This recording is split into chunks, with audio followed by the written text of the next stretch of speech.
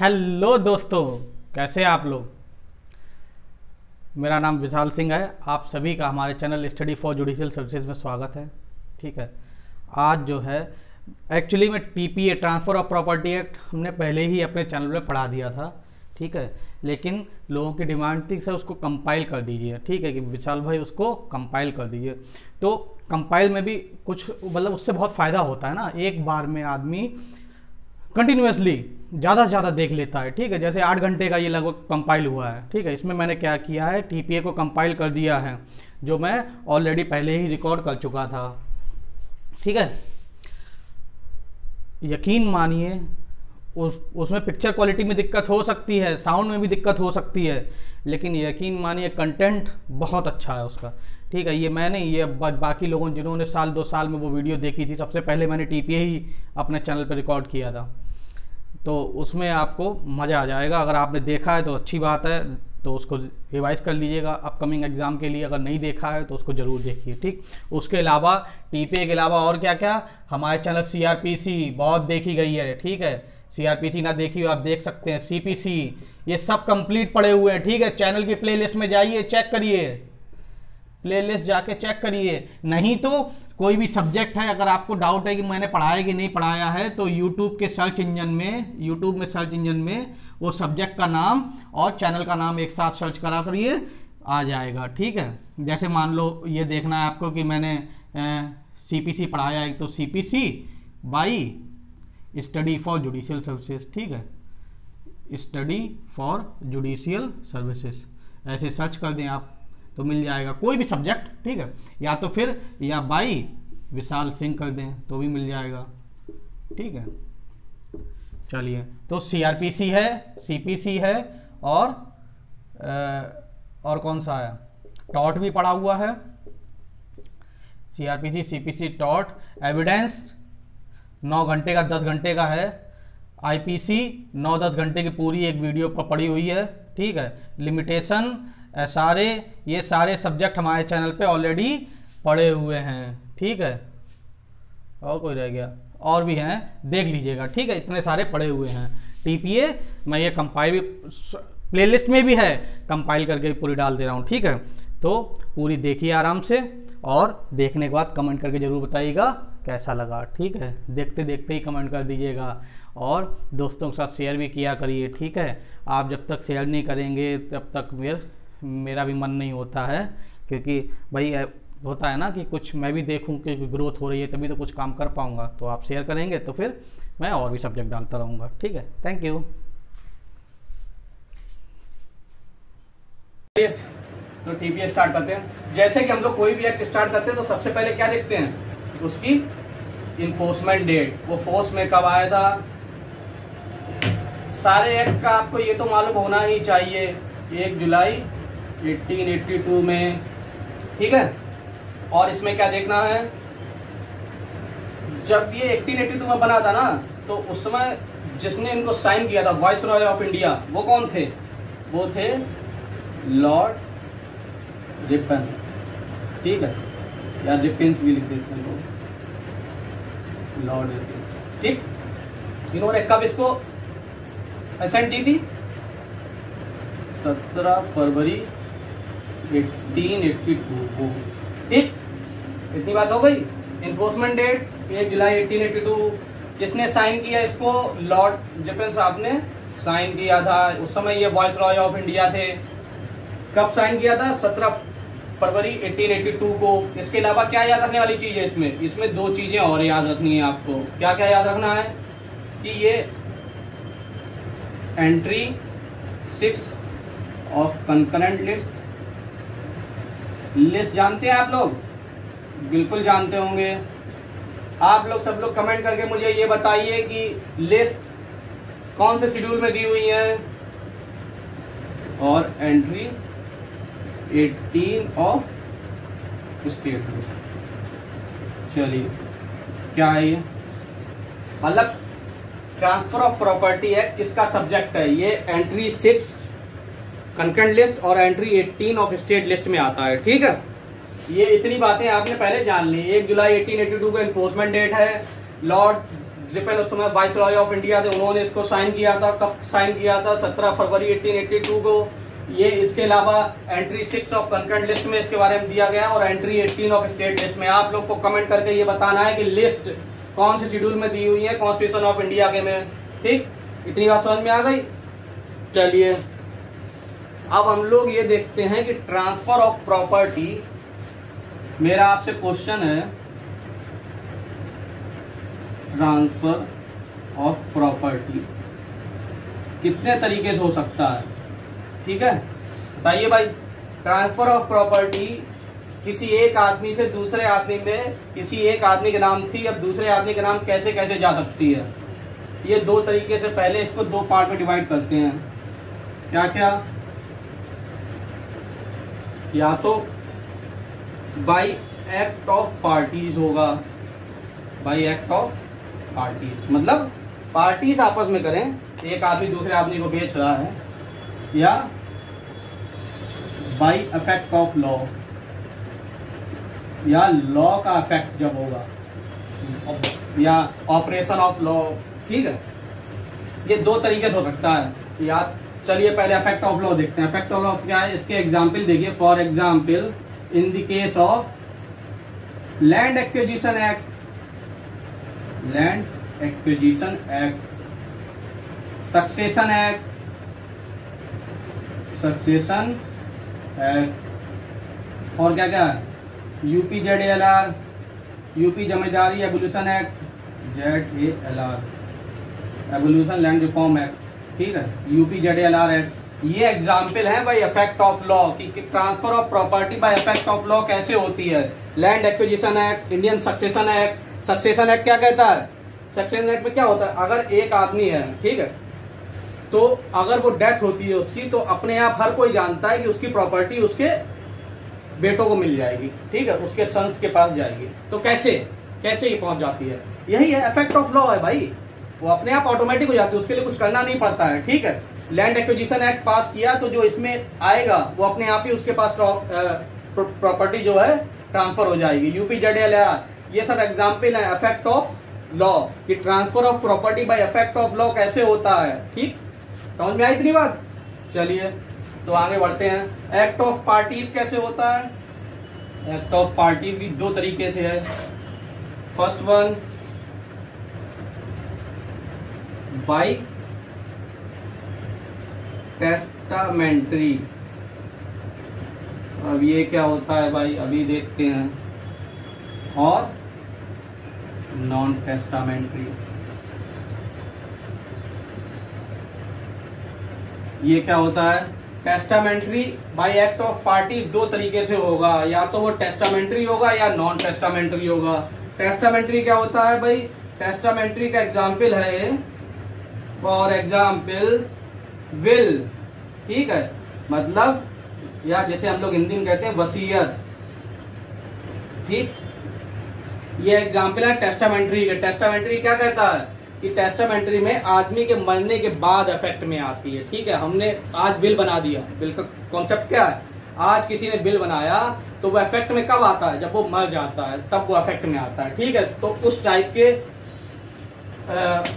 Transfer को हम testamentary transfer कहते हैं। ठीक है नॉन टेस्टामेंट्री क्या होता है? नॉन टेस्टामेंट्री होता है फॉर एग्ज़ाम्पल नॉन टेस्टामेंट्री क्या होता है? बिटवीन टू लिविंग पर्सन अगर कोई एक आदमी दूसरे आदमी को प्रॉपर्टी ट्रांसफ़र कर रहा है बिटवीन टू लिविंग पर्सन अगर एक आदमी दूसरे आदमी को सेल के थ्रू एक्सचेंज के थ्रू क्या है?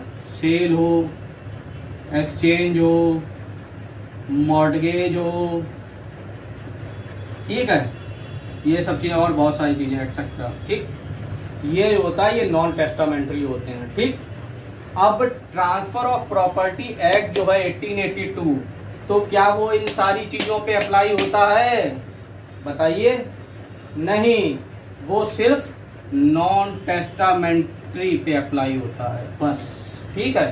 ट्रांसफ़र ऑफ़ प्रॉपर्टी बहुत तरीके से होते हैं। By act of parties by effect of law effect of law में succession act UP Z L R act land acquisition act is the example of effect of law act of parties में क्या क्या है? Testamentary और non testamentary testamentary क्या होते हैं? वो उस टाइप के ट्रांसफ़र जो आदमी के मरने के बाद इफ़ेक्ट में आते हैं। फॉर एग्ज़ाम्पल विल ठीक है? नॉन टेस्टामेंट्री कौन से होते हैं? नॉन टेस्टामेंट्री होते हैं जो एक लिविंग पर्सन दूसरे लिविंग पर्सन को ट्रांसफ़र करता है। तो कहने का मतलब है TPA act transfer of property act जो है, वो सिर्फ़ इसमें अप्लाई होता है और ना इधर अप्लाई होता है। ना इधर अप्लाई होता है। क्यों? क्योंकि ये सक्सेशन एक्ट से डील होगा, ये अलग एक्ट से डील होगा, लेकिन नॉन टेस्टामेंट्री जो है, वो टीपीए से डील होगा। सेक्शन थ्री का बहुत इंपॉर्टेंट सेक्शन थ्री में क्या दिया हुआ? डेफिनेशन बहुत इंपॉर्टेंट एक ऑब्जेक्ट थ्री का क्वेश्चन है। क्या है? According to section three instrument means non testamentary instrument non testamentary instrument बहुत बार बहुत बार पूछा गया है, ठीक है? आप जब ऑब्जेक्टिव टाइम लगाएँगे तो खूब ये क्वेश्चन देखेंगे जो सेक्शन थ्री में डेफिनेशन दी हुई है, उसी में इंस्ट्रूमेंट की डेफिनेशन दी गई है। उसमें क्या बोला गया है कि इंस्ट्रूमेंट में under transfer of property act instrument means non testamentary instrument यहाँ तक बात क्लियर हुई? चलिए, अब आगे बढ़ते हैं। ये सब नोट कर लीजिए आप लोग। अब आगे देखते हैं क्या है। इसमें से तीन चार क्वेश्चन बनेंगे, ठीक है? और इस टाइप के क्वेश्चन है जो खूब पूछे जाते हैं। टीपीए में मेंस के लिए तो मालूम होता है कि इस सब्जेक्ट मतलब ये ये टॉपिक से मेंस के क्वेश्चन आएँगे। ठीक है? प्री में थोड़ा मेहनत करनी पड़ती है, लेकिन आसानी से हो भी जाता है, घबराने वाली कोई बात नहीं है। चलिए, अब हम देख रहे हैं इसमें कि ओवरव्यू ऑफ़ दी एक्ट वही अपना पुराना फंडा, ठीक है, सारे एक्ट हम लोग ऐसे ही देखते हैं। कैसे देखते हैं? अब ओवरव्यू देखें इसका। ओवरव्यू क्या है? इस एक्ट का ओवरव्यू क्या है? इन्फोर्समेंट डेट आपने देख ली। ठीक है, उसके बाद में ये एंट्री लिस्ट में कहा दिया हुआ ये भी देख लिया। किस टाइप के ट्रांसफ़र में अप्लाई होगा, ये भी देख लिया। अब इसमें है क्या क्या ये देखते हैं। ओवरव्यू जब हम देखेंगे, तब हम देखेंगे transfer of property act 137 sections जो कि एट पार्ट एट चैप्टर्स में सॉरी एट चैप्टर्स में डिवाइडेड है। ठीक इसमें पूरे एक सौ सैंतीस सेक्शन है, जो कि एट चैप्टर्स में डिवाइडेड है। ठीक है? अब इसमें क्या है? एट एट चैप्टर में डिवाइडेड है तो इसमें क्या करना है हमें? अब हमें देखना है उन चैप्टर्स में क्या क्या है। चलिए। Chapter one, two, three, four, five, six, seven eight लिखते हैं। पहला तो प्रीलिमिनरी है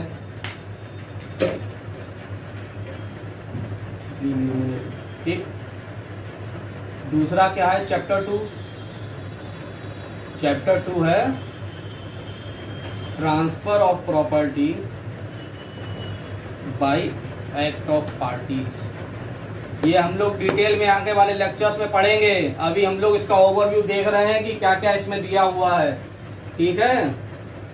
तीन में क्या है? सेल है।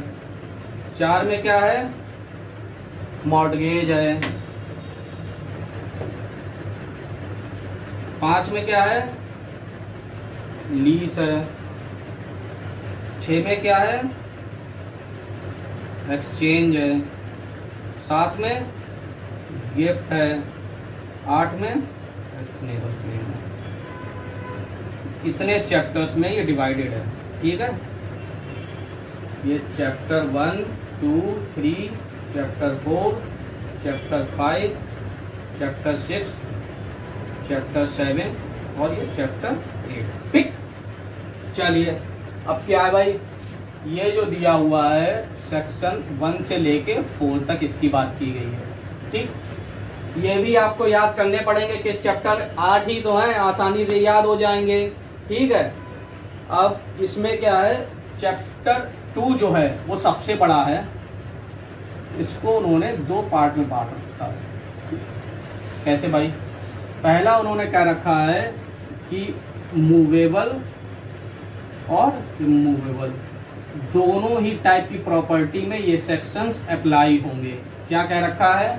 मूवेबल और इमूवेबल दोनों ही टाइप की प्रॉपर्टी में ये सेक्शंस अप्लाई होंगे। ये दिया हुआ है सेक्शन फाइव से और थर्टी सेवन तक। इसका जो पार्ट इसको ए में बांटा गया है, इसको बी में बांटा गया है। ये केवल इमूवेबल प्रॉपर्टी में अप्लाई होगा। इमूवेबल प्रॉपर्टी में अप्लाई होगा। इसमें कहा से? सेक्शन 38 से 53 ए तक दिया हुआ है। क्या है?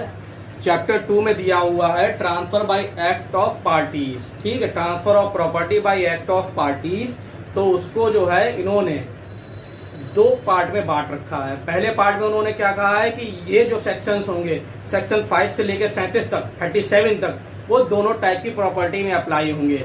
चाहे वो मूवेबल हो, चाहे मूवेबल हो। लेकिन जो पार्ट बी में दिया, जो बी जो बांटा गया है, उसमें उन्होंने कहा कि सेक्शन 38 से लेकर 53 ए तक वो जो है, किसमें? सिर्फ़ इमूवेबल प्रॉपर्टी में अप्लाई होंगे। ठीक है? अब सेल में क्या है? ये सेक्शन 54 से 53 ए पे वो खत्म होगा। 57 तक इसमें दिया हुआ है। ठीक है? अब मॉडगेज में इन्होंने चलिए मॉडगेज देखते हैं मॉडगेज कहाँ से कहाँ तक है? 58 से 104 तक है, लेकिन इसमें चार्ज भी है। चार्ज कहाँ पे दिया हुआ है? 100 से 104 तक। मॉडगेज में ही उन्होंने चार्ज भी दिया हुआ है, ठीक है? चार्ज कहाँ है? 100 से 104 तक। ठीक? लीज सेक्शन 105 104 पे वो खत्म हुआ? 117 ठीक? एक्सचेंज 118 से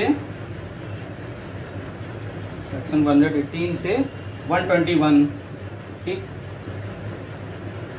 गिफ्ट 122 से 129 और एक्सनेबल क्लेम 130 से 137 अब क्या इसमें यही देखने वाली बात थी? इसीलिए मैंने लिखा गया। भाई साहब, पहली बात तो ये क्वेश्चन आ जाता है कि बताइए एक्सचेंज जो है ट्रांसफ़र ऑफ़ प्रॉपर्टी एक्ट में एक्सचेंज कहाँ पर दिया हुआ है? ट्रांसफ़र ऑफ़ प्रॉपर्टी एक्ट में एक्सचेंज चैप्टर सिक्स में सेक्शन 118 से 121 तक दिया हुआ है। ठीक? ट्रांसफ़र ऑफ़ प्रॉपर्टी एक्ट जो है 70 परसेंट केसेस इसका जो एक्ट जितना बड़ा है ना 70 परसेंट पार्ट उसका इमूवल प्रॉपर्टी में अप्लाई होता है, ठीक है? और 30 परसेंट मूवेबल प्रॉपर्टी में अप्लाई होता है। तो चैप्टर थ्री फोर और फाइव ये तीनों ही, ये तीनों ही चैप्टर थ्री फोर और फाइव ठीक? चैप्टर थ्री फोर और फाइव ये तीनों चैप्टर मतलब सेल मॉडगेज और लीज ये तीनों सिर्फ़ इमूवेबल प्रॉपर्टी में अप्लाई होंगे। ठीक? इमूवेबल प्रॉपर्टी में अप्लाई होंगे। फिर से मैं कह रहा हूँ चैप्टर थ्री फोर और फाइव ये इमोवल प्रॉपर्टी में अप्लाई होंगे। एक्सचेंज और गिफ्ट एक्सचेंज और गिफ्ट जो चैप्टर सिक्स और सेवन में दिए हुए हैं, ये बोथ मूवेबल हो या इमूवेबल हो, दोनों पे अप्लाई होंगे। ठीक? और एक्सनेबल क्लेम सिर्फ़ मूवेबल में अप्लाई होगा। ठीक है? चलिए फिर से देखते हैं इसको। अभी तक क्या देखा हम लोगों ने? हम लोग ट्रांसफ़र ऑफ़ प्रॉपर्टी एक्ट का ओवरव्यू कर रहे हैं। ओवरव्यू में हमें पता चला इसमें 137 सेक्शंस हैं, जो कि एट चैप्टर्स में डिवाइडेड हैं।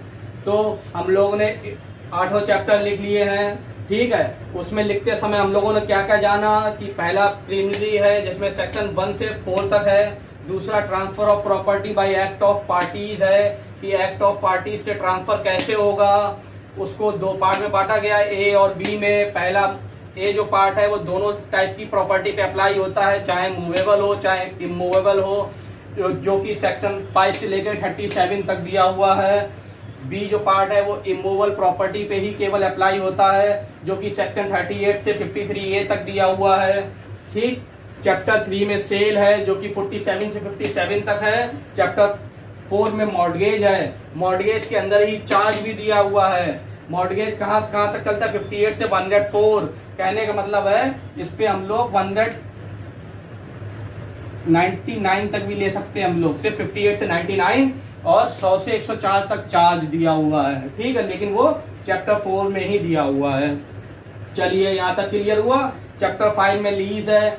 लीज 105 से 117 तक दी हुई है। चैप्टर सिक्स में एक्सचेंज है, जो 118 से 121 तक, और ये सब देख लीजिए आप। ठीक है 122 से 129 गिफ्ट है एक्सनेबल क्लेम 130 से 137 है। याद रखने वाली बात क्या है इसमें? सेल मॉडगेज और लीज के केस में। इन तीनों की चीज़ों में सिर्फ़ ये मूवल प्रॉपर्टी की बात करता है। मूवेल प्रॉपर्टी की सेल करनी है तो टीपीए में नहीं होगी। कहाँ होगी? वो सेल्स ऑफ़ गुड्स में जाइए आप। ठीक है? तो चैप्टर थ्री फोर और फाइव सेल मॉडगेज और लीज इसमें केवल इमोवल प्रॉपर्टी की बात करता है। एक्सचेंज और गिफ्ट के केस में। एक्सचेंज करना हो या गिफ्ट करना हो, ये दोनों में दोनों प्रॉपर्टी आ जाती है बोथ ठीक? एक्सनेबल क्लेम में सिर्फ़ मूवेबल प्रॉपर्टी आएगी। चलिए, इतना जान गए आप लोग? अब ऐसा करिए, आप अपना अपना बैरक निकालिए। ठीक बेरेक्ट में जो इंडेक्स है, उसको खोलिए। आज हम लोग ये नोट करेंगे, इसमें से क्या होता है? डॉक्ट्राइन बहुत पूछी जाती है, ठीक है? क्योंकि प्री के क्वेश्चन इसमें काफ़ी आते हैं टीपीए से, चाहे यूपी जुडिशरी हो, चाहे आपका बिहार जुडिशरी हो, ठीक है? चाहे आपका हिमाचल हो, उत्तराखंड हो, सब में टीपी आता है तो टीपीए बहुत इंपॉर्टेंट भी है, चलिए। तो हम लोग ये लिखेंगे कि कौन, किस सेक्शंस को कौन सी डॉक्ट्राइन के नाम से जाना जाता है? ठीक? तो सबसे पहले आप नोट करिए सेक्शन 26 सेक्शन 26 क्या है? Fulfilment of condition precedent fulfilment of condition precedent इसको बोलते हैं डॉक्ट्राइन ऑफ़ साइप्रस नोट करिए सब लोग बेयर एक्ट में. सेक्शन 26 को आप डालिए doctrine of cypres fulfilment of condition precedent को हम लोग डॉक्ट्राइन ऑफ़ साइप्रस बोलते हैं। ठीक है? चलिए तो सेक्शन 27 लाइए। सेक्शन 27 में क्या लिखेंगे हम लोग?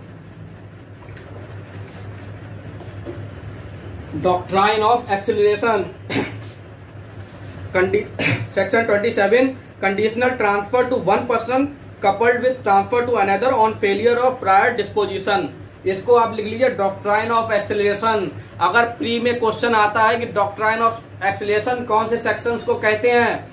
तो उसमें 25, 26, 27, 28 दिया हुआ है। तो आप सेक्शन 27 टिक मार के आइएगा। ठीक है? 28 लिखिए 28 को क्या कहते हैं? 28 को हम लोग कहते हैं डॉक्ट्राइन ऑफ़ कंडीशनल लिमिटेशन 28 को डॉक्ट्राइन ऑफ़ कंडीशनल लिमिटेशन चलिए सेक्शन 36 को सेक्शन 36 को हम लोग बोलते हैं डॉक्ट्राइन ऑफ़ अपोसनमेंट वो उसकी हेडिंग भी यही है, ठीक है? सेक्शन 37 को सेक्शन 37 को हम लोग बोलते हैं डॉक्ट्राइन ऑफ़ सब्सिट्यूटेड सिक्योरिटी अपने बेयर एक्ट पे नोट करते चलिए। इंडेक्स में ही, जहाँ पे कंटेंट दिया हुआ है। सेक्शन 37 क्या लिखा आपने? Doctrine of substituted security section 41 transfer by ostensible owner को क्या कहते हैं? डॉक्ट्राइन ऑफ़ होल्डिंग आउट ये सब हम लोग आगे चल के डिटेल में पढ़ेंगे, लेकिन अभी आप लिख लीजिए, ठीक है? कि कभी भी आप बेरक खोलें तो आप ये सब चीज़ें पहले ही देख लें। ये लास्ट टाइम वाली चीज़ें होती हैं, ठीक है? सेक्शन 41 को क्या लिखा आपने? Doctrine of holding out section 43 doctrine of feeding the grant by estoppel section 43 doctrine of feeding the grant by estoppel चलिए। सेक्शन 48 डॉक्ट्राइन ऑफ़ प्रायोरिटी इसकी हेडिंग भी है priority of right created by transfer इसको बोलते हैं doctrine of priority section 52 doctrine of lis pendens बहुत पूछा जाता है। 52, 53, 53 ए बहुत पूछे जाते हैं। ठीक है इसको डिटेल में पढ़ेंगे हम लोग। अभी लिख लीजिए 52 में डॉक्ट्राइन ऑफ़ लिस्पेंडेंसी इसमें आप एक केस भी डाल लीजिए बेलेमे वर्सेस सबाइन बहुत पूछा जाता है फ्री में। बेलेमे वर्सेस सबाइन 52 का सेक्शन 52 का केस है, जिसको हम लोग डॉक्ट्राइन ऑफ़ लिस्पेंडेंसी भी कहते हैं। Section 56 doctrine of marshalling on sale section 56 doctrine of marshalling of sale section 57 note करिए अब doctrine of encumbrance section 57 doctrine of encumbrance चलिए, अब कौन सा रह गया? सेक्शन 61 पे आ जाइए। Section 61 doctrine of consolidation note करते चलिए। सेक्शन 61 डॉक्ट्राइन ऑफ़ कंसोलिडेशन और कौन सा रह गया? चलिए section 71 doctrine of substituted security section 71 doctrine of substituted security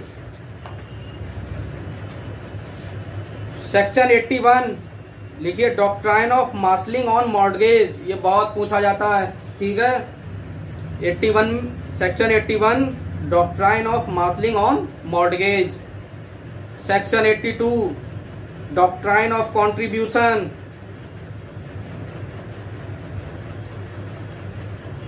section 82 doctrine of contribution 91 पे आ जाइए। रिडीम 91 पे आप लिख लीजिए redeem up foreclose down घबराने वाली बात नहीं है, ये सब डिटेल में पढ़ेंगे। अभी सिर्फ़ आप लिख लीजिए, क्योंकि ये लास्ट टाइम वाली चीज़ें होती हैं लास्ट टाइम लिखवा नहीं पाते हैं, भूल जाते हैं तो इसको पहले ही लिख लीजिए। कि कभी भी आप बेरक खोलें तो इन पर नज़र पड़े, और जब तक आपका पूरा टीपीए खत्म हो, तब तक आपको ये सब आसानी से याद हो जाए। ठीक? 91 पे लिखा आपने redeem up foreclose down ये तीनों ही इंपॉर्टेंट है। 91, 92, 93 काफ़ी क्वेश्चन पूछे जाते हैं इसमें ठीक है?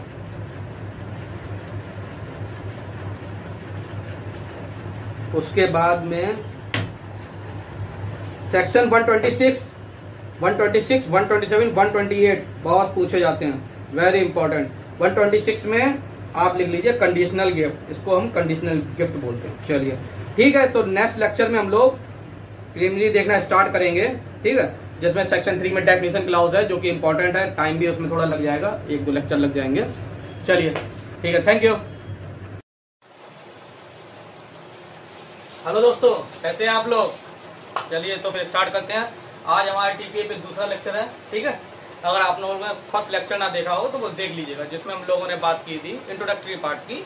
कि टीपीए किस टाइप के ट्रांसफर्स में अप्लाई होता है, जिसमें हम लोगों ने जाना था कि transfer of property act eighteen eighty two ninety percent या एट्टी परसेंट केसेस में सिर्फ़ इमूवेबल प्रॉपर्टी पे अप्लाई होता है। ठीक है? स्टार्टिंग का जो चैप्टर टू है, उसमें दिया हुआ है कि मूवेबल इमूवेबल दोनों प्रॉपर्टी के रूल्स दिए हुए हैं, हमने सब लोग जाना था। ठीक है, आप देख लीजिएगा उसको। चलिए तो आज हम लोग सेक्शन वन से स्टार्ट करने वाले हैं? सेक्शन वन क्या कहता है? सेक्शन वन क्या कहता है भाई? इसका शॉर्ट टाइटल कमिटमेंट और एक्सटेंट ठीक? तो शॉर्ट टाइटल क्या है इसका? इसको हम ट्रांसफ़र ऑफ़ प्रॉपर्टी एक्ट कहेंगे। 1882 ठीक? कमिटमेंट क्या है? कमिटमेंट डेट हम लोग ने इंट्रोडक्टिव पार्ट में देखा ही था। फ़र्स्ट ऑफ़ जुलाई 1882 ठीक? एक्सटेंट देखिए एक्सटेंट पे इसमें बहुत बड़ी बड़ी चीज़ें दी हुई है, उसको सब भूल जाइए ठीक? जो लिखा है, वो पार्ट बी स्टेट्स जब हुआ करते थे, जब शेड्यूल सेवन में सॉरी पार्ट सेवन में कॉन्स्टिट्यूशन ऑफ़ इंडिया के दिए हुए थे, उसको फिर रिपील कर दिया गया था। आप लोग से क्वेश्चन है कि पार्ट सेवन जो पार्ट बी स्टेट जिसमें दिया हुआ था कॉन्स्टिट्यूशन ऑफ़ इंडिया में, उसको कब रिपील किया गया था? आप सब लोग कमेंट करके बताइएगा। ठीक है? चलिए। तो इसमें आप लिख लीजिए इट एक्सटेंट में आप ये लिख लीजिए it extend to the whole of India except the state of Punjab ठीक है? सिर्फ़ पंजाब में अप्लाई नहीं होता है। ऑन डॉक्यूमेंट अप्लाई नहीं होता है। वैसे तो कोर्ट वहाँ पर पंजाब में जब प्रॉपर्टी का कोई केस देखते हैं या ट्रांसफ़र ऑफ़ प्रॉपर्टी का तो वो टीपीए ही अप्लाई करते हैं on the basis of equity justice and good conscience ठीक है? उस ग्राउंड पे वो टीपीए का ही इस्तेमाल करते हैं तो इसलिए आप लोग इसमें सिर्फ़ इतना लिख लीजिए। It extend to the whole of India except the state of Punjab चलिए सेक्शन टू देखते हैं। Section two repeal of the act है। इसमें भी आपको कुछ नहीं देखना है, कुछ भी काम का नहीं है, ठीक है, आपके लिए। क्योंकि ऐसे तो हम लोग अगर एक एक लाइन से पढ़ेंगे फिर कैसे सिलेबस कंप्लीट हो पाएगा आपका, ठीक है? हम लोग को एग्ज़ाम भी तो देना है। एग्ज़ाम हम लोग को देखना है कि कौन सी चीज़ मोस्ट इंपॉर्टेंट है, ठीक है? कैचिंग वर्ड क्या है उसमें? क्या इंपॉर्टेंट है? अब जो चीज़ डिटेल में पढ़नी है, अब जैसे कि ट्रांसफ़र टू अनबोर्न पर्सन ठीक है? और ये ऑस्टेंसिबल ऑनर ये सब चीज़ें तो हम लोग देखेंगे ही, ठीक है? ये तो डिटेल में ही पढ़ी जाएँगी भाई। लेकिन चलिए सेक्शन टू क्या कहता है? सेक्शन टू में आप लास्ट में आइए। सेक्शन टू सिर्फ़ इतना आपको याद रखना है कि सेक्शन टू ये कहता है कि चैप्टर सेकंड मुस्लिम लॉ पे मतलब मोमडन लॉ पे अप्लाई नहीं होता, ठीक है? चैप्टर सेकंड जो कि सेक्शन फाइव से लेकर फिफ्टी थ्री ए तक है, वो मॉडर्न लॉ पे अप्लाई नहीं होता है। इतनी बस काम की बात है सेक्शन टू में, ठीक है? चलिए सेक्शन थ्री पे आ जाते हैं। इतना सब लिख रखा है आपके लिए, ठीक है? इंटरप्रिटेशन क्लास में। इंटरप्रिटेशन क्लाउज में इमोरल प्रॉपर्टी की डेफिनेशन दी हुई है इंस्ट्रूमेंट की दी है अटेस्टेड की दी है रजिस्टर्ड की दी हुई है एक्शनेबल क्लेम की दी हुई है और notice a person is said to have notice ठीक है? इन सब पे अप्लाई कर लीजिएगा, आपको ये भी मालूम होना चाहिए हर डेफिनेशन क्लाउस में, ठीक है? क्वेश्चन कभी कभार ऐसे आ जाता है कि सेक्शन थ्री और पीपीए में किस किस की डेफिनेशन नहीं दी हुई है तो उसमें आपको दिया दी हुई है, ठीक है? तो उसमें आपको मालूम होना चाहिए कि हाँ यार, इसमें मूवल प्रॉपर्टी दी हुई है मूवेबल की नहीं दी हुई है, ठीक? तो ऐसे भी याद होना चाहिए आपको। तो इंस्ट्रूमेंट हम लोग ने पहले बात की थी इंट्रोडक्टरी पार्ट में। Instrument means instrument means a non testamentary instrument ठीक? इंस्ट्रूमेंट में और कुछ देखने को है नहीं। बस आप ध्यान रखिएगा, बहुत पूछा जाता है, ठीक है? प्री में ये तो मतलब ये समझिए कि बहुत चल अगर दस क्वेश्चन आते हैं तो एक आध ये भी डाल देते हैं उसमें, ठीक है? क्या? कि instrument means non testamentary instrument ठीक? और रजिस्टर्ड का जो इसमें मतलब है registered means registered in any part of the territory to which this act extend under the law for the time being in force regulating the registration of document कहने का मतलब वही है कि रजिस्टर्ड का मतलब ये है कि वो इंडियन रजिस्ट्रेशन एक्ट में रजिस्टर्ड होना चाहिए। ठीक? तो इसमें अब हम लोग देखते हैं इमोवल प्रॉपर्टी इमोवल प्रॉपर्टी पे शॉर्ट नोट्स भी आ जाता है मेंस में, ठीक है? और इमोवल प्रॉपर्टी पे एक दो क्वेश्चन अंदर से भी आ जाते हैं फ्री में भी। तो इमोवल प्रॉपर्टी को हम लोग देखेंगे। इतना सब इसीलिए लिख रखा है आपके लिए, ठीक है? आप साथ में ही नोट्स बनाते चले। तो इमोवल प्रॉपर्टी अटेस्टेड और एक्सनेबल क्लेम और नोटिस ये चीज़ें हम लोग डिटेल में पढ़ेंगे इसमें, ठीक है? इंस्ट्रूमेंट अभी मैंने आपको बताई थी इंस्ट्रूमेंट में कोई काम की चीज़ नहीं है, सिर्फ़ इतना याद रखना है कि instrument means non testamentary instrument registered का मतलब है कि वो रजिस्टर्ड होना चाहिए। कहाँ? इंडियन रजिस्ट्रेशन एक्ट में, ठीक? अब अभी हम लोग इमोवल प्रॉपर्टी और अटेस्टेड टू द अर्थ ये दोनों चीज़ें हम लोग अभी देखेंगे। चलिए तो स्टार्ट करते हैं ये। अब इमोवल प्रॉपर्टी क्या है? सेक्शन थ्री में इमोवल प्रॉपर्टी की डेफिनेशन जो दी है ना, वो निगेटिव में दी हुई है। ठीक है? निगेटिव में कैसे? क्योंकि उन्होंने ये नहीं बताया कि मोल प्रॉपर्टी क्या है। उन्होंने सिर्फ़ ये बताया है कि इमोल प्रॉपर्टी क्या नहीं है। ठीक है? उन्होंने ये नहीं बताया कि इमोल प्रॉपर्टी क्या है? इन्होंने ये बताया कि इमोल प्रॉपर्टी क्या नहीं है। इन्होंने इसमें सेक्शन थ्री में टीपीए के सिर्फ़ ये बताया कि स्टैंडिंग टिम्बर ग्रोइंग क्रॉप्स और ग्रास ये तीन चीज़ें एक, दो और तीन। ये तीन चीज़ें इमोल प्रॉपर्टी नहीं है। लेकिन ये तो नहीं बताया कि मोल प्रॉपर्टी क्या है। ठीक है तो इसलिए निगेटिव में डेफिनेशन दी हुई है। तो इसकी वजह से हम लोग को क्या करना पड़ा? अब ये कंप्लीट तो डेफिनेशन नहीं है। तो भाई, अब इससे काम चल नहीं रहा तो कुछ ना कुछ तो हम लोग को कहीं ना कहीं देखना पड़ेगा। तो हम लोगों ने जनरल क्लाउज एक्ट देखा।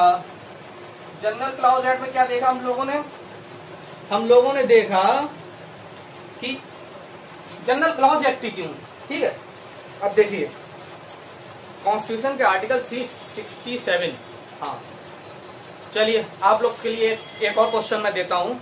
ठीक है? और मुझे कमेंट करके बताइएगा कि कॉन्स्टिट्यूशन में डेफिनेशन क्लाउज मतलब कॉन्स्टिट्यूशन में भी तो टर्म इस्तेमाल हुए हैं तो उनकी डेफिनेशन कहीं ना कहीं दी होंगी। तो कहाँ दी हुई है, आप मुझे कमेंट करके बताइए। चलिए। जनरल क्लाउस एक्ट हम लोग ने क्यों देखा? ये मैं बताने वाला था। Section 367 of the sorry article 367 of the constitution of India में ये दिया हुआ है कि अगर कोई भी डेफिनेशन कहीं पे ना मिले, ठीक है? कॉन्स्टिट्यूशन के लिए दिया हुआ है बेसिकली वो। अगर कोई भी डेफिनेशन कहीं ना मिले तो आप जनरल क्लाउज एक्ट एक बार देख लीजिएगा। ठीक है उसमें जो दी होगी हम वही मान लेंगे। ठीक है तो यहाँ पर भी हम लोग ने वही अप्लाई किया। अब भाई मोल प्रॉपर्टी यहाँ नहीं दिया हुआ था तो हम लोग, चलो जनरल क्लाउज एक्ट देखते हैं। तो जनरल क्लाउज एक्ट जब लोग देखा तो उसमें हमने जाना कि सेक्शन थ्री थ्री में ना? हाँ जी। सब क्लॉज ट्वेंटी सिक्स याद करने की ज़रूरत नहीं है, लेकिन फिर भी, चलिए मेंस में लिखिएगा, लिख दीजिएगा इसको भी। Section three sub section twenty six में ये दिया हुआ है इमूवल प्रॉपर्टी इंक्लूड अब इन्होंने इंक्लूड उन्होंने कहा था डज नॉट इंक्लूड जनरल का में दिया है कि मोल प्रॉपर्टी क्या है? Land benefit to arise out of land thing attested with the earth and the things permanently first and with the things so attested with the earth ठीक है? इन्होंने क्या कहा कि immovable property include land benefit to arise out of land thing attach with the earth and the things permanently fastened with the things so attach with the earth ठीक है? इन्होंने चार चीज़ें जनरल क्लाउज एक्ट में जोड़ दी। एक, दो, तीन, चार, पाँच। पाँच चीज़ें इन्होंने जोड़ दी कि ये ये चीज़ें मोल प्रॉपर्टी में आएँगी। ठीक है?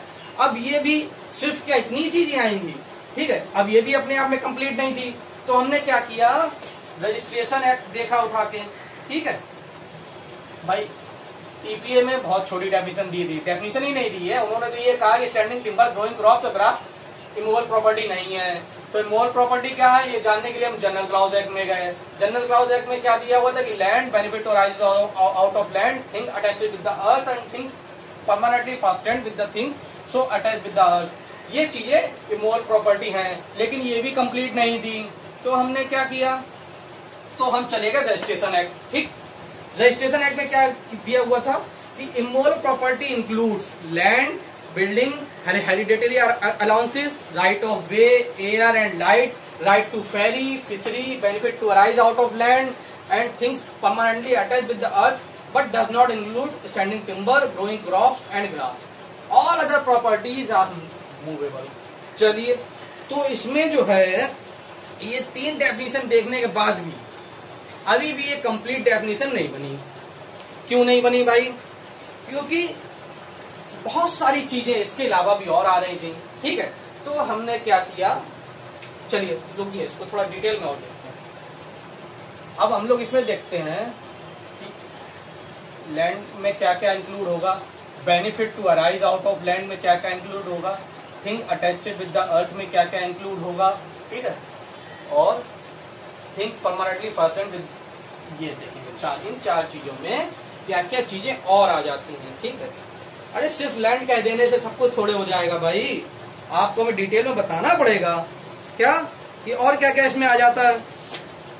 कि इसको साफ़ करते हैं फिर आपके लिए। फिर आगे स्टार्ट करते हैं क्या है?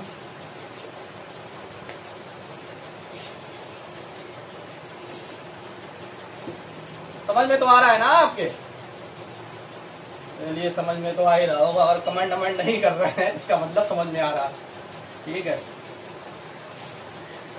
आएगा समझ में क्यों नहीं आएगा आसान ही तो है। तो हम लोग क्या क्या देखने वाले हैं? लोग देखते हैं।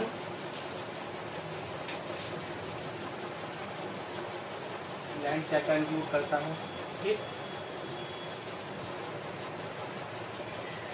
Benefit to arise out of land.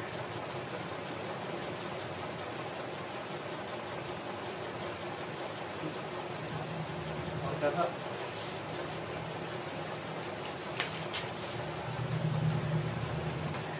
Things with ये एक्चुअली वही है thing attach with the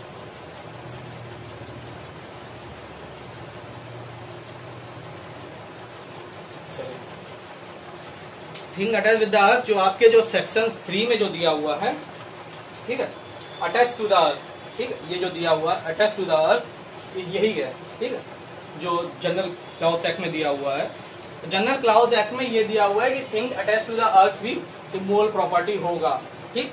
लेकिन सेक्शन थ्री टीपीए में उसको डिफाइन भी किया गया हुआ है कि things attach with the earth क्या होगा। चलिए इसको भी लिख लेते हैं।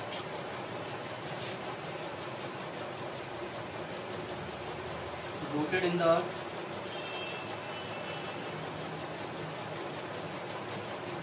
Embedded in the earth.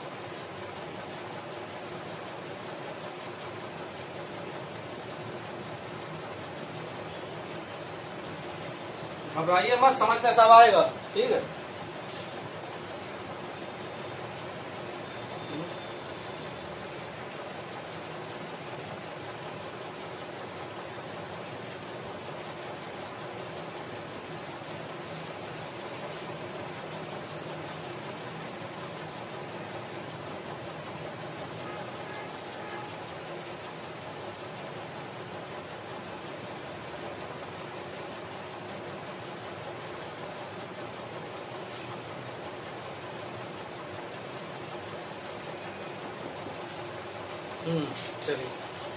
इसको देखते हैं। लैंड में क्या क्या आ जाएगा भाई? बताइए आप लोग सोचिए क्या क्या आ जाएगा? अब लैंड में वो सारी चीज़ें, ठीक है? चाहे inner and outer surface of land inner and outer surface of land अब चाहे, अब मान लीजिए कोई लैंड है, ठीक है? तो उसकी सॉइल ठीक है? उसके ऊपर अगर वाटर है तो वो वाटर ठीक है, कोई लेक है तो लेक उसके अंडर मिनरल्स हैं, कुछ भी है, वो सारी चीज़ें इमोल प्रॉपर्टी में आ जाएँगी, क्योंकि वो land includes all such thing ठीक? इसलिए अब कोई लेक है, अगर लेक है तो उसका पानी तो हम लोग निकाल सकते हैं ना, लेकिन फिर भी वो इमोल प्रॉपर्टी में आएगा, ठीक? सॉइल है, ठीक है, वो भी इमोल प्रॉपर्टी में आएगा।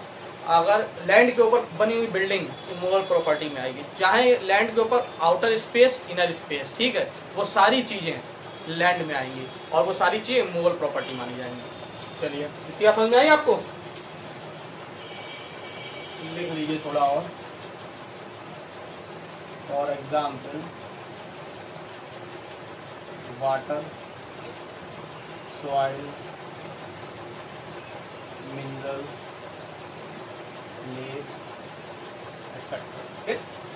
आएगी नहीं आपको? ये एक्चुअली में मेंस में पूछ भी दिया जाता है immovable property define immovable property under TTA तो आपको लिखना पड़ेगा। लिखना पड़ेगा तो मैंने सोचा थोड़ा डिटेल में ही लिख दें इसमें, ठीक? Benefit to arise out of land benefit to arise out of जैसा ये लिखा हुआ है, वैसा ही ये बोलना चाहता है। अब लैंड अगर इमोल प्रॉपर्टी है तो उससे बेनिफिट जो आ रहे हैं, ठीक है? Benefit to arise out of rent. कहना मतलब है कि हेरिडिटरी अलाउंसेज ठीक है? अगर कोई बिल्डिंग है, उसका जो रेंट आ रहा है, कोई बिल्डिंग है, उसका जो रेंट आ रहा है, वो भी इमोल प्रॉपर्टी है, ठीक? कोई मॉडगेज प्रॉपर्टी है, उसका डेप वो भी इमोल प्रॉपर्टी है, ठीक है? और राइट टू फेरी फिशरीज ठीक है? अब फिशरीज है, वो लेक में ही तो या किसी बड़ी नदी में ही तो हो पाएगी तो उसमें से जो उसका राइट होगा ना, वो फिशरीज निकालने का। वो भी इमोल प्रॉपर्टी में आएगा। ठीक है? क्योंकि वो लैंड इंक्लूड करता है। लैंड इंक्लूड्स ऑल्सो लेक ठीक? ये सारी चीज़ें मोल प्रॉपर्टी में आएँगी। लिख लेते हैं। क्या है? Hereditary office hereditary allowances allowances rent of building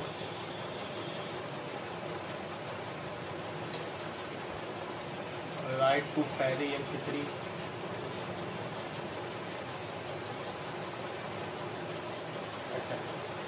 अभी हम लोग देखेंगे इसको। टेंशन मत लीजिए। आपका प्री का तो एक क्वेश्चन नहीं छूटने दूँगा। चलिए, एक क्वेश्चन तो नहीं। नाइन्टी परसेंट तो आपका करवा के रहूँगा। ठीक है? ऐसे नहीं कहना चाहिए। एक क्वेश्चन नहीं छूटने दूँगा। क्वेश्चन बनाने वाले तो बहुत कुछ बना सकते हैं। ठीक है? उनसे पंगा नहीं ले चलिए। अब थिंक अटेस्टेड विद द देखिए सेक्शन थ्री में क्या दिया हुआ है?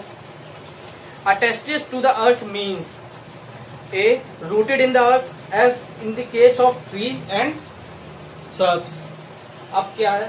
Rooted in the earth as in case of trees ठीक? अब क्या है ये? ट्रीज के केस में एक ऑब्जेक्टिव में क्वेश्चन आ जाता है। देखिए ट्रीज में दो कॉन्सेप्ट हैं। लिख लीजिए क्या है? पहला ये है, अगर फ्रूट्स और स्टैंडिंग टिम्बर ट्री जो है, उनको दो पार्ट में बांटा गया है। टीपीए में ट्रीज को दो पार्ट में बांटा गया है। अगर ऐसे ट्रीज हैं जो फ्रूट्स देते हैं, ठीक है, जिसमें से फ्रूट्स ग्रोइंग ट्रीज हैं तो वो क्या हो जाएँगे? तो वो इमूवेबल प्रॉपर्टी माने जाएँगे। अगर फ्रूट ग्रोइंग ट्रीज हैं तो इमूवेबल माने जाएँगे। अगर स्टैंडिंग टिम्बर्स हैं, कहने का मतलब वो सारे ट्री जो फर्नीचर के लिए हाउस बिल्डिंग के लिए इसमें इस्तेमाल होते हैं, उनको हम स्टैंडिंग टिम्बर माने, वो बोलेंगे। और स्टैंडिंग टिम्बर अगर बोलेंगे तो जैसे कि हम लोग डेफिनेशन पढ़ी थी immovable property does not include standing timber तो वो मूवेबल हो जाएँगे। ठीक है? एग्ज़ाम्पल नीम का पेड़। बबूल का पेड़। ठीक? और शीशम का पेड़। ये सब क्या है? ये सब मूवेबल है। ऑब्जेक्टिव में कई बार पूछ दिया जाता है। चार पाँच पेड़ के नाम दे दिए जाएँगे। कि इसमें बताइए कौन सा मूवेबल है या कौन सा इमूवेबल है। तो आप कहेंगे, ये कैसा क्वेश्चन आ गया? तो मैं पहले से ही बता दे रहा हूँ आपको। क्या है कि अगर फ्रूट ग्रोइंग ट्री है, जिसमें से फ्रूट्स निकल रहे हैं तो फिर वो इमूवेबल माना जाएगा। अगर वो ऐसा पेड़ है जिसकी लकड़ी सिर्फ़ मैन्युफैक्चरिंग के लिए काम आती है, चाहे फर्नीचर के लिए, चाहे हाउस के लिए, जैसे नीम, बबूल, शीशम तो वो मूवेबल है। ठीक है? एक क्वेश्चन उठ जाता है मैंगो मैंगो ट्री क्या है? इसकी लकड़ी भी इस्तेमाल होती है और मैंगो तो खाए जाते हैं, ठीक? अब मैंगो ट्री के केस में intention of the parties intention of the parties depend करती है। अगर जिसके पेड़ हैं, अगर उसने फ्रूट्स बेचने के लिए, अगर वो पेड़ लगाया है, ठीक है? तो फिर वो इमोवल में आएगा, ठीक? लकड़ी बेचने के लिए लगाया है तो वो स्टैंडिंग टिम्बर में आएगा। इतनी बात समझ में आई? चलिए, आगे बढ़ते हैं। Thing attested with the earth का मतलब ही यही है कि जो चीज़ें ज़मीन से जुड़ी हुई हैं, ठीक है? अब किस हिसाब से जुड़ी हुई है? रूटेड इन द अर्थ जो ज़मीन से उगे जैसे कि ट्रीज और सब, ठीक? ट्रीज में हम लोग ने दो चीज़ें जानी कि ट्रीज दो टाइप के होते हैं। फ्रूट ग्रोइंग ट्रीज और स्टैंडिंग टिम्बर फ्रूट ग्रोइंग उन्हें कहेंगे। अगर फ्रूट ग्रोइंग ट्री होगा तो उसको इमोल प्रॉपर्टी कहेंगे। अगर स्टैंडिंग टिम्बर होगा, जैसे स्टैंडिंग टिम्बर वो होंगे जो जिसकी लकड़ी सिर्फ़ मैन्युफैक्चरिंग के इस्तेमाल में आती है, चाहे हाउस के लिए, चाहे फर्नीचर के लिए। जैसे कि नीम, बबूल और शीशम मैंगो के केस में इंटेंशन डिपेंड करता है। ठीक है, क्योंकि इसकी लकड़ी दोनों के काम आती है। ठीक। अब इम्बडेड इन द इम्बडेड इन का अर्थ मतलब क्या है? कि जो ज़मीन में लगाया गया हो मतलब कि जैसे बिल्डिंग ठीक है? इम्बडेड इन द अर्थ में, इसको मिटा दें इम्बडेड इन द अर्थ का मतलब हो गया फॉर एग्ज़ाम्पल वॉल बिल्डिंग ठीक है? ये सब चीज़ें इम्बडेड इन द अर्थ ठीक? चलिए। इन ज़्यादा डिटेल में क्या है इसमें? आपको समझ में तो आ गया होगा ना? उस पर क्या आधे घंटे और बोले? कोई फ़ायदा थोड़े उससे things permanently fastened with the things embedded in the earth अब क्या है? इसी things embedded in the earth में ही कोई चीज़ अगर परमानेंटली फास्टेंड की, कर दी जाती है परमानेंटली जोड़ दी जाती है तो वो भी इमोरल प्रॉपर्टी में ही आ जाएगा। जैसे कि फॉर एग्ज़ाम्पल विंडो अरे विंडोज़ तो भाई परमानेंटली तो फिट की जाती हैं, ठीक है? गेट अब ये गेट लगा हुआ है, ये परमानेंटली तो है, इसको ये थोड़े कि यार लगा रहे हैं, कल हटा देंगे। मूव होता है, लेकिन ये मूवेबल में नहीं आएगा, ये इमूवेबल है। क्यों? क्योंकि ये permanently fastened with the things embedded in the earth embedded in the क्या ये? दीवार, ठीक है? अब इस दीवार में भी जो चीज़ परमानेंट फिक्स कर दी जाएगी, वो चीज़ हो जाएगी, वो भी इमोवल प्रॉपर्टी हो जाएगी। लेकिन क्या ये बोर्ड भी इमोवल है? नहीं, ये नहीं है। क्यों? क्योंकि जब चाहे तब हम इसको हटा सकते हैं। फ़ैन नहीं है और घड़ी बल्ब ये सब नहीं होते हैं। ठीक, ये तो हटाए जा सकते हैं। ठीक है गेट थोड़े हटा लोगे आप। हटा सकते हो, लेकिन रोज थोड़े हटाया जाता है तो वो इमोल में ही आएगा। ठीक, चलिए। इतनी बात आई समझ में? अब जरा इसमें देखते हैं हम लोग और क्या करना है। कुछ क्वेश्चंस आते हैं इससे कि इसमें कौन सी मूवेबल प्रॉपर्टी है, कौन सी मूवेबल है। चलिए हम लोग लिख लेते हैं पहले। चलिए तो ये हम लोगों ने लिख लिया है। अब इसमें क्या है? हम लोग को देखना है कि इमोवल प्रॉपर्टी में क्या आता है मूवेबल प्रॉपर्टी में आता है। क्यों देखना है? क्यों देखना है? क्योंकि भाई साहब, इसमें से प्री में क्वेश्चंस आते हैं। ठीक है? तो इमोवल प्रॉपर्टी में क्या क्या आता है? राइट ऑफ़ वे और इजमेंट ठीक है? अगर राइट ऑफ़ वे या इजमेंट है तो उसको इमोवल प्रॉपर्टी मानेंगे। राइट अंडर लीज और tenancy right to extract gold mineral from the mines क्यों? क्योंकि हम लोगों ने देखा था कि लैंड के साथ साथ क्या क्या चीज़ आ जाती है, चाहे उसके नीचे हो, चाहे उसके ऊपर हो। तो गोल्ड और मिनरल्स कहाँ पाए जाएँगे? लैंड के नीचे ना? तो ये मोर प्रॉपर्टी में आएगा। राइट टू फिशरी और ferry right to collect rent from building ये भी देखा था हम लोगों ने. Right to take forest produce right to collect lac from its trees mortgage debt equity of redemption office of hereditary priest of a temple ठीक है? Mortgage डेप्थ बहुत पूछा जाता है कि मॉडगेज डेप्थ इज़ मूवेबल और इमूवेबल ठीक है? याद रखना इक्विटी ऑफ़ रिडम्सन बहुत पूछा जाता है मूवेबल है कि इमूवेबल है? अब आपको पता चल गया होगा कि ये इमूवेबल है। राइट ऑफ़ वे ईजमेंट काफ़ी पूछा जाता है। ठीक है? इसको लिख लीजिएगा और याद भी कर लीजिएगा। अब मूवेबल प्रॉपर्टी में क्या क्या आता है? राइट टू बस से खूब पूछा जाता है। ये मूवेबल है कि इमूवेबल है? ये सारी चीज़ें मूवेबल है। Right to buses buses government promissory notes royalty maintenance allowances काफ़ी पूछा जाता है। ठीक है? मेंटेनेंस अलाउंसेस क्या है? मूवेबल प्रॉपर्टी है. कॉपीराइट मूवेबल है. Decree for sale of mortgage depth movable है. Decree for arrears of land decree for sale of mortgage depth mortgage deed movable है. लेकिन मॉडगेज डेप्थ इमूवेबल है. Decree for arrears of land ठीक है? Machinery not attach to the earth right to enjoy the use of rust ठीक है? ये सारी चीज़ें मूवेबल हैं. इसके अलावा और मूवेबल क्या है? जो तीन चीज़ें वहाँ दी हुई थी। क्या क्या स्टैंडिंग टिम्बर ठीक है? बताइए और। ग्रास ग्रोइंग क्रॉप ठीक? ये भी चीज़ें इमूवेबल मूवेबल है। ठीक है? चलिए तो आज के लिए इतना ही रखते हैं। चलिए, ठीक है। थैंक यू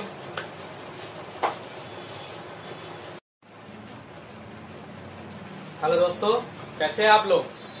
चलिए तो स्टार्ट करते हैं। आज हमारा टीपीए भी तीसरा लेक्चर है, ठीक है? सेकंड लेक्चर में हम लोगों ने क्या देखा था? हम लोगों ने देखा था सेक्शन थ्री में मूवेबल प्रॉपर्टी इमूवेबल प्रॉपर्टी क्या होती है? दोनों ही चीज़ें देखी ठीक है? सेक्शन थ्री में मूवेबल प्रॉपर्टी की तो डेफिनेशन दी हुई नहीं है। इमूवेबल प्रॉपर्टी की दी हुई है, लेकिन हम लोगों ने दोनों चीज़ें ही देखी थी, ठीक है? अगर आप लोगों ने ना वो लेक्चर देखा हो तो वो देख लीजिएगा। चलिए। तो ये बताइएगा कि मेंटेनेंस अलाउंसेस मेंटेनेंस अलाउंसेस क्या है? मूवेबल है कि इमूवेबल है? कमेंट करके बताइएगा मुझे, ठीक है? चलिए तो आज हम लोग क्या पढ़ने वाले हैं? आज हम लोग पढ़ेंगे इमूवेबल प्रॉपर्टी हो चुका है। इंस्ट्रूमेंट इंस्ट्रूमेंट में हम लोगों ने क्या कहा था? इंस्ट्रूमेंट में सिर्फ़ एक ही क्वेश्चन आपको याद रखना है, जो फ्री में आता है, कि under TPA instrument means yes non testamentary instrument very good तो हम लोग आज पढ़ेंगे अटेस्टेड अटेस्टेड क्या होता है? बताइए भाई। देखिए, अगर कोई आपसे पूछे कि अटेस्टेड क्या होता है तो आप क्या बताएँगे? बताइए। अटेस्टेड मतलब होता है, अगर अटेस्टेड मतलब वो डॉक्यूमेंट जिसमें दो विटनेसेस ने, या टेस्टिंग विटनेसेस भी कह सकते हैं, वो डॉक्यूमेंट जिसमें दो विटनेसेस ने साइन किए हों, इसलिए कि एक एविडेंस तैयार हो जाए कि ये जो इसका एग्जीक्यूशन हुआ है, वो ड्यू एग्जीक्यूशन हुआ है। ठीक है? ठीक है? क्या? अटेस्टेड का मतलब होता है कि उस टाइप के डॉक्यूमेंट जिसमें दो विटनेसेस ने साइन किए हों, कम से कम दो विटनेसेस ने साइन किए हों, जिससे ये पता चल जाए ये या वो विटनेसेस उसको एक्नॉलेज कर सकें कि वो जो एग्जीक्यूशन हुआ है, वो ड्यू एग्जीक्यूशन हुआ है। उसमें मतलब कोई झोल ओल नहीं है। किसी टाइप का फोर्स अनड्यू इन्फ्लुएंस फ्रॉड का इस्तेमाल नहीं हुआ। बस इतनी छोटी बात है। ठीक है, चलिए हम देखते हैं किसकी कब ज़रूरत पड़ती है। अब मान लीजिए ए है बी को अपना व्हाइट हाउस गिफ्ट करना चाहता है। क्या करना चाहता है? अपना व्हाइट हाउस गिफ्ट करना चाहता है। तो ए को क्या करना पड़ेगा? ए को अब देखिए। ये क्या मैं? ये है गिफ्ट डीड क्या है? गिफ्ट डीड चलिए। क्यों बनाई मैंने? आपको समझाने के लिए।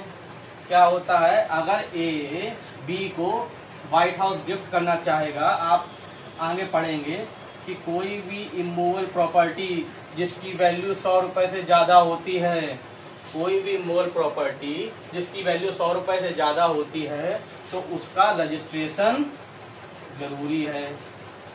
आपको रजिस्ट्रेशन कराना पड़ेगा। अब गिफ्ट का केस है, इसलिए इसमें अटेस्टिंग अटेस्टेड भी कराना पड़ेगा। ये दो चीज़ें आपको इसमें करानी पड़ेंगी। क्या क्या रजिस्ट्रेशन क्योंकि गिफ्ट मूवेबल इमूवेबल प्रॉपर्टी के केस में अगर गिफ्ट सौ रुपए से ज़्यादा का होता है, उसकी वैल्यू सौ रुपए से ज़्यादा होगी तो उसका रजिस्ट्रेशन कराना ज़रूरी है। ठीक? अब ये गिफ्ट का केस है गिफ्ट करना चाहता है, इसलिए अटेस्टेड भी कराना पड़ेगा। ठीक है? तो जब ए बी के पास जाए ए बी को जब गिफ्ट करना जाएगा तो कितने लोगों की ज़रूरत पड़ेगी? एक तो ए को हम लोग यहाँ पर क्या कहेंगे? वैसे तो ये ट्रांसफरी है। कौन है? ट्रांसफरी ट्रांसफरर सॉरी ट्रांसफरर है, ठीक है? और ये ट्रांसफरी है जिसके पास प्रॉपर्टी आ रही है, ठीक? लेकिन यहाँ पर इसको एग्जीक्यूटेंट कहेंगे। क्या कहेंगे? एग्जीक्यूटेंट चलिए। ठीक है? इसको एग्जीक्यूटेंट कहेंगे। ए को जो प्रॉपर्टी दे रहा है ट्रांसफ़र कर रहा है, ठीक है? उसको एग्जीक्यूटेंट कहेंगे। तो अब जब ए जब बी को गिफ्ट करना चाहेगा तो गिफ्ट डीड के लिए उसे कितने लोग चाहिए? पहला तो एग्जीक्यूटेंट एक तो वो खुद जाए एंड ट्रांसफरिंग जिसको प्रॉपर्टी देना है। ठीक? और कौन चाहिए? और हमारा चाहिए आ, हाँ two witnesses at least two witnesses दो से ज़्यादा भी हो सकते हैं। टू विटनेसेस ठीक? अब या तो टाइपिस्ट हो या राइटर हो, ठीक है?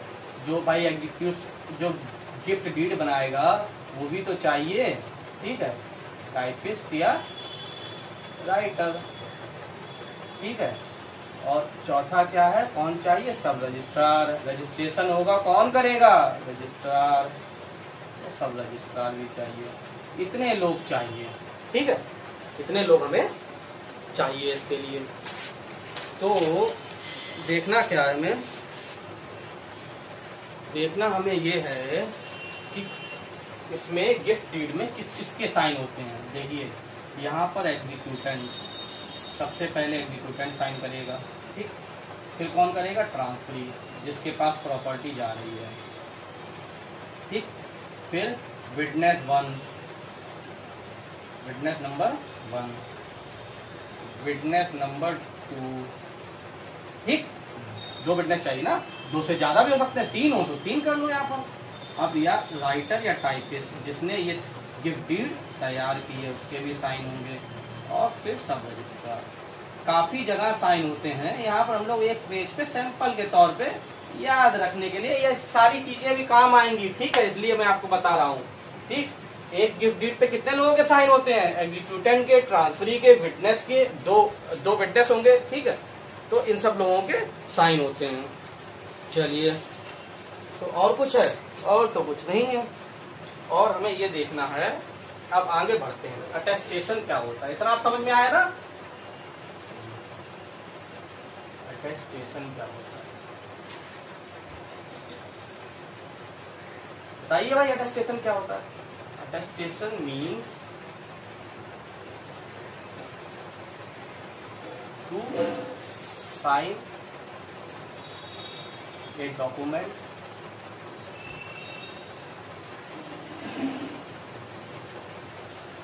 attestation means to sign a document as an evidence of its due execution. यही तो सिंपल भाषा में इसकी डेफिनेशन होगी। पढ़िए आप लोग, बताइए भाई।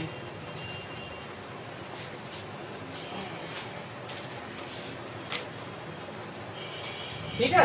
क्या होगा? अगर आपसे कोई पूछे अटेस्टेशन क्या होता है तो attestation means to sign a document as an evidence of its due execution कि एक एविडेंस तैयार हो जाए कि इसका एग्जीक्यूशन ड्यू हुआ है, सही से हुआ है कि नहीं हुआ है, कोई धोखाधड़ी तो नहीं हुई है? तो इससे आपको एक चीज़ समझ में आएगी क्या? इसका मतलब कि इसका एविडेंस में बहुत अच्छा खासा रोल होगा। हाँ बिल्कुल सही आप लोग सोचे, इसका एविडेंस में बहुत अच्छा खासा रोल है। सेक्शन आप लिख लीजिएगा read with section eight sorry sixty eight से seventy one Indian evidence act क्या बोलता है? ये बोलता है, वो केसेस बताते हैं ये कि अगर हमें कोई भी अटेस्टेड डॉक्यूमेंट प्रूफ करना है, कोई भी अटेस्टेड डॉक्यूमेंट प्रूफ करना है तो आप उसके अटेस्टिंग विटनेसेस को ले आइए। ठीक है? तो 68 में ये दिया हुआ है। आप लोग चेक करिएगा। उसमें ये भी दिया हुआ, अगर अटेस्टेड विटनेस मर जाए 69 में 70 में, सब में ये सब चीज़ें कंडीशन दी हुई हैं। अटेस्टिंग विटनेस डिनाई कर दे अटेस्टिंग विटनेस आए ना, इन सब चीज़ों में कैसे कैसे वो अटेस्टेड डॉक्यूमेंट प्रूफ होगा, ठीक है? तो एक एविडेंस के लिए, ठीक है कि इसका ड्यू एग्जीक्यूशन हुआ है कि नहीं हुआ है। चलिए, अब क्या इस चीज़ के बाद हम लोग क्या देखें? अब अब देखते हैं इसका पर्पस क्या है। क्या देखते हैं? पर्पस देखिए, एक लीडिंग केस है। नोट कर लीजिएगा। कुमार हरीशचंद्र वर्सेस बंसीधर मोहंती। मोहंती। ठीक, ये लीडिंग केस है। इसमें क्या हुआ था? 1965 में सुप्रीम कोर्ट ने क्या बताया था?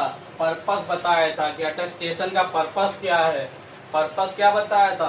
उन्होंने कहा था अटेस्टेशन का मेन पर्पस है to protect the executant to protect the executant किस चीज़ से प्रोटेक्ट करना है? इस चीज़ से कि टू इंश्योर डेट क्या इंश्योर करें? That the execution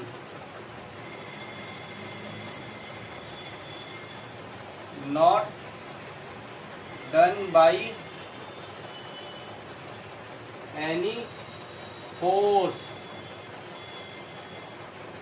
undue influence.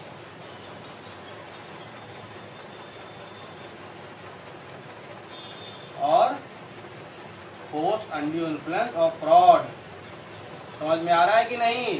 Supreme Court ने जब इसका पर्पस बताया था तो केस का नाम है कुमार हरीश चंद वर्सेस बंशीधर मोहंती। जिसमें क्या बोला था? 1965 में सुप्रीम कोर्ट ने इस केस में इसका पर्पस बताया था कि अटेस्टेशन का पर्पस क्या है। पर्पस क्या है पहला? टू प्रोटेक्ट द एग्जीक्यूटेंट की एग्जीक्यूटेंट को प्रोटेक्ट कर सके। किस चीज़ से? कि जो एग्जीक्यूशन है, कहीं फोर्स कहीं फोर्स अनड्यू इन्फ्लुएंस या फ्रॉड के द्वारा तो नहीं हो रहा है। फ्री विल है ना उसकी। समझे कि नहीं? अपनी इच्छा से ही कर रहा है कि नहीं कर रहा है? अब इस केस में देखिए। अब यहाँ पर क्या हुआ? ए बी को प्रॉपर्टी गिफ्ट करना चाहता है। तो हमें कैसे पता चलेगा कि कहीं ये बी फोर्स के साथ तो नहीं? या एंडियो इन्फ्लुएंस का इस्तेमाल करते हुए तो नहीं? या फ्रॉड करते हुए तो नहीं? ये सिर्फ़ प्रॉपर्टी गिफ्ट करा रहा है। इसलिए हम लोगों ने दो विटनेसेस को ले लिया? ठीक है? जो ये बात एश्योर करेंगे कि अपनी इच्छा से ही प्रॉपर्टी दे रहा है कि नहीं। ठीक है? आई बात समझ में? चलिए, अब क्या हम लोग रह जाता है? अब इसके एजेंशियल्स भी देखने पड़ेंगे।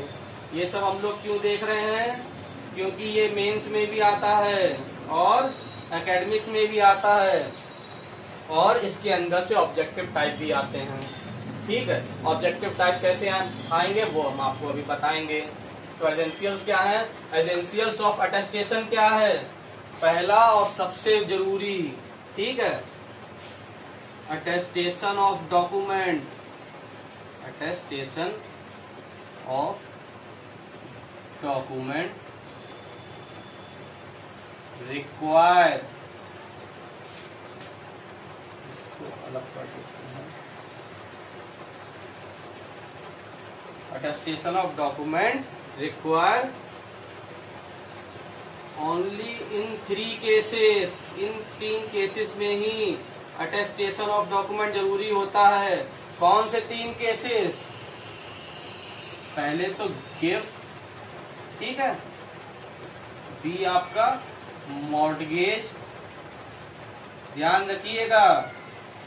सी विल सिर्फ़ इन तीन टाइप के ट्रांजैक्शन में किसी को प्रॉपर्टी गिफ्ट करनी हो, या किसी को मॉडगेज करनी हो, या किसी को बिल लिखना हो, इन तीन में ही अटेस्टेशन रिक्वायर होता है। क्वेश्चन ऑब्जेक्टिव में आएगा कि इसमें से अटेस्टेशन ऑफ़ डॉक्यूमेंट रिक्वायर किसमें नहीं होता है, या किसमें होता है। उसमें सेल भी लिखा होगा, लेकिन सेल में अटेस्टेशन ऑफ़ डॉक्यूमेंट रिक्वायर नहीं है। ठीक है? आपने घर पे प्रॉपर्टी का डॉक्यूमेंट देखे होंगे, ठीक है? रजिस्ट्री देखी होगी, उसमें विटनेसेस के साइन होते हैं, लेकिन टीपीए में सेल में अटेस्टेशन ऑफ़ डॉक्यूमेंट रिक्वायर नहीं है, ठीक है? क्या है? सेल में अटेस्टेशन ऑफ़ डॉक्यूमेंट रिक्वायर नहीं है। कंफ्यूज मत होइएगा। लास्ट ईयर ही उत्तराखंड जुडिशरी में ये क्वेश्चन आया था पेपर उठा के देखिएगा। क्या आया था? कि अटेस्टेशन ऑफ़ डॉक्यूमेंट किस किसमें रिक्वायर होता है। तो गिफ्ट मॉडगेज और बिल ध्यान रखिएगा, सिर्फ़ इन तीन में ही अटेस्टेशन ऑफ़ डॉक्यूमेंट रिक्वायर होता है। पहली कंडीशन ये है एजेंशियल कंडीशन अब जब भी अटेस्टेशन ऑफ़ डॉक्यूमेंट की बात हो तो at least sign by two witnesses जब भी अटेस्टेशन की बात होगी कम से कम दो विटनेस होने चाहिए। दो से ज़्यादा भी हो सकते हैं। लेकिन अगर एक हुआ तो अटेस्टेशन नहीं माना जाएगा। कम से कम दो लोग चाहिए। चलिए, अब आगे बढ़े हम लोग। ये पहली एजेंशियल कंडीशन हो गई, और भी लिखनी पड़ेंगी हमें। इसको मिटा देते हैं। लिख लिया ना आप लोगों ने? समझ में तो आ रहा है ना? डीपीए में वो सारी चीज़ें कवर करेंगे। जिसमें प्री या मेंस के क्वेश्चन आते हैं, ठीक है? कम से कम 90 परसेंट टीपीए पढ़ना है हम लोग को और अच्छे से तैयार करना है। चलो देखते हैं भाई। दूसरी एजेंशियल कंडीशन क्या है? निकालें इसी में से।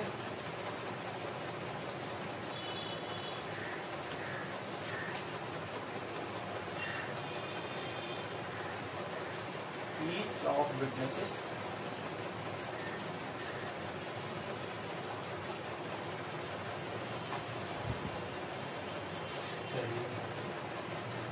A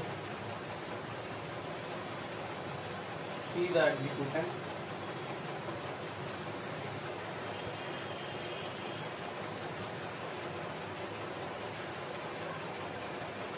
sign or some impression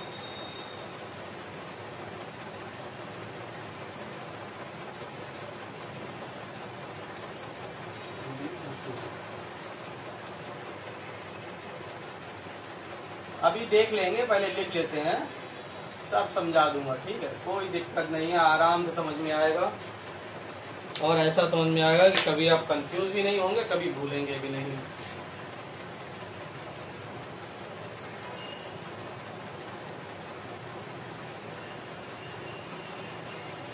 See some other person. Sign the instrument.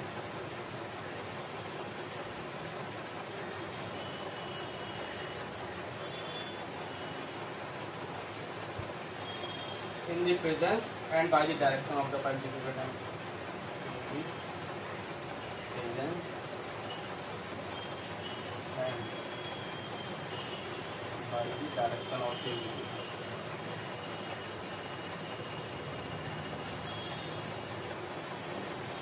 Executant लिख रहा हूँ लिख लीजिएगा अगर किसी में भी कोई दिक्कत आए तो फिर आप वो देख लीजिएगा सेक्शन थ्री ठीक है? सेक्शन थ्री से ही मैं ये एजेंशियल कंडीशन लिख रहा हूँ। आपको समझ में आ जाएगा उसे देख के। Receive from the executant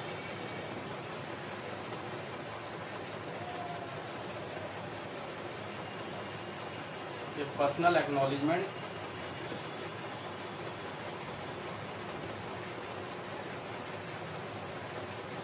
acknowledgement. Of his घबराने की ज़रूरत नहीं, अभी सब समझा दूँगा, ठीक है?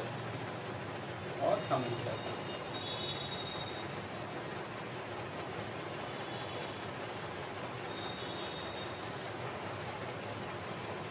लास्ट रह गया। क्या है भाई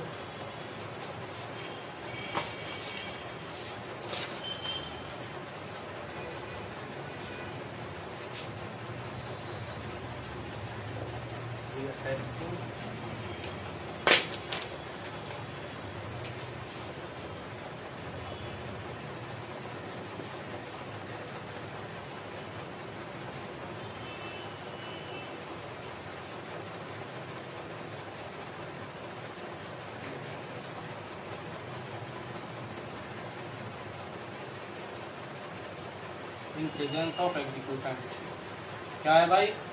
Testing witness must sign the instrument in presence of executant चलिए, अब हम लोग इसका एजेंशियल देखते हैं जल्दी जल्दी।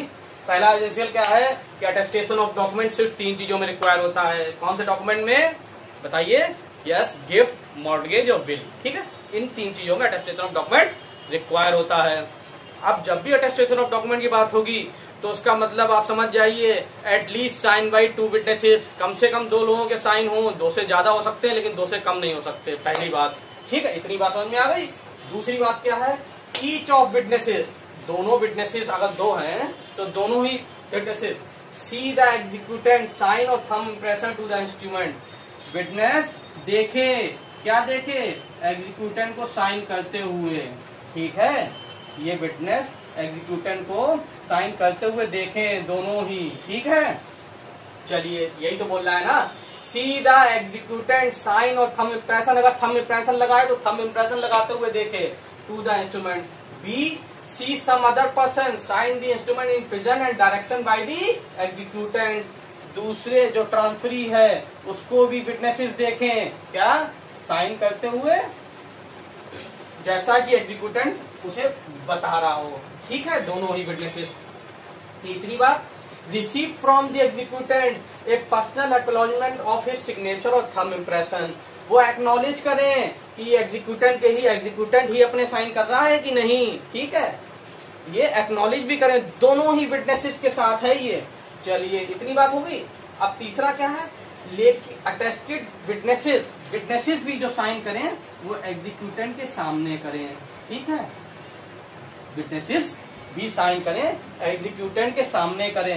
लेकिन यहाँ पे ये कहीं नहीं दिया हुआ है कि दोनों विटनेसेस एक साथ साइन करें। कहने का मतलब है कि एक आध घंटे का गैप या एक आध दिन का भी गैप हो सकता है।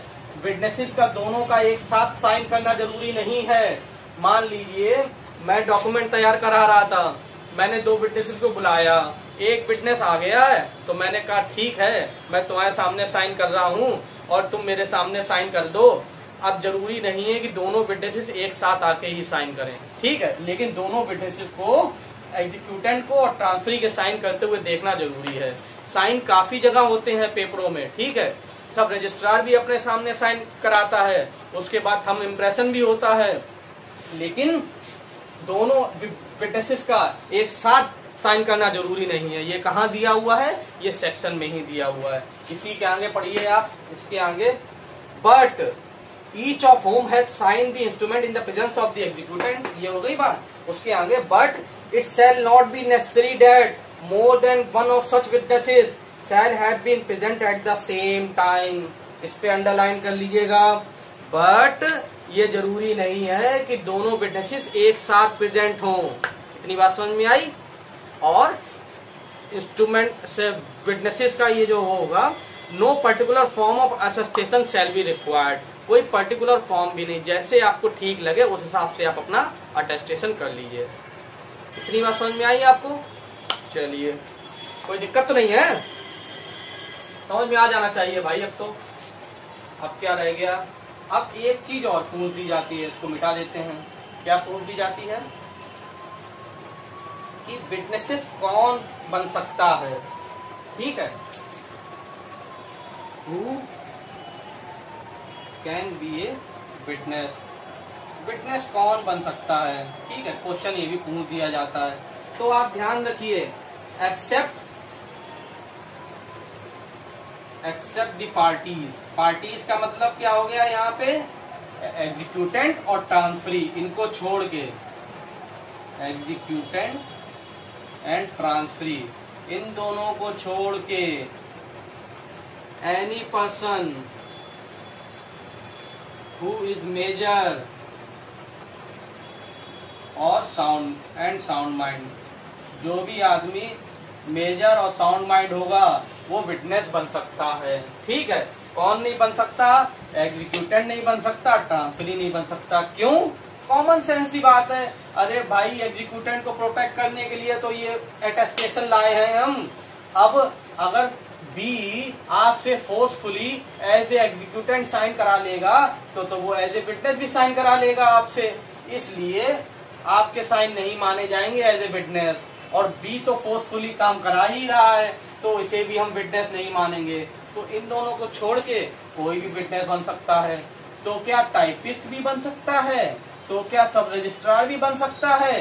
क्वेश्चन ये भी आता है, क्या टाइपिस्ट या राइटर जिसने ये सेट गिफ्ट डीड तैयार की है, क्या राइटर जिसने ये गिफ्ट डीड तैयार की है, क्या वो एज ए विटनेस साइन कर सकता है? या सब रजिस्ट्रार जिसने इसका रजिस्ट्रेशन किया है साइन किया है, क्या वो एज ए विटनेस इसको साइन कर सकता है?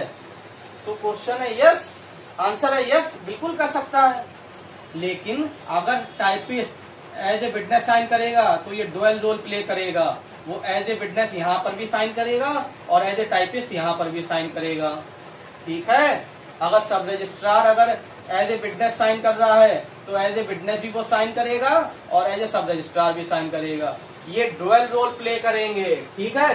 ये सब रजिस्ट्रार और राइटर या टाइपिस्ट भी विटनेस का काम कर सकते हैं, लेकिन उन्हें डुअल रोल प्ले करना पड़ेगा। ठीक है, दोनों जगह साइन करने पड़ेंगे। बस, इतनी सी बात है। अटेस्टेशन आपका कंप्लीट हो गया। मेरे हिसाब से आपको समझ में तो आ ही गया होगा। इससे आसान और क्या करेंगे भाई? चलिए, अब हम लोग इसके बाद पढ़ेंगे एक्शनेबल क्लेम रजिस्टर में तो कुछ है नहीं। रजिस्टर्ड का मतलब क्या है? कोई भी डॉक्यूमेंट अगर वो इंडियन रजिस्ट्रेशन एक्ट में रजिस्टर्ड है तो वो रजिस्टर्ड है। तो इसमें कुछ अटेस्टेड टू द अर्थ हम लोग पहले पढ़ चुके हैं सेकंड लेक्चर में। एक्शनेबल क्लेम देखिए एक्शनेबल क्लेम या तो हम लोग यहाँ पढ़ लें, या हम लोग चैप्टर एट में पढ़ लें। ठीक है? देखते हैं, दोनों जगह देख लेंगे। और a person to have notice मतलब नोटिस तुम लोग को पढ़ना है। नोटिस में एक्चुअल नोटिस कंस्ट्रक्टिव नोटिस ये सब हम लोग नेक्स्ट लेक्चर में पढ़ेंगे। चलिए, ठीक है। थैंक यू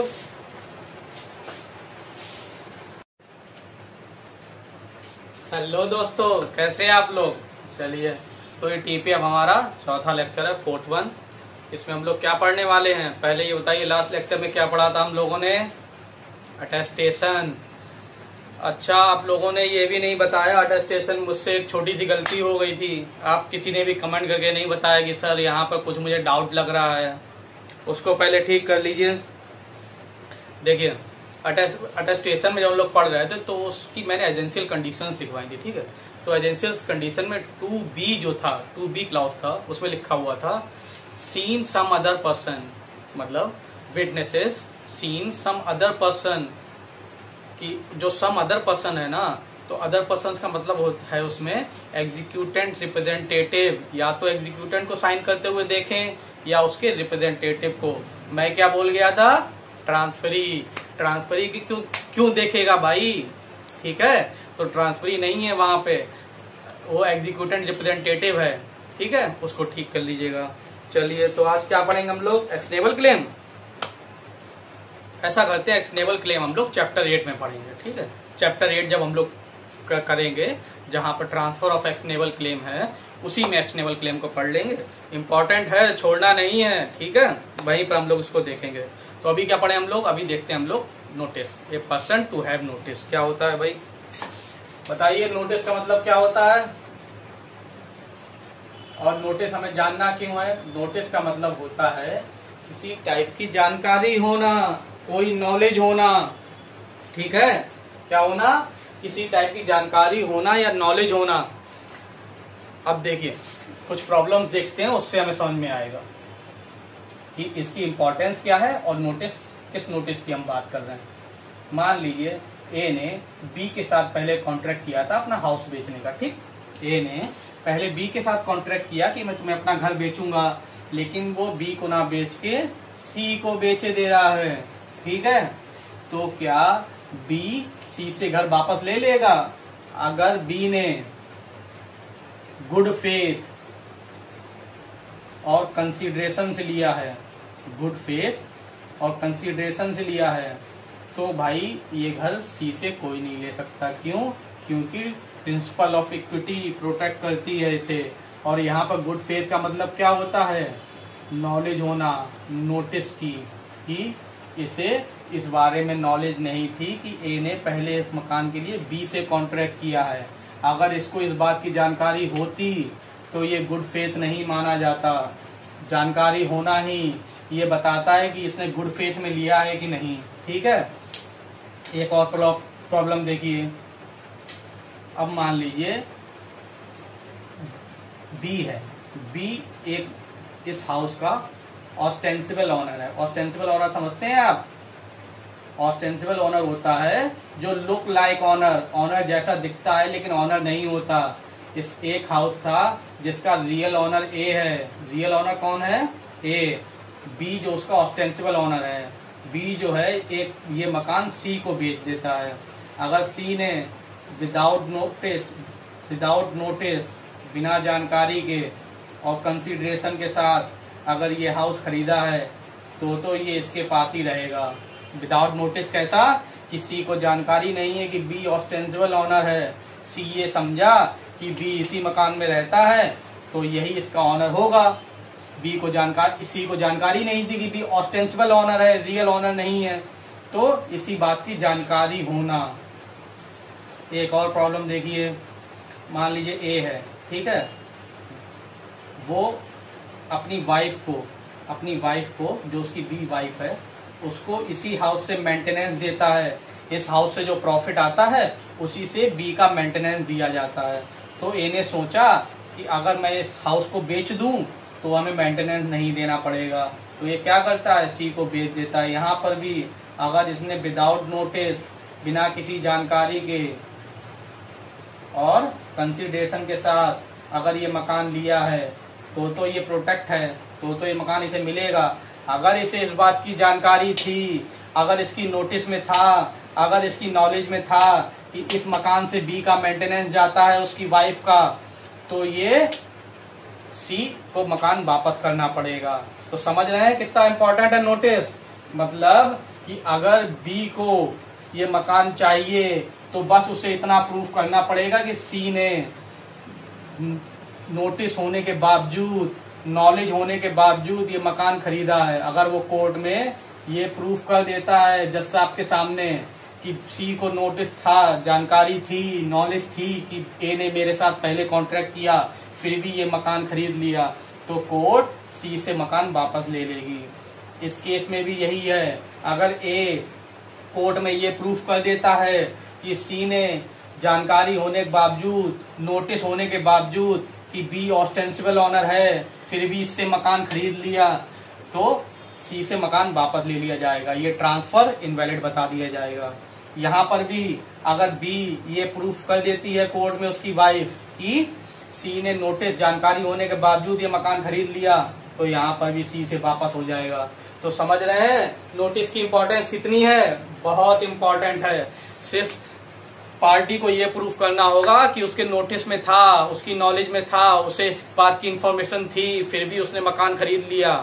अगर वो प्रूफ कर देता है तो वो ट्रांसफ़र इनवैलिड हो जाएगा कोर्ट उससे मकान वापस ले लेगी। ठीक है? क्योंकि अब ये गुड फेथ में नहीं रहा। तो one of the essential condition हो गया है। क्या हो गया है? Essential condition one of the essential condition हो गया है नोटिस ठीक है? कंसिडरेशन भी होना चाहिए। दूसरी कंडीशन ये है विदाउट कंसिडरेशन है तो भी ये ट्रांसफ़र नहीं माना जाएगा। ये जो ऑस्टेंसिबल ऑनर कहाँ दिया हुआ है? फोर्टी वन में। ये maintenance of wife maintenance of third person thirty nine में। तो इस तरीके से section thirty nine, forty forty one, forty three, fifty three और fifty three A. Fifty three क्या है? Part performance. 53 नहीं, fraudulent transfer. Fifty three A क्या है? Part performance. इन सब टाइप के ट्रांसफ़र में, इन सारे केसेस में जहाँ जहाँ टीपीएम दिया हुआ है। Ostensible owner feeding the grant by estoppel 43 इस टाइप के ट्रांसफ़र होंगे अगर। तो उसमें क्या होगा? उसमें नोटिस देखा जाएगा कि उसे जानकारी थी कि नहीं थी। अगर जानकारी होने के बावजूद ले लिया तो फिर ये ट्रांसफ़र इनवैलिड मान लिया जाएगा। ठीक है? तो ये आपको देखना पड़ेगा। तो इसलिए ये नोटिस इंपॉर्टेंट है। तो नोटिस का मतलब क्या हो गया? मीन्स नोटिस मीन्स नॉलेज और इंफॉर्मेशन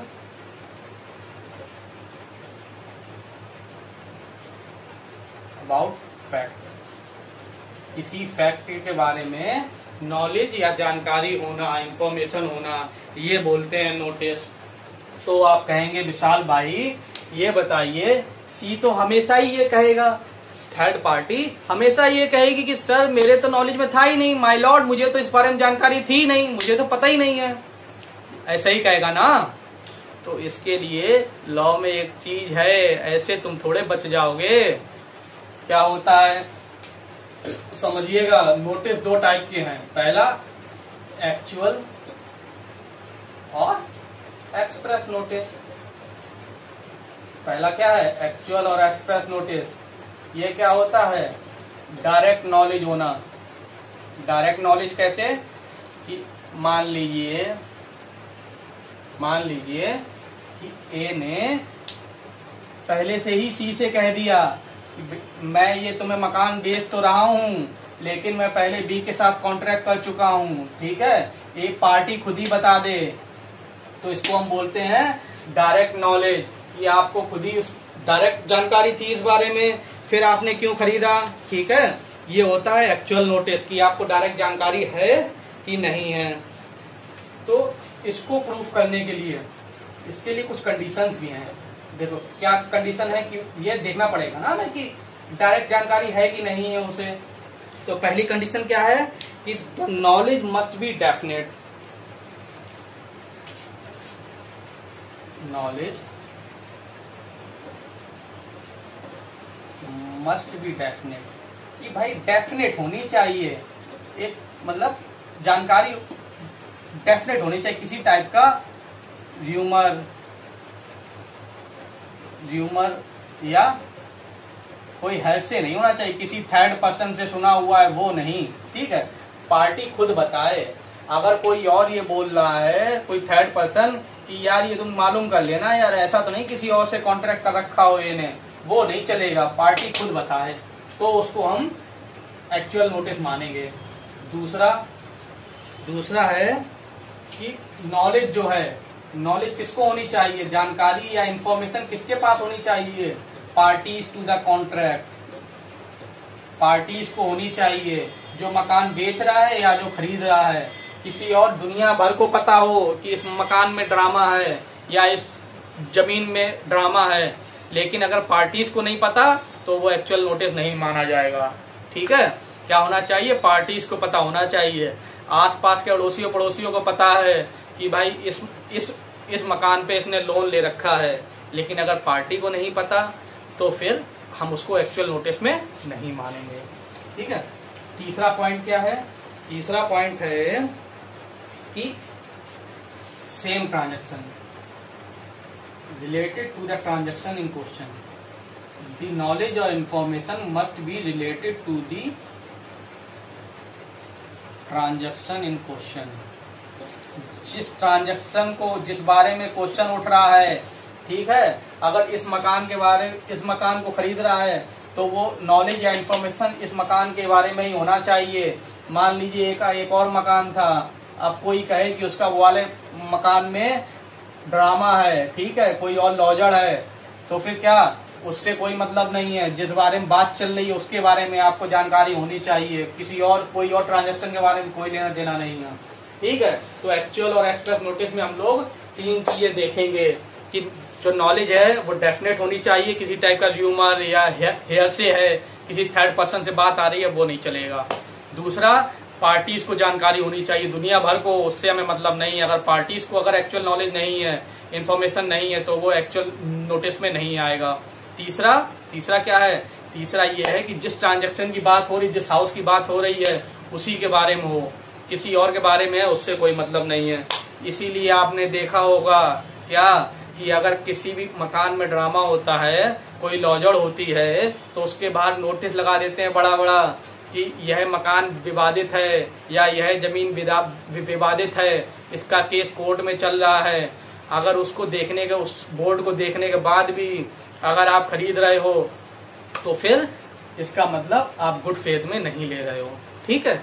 तो उसको हम एक्चुअल नोटिस में डाल देंगे, जो घर के बाहर जो देखा होगा आपने, और क्या ये तो रोज़मर्रा की चीज़ें हैं भाई।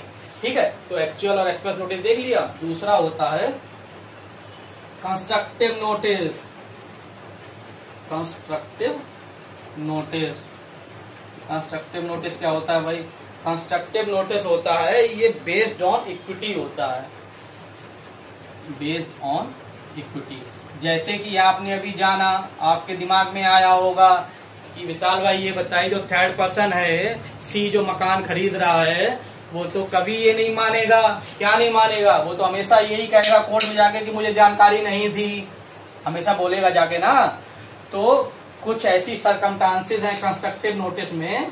अगर आपको एक्चुअल नोटिस नहीं है तो कुछ ऐसी सरकमटांसेज हैं। कोर्ट जो है पाँच सरकमटांसेज ऐसी बताती है, पाँच टाइप की, जिसमें चाहे आपको जानकारी हो, चाहे ना हो। कोर्ट ये प्रिज्यूम करके चलेगी। कोर्ट का प्रिजम्पन ये होगा कि आपको जानकारी थी।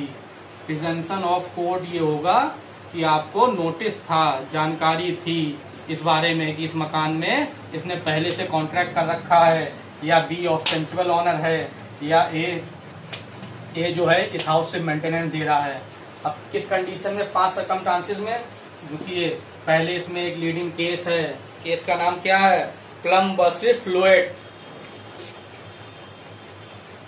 Plumb versus Fluitt क्या हुआ था इसमें?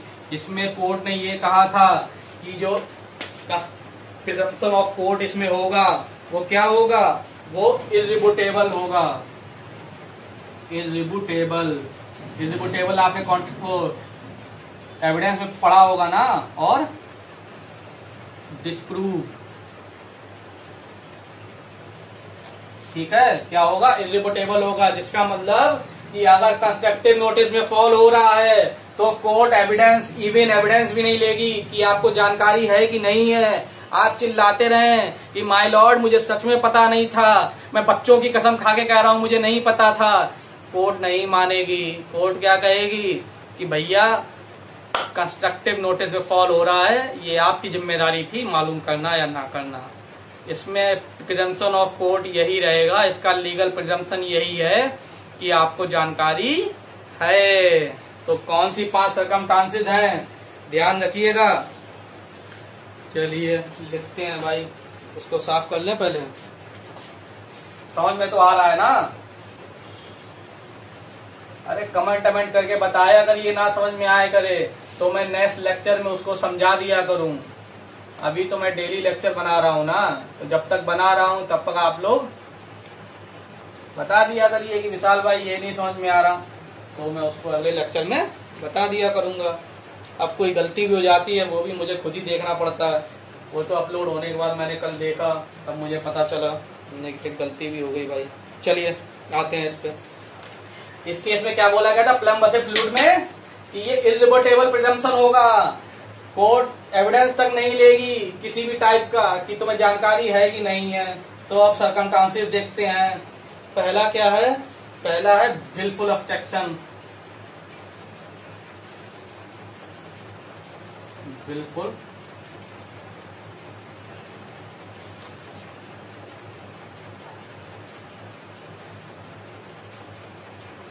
form an inquiry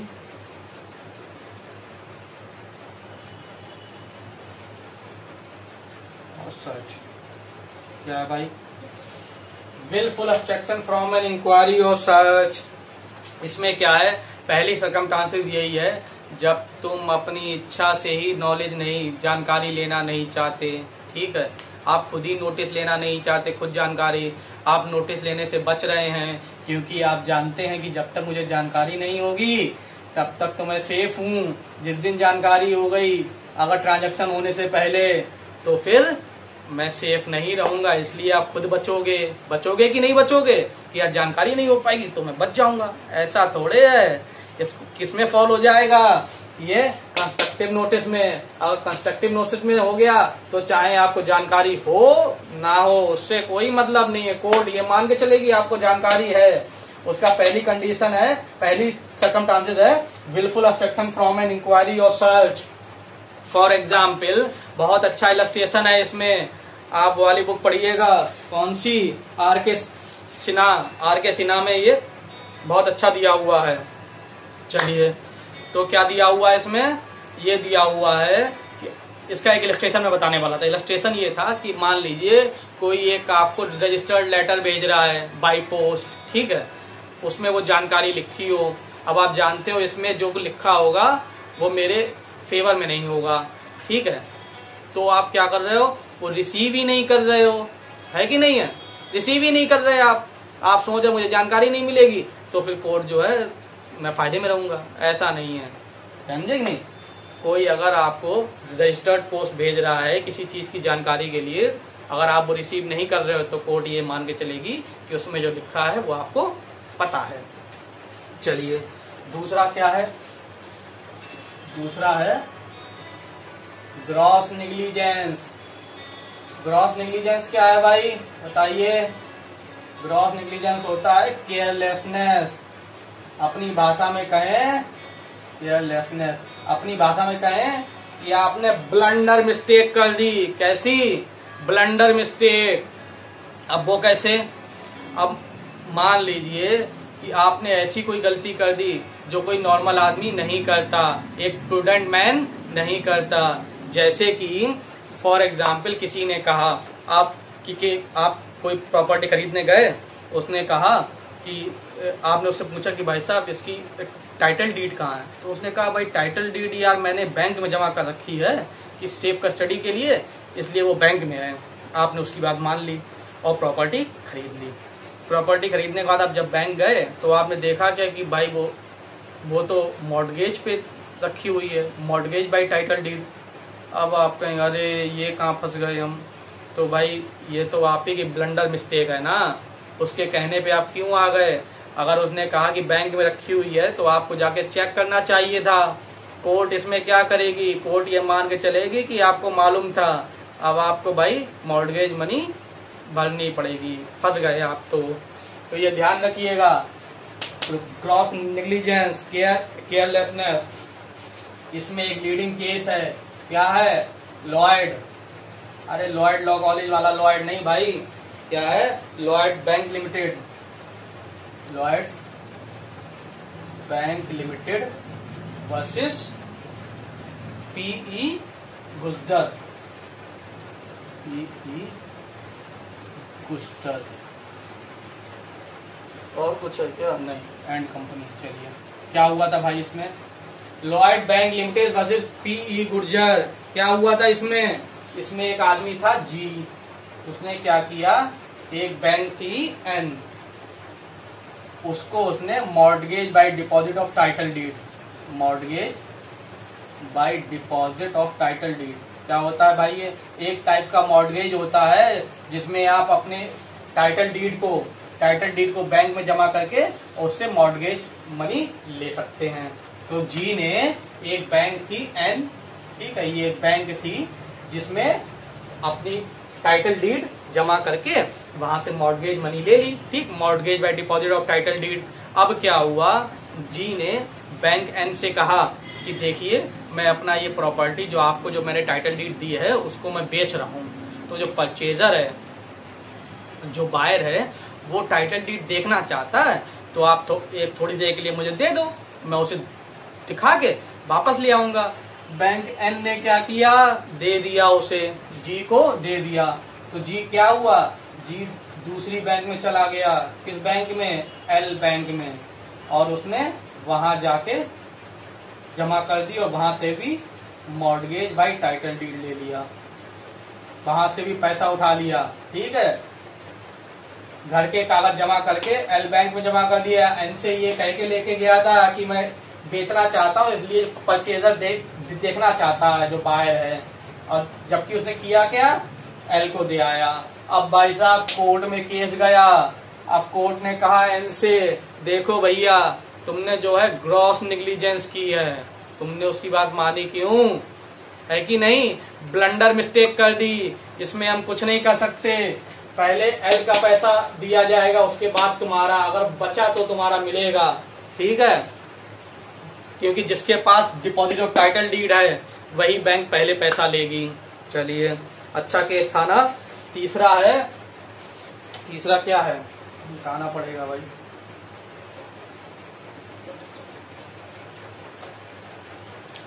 Registration of deed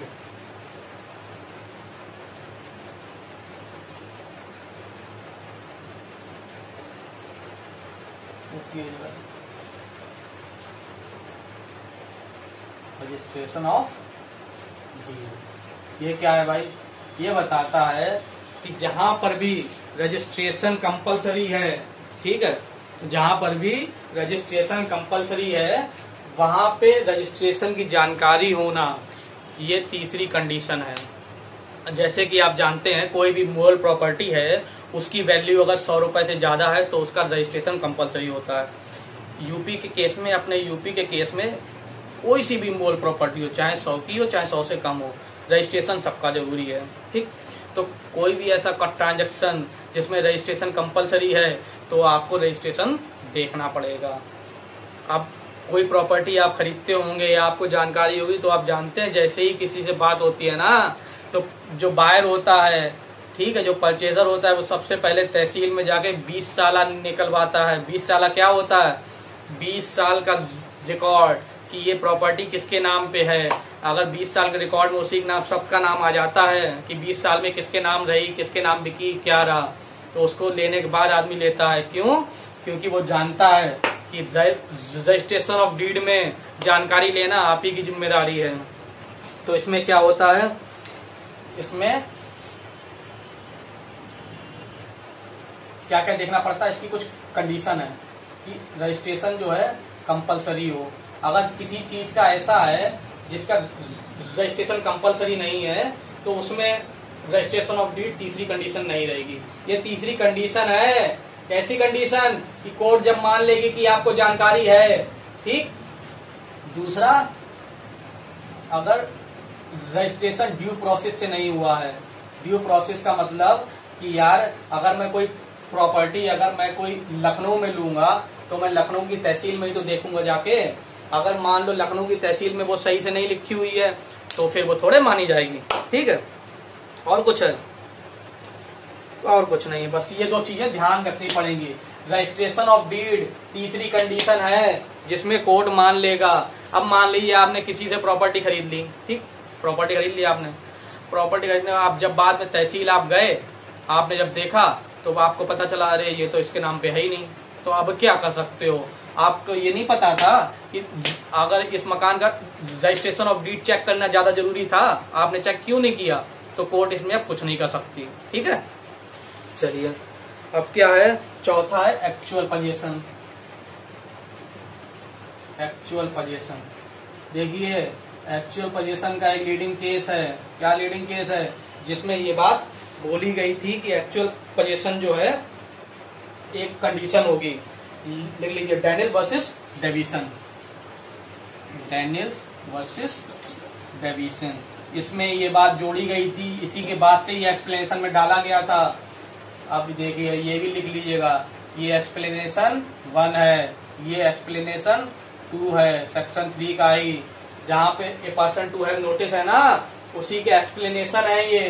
पहला एक्सप्लेनेशन है ये वाला रजिस्ट्रेशन ऑफ़ डी, दूसरा एक्चुअल पोजिशन ये किसके बाद से जोड़ा गया था? इस केस के बाद से जोड़ा गया था कि अगर आप कोई प्रॉपर्टी खरीद रहे हैं और उस पर अगर उस समय किसी और का पोजिशन है तो ये आपकी ज़िम्मेदारी है, ये जानना है कि उसका पोजिशन क्यों है।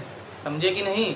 उसको लीज पे दे रखा है, उसके मॉडगेज तो नहीं है मॉडगेज बाई ट्रांसफ़र तो नहीं है, कुछ भी चीज़ है, वो आपको जानकारी करनी पड़ेगी। जिस समय आप कोई मकान, कोई प्लॉट कुछ भी खरीद रहे हैं और अगर उस समय उस पर किसी और का एक्चुअल पोजीशन है तो वो आप जानकारी लें। बाद में कोई ड्रामा होता है तो कोर्ट ये मान के चलेगी आपको नोटिस था। फॉर एग्ज़ाम्पल किसी का आपने मकान खरीदा, उसके, उसमें पोजीशन किसी और का था। अब मान लीजिए पोजीशन उसके ऊपर इसलिए हो कि उसने उससे दो लाख रुपए उधार लिए हों। अब आप अगर खरीद लेंगे तो फिर वो दो लाख रुपए किसको देने पड़ेंगे?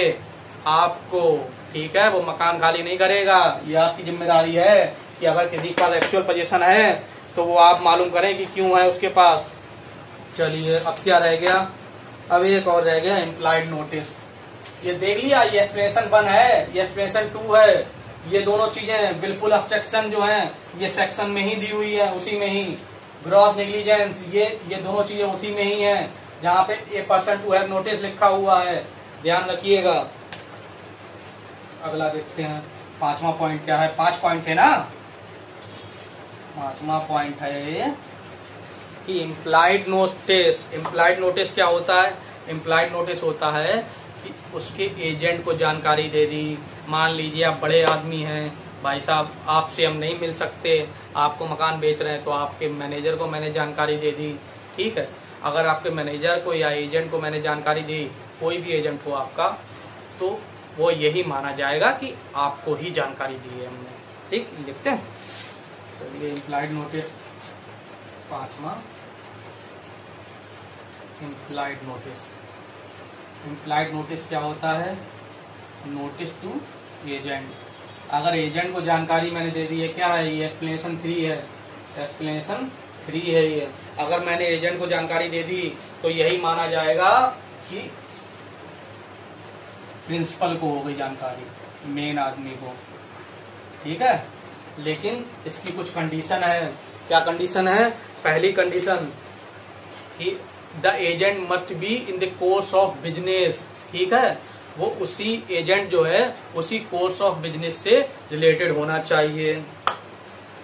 अब दूसरी कंडीशन ये है the agent must related to the transaction अब जिस जिस ट्रांजेक्शन की बात हो रही है, उस, वो एजेंट मान लीजिए कोई बड़ा आदमी है, उसके पाँच छह एजेंट हैं, एक काम कुछ और देखता है, एक काम कुछ और देख रहा तो जिस ट्रांजेक्शन की बात हो रही है, उसी के एजेंट को वो जानकारी दी गई हो। और सबसे इम्पोर्टेंट एजेंट ने फ्रॉडुलेंटली कंसील ना किया हो फ्रॉडुलेंटली छुपाया ना हो प्रिंसिपल से, ठीक है? अगर वो एजेंट फ्रॉडुलेंटली अगर प्रिंसिपल से छुपा रहा है मान लीजिए आपने एजेंट को अपने साथ कर लिया कि मैं तुम्हें जानकारी दे दे रहा हूँ, तुम मत बताना प्रिंसिपल को। ठीक है? अगर उसने फ्रॉडुलेंट किया है, कंसील किया है तो फिर भाई प्रिंसिपल बाउंड नहीं होगा। ठीक है? बस यही चीज़ें हैं। समझ में आ गया होगा नोटिस? और नोटिस की इम्पोर्टेंस इन सारे चीज़ों में बस नोटिस ही प्रूफ करना होता है। नोटिस प्रूफ कर दिया, बस खेल खत्म हो गया। चलिए, मेरे हिसाब से आपको समझ में तो आ गया होगा। चलिए, ठीक है। Thank you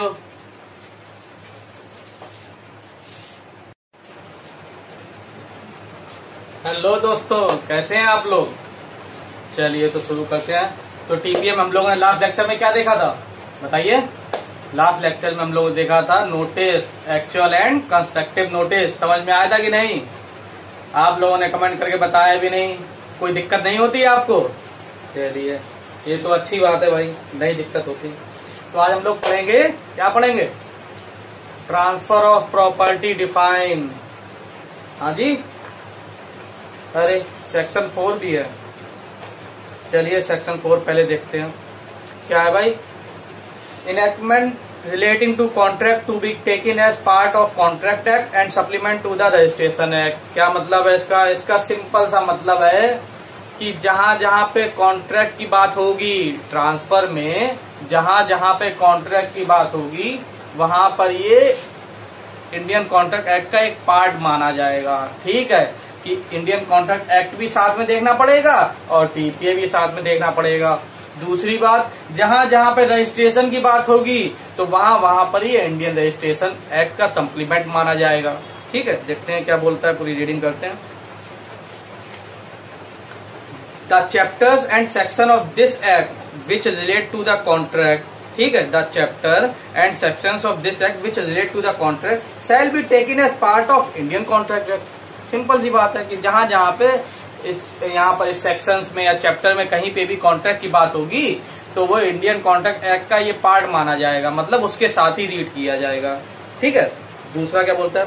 And section 52 paragraph paragraph two and three and section 59, 107 and 123 shall be read as supplement to the Indian Registration Act 1908 मतलब इन सब चीज़ों में क्या है? इन सब चीज़ों में रजिस्ट्रेशन है कि कहाँ कहाँ रजिस्ट्रेशन कंपलसरी है। ठीक है? सेक्शन 54 क्लास टू सेल में कब रजिस्ट्रेशन कंपलसरी है? तो जहाँ जहाँ पे रजिस्ट्रेशन कंपलसरी है वहाँ वहाँ पे इंडियन रजिस्ट्रेशन एक्ट 1908 का सप्लीमेंट माना जाएगा। सिंपल सी बात। चलिए सेक्शन फाइव पे आते हैं। क्या बोलता है भाई section five transfer of property define आप लोग के लिए सेक्शन पूरा लिख के रखा है। ठीक है? समझिए अब। क्या बोलता है section transfer of property define means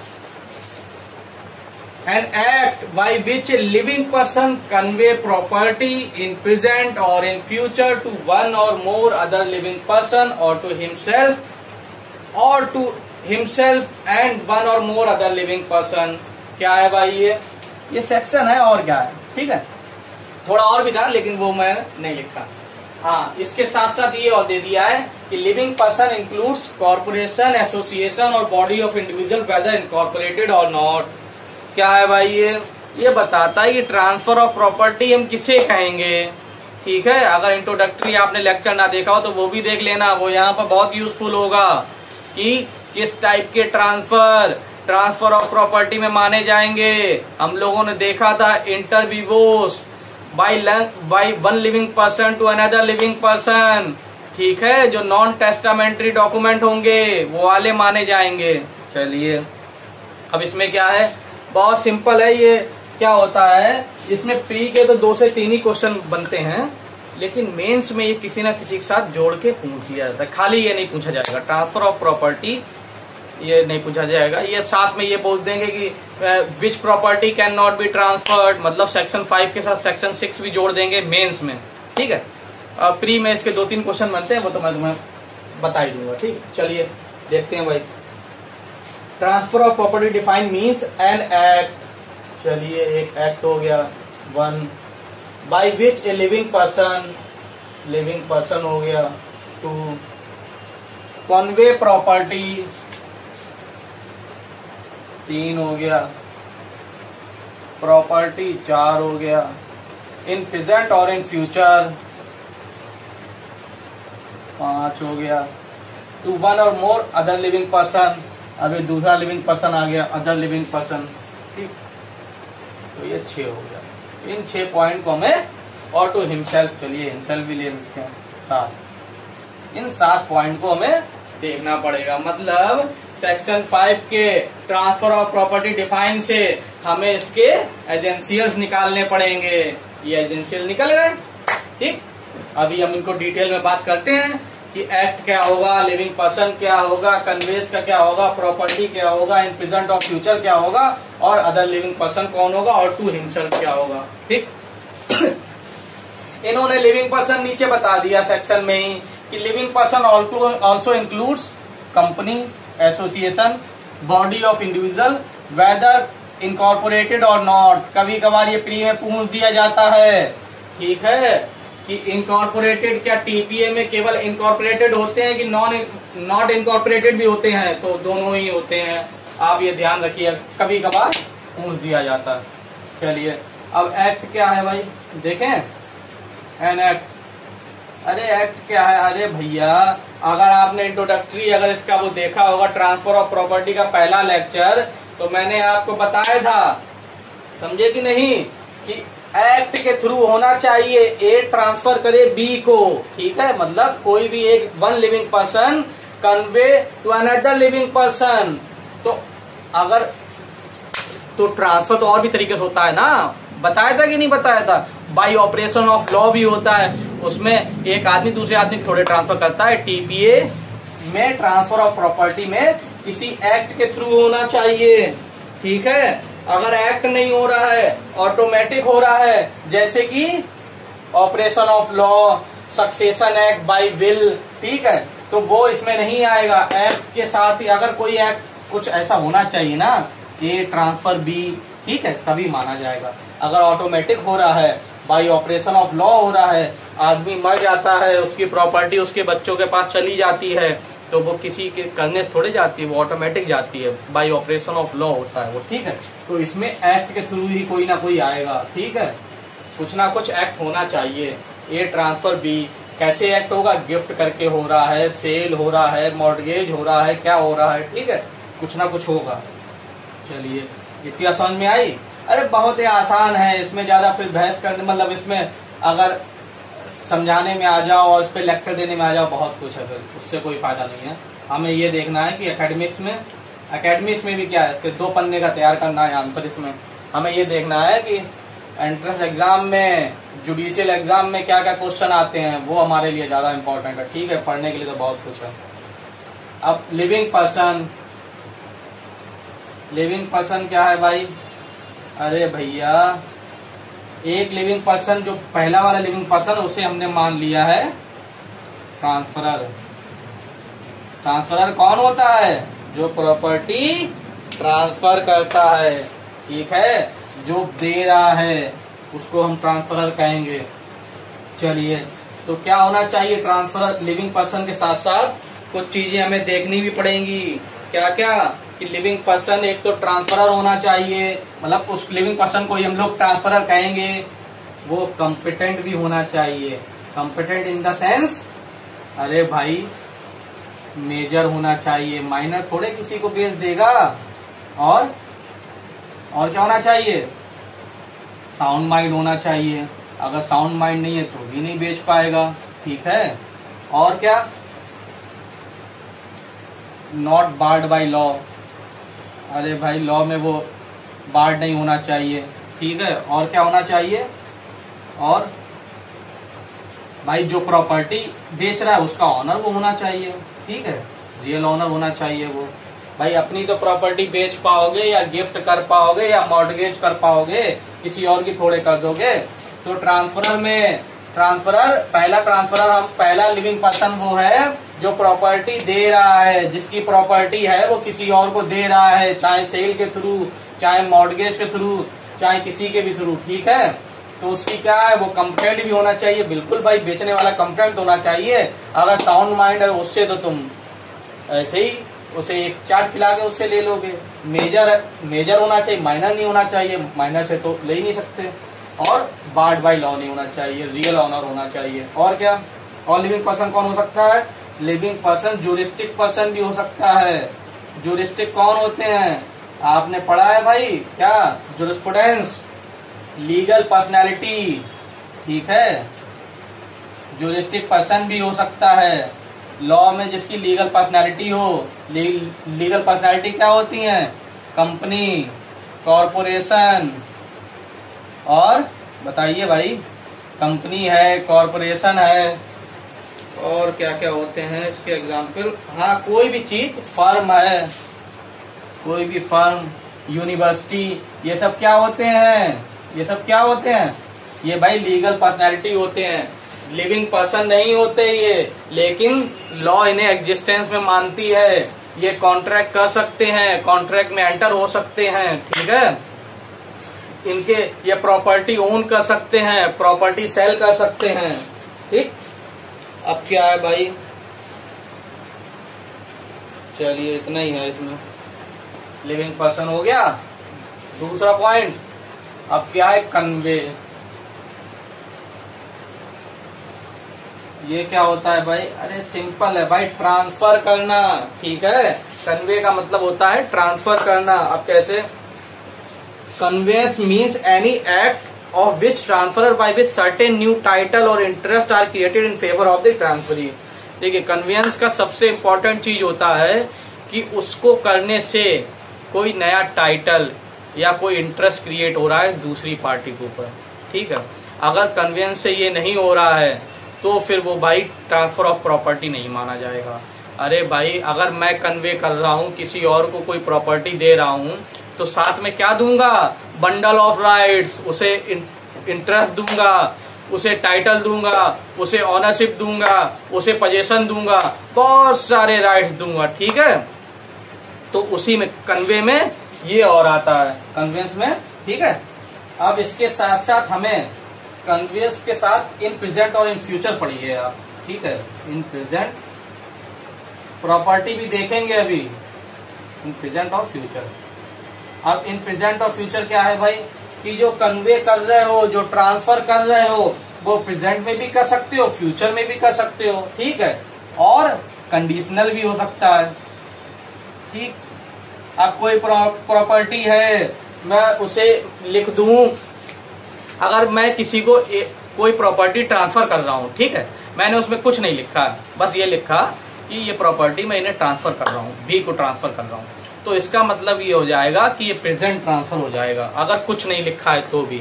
अगर लिख दिया है डेट लिख दी कि आज से ये ट्रांसफ़र है इनकी तो तो वो है ही है। प्रेजेंट है ही। अगर प्रेजेंट की डेट डाल दी तो प्रेजेंट है। और अगर कुछ नहीं डाला सिर्फ़ ट्रांसफ़र कर रहे हैं तो भी वो प्रेजेंट ही माना जाएगा। ठीक है? और अगर कोई फ्यूचर डाल देते हैं फॉर एग्ज़ाम्पल मैंने कहा कि जनवरी 2020 से ये मकान बी का हो जाएगा तो भाई वो फ्यूचर है ही है। उसके साथ साथ एक कोई कंडीशन भी जोड़ सकते हैं। ठीक है? कोई भी कंडीशन वो हम लोग आगे पढ़ेंगे कि कोई भी कंडीशन जोड़ दी कि अगर भाई बी के बेटा होता है तो मैं ये घर इसे दे दूँगा। ठीक? कोई भी कंडीशन जोड़ दी है तो मैंने ऐसे ही बता दिया। तो हम लोग आगे पढ़ेंगे भी। चलिए, अब इसमें क्या है? इन प्रेजेंट और फ्यूचर में कुछ चीज़ें हमें ध्यान रखनी पड़ेंगी। अब जैसे कि ये है means an act by which a living person convey property in present और फ्यूचर अब इस पे बड़ी बहस होती थी कि कन्वे प्रॉपर्टी इन प्रेजेंट और फ्यूचर तो कन इन प्रेजेंट और फ्यूचर क्या मतलब क्या प्रॉपर्टी है? क्या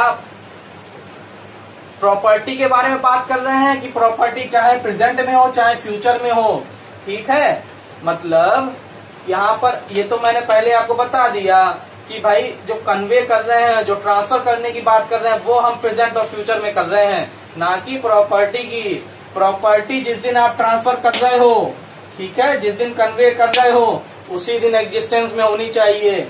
मैंने कहा कि 10 साल बाद में जब एक लाख रुपए महीना कमाऊँगा या दो लाख रुपए महीने कमाऊँगा, तब मैं तुम्हें एक घर बना के दूँगा। नहीं भाई, ऐसा थोड़े होता है। क्या है? प्रॉपर्टी प्रेजेंट में ही चाहिए, लेकिन ट्रांसफ़र, कन्वे जो है, वो प्रेजेंट भी हो सकता है, फ्यूचर भी हो सकता है, कंडीशनल भी हो सकता है। तो इतनी सी चीज़ समझने के लिए एक केस करना पड़ा। केस का नाम क्या है?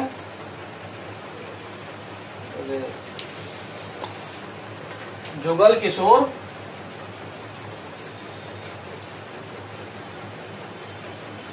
Jugal Kishore versus raw cotton company limited.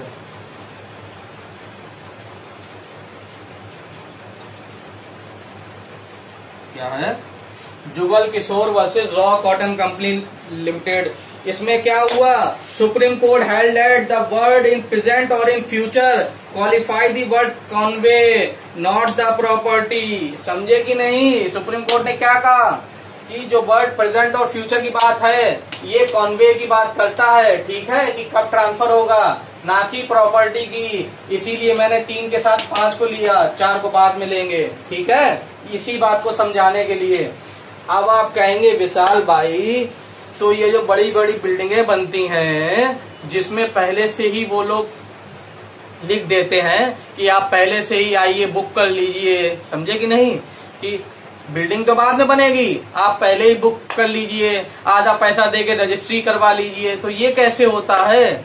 अरे भाई, वो सिंपली एक एग्रीमेंट होता है, ठीक है?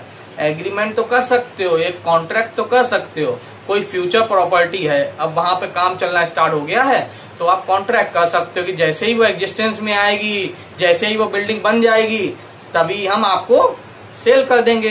तो आप कॉन्ट्रैक्ट कर सकते हो और वो कॉन्ट्रैक्ट इन्फोर्स में भी हो जाएगा जब वो प्रॉपर्टी एग्जिस्टेंस में आ जाएगी। ठीक है? तो वो उस समय जब तक प्रॉपर्टी नहीं बनी, तब तक वो केवल कॉन्ट्रैक्ट माना जाएगा। ठीक? ट्रांसफ़र नहीं माना जाएगा अंडर टीपीए समझे कि नहीं? ठीक है, चलिए। और कुछ है? और तो कुछ नहीं है इसमें। तो कितने पॉइंट हो गए? एक, दो, तीन, चार कितने थे सात थे ना। अदर लिविंग पर्सन पे आते हैं। चलिए मिटाते हैं इसको। समझ में आएगी नहीं इतना? अरे बहुत ही आसान टॉपिक है भाई। और अभी तो आप इतना पढ़ेंगे ट्रांसफ़र में इतना पढ़ेंगे कि ये तो चीज़ें आपको ऐसे ही क्लियर हो जाएँगी। ठीक है, इतनी बार ये चीज़ें आएँगी कि आपको सब ऐसे ही क्लियर हो जाएगा। कौन सा रह गया आप? To other other living person पहले प्रॉपर्टी देखते हैं। प्रॉपर्टी छोड़ दिया था ना। प्रॉपर्टी क्या है? अरे भाई, प्रॉपर्टी तो कुछ भी हो सकती है। मूवेबल मूवेबल प्रॉपर्टी आप जानते ही हैं इमूवेबल और इंटेंजिबल इंटेंजिबल पता कौन सी होती हैं? अरे भाई, वो होती हैं जिसकी ठीक है? और ये आपके कॉपीराइट ये सब चीज़ें जो होती हैं इंटेंजिबल प्रॉपर्टी होती हैं। तो इसमें और कुछ है? और तो कुछ देखने की ज़रूरत है नहीं। आप उस पे आइए। किस पे other living person other living person क्या है भाई? अदर लिविंग पर्सन वही हो गया ट्रांसफरी जिसको प्रॉपर्टी आ रही है। ठीक? ट्रांसफरी जिसके पास प्रॉपर्टी आ रही है। अगर ए ने बी को बेचा तो ए था ट्रांसफरर बी था ट्रांसफरी तो इसमें क्या है? इसमें इसकी बात ध्यान रखिएगा कभी कभार प्री में भी पूछ दिया जाता है need not be a competent person ज़रूरी नहीं है कि वो कॉम्पिटेंट पर्सन हो। इसका मतलब क्या हुआ? कोई माइनर भी हो सकता है इंसेन भी हो सकता है इवन चाइल्ड इन मदर बॉम अरे भाई, अगर माँ की पेट में ही बच्चा है ना तो उसको भी हम प्रॉपर्टी ट्रांसफ़र कर सकते हैं। तो आप कहेंगे, विशाल भाई तो सेक्शन थर्टीन क्या बोलता है? मतलब कहने का मतलब है कि कोई भी लिविंग पर्सन होना चाहिए जिसको ट्रांसफ़र हम कर सकें। और लिविंग पर्सन का यहाँ पर भी मतलब वही थे। क्या? Company association body of individual भी हो सकता है। लेकिन इसका एक एक्सेप्शन है। क्या है? वो सेक्शन थर्टीन है। जब सेक्शन थर्टीन पढ़ेंगे उसमें हम ये भी देखेंगे कि जो चाइल्ड जो एग्जिस्टेंस में भी नहीं है, उसको कैसे प्रॉपर्टी ट्रांसफ़र होगी। ठीक? अब इसमें एक चीज़ और देखनी पड़ेगी। लिविंग पर्सन तो है, लेकिन आइडल को हम प्रॉपर्टी ट्रांसफ़र नहीं कर सकते अंडर सेक्शन फाइव नहीं कर सकते। ठीक? ट्रांसफ़र नहीं माना जाएगा। क्यों? An idol is a juristic person capable of holding property but it is not living person within the meaning of section five section five idol को लिविंग पर्सन नहीं मानता है। ये बात ध्यान रखिएगा। अगर जुरिस्प्रूडेंस के पॉइंट ऑफ़ व्यू से देखें idol is a legal personality legal personality है। लेकिन जुरिस्प्रूडेंस के हिसाब इसके हिसाब से टीपीए में सेक्शन फाइव में आइडल को हम ट्रांसफरी नहीं बना सकते। ठीक है? अब टू हिमसेल्फ में क्या है? अगला रह गया टू हिमसेल्फ सातवा। टू हिमसेल्फ अरे भाई, अपने आप को जनरल रूल ये है कि कोई भी अपने आप को प्रॉपर्टी नहीं बेच सकता। अब मेरी प्रॉपर्टी मैं दोबारा अपने आप को कैसे बेच सकता हूँ? लेकिन अगर मैं कैपेसिटी देखूँ, अगर मैं दूसरी कैपेसिटी में अपने आप को ट्रांसफ़र कर रहा हूँ तो हो सकता है। फॉर एग्ज़ाम्पल कोई एक प्रॉपर्टी मेरी है, ठीक? अब मैं अपनी फर्म के नाम करना चाहता हूँ। फर्म का डायरेक्टर भी मैं ही हूँ तो वो ट्रांसफ़र हो सकती है। है कि नहीं है? मैं अलग अलग कैपेसिटी में काम कर रहा हूँ। मैं एक तो इंडिविजुअल हूँ और दूसरा किसी फर्म का डायरेक्टर हूँ। तो भाई उसके हिसाब से तो काम करूँगा। है कि नहीं? तो मेरे नाम से हटके वो फर्म के डायरेक्टर के नाम पे हो जाएगी। तो कैपेसिटी अगर वो सम अदर कैपेसिटी में कर रहा है, ठीक है? सम अदर कैपेसिटी तो फिर वो ट्रांसफ़र कर सकता है। जनरल रूल ये है कि एक आदमी अपने आप को प्रॉपर्टी नहीं ट्रांसफ़र कर सकता। कैसे कर सकता है? है कि नहीं? चलिए, अब इसमें क्या रह गया? इतने में आप एक चीज़ और देख लीजिए कि ये जो टू हिमसेल्फ है, ये ऐड हुआ था 1929 में। ठीक, शायद ये पूछ दिया जाए। पूछ पूछ भी सकते हैं भाई। ध्यान रखिएगा, ये अलग से ऐड हुआ था टू हिमसेल्फ 1929 में। हाँ और क्या, और टू हिमसेल्फ ठीक है? चलिए, अब इसमें एक चीज़ और पढ़नी पड़ेगी हमें। क्या है भाई वो? ये देखना है, इस हिसाब से कौन कौन सी चीज़ें ट्रांस, ट्रांसफ़र ऑफ़ प्रॉपर्टी मानी जाएँगी सेक्शन फाइव के अंडर, और कौन कौन सी चीज़ें नहीं मानी जाएँगी। अब क्या है भाई? Family settlement. फैमिली सेटलमेंट क्या है? ट्रांसफ़र ऑफ़ प्रॉपर्टी है कि नहीं है? नहीं है। क्यों? क्योंकि इसमें कोई टाइटल या कोई इंटरेस्ट ट्रांसफ़र नहीं हो रहा है। फैमिली सेटलमेंट क्या होता है? ये हाउस है। इसमें तीन लोग रहते हैं, ठीक है? इसमें अभी तीन लोग रहते हैं। अब क्या हुआ? अब इन्होंने फैमिली सेटलमेंट करना चाहते हैं। तो पहले से भी ये तीनों ही ऑनर थे इस हाउस के। ठीक है, ऐसे तीन लोग रहते थे। अब ऐसे तीन लोग रहने लगे तो इसमें चेंज क्या हुआ? कुछ भी चेंज नहीं हुआ। क्या, किस बात का ट्रांसफ़र हुआ? कुछ नहीं। तो इसलिए ये फैमिली सेटलमेंट जो है, वो ट्रांसफ़र नहीं माना जाएगा। फैमिली सेटलमेंट या फैमिली अरेंजमेंट कुछ भी कह दो। दूसरा कंप्रोमाइज कंप्रोमाइज क्या माना जाएगा? ट्रांसफ़र माना जाएगा कि नहीं माना जाएगा? नहीं। मान लीजिए तीन तीन आदमी की कोई फर्म है, ठीक है वो कंप्रोमाइज करके उसके तीन हिस्से किए ले रहे हैं। तो ये भी, अरे भाई, पहले से भी तो उन्हीं की ऑनरशिप थी, अब भी उन्हीं की ऑनरशिप है। तो कंप्रोमाइज भी ट्रांसफ़र ऑफ़ प्रॉपर्टी नहीं माना जाएगा। अब पार्टीशन बताइए पार्टीशन क्या है? अरे भाई पार्टीशन भी ट्रांसफ़र ऑफ़ प्रॉपर्टी नहीं माना जाएगा, ठीक है? सरेंडर सरेंडर भी नहीं माना जाएगा। चार्ज चार्ज भी नहीं माना जाएगा। ये कुछ भी ट्रांसफ़र ऑफ़ प्रॉपर्टी नहीं है। रेलिंक्विशमेंट रेलिंक्विशमेंट ये भी ट्रांसफ़र ऑफ़ प्रॉपर्टी नहीं माना जाएगा। ठीक है रिलीज़ जो होता है रिलीज़ ये माना जाता है। रिलीज़ जो है, वो ट्रांसफ़र ऑफ़ प्रॉपर्टी माना जाता है।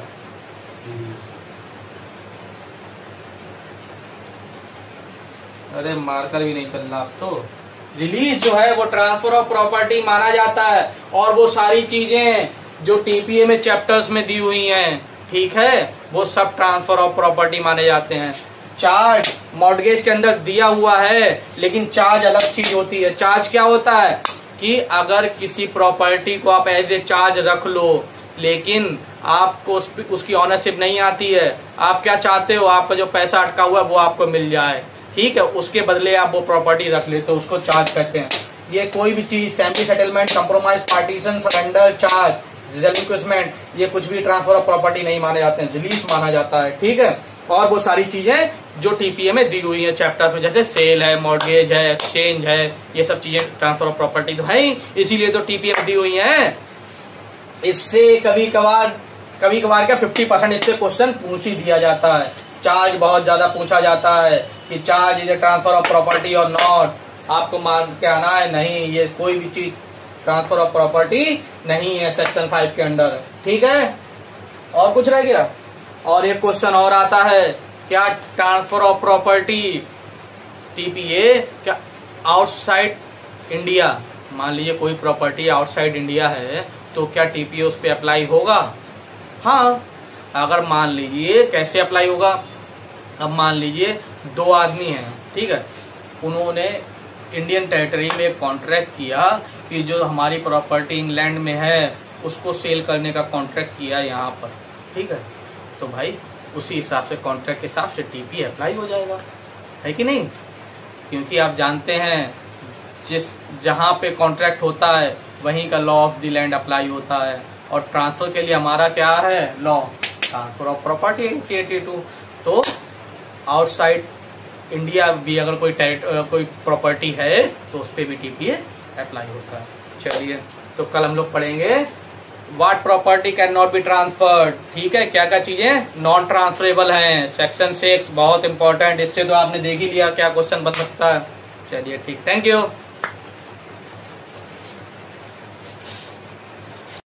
हेलो दोस्तों, कैसे आप लोग? चलिए तो आज टीपी हम लोग को क्या पढ़ना है? पहले ये बताइए लास्ट लेक्चर में क्या देखा था हम लोगों ने? सेक्शन फाइव क्या था? ट्रांसफ़र ऑफ़ प्रॉपर्टी डिफाइन समझ में आया था कि नहीं? चलिए तो आज सेक्शन सिक्स देखना है। क्या बोलता है सेक्शन सिक्स बताइए। वाट में बी ट्रांसफर्ड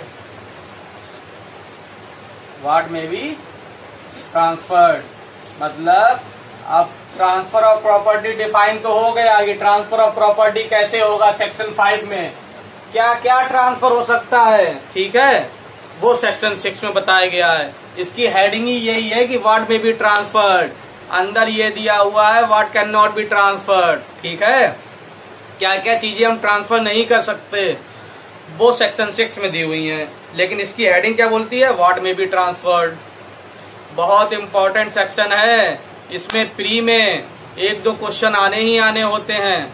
और मेंस में या तो ये शॉर्ट में पूछ लिया जाता है या लॉन्ग में पूछ लिया जाता है। सेक्शन फाइव और सिक्स एक साथ पूछ दिए जाते हैं। ठीक है? तो ध्यान से पढ़िएगा। क्या होता है? वार्ड में भी वार्ड में भी ट्रांसफ़र सेक्शन सिक्स क्या कहता है? Property of any kind property of any kind may be transferred except as provided except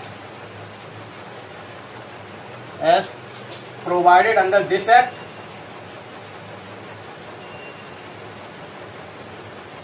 और any other law for the time being in force any other law for the time being in force ठीक है? क्या मतलब है कि सब चीज़ें transfer हो सकती हैं? बस वो चीज़ें छोड़ के जो इस एक्ट में मना की गई हैं या किसी और एक्ट में मना की गई हैं। तो इस एक्ट में मना की गई है, इसका मतलब जो चीज़ें सेक्शन सिक्स में मना की गई हैं अदर लॉज में अदर लॉज में जो जो मना किया गया हो। फॉर एग्ज़ाम्पल हिंदू लॉ में क्या मना किया गया है? प्रॉपर्टी डेडिकेटेड टू आइडल समझे कि नहीं? अगर किसी मूर्ति को या किसी मंदिर को तुमने कोई प्रॉपर्टी डेडिकेट कर दी, अब वो ट्रांसफ़र नहीं हो सकती। मुस्लिम लॉ में क्या है? वक्स प्रॉपर्टी ट्रांसफ़र नहीं हो सकती। प्रॉपर्टी ऑफ़ वक्स ठीक है? और कहीं दिया हुआ है सीपीसी में। सीपीसी में सेक्शन 60 ये बताता है कि किस किस चीज़ों का अटैचमेंट नहीं हो सकता। सीपीसी का सेक्शन 60 ये बताता है किस किस चीज़ों का अटैचमेंट नहीं हो सकता। इसका मतलब वो चीज़ें ट्रांसफ़र भी नहीं हो सकती। ठीक है? अब ये तो अदर लॉ हो गया। अब सेक्शन सिक्स में क्या दिया हुआ है? सेक्शन सिक्स में क्लाउस ए से लेके क्लाउस ए से लेकर और आई तक है। बीच में डी डी भी है तो टोटल मिला के टेन है। दस ऐसी चीज़ें दी हुई हैं सेक्शन सिक्स में जिसको हम ट्रांसफ़र नहीं कर सकते। चलिए एक एक करके डिटेल में देखते हैं। पहला क्या है क्लाउस ए इसको ऐसे ही याद भी करिएगा। ठीक है? जैसे ये क्लाउस में दिए हुए हैं, बहुत पूछा जाता है ऐसे ही कि क्लाउस डी में क्या दिया हुआ है। उत्तराखंड में तो काफ़ी बार पूछा गया है। चलिए स्पेक्ट सक्सेसनेस। क्या है भाई ये? स्पेक्ट सक्सेसनेस, ये क्लाउज ए बताता है। ठीक है? जब आप क्लाउज ए को रीड मारेंगे तो उसमें क्या दिया हुआ है? इसमें क्लाउस ए को तीन पार्ट में बांटा गया है। ठीक है, लिख लीजिएगा। The chance of an heir apparent succeeding to an estate ये एक पार्ट हो गया। The chance of a relation obtaining obtaining a legacy on the death of a kinsman ये दूसरा पार्ट हो गया। और any other mere possibility of like nature can not be transferred ठीक है? तो क्लाउस ए में जो स्पेक्स एक्सनेसिस है, इसका मतलब क्या होता है? इसका मतलब होता है मेयर चांस ऑफ़ सक्सेशन ठीक है? कि किस बस चांस है आपका कि आप उसको सक्सेशन कर सकते हैं मतलब सक्सीड कर सकते हैं। स्पेक्ट सक्सेशन का मतलब इतना है। ठीक है, अब जैसा कि स्पेक्ट सक्सेशन को तीन पार्ट में बांटा गया तो देखते हैं एक एक करके। The chance of an heir apparent chance of an heir apparent succeeding to an state.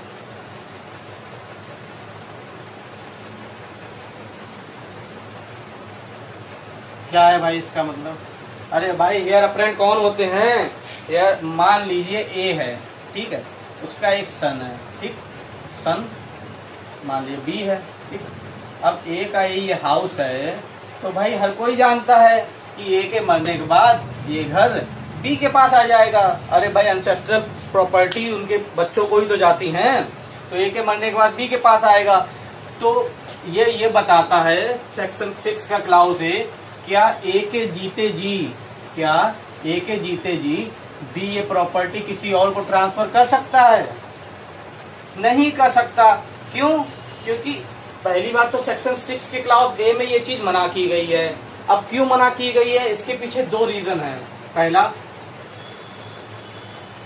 Who will survive अरे, क्या पता भाई कि उसका बेटा पहले मर जाए। है कि नहीं? हु विल सर्वाइव समझे कि नहीं? मान लीजिए बी पहले मर जाता है ए से तो बी तो कभी भी इस प्रॉपर्टी का ऑनर नहीं हो पाएगा। है कि नहीं है? तो ऑनर नहीं हो पाएगा तो ये अगर वो ट्रांसफ़र करता है तो क्या होता है? तो ये वॉइड हो जाएगा। ठीक है? हमेशा वॉइड ही होगा। अगर ए के चलते अगर बी प्रॉपर्टी ट्रांसफ़र कर देता है किसी और को तो वो ट्रांसफ़र वॉइड होगा। रीजन हम लोग देख रहे हैं कि क्यों ऐसा मना क्यों किया गया है, क्योंकि दो चीज़ें हैं। पहला तो हु विल सर्वाइव अरे भगवान जाने कौन जिएगा भाई? ए जिएगा ज़्यादा कि बी ज़्यादा जिएगा। दूसरी बात, क्या पता ए जो है वसीयत वो किसी और को लिख दे। ठीक है A died without making will ज़रूरी थोड़े है। कि वो विदाउट मेकिंग बिल मरे। मान लीजिए, वो किसी और के नाम प्रॉपर्टी कर जाए। है कि नहीं? किसी और के नाम कर सकता है कि नहीं कर सकता? बिल्कुल कर सकता है। ये दो कंडीशन है, जिसकी वजह से सिक्स ए सिक्स का क्लाउज ए स्पेक्स को मना करता है। और इसमें कुछ है। इसमें एक प्रॉब्लम और आती है। समझिएगा प्रॉब्लम क्या है भाई। ये कभी कभार मेंस में भी पूछी गई है। और प्री में भी ऑब्जेक्टिव में आ जाती है। क्या है प्रॉब्लम ए था, उसकी एक वाइफ थी डब्लू ठीक है? और उसकी एक डॉटर थी डी अब क्या होता है, उसकी डॉटर जो है, अपने फादर से कहती है ए से कहती है कि आप मुझे एक हज़ार रुपए दे दीजिए। मैं क्या कर रही हूँ, अपना शेयर आपकी प्रॉपर्टी में, जो उसका शेयर है उस प्रॉपर्टी में उसको वो रिलीज़ कर रही है। ठीक है? कि मैं अपना शेयर आपकी प्रॉपर्टी में छोड़ देती हूँ। आप मुझे एक हज़ार रूपए अभी दे दीजिए। क्या होता है? ए अपनी डॉटर को हज़ार रूपए दे देता है। ठीक है? और वो रिलीज़ डीड साइन कर देती है। कौन? उसकी डॉटर रिलीज़ डीड साइन कर देती है। कि लो, मैंने इनकी प्रॉपर्टी में से अपने अपने फादर की प्रॉपर्टी में से अपना शेयर छोड़ दिया। ऐसी रिलीज़ डीड उसने साइन कर दी। अब क्या हुआ? ए के मरने के बाद। ए के मरने के बाद वो अपना शेयर क्लेम करती है अपने फादर की प्रॉपर्टी में। ठीक है? तो डब्लू उसकी वाइफ ये कहती है कि तुम अपना शेयर पहले से ही रिलीज़ कर चुकी हो तो तुम्हें शेयर किस बात का चाहिए? बताइए, उसको शेयर मिलेगा कि नहीं? बताइए। मिलेगा। क्यों? क्योंकि ये रिलीज़ डीड जो उस समय उसने साइन की थी, वो वॉइड है। जब यहाँ पर बी अगर कोई प्रॉपर्टी ट्रांसफ़र नहीं कर सकता ये के जीते जी तो डी भी कैसे कर सकती है? अपना शेयर कैसे रिलीज़ कर सकती है? नहीं कर सकती। ठीक है? क्या पता डी को शेयर को मिले ही ना कभी। डी डी पहले मर जाए। ठीक है? तो ये रिलीज़ डीड वॉइड होगी और डी को अपना शेयर मिलेगा। रही बात हज़ार रुपए की।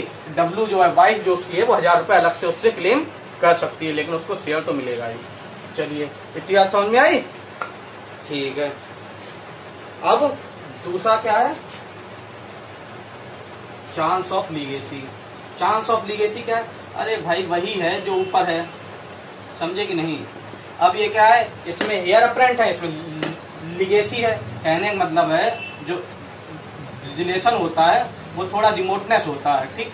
रिमोटनेस होता है। मतलब दूर के रिलेटिव समझे कि नहीं? कोई भी हो अंकल आंटी ठीक है? दादी, कोई भी हो अगर मान लीजिए बहुत से लोग होते हैं, उनके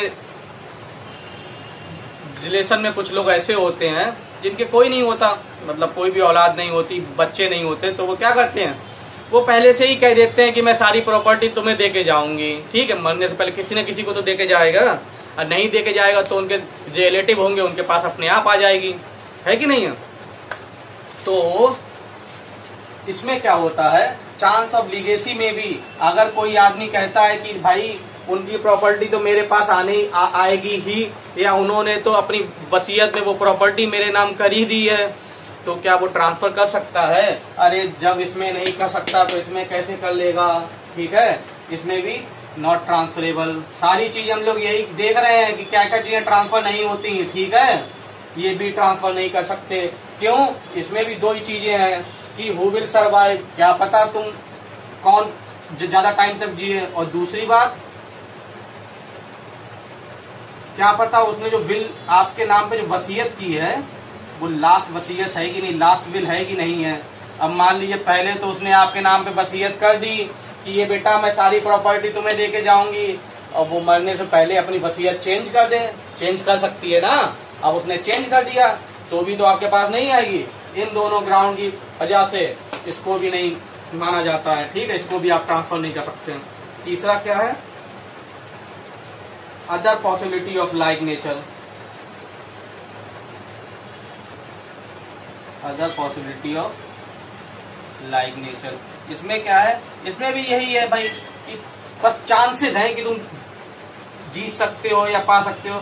Chance of an chance of a gift कि तुम कहो कि मुझे गिफ्ट में वहाँ इतना मिलने वाला है, वो मैं तुम्हें दे दूँगा। या chance to win a lottery कि भाई मैं लॉटरी जीत जाऊँगा, उसमें से तुम्हें दे दूँगा। ठीक है? चांस टू विन रिवॉर्ड ठीक है? अब भाई साहब, बहुत अच्छे एक स्पीकर साहब हैं, वो स्पीकर हैं आपके मतलब लॉ कॉलेज में। अब उन्होंने क्या कहा कि देखो, तुम तो बहुत अच्छे मूटर हो ही, तुम तो मूट कोर्ट में जीत ही जाओगे। तो वो पहले से ही कॉन्ट्रैक्ट कर लेते हैं कि मैं मूड कोर्ट में जब दस हज़ार रुपये जीतूँगा तो वो मैं तुम्हें दे दूँगा। अरे ऐसा थोड़े हो सकता है।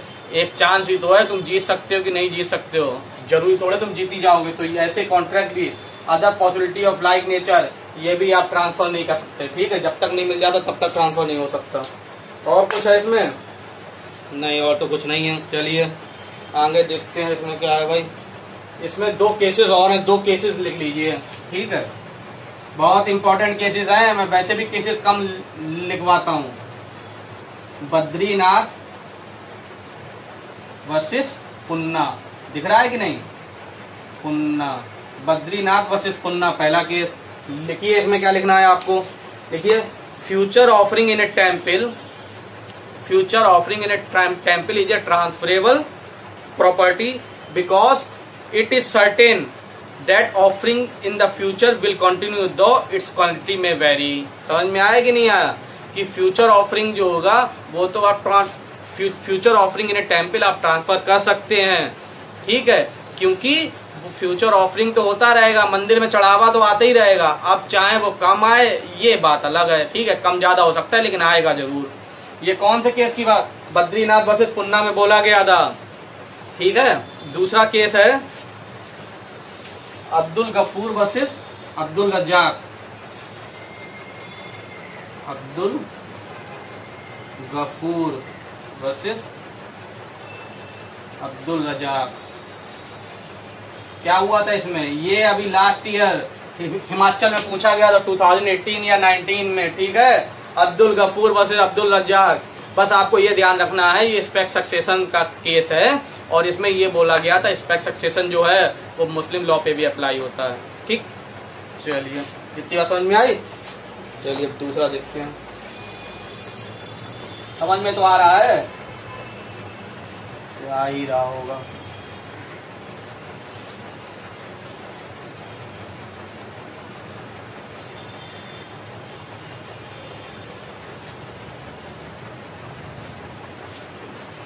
Mere right of re entry clause b ऐसे ही याद कर लीजिएगा।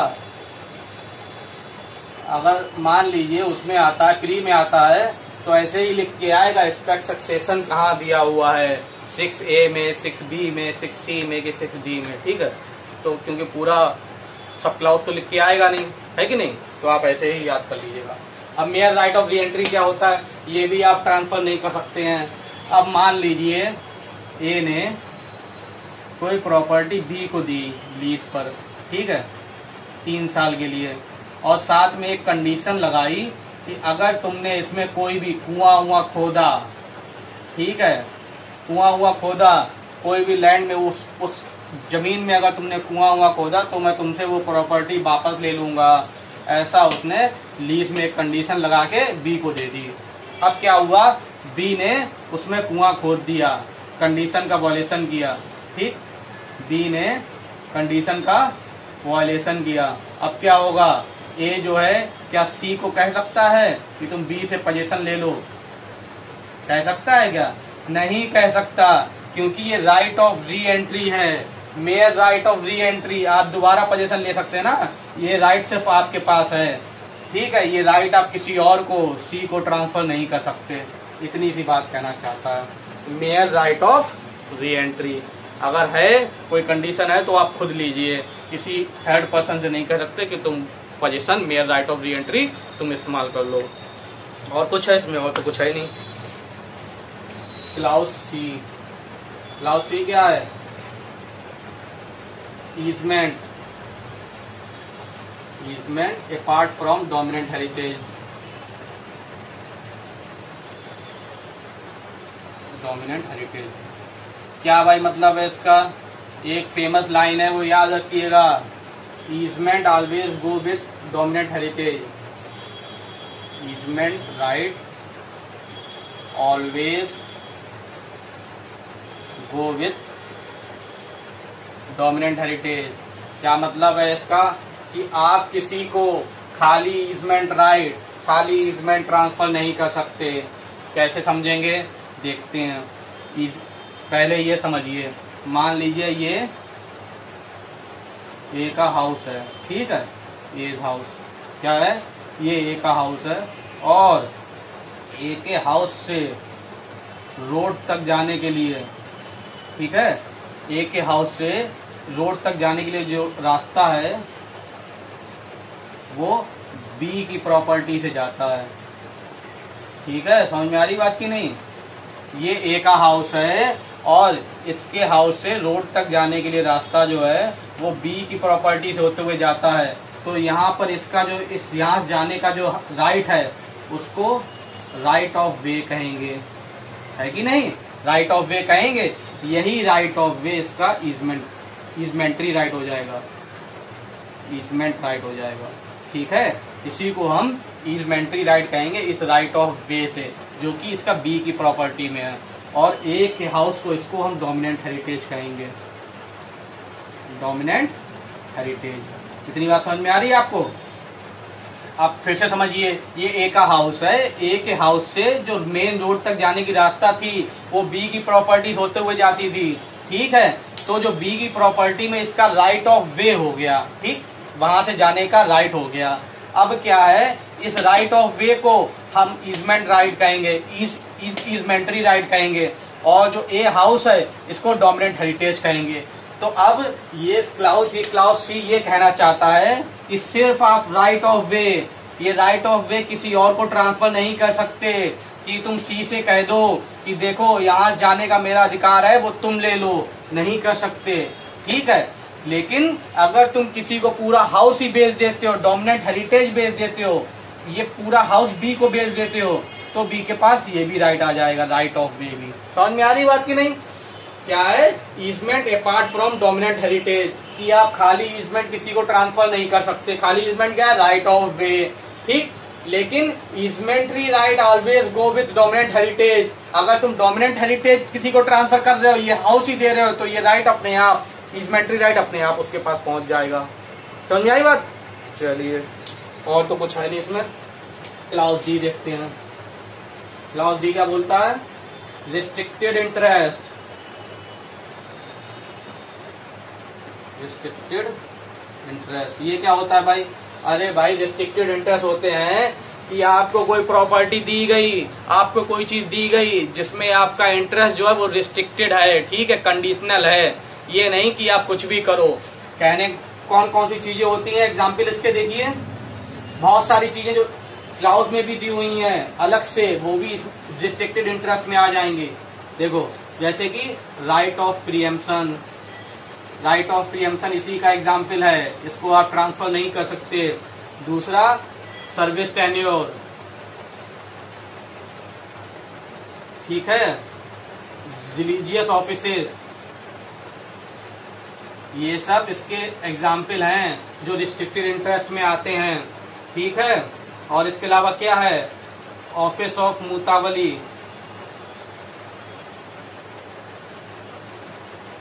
ठीक है? महंत ऑफ़ मठ। किसी मठ का महंत ठीक है, और क्या हो सकता है? और बताइए। और आपका मेंटेनेंस मेंटेनेंस अलग से भी दिया हुआ है, लेकिन इसमें भी आता है मेंटेनेंस ठीक है? ये सब चीज़ें हैं जो रिस्ट्रिक्टेड इंटरेस्ट में आ जाती हैं, जिन्हें आप ट्रांसफ़र नहीं कर सकते किसी और को। अब मान लीजिए, कोई यूनिवर्सिटी मुझसे अगर कॉन्ट्रैक्ट करती है कि आप मेरी यूनिवर्सिटी में पढ़ाइए, ठीक है? तो क्या मैं वो किसी और को दे सकता हूँ? क्या मैं ये कह सकता हूँ कि नहीं यार, तुम पढ़ाओ यार मेरी जगह, मैं आपको दे दूँ, क्या दे सकता हूँ? नहीं दे सकता। ठीक है, यही सब चीज़ें हैं जो आप ट्रांसफ़र क्यों? क्योंकि वो यार, वो क्वालिफिकेशन पे, आपकी नॉलेज पे, ठीक है प्रोफेशनल स्किल पे, इन सब चीज़ों पे दी गई है ना। ऐसे थोड़े तुम किसी को ट्रांसफ़र कर सकते हो। और एक सिंपल इसका एग्ज़ाम्पल समझिए, ठीक है? मान लीजिए ए के पास एक लैंड थी, ठीक है? उसने क्या किया? वो लैंड बी को वन वीक के लिए दी है कि वो वहाँ पर अपनी बेटी की डॉटर की मैरिज करा सके। ठीक? ए के पास एक लैंड थी, वो उसने बी को दे दी एक हफ़्ते के लिए कि वो अपनी डॉटर की वहाँ पे शादी करा सके। अब क्या वो बी सी को ट्रांसफ़र कर सकता है कि ये नहीं यार, तुम एक हफ़्ते के लिए सी तुम ये लैंड इस्तेमाल कर लो, मैं तो किसी होटल में अपनी बेटी की शादी करूँगा ठीक है? नहीं कर सकता। क्यों? क्योंकि पर्टिकुलर पर्पस के लिए आपको दी गई है। ठीक है? आप किसी और को ट्रांसफ़र थोड़े कर सकते हो। अगर आप इस लैंड का इस्तेमाल कर सकते हो तो सिर्फ़ अपनी बेटी की शादी के लिए, जिस पर्पस के लिए आपको दी गई है, उसके अलावा नहीं। और कुछ है भाई इसमें? और तो कुछ है नहीं। चलिए right to future maintenance d d क्या है ये?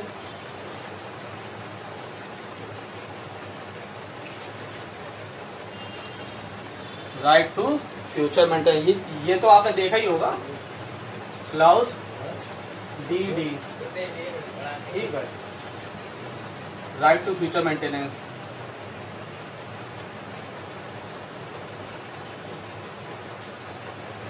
क्या होता है? भाई साहब ये राइट टू फ्यूचर मेंटेनेंस क्या है? एक बार ये पूछा गया उत्तराखंड में कि ये कब जोड़ा गया? 1929 में जोड़ा गया। ठीक है? कब जोड़ा गया?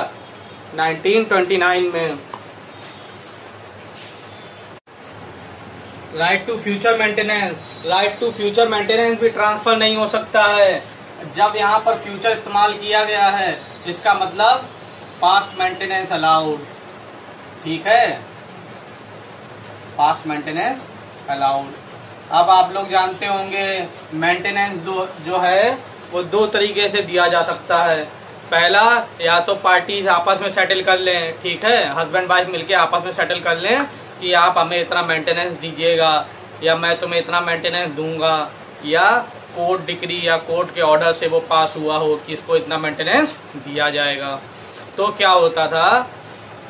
इसमें हाई कोर्ट्स के अलग अलग व्यू थे। एक हाई कोर्ट कहता था, देखो, जो पार्टीज़ ने खुद मेंटेनेंस डिसाइड किया गया, किया है, वो ट्रांसफ़र नहीं हो सकता, लेकिन जो कोर्ट की डिग्री से पास हुआ है, वो वो ट्रांसफ़र हो सकता है। ठीक?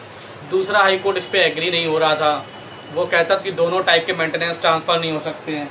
तो इसीलिए इस चीज़ को सॉल्व आउट करने के लिए क्लाउस डी जोड़ा गया 1929 में, जिसमें ये बोला गया कि फ्यूचर मेंटेनेंस चाहे वो कोर्ट द्वारा हो, चाहे खुद डिसाइड किया हो ट्रांसफ़र नहीं हो सकता। लेकिन पास्ट मेंटेनेंस है, पहले से पास हुआ हुआ है, उसको आप ट्रांसफ़र कर सकते हो। ठीक है? इतनी सी बात है। और तो कुछ है नहीं इसमें। और कुछ नहीं है। चलिए। अब क्या है clause e mere right to sue? Mere right to sue क्या है? कि अगर आपके पास मेयर राइट टू सू है, ठीक है? अब क्या होता है इसमें? दो टाइप के होते हैं। क्या? अगर कोई भी अनसर्टेन और इनडेफिनेट ठीक है? अनसर्टेन और इनडेफिनेट अमाउंट का कोई भी आपको राइट टू सू है। For example breach of contract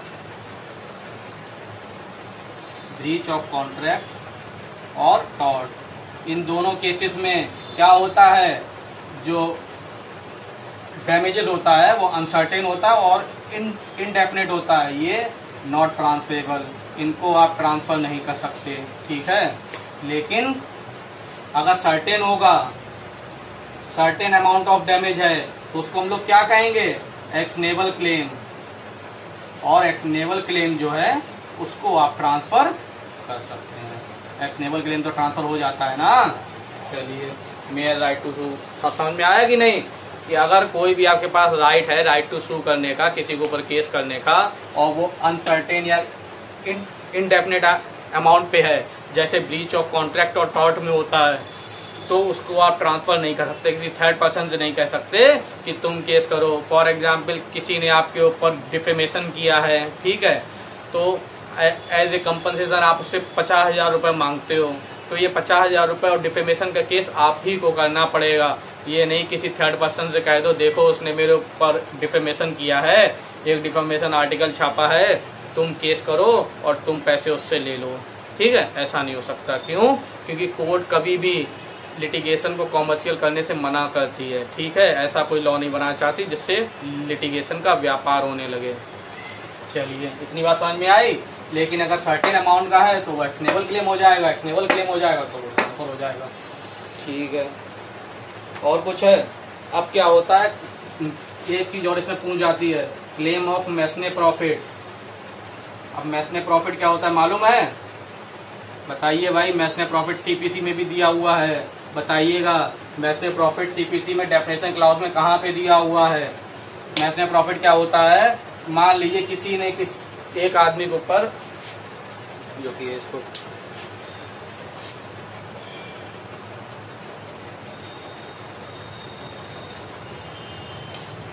ए ने एक हाउस था, ठीक है, जिसमें बी का पोजीशन था, ठीक? पोजीशन किसका था, बी का। तो क्या किया? ए ने इस हाउस में अपनी ऑनरशिप क्लेम की। ठीक? अब तीन साल बाद वो केस जीत गया। ठीक? तीन साल बाद ये केस जीत गया और ये हाउस उसने ले लिया। अब जो तीन साल में बी ने इस प्रॉपर्टी से जितनी भी इनकम हुई होगी उसे। ठीक है? तीन साल के अंदर इस प्रॉपर्टी से बी को जितनी भी इनकम हुई होगी, उसको हम मैसने प्रॉफिट कहेंगे। ठीक? अब क्या ये ये वाला क्लाउस ई क्या बोलना चाहता है? क्लाउस ई ये बोलना चाहता है कि ये जो राइट ऑफ़ मैसने प्रॉफिट है, इसको क्लेम करने का वो ए किसी थर्ड पर्सन को नहीं दे सकता। किसी से कह दे कि देखो पजेशन तो मैंने ऑनरशिप तो इस पे ले ली है, अब मैसने प्रॉफिट जो है, वो तुम ले लो इससे। ऐसा नहीं हो सकता। अगर मैसने प्रॉफिट चाहिए ए खुद ही क्लेम कर सकता है, किसी और को ट्रांसफ़र नहीं कर सकता।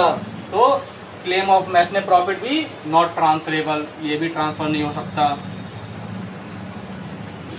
इतनी बात समझ में आई?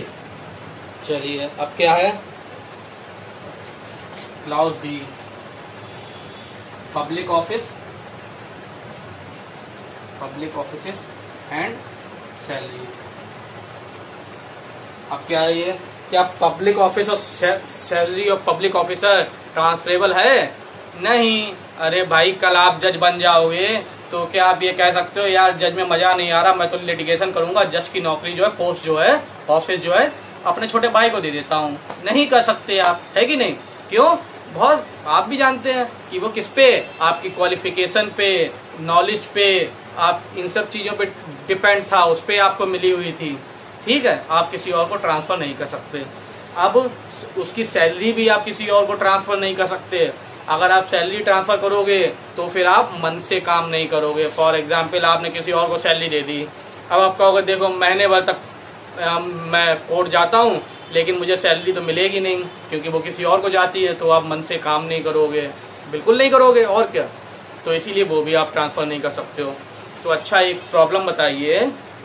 मान लीजिए कि आपके एल्डर ब्रदर ने, ठीक है, आपके बड़े भाई ने आपके ऊपर इस समय बहुत खर्चा किया। ठीक, आप तैयारी कर रहे हैं तो आपके ऊपर खर्चा किया। अब क्या हुआ? आपने अपने एल्डर ब्रदर से प्रॉमिस किया कि जब मैं जज बन जाऊँगा तो मैं अपनी सैलरी में से कुछ अमाउंट आपको दिया करूँगा। ठीक है, एक सर्टेन अमाउंट आपको दिया करूँगा। तो क्या ये ट्रांसफरेबल है? दे सकता है? बिल्कुल दे सकता है। ठीक है। किसमें ये हेल्ड हुआ था? एक केस है अनंथाया अनंथाया वर्सेस सुब्बा राव सुब्बा राव इसमें ये की चीज़ हेल्ड हुई थी कि अगर वो सर्टेन अमाउंट देना चाहता है अपनी सैलरी में से तो वो दे सकता है। क्यों? अरे भाई, ज़रूरी थोड़ी वो अपनी सैलरी पूरी सैलरी थोड़ी दे रहा है। अपनी सेविंग में से दे सकता है। है कि नहीं? तो इसको वो, ये clause d f clause f को अफेक्ट नहीं करेगा। ठीक है? समझ आई बात की नहीं? चलिए। अब आगे क्या है?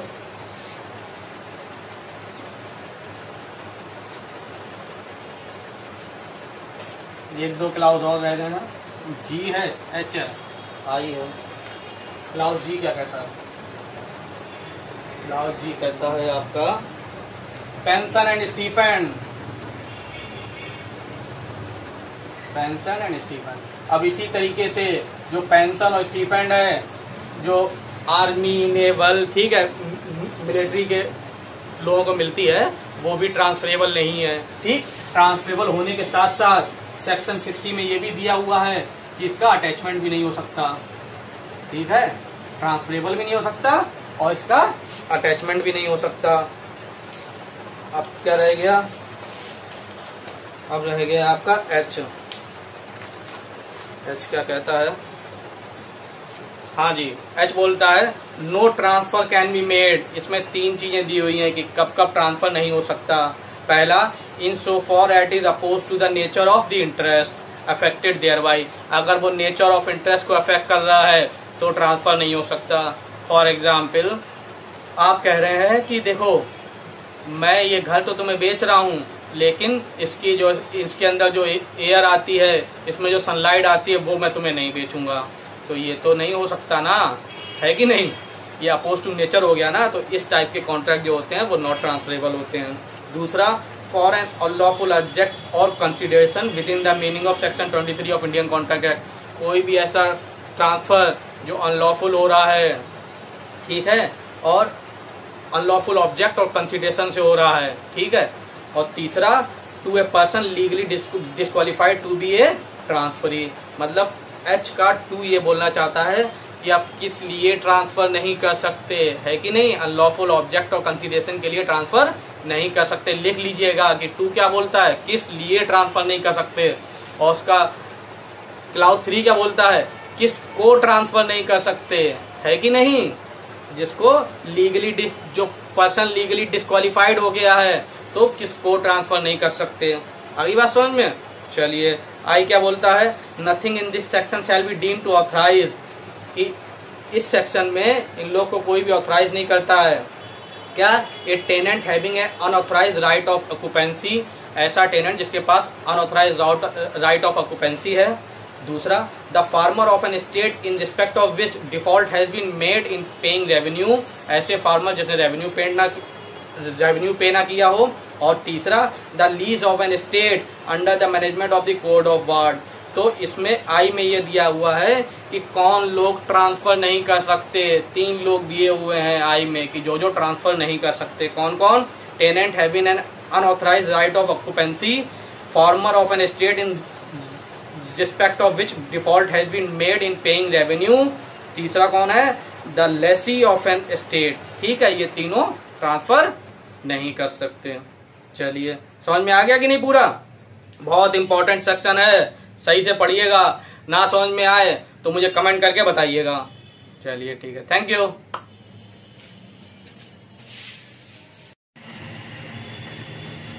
हेलो दोस्तों, कैसे हैं आप लोग? तो लास्ट लेक्चर टीपी हम लोग ने क्या देखा था? सेक्शन सिक्स ठीक है? चलिए, ना देखा हो तो आप लास्ट लेक्चर देख लीजिएगा। चलिए तो आज हम लोग देखेंगे section seven eight and nine देखिए सेवन एट और नाइन में तीनों में अगर प्री के पॉइंट ऑफ़ व्यू से देखें तो इसमें सिर्फ़ डायरेक्ट पूछा जाता है कि ट्रांसफ़र ऑफ़ हाँ transfer of property sorry person competent to transfer कहाँ दिया हुआ है, या ऑपरेशन ऑफ़ ट्रांसफ़र कहाँ दिया हुआ है तो आपको अगर प्री के पॉइंट ऑफ़ व्यू से देखें तो आपको सिर्फ़ ये सेक्शन याद कर लीजिएगा, ठीक है? और वैसे मेंस में कभी कभार ये शॉर्ट में पूछ दिया जाता है। ठीक है? तो चलिए एक बार हम लोग पढ़ लेते हैं इसे। देखेंगे सब चीज़ें हम लोग। मतलब जो जो कुछ ही चीज़ें हैं, कुछ ही सेक्शन है जो बिल्कुल ही नहीं पूछे जाते हैं प्री में भी और मेंस में भी। उनको नहीं देखेंगे।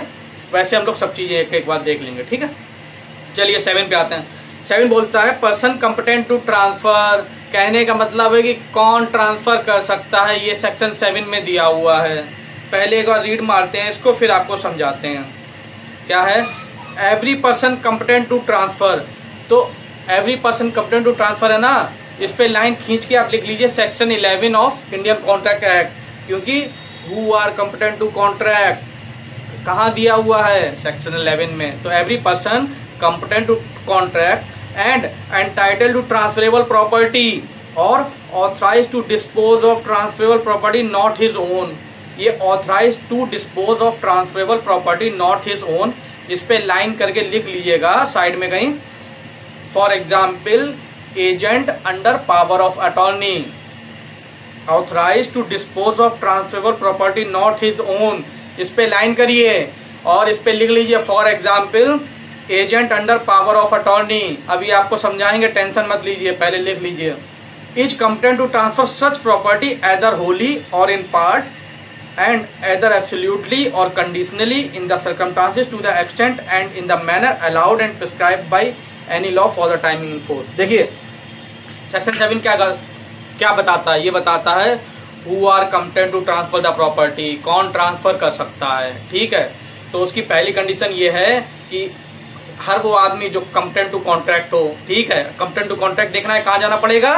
Section eleven of Indian contract act ठीक? और वो आदमी जिसकी प्रॉपर्टी तो नहीं है, लेकिन उसे पावर दे दी गई है कि तुम ट्रांसफ़र कर सकते हो। जैसे कि हम लोग ने लिखा for example agent under power of attorney आपने सुना होगा, सुनते रहते होंगे कि अमिताभ बच्चन ने यहाँ पर खेत लिया, लाल लखनऊ में खेत लिया, ठीक है? तो ये सब चीज़ देखते तो क्या अमिताभ बच्चन खुद आके, जैसे कि आप जानते हैं, कोई प्रॉपर्टी खरीदोगे तो आपको तहसील में ही जाके उसका रजिस्ट्रेशन होगा, और सो भी वहीं वहीं के ही तहसील में जहाँ पे प्रॉपर्टी है। तो क्या अमिताभ बच्चन साहब लखनऊ जाके उसको रजिस्ट्री करवाएँगे क्या? क्या वो लाइन में लगेंगे? इतना टाइम है उनके पास और पॉसिबल है, वहाँ पर तो भीड़ लग जाएगी। तो वो बड़े बड़े लोग क्या करते हैं?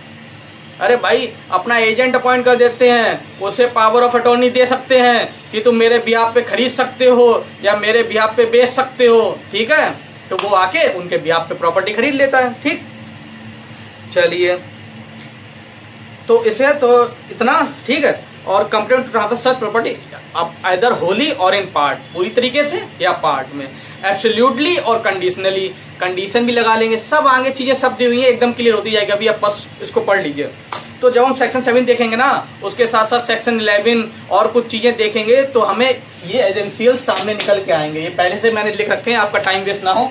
Essentials of a valid transfer section seven को जब आप देखेंगे उसके साथ साथ section eleven of Indian contract act और एक दो चीज़ें और, जो चीज़ें इसमें मतलब टीपीए में ही जो जो चीज़ें ज़रूरी हैं, उन सबको जब हम एक साथ देखेंगे तो ये पाँच एजेंसी निकल के आएँगे कि essentials of a valid transfer क्या क्या the property transferor and the transferee ये तीनों चीज़ें must exist on the date of transfer ठीक है?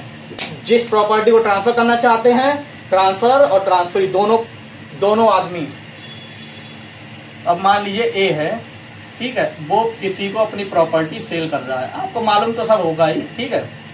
तो ये जो है, ये आपका ट्रांसफरर हो जाएगा, ठीक? और ये ट्रांसफ़र हो जाएगा बी जो प्रॉपर्टी खरीद रहा है, या जिसे गिफ्ट में जो भी कुछ है, ठीक? प्रॉपर्टी ए की थी, वो बी को दे रहा है तो ये ट्रांसफ़र हो जाएगा, वो ट्रांसफ़र हो जाएगा। मालूम तो आपको सब वही इतना हम लोग पढ़ चुके हैं पहले से, ठीक है? The property must be transferable property transferable होनी चाहिए। सेक्शन सिक्स में दिया हुआ था कौन कौन सी प्रॉपर्टी ट्रांसफ़र नहीं कर सकते? ठीक है?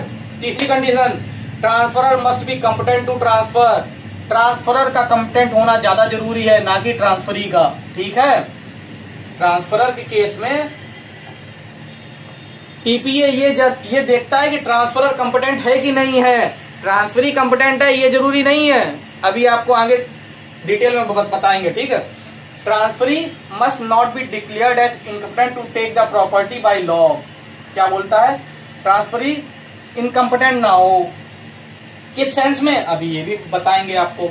Other legal formalities like execution registration attestation must be complied with अगर मान लीजिए गिफ्ट कर रहे हैं, अगर मान लीजिए आप सेल कर रहे हैं तो सौ से ऊपर की प्रॉपर्टी हुई, अगर मूवेबल प्रॉपर्टी इमूवेबल प्रॉपर्टी है सौ से ऊपर की तो उसका रजिस्ट्रेशन ज़रूरी है, ठीक है? और अगर आप गिफ्ट कर रहे हैं तो अटेस्टेशन भी ज़रूरी है। तो ये सब चीज़ें अगर ज़रूरी है तो इन सबको भी फॉलो करना पड़ेगा। चलिए, अब इसमें जरा देखते हैं। देखिए, अब ट्रांसफरर जो है, वो कंप्टेंट होना चाहिए। इसका मतलब क्या है कि ट्रांसफरर मस्ट भी वो सेक्शन इलेवन को फॉलो करना चाहिए। ठीक? क्या है? कि वो मेजर हो, ठीक? माइनर ना हो साउंड माइंड हो अनसाउंड ना हो, ठीक है? ये सब चीज़ें होनी चाहिए। लेकिन ट्रांसफरी के केस में ट्रांसफरी के केस में ज़रूरी नहीं है कि वो ट्रांसफरी जो है माइनर भी चलिए इसके बारे में देखते हैं। ट्रांसफरी जो है माइनर भी हो सकता है अनसाउंड माइंड भी हो सकता है। तो आप कहेंगे, इसका मतलब क्या है? Not be declared as incompetent law में ना इनकम्पिटेंट उसे किया गया हो। जैसे कि आप इसी का सेक्शन पीपीए का सेक्शन 136 देखें, क्या दिया हुआ है उसमें? उसमें ये दिया हुआ है कि एक्सनेबल क्लेम के केसेस में जो कोर्ट ऑफ़ जस्टिस से जो लोग रिलेटेड होंगे, जैसे कि जजेस एडवोकेट ये सब लोग एक्सनेबल क्लेम में ट्रांसफरी नहीं बन सकते। 136 एक बार देखिएगा हेडिंग आप, क्या दिया हुआ है? क्या है heading in incapacity of officers connected with the court of justice in case of actionable claim ठीक है? क्यों? क्योंकि भाई मना किया गया है 136 में। तो इस टाइप के लोगों को इसमें मना किया गया ना कि ये बोला गया है कि वो कंप्टेंट पर्सन हो। ठीक है? कंप्टेंट होने की कोई ज़रूरत नहीं है। तो इसका कहने का मतलब है कि माइनर अनसाउंड माइंड ये लोग क्या हो सकते हैं? ये लोग परचेजर भी हो सकते हैं। ठीक है? डोनी भी हो सकते हैं, ठीक है? मॉडगेजी भी हो सकते हैं, इसमें कोई दिक्कत नहीं है। ये सब बन सकते हैं, ठीक? चलिए, और अदर फॉर्मेलिटीज हम लोग देख लिए। इसमें एक केस और था। कौन सा केस था भाई? मलिका अर्जुना। मलिका अर्जुना वर्सेस मरियप्पा। दो 2008 का केस है, ठीक है? इसमें क्या हुआ था? इसमें एक आदमी ने अपने बेटे के नाम से प्रॉपर्टी ली, माइनर सन था, उसके नाम से प्रॉपर्टी ली, ठीक? और कुछ टाइम बाद उसने वो प्रॉपर्टी बेच दी। जैसे कि आपको पता होगा कि अगर माइनर के नाम पर प्रॉपर्टी है और उसका गार्जियन, चाहे लीगल गार्जियन हो, चाहे कोई भी अगर उसको बेचता है तो उसे कोर्ट की परमिशन लेनी पड़ती है under section eight of minority and guardianship act, ठीक? लेकिन उन्होंने कोई परमिशन नहीं ली, ऐसे ही बेच दी। तो कोर्ट ने कहा, नहीं वॉइड है, ठीक है? ये सेल जो है, ये ट्रांसफ़र वॉइड है. चलिए, और तो इसमें कुछ है नहीं। समझ में आया कि नहीं सेक्शन सेवन चलिए चलिए सेक्शन एट देखते हैं। Operation of transfer section eight क्या बोलता है? कि ऑपरेशन ऑफ़ ट्रांसफ़र कि अगर ट्रांस कहने का मतलब है कि जब ट्रांसफ़र होगा तो उसका इफ़ेक्ट क्या होगा? ठीक है ऑपरेशन ऑफ़ ट्रांसफ़र में आप सेक्शन एट में ये भी डाल लीजिए इफ़ेक्ट ऑफ़ ट्रांसफ़र कि अगर हम प्रॉपर्टी ट्रांसफ़र करते हैं तो उसका इफ़ेक्ट क्या होगा? लिख लिया आपने? लिखिए ऑपरेशन ऑफ़ ट्रांसफ़र में आप लिख लीजिए अलग से इफ़ेक्ट ऑफ़ ट्रांसफ़र क्या होगा? चलिए इसको रीड मारते हैं।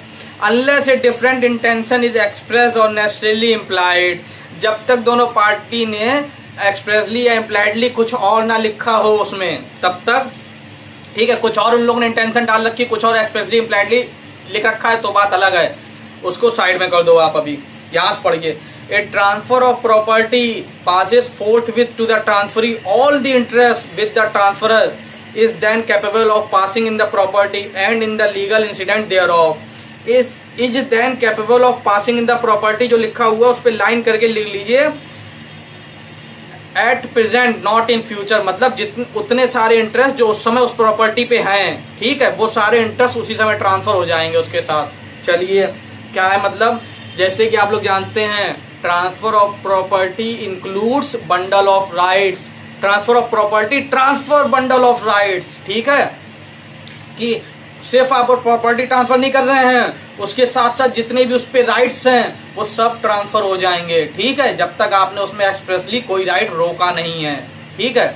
अगर आप एक्सप्रेसली कोई राइट रोक लेते हैं कि नहीं, हम प्रॉपर्टी तो ट्रांसफ़र कर रहे हैं, लेकिन इस कंडीशन के साथ, ठीक है? ऐसा नहीं है तो तो फिर सारे राइट ट्रांसफ़र हो जाएँगे। ठीक? क्योंकि transfer of property also includes transfer of bundle of rights ठीक? चलिए and in legal incident thereof चलिए, पहला पढ़ते हैं। सच इंसिडेंट इंक्लूड अब वो वो जो लीगल इंसिडेंट है, वो क्या क्या होंगे? Where the property is land अगर प्रॉपर्टी कोई लैंड है the easement annex thereto अगर उस पर कोई इजमेंट्री राइट है, वो भी ट्रांसफ़र हो जाएगा। इजमेंट्री राइट क्या है? बताइए। पढ़ाया था मैंने सेक्शन सिक्स में। सेक्शन सिक्स का क्लाउज सी देख लेना। अगर मेरा लेक्चर देखा हो तो वो देख लेना। अगर कोई लैंड ट्रांसफ़र कर रहे हैं तो लैंड के साथ साथ उसमें जो ईजमेंट्री राइट होगा, वो भी ट्रांसफ़र हो जाएगा। उसके साथ साथ rent and profit thereof acquiring after the transfer अगर उस प्रॉपर्टी से लैंड वो रेंट या प्रॉफिट कोई आता है तो वो भी ट्रांसफ़र हो जाएगा।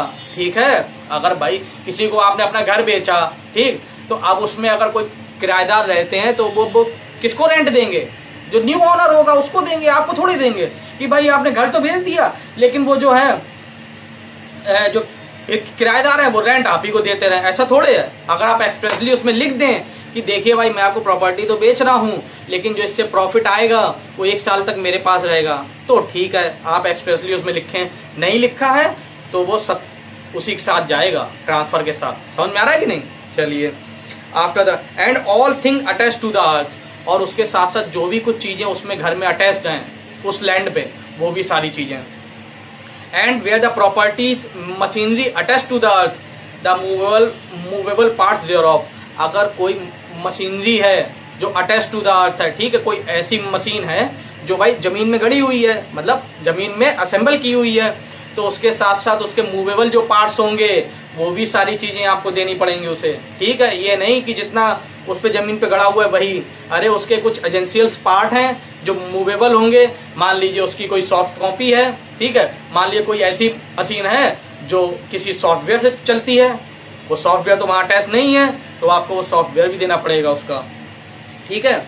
And the property is a house अगर कोई वो प्रॉपर्टी घर है the easement annex thereto, अगर उसके साथ लैंड के साथ साथ ईजमेंट राइट होता है और हाउस के साथ साथ भी ईजमेंट राइट होता है। द रेंट देयर ऑफ़, जो उसका रेंट आएगा वो भी, एंड उसका ताला, चाबी, गेट, दरवाज़ा, सब चीज़ें ट्रांसफ़र हो जाएँगी। है कि नहीं? एक घर को, अरे आप किसी घर खरीदते हैं तो ऐसा थोड़े है कि घर बेचने के बाद आप जो है, जिसने बेचा है वो गेट खोल के ले जाएगा। क्या वो विंडो खोल के ले जाएगा? ऐसा आप करने देंगे? नहीं। अरे इम्प्लाइडली है यार, घर खरीदा है उसके साथ साथ ये सारी चीज़ें उसी में रहेंगी। ये तुम थोड़े ले जाओगे उसमें से। ठीक है? फर्नीचर के साथ ये है कि फर्नीचर उसमें रहेगा कि नहीं रहेगा? ठीक है? चलिए। क्या क्या है? Locks key bars door window and all other thing provided for permanent use thereof मतलब परमानेंट यूज़ के लिए। जैसे मैंने कहा, नहीं फर्नीचर के केस में लिखना पड़ेगा उसमें। अगर नहीं लिखा हुआ है तो फर्नीचर नहीं मिलेगा आपको। ठीक है?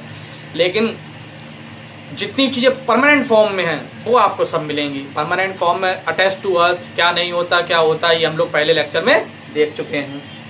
चलिए एंड वेयर द प्रॉपर्टीज़ डेप्थ और अदर एक्सनेबल क्लेम कोई भी प्रॉपर्टी अगर डेप्थ है या अदर एक्सनेबल क्लेम है the security is thereof therefor except where they are also for the depth of claim not transfer to the transferee but not arrears of interest acquired before the transfer अब क्या हुआ? अगर कोई depth या एक्सनेबल claim है तो उसके वो भी सब ट्रांसफ़र हो जाएगा, उसके साथ जो चीज़ें आएँगी, वो भी। लेकिन अगर कोई उस पर जो वो है डेप्थ पे ही कोई इंटरेस्ट है, जो ट्रांसफ़र होने से पहले का बन रहा है, ठीक है? ट्रांसफ़र होने से पहले का बन रहा है, वो ट्रांसफ़र नहीं होगा। जिस दिन से ट्रांसफ़र हो रहा है ना, उसके बाद से जितनी सारी चीज़ें उस पर इंटरेस्ट आएगा, कुछ भी ब्याज आ जाएगी, वो सब आपकी, ठीक है? उस डेट ऑफ़ ट्रांसफ़र से पहले से जितनी ब्याज है, वो सब उसी की रहेगी। चलिए। Last and where the property is money or other property yielding income the interest or income thereof acquiring after the transfer take place take effect ठीक है? अगर कोई प्रॉपर्टी कोई इनकम है या कोई मनी है, ठीक है? अब भाई, किसी को पैसा ब्याज पे दे रखा है, ठीक है? तो उसकी ब्याज आ रही है, ठीक? तो जिस दिन से ट्रांसफ़र हो रहा है ना, अगर मैंने वो पैसे ही ट्रांसफ़र कर दिया कि भाई उस पर एक लाख रुपए है और उस पर पाँच परसेंट हम ब्याज लेते हैं उससे, वो तुम ले लो, ठीक है? तो एक लाख रुपए, और जिस दिन से मैं ट्रांसफ़र कर रहा हूँ, उस दिन से उसकी ब्याज जो नया ओनर होगा, उसके पास जाएगी। ठीक? इतनी सी बात करता है। तो ये ऑपरेशन ऑफ़ ट्रांसफ़र का मतलब इफ़ेक्ट ऑफ़ ट्रांसफ़र अगर ट्रांसफ़र करते हैं तो उसका इफ़ेक्ट क्या होगा? ये बताता है। चलिए सेक्शन नाइन सेक्शन नाइन देखते हैं अभी। एक मिनट जरा लिख लें इस पे। चलिए सेक्शन नाइन देखते हैं क्या बोलता है। देखिए सेक्शन नाइन बोलता है ओरल ट्रांसफ़र एक्चुअली में बताता है कि मोड ऑफ़ ट्रांसफ़र क्या होगा ओरल होगा कि राइटिंग में होगा? भाई, कोई चीज़ ट्रांसफ़र कर रहे हैं तो उसका मोड क्या है? राइटिंग में ट्रांसफ़र करें कि ओरली बोल दें, ठीक है? तो सेक्शन नाइन की हेडिंग ज़रूर ओरल ट्रांसफ़र है, लेकिन ये मोड ऑफ़ ट्रांसफ़र बताता है। क्या है? A transfer of property may be made without writing in every case in which a writing is not expressly required by law section nine simple ये बात करता है कि देखो भाई, अगर कहीं पे भी उस ट्रांसफ़र का रजिस्ट्रेशन नहीं दिया हुआ है कि रजिस्ट्रेशन ऑफ़ मतलब कि इन राइटिंग में ट्रांसफ़र करना ज़रूरी है तो आप ओरल ट्रांसफ़र कर सकते हो। मतलब जनरल रूल ये है कि हर चीज़ ओरल ट्रांसफ़र हो सकती है एक्सेप्ट कहीं पे इन राइटिंग दिया ना हो कि भाई ये राइटिंग में ट्रांसफ़र करना पड़ेगा। ठीक?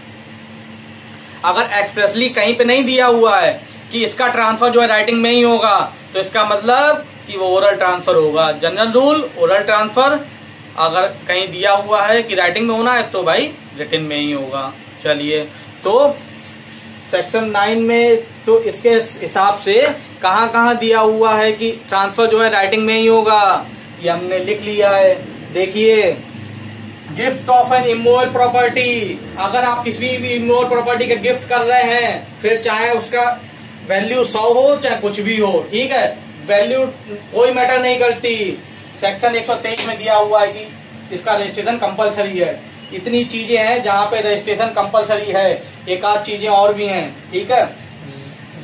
Where when registration is compulsory किस किस केस में रजिस्ट्रेशन कंपलसरी होगा?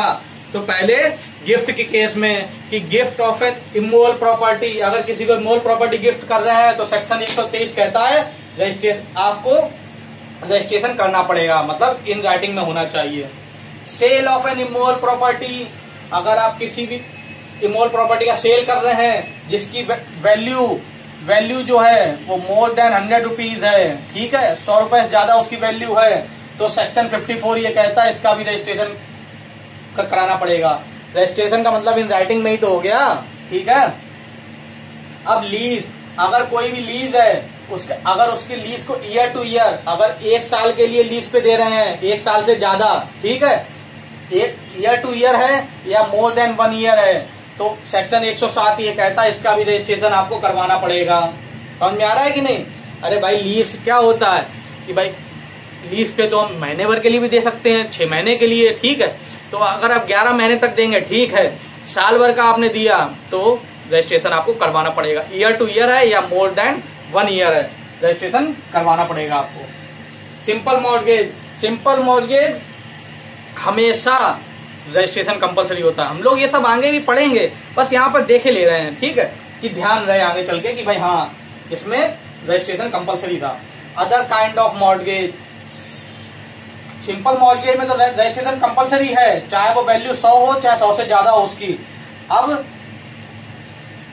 सिंपल मॉर्गेज के अलावा और सारे मॉर्गेज में रजिस्ट्रेशन तब कंपलसरी होगा जब उसकी वैल्यू सौ रुपए से ज़्यादा होगी। मतलब जिस वैल्यू जिस प्रॉपर्टी को हम सिक्योर करना चाहते हैं, उसकी वैल्यू सौ से ज़्यादा होगी।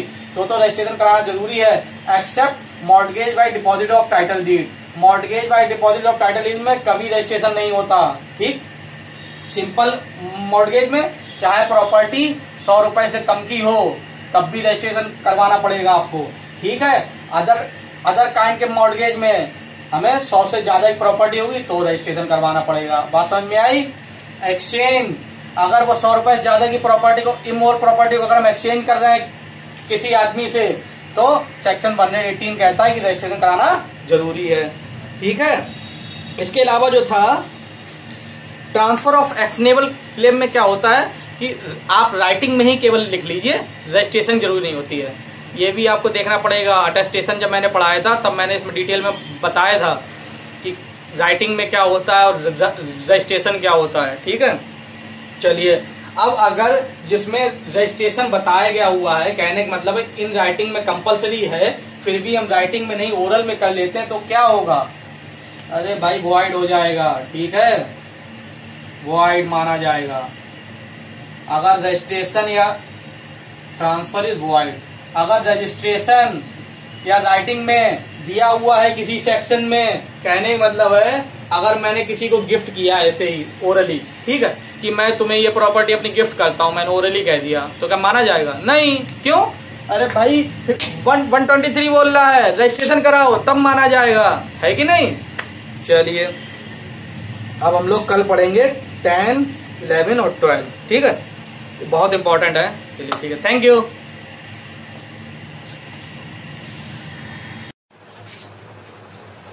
हेलो दोस्तों, कैसे हैं आप लोग?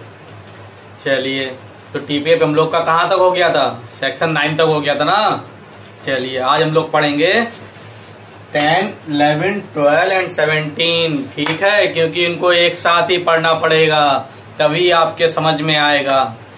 पूरा कॉन्सेप्ट जो है, ये सब इंटर रिलेटेड है आपस में, ठीक है? तो इनको हम लोग एक साथ पढ़ेंगे। समझ में तो आ रहा है ना आपके? एक बात और कि देखिए, कुछ लोगों के कमेंट आ रहे हैं कि सर सिलेबस जल्दी कंप्लीट करा दीजिए। भाई, मेरी भी कोशिश यही है कि भाई, क्योंकि सारे एग्ज़ाम की डेट्स आ गई हैं, है कि नहीं? एमपी की भी आ गई है, बिहार की भी आ गई है। तो टीपीए मेरी कोशिश ये रहेगी कि मैं जल्दी से जल्दी खत्म करा दूँ। लेकिन उसके लिए क्या करना पड़ेगा? आप लोगों को और दो, अपने दोस्तों से भी ये शेयर करना पड़ेगा। वो क्यों? देखिए, हर चीज़ के पीछे एक रीजन होता है। इसके पीछे क्या रीजन है? देखिए, अगर ज़्यादा लोग चैनल को देखेंगे, ठीक है?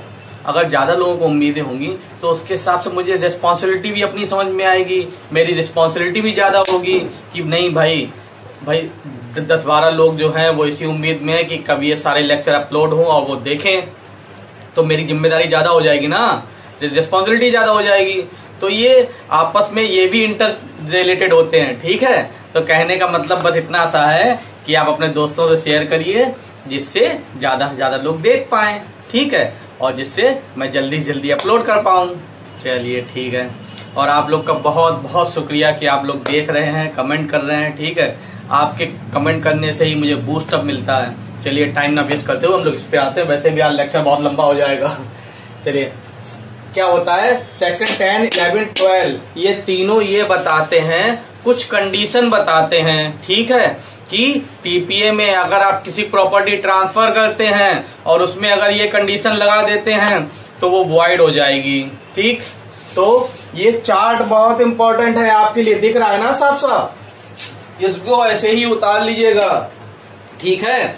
प्री के सारे क्वेश्चन मतलब आंसर आपके सब इसी में ही मिल जाएँगे, ठीक है? प्री को लेके। लेकिन मेंस के लिए थोड़ा पढ़ना पड़ेगा इसमें। चलिए, इसको हम लोग डिटेल में भी अभी देखेंगे, पहले इसको हम लोग देख लेते हैं। क्या मैंने हेडिंग लिखी है? Effect of some condition subsequent effect of some condition subsequent कि भाई, अगर कोई कंडीशन सब्सिक्वेंट लगा दी कि ट्रांसफ़र होने के बाद की कोई कंडीशन हम लगा रहे हैं तो उसका इफ़ेक्ट क्या होगा? यही ये सेक्शन बताते हैं। कौन कौन टेन इलेवन ट्वेल्व और सेवनटीन ठीक है? चलिए। सेक्शन टेन क्या बोलता है? सेक्शन टेन ये बोलता है कंडीशन रिस्टेनिंग एलिनिएशन क्या है?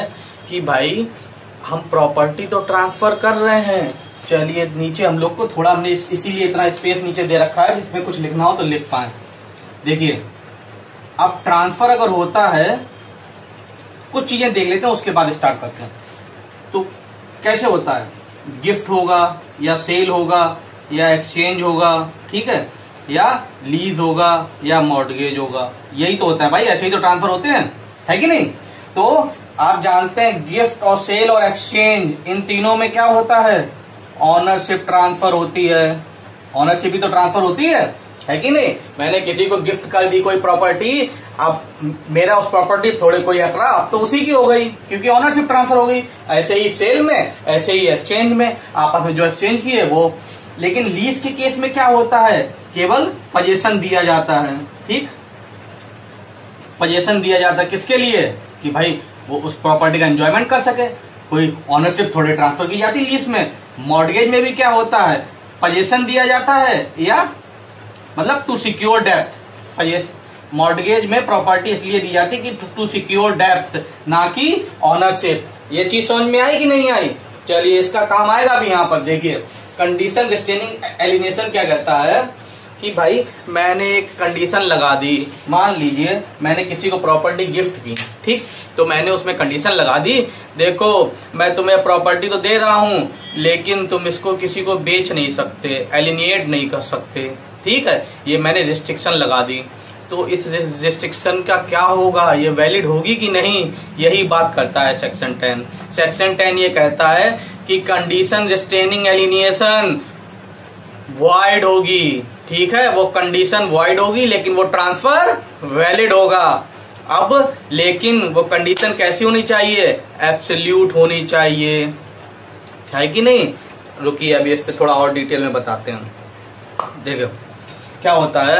अगर मैंने किसी चीज़ पे एब्सोल्यूट रिस्ट्रिक्शन लगा दिया कि मैं अपनी प्रॉपर्टी आपको सेल कर रहा हूँ या गिफ्ट कर रहा हूँ, लेकिन आप वो प्रॉपर्टी ट्रांसफ़र नहीं कर सकते, किसी और को नहीं बेच सकते।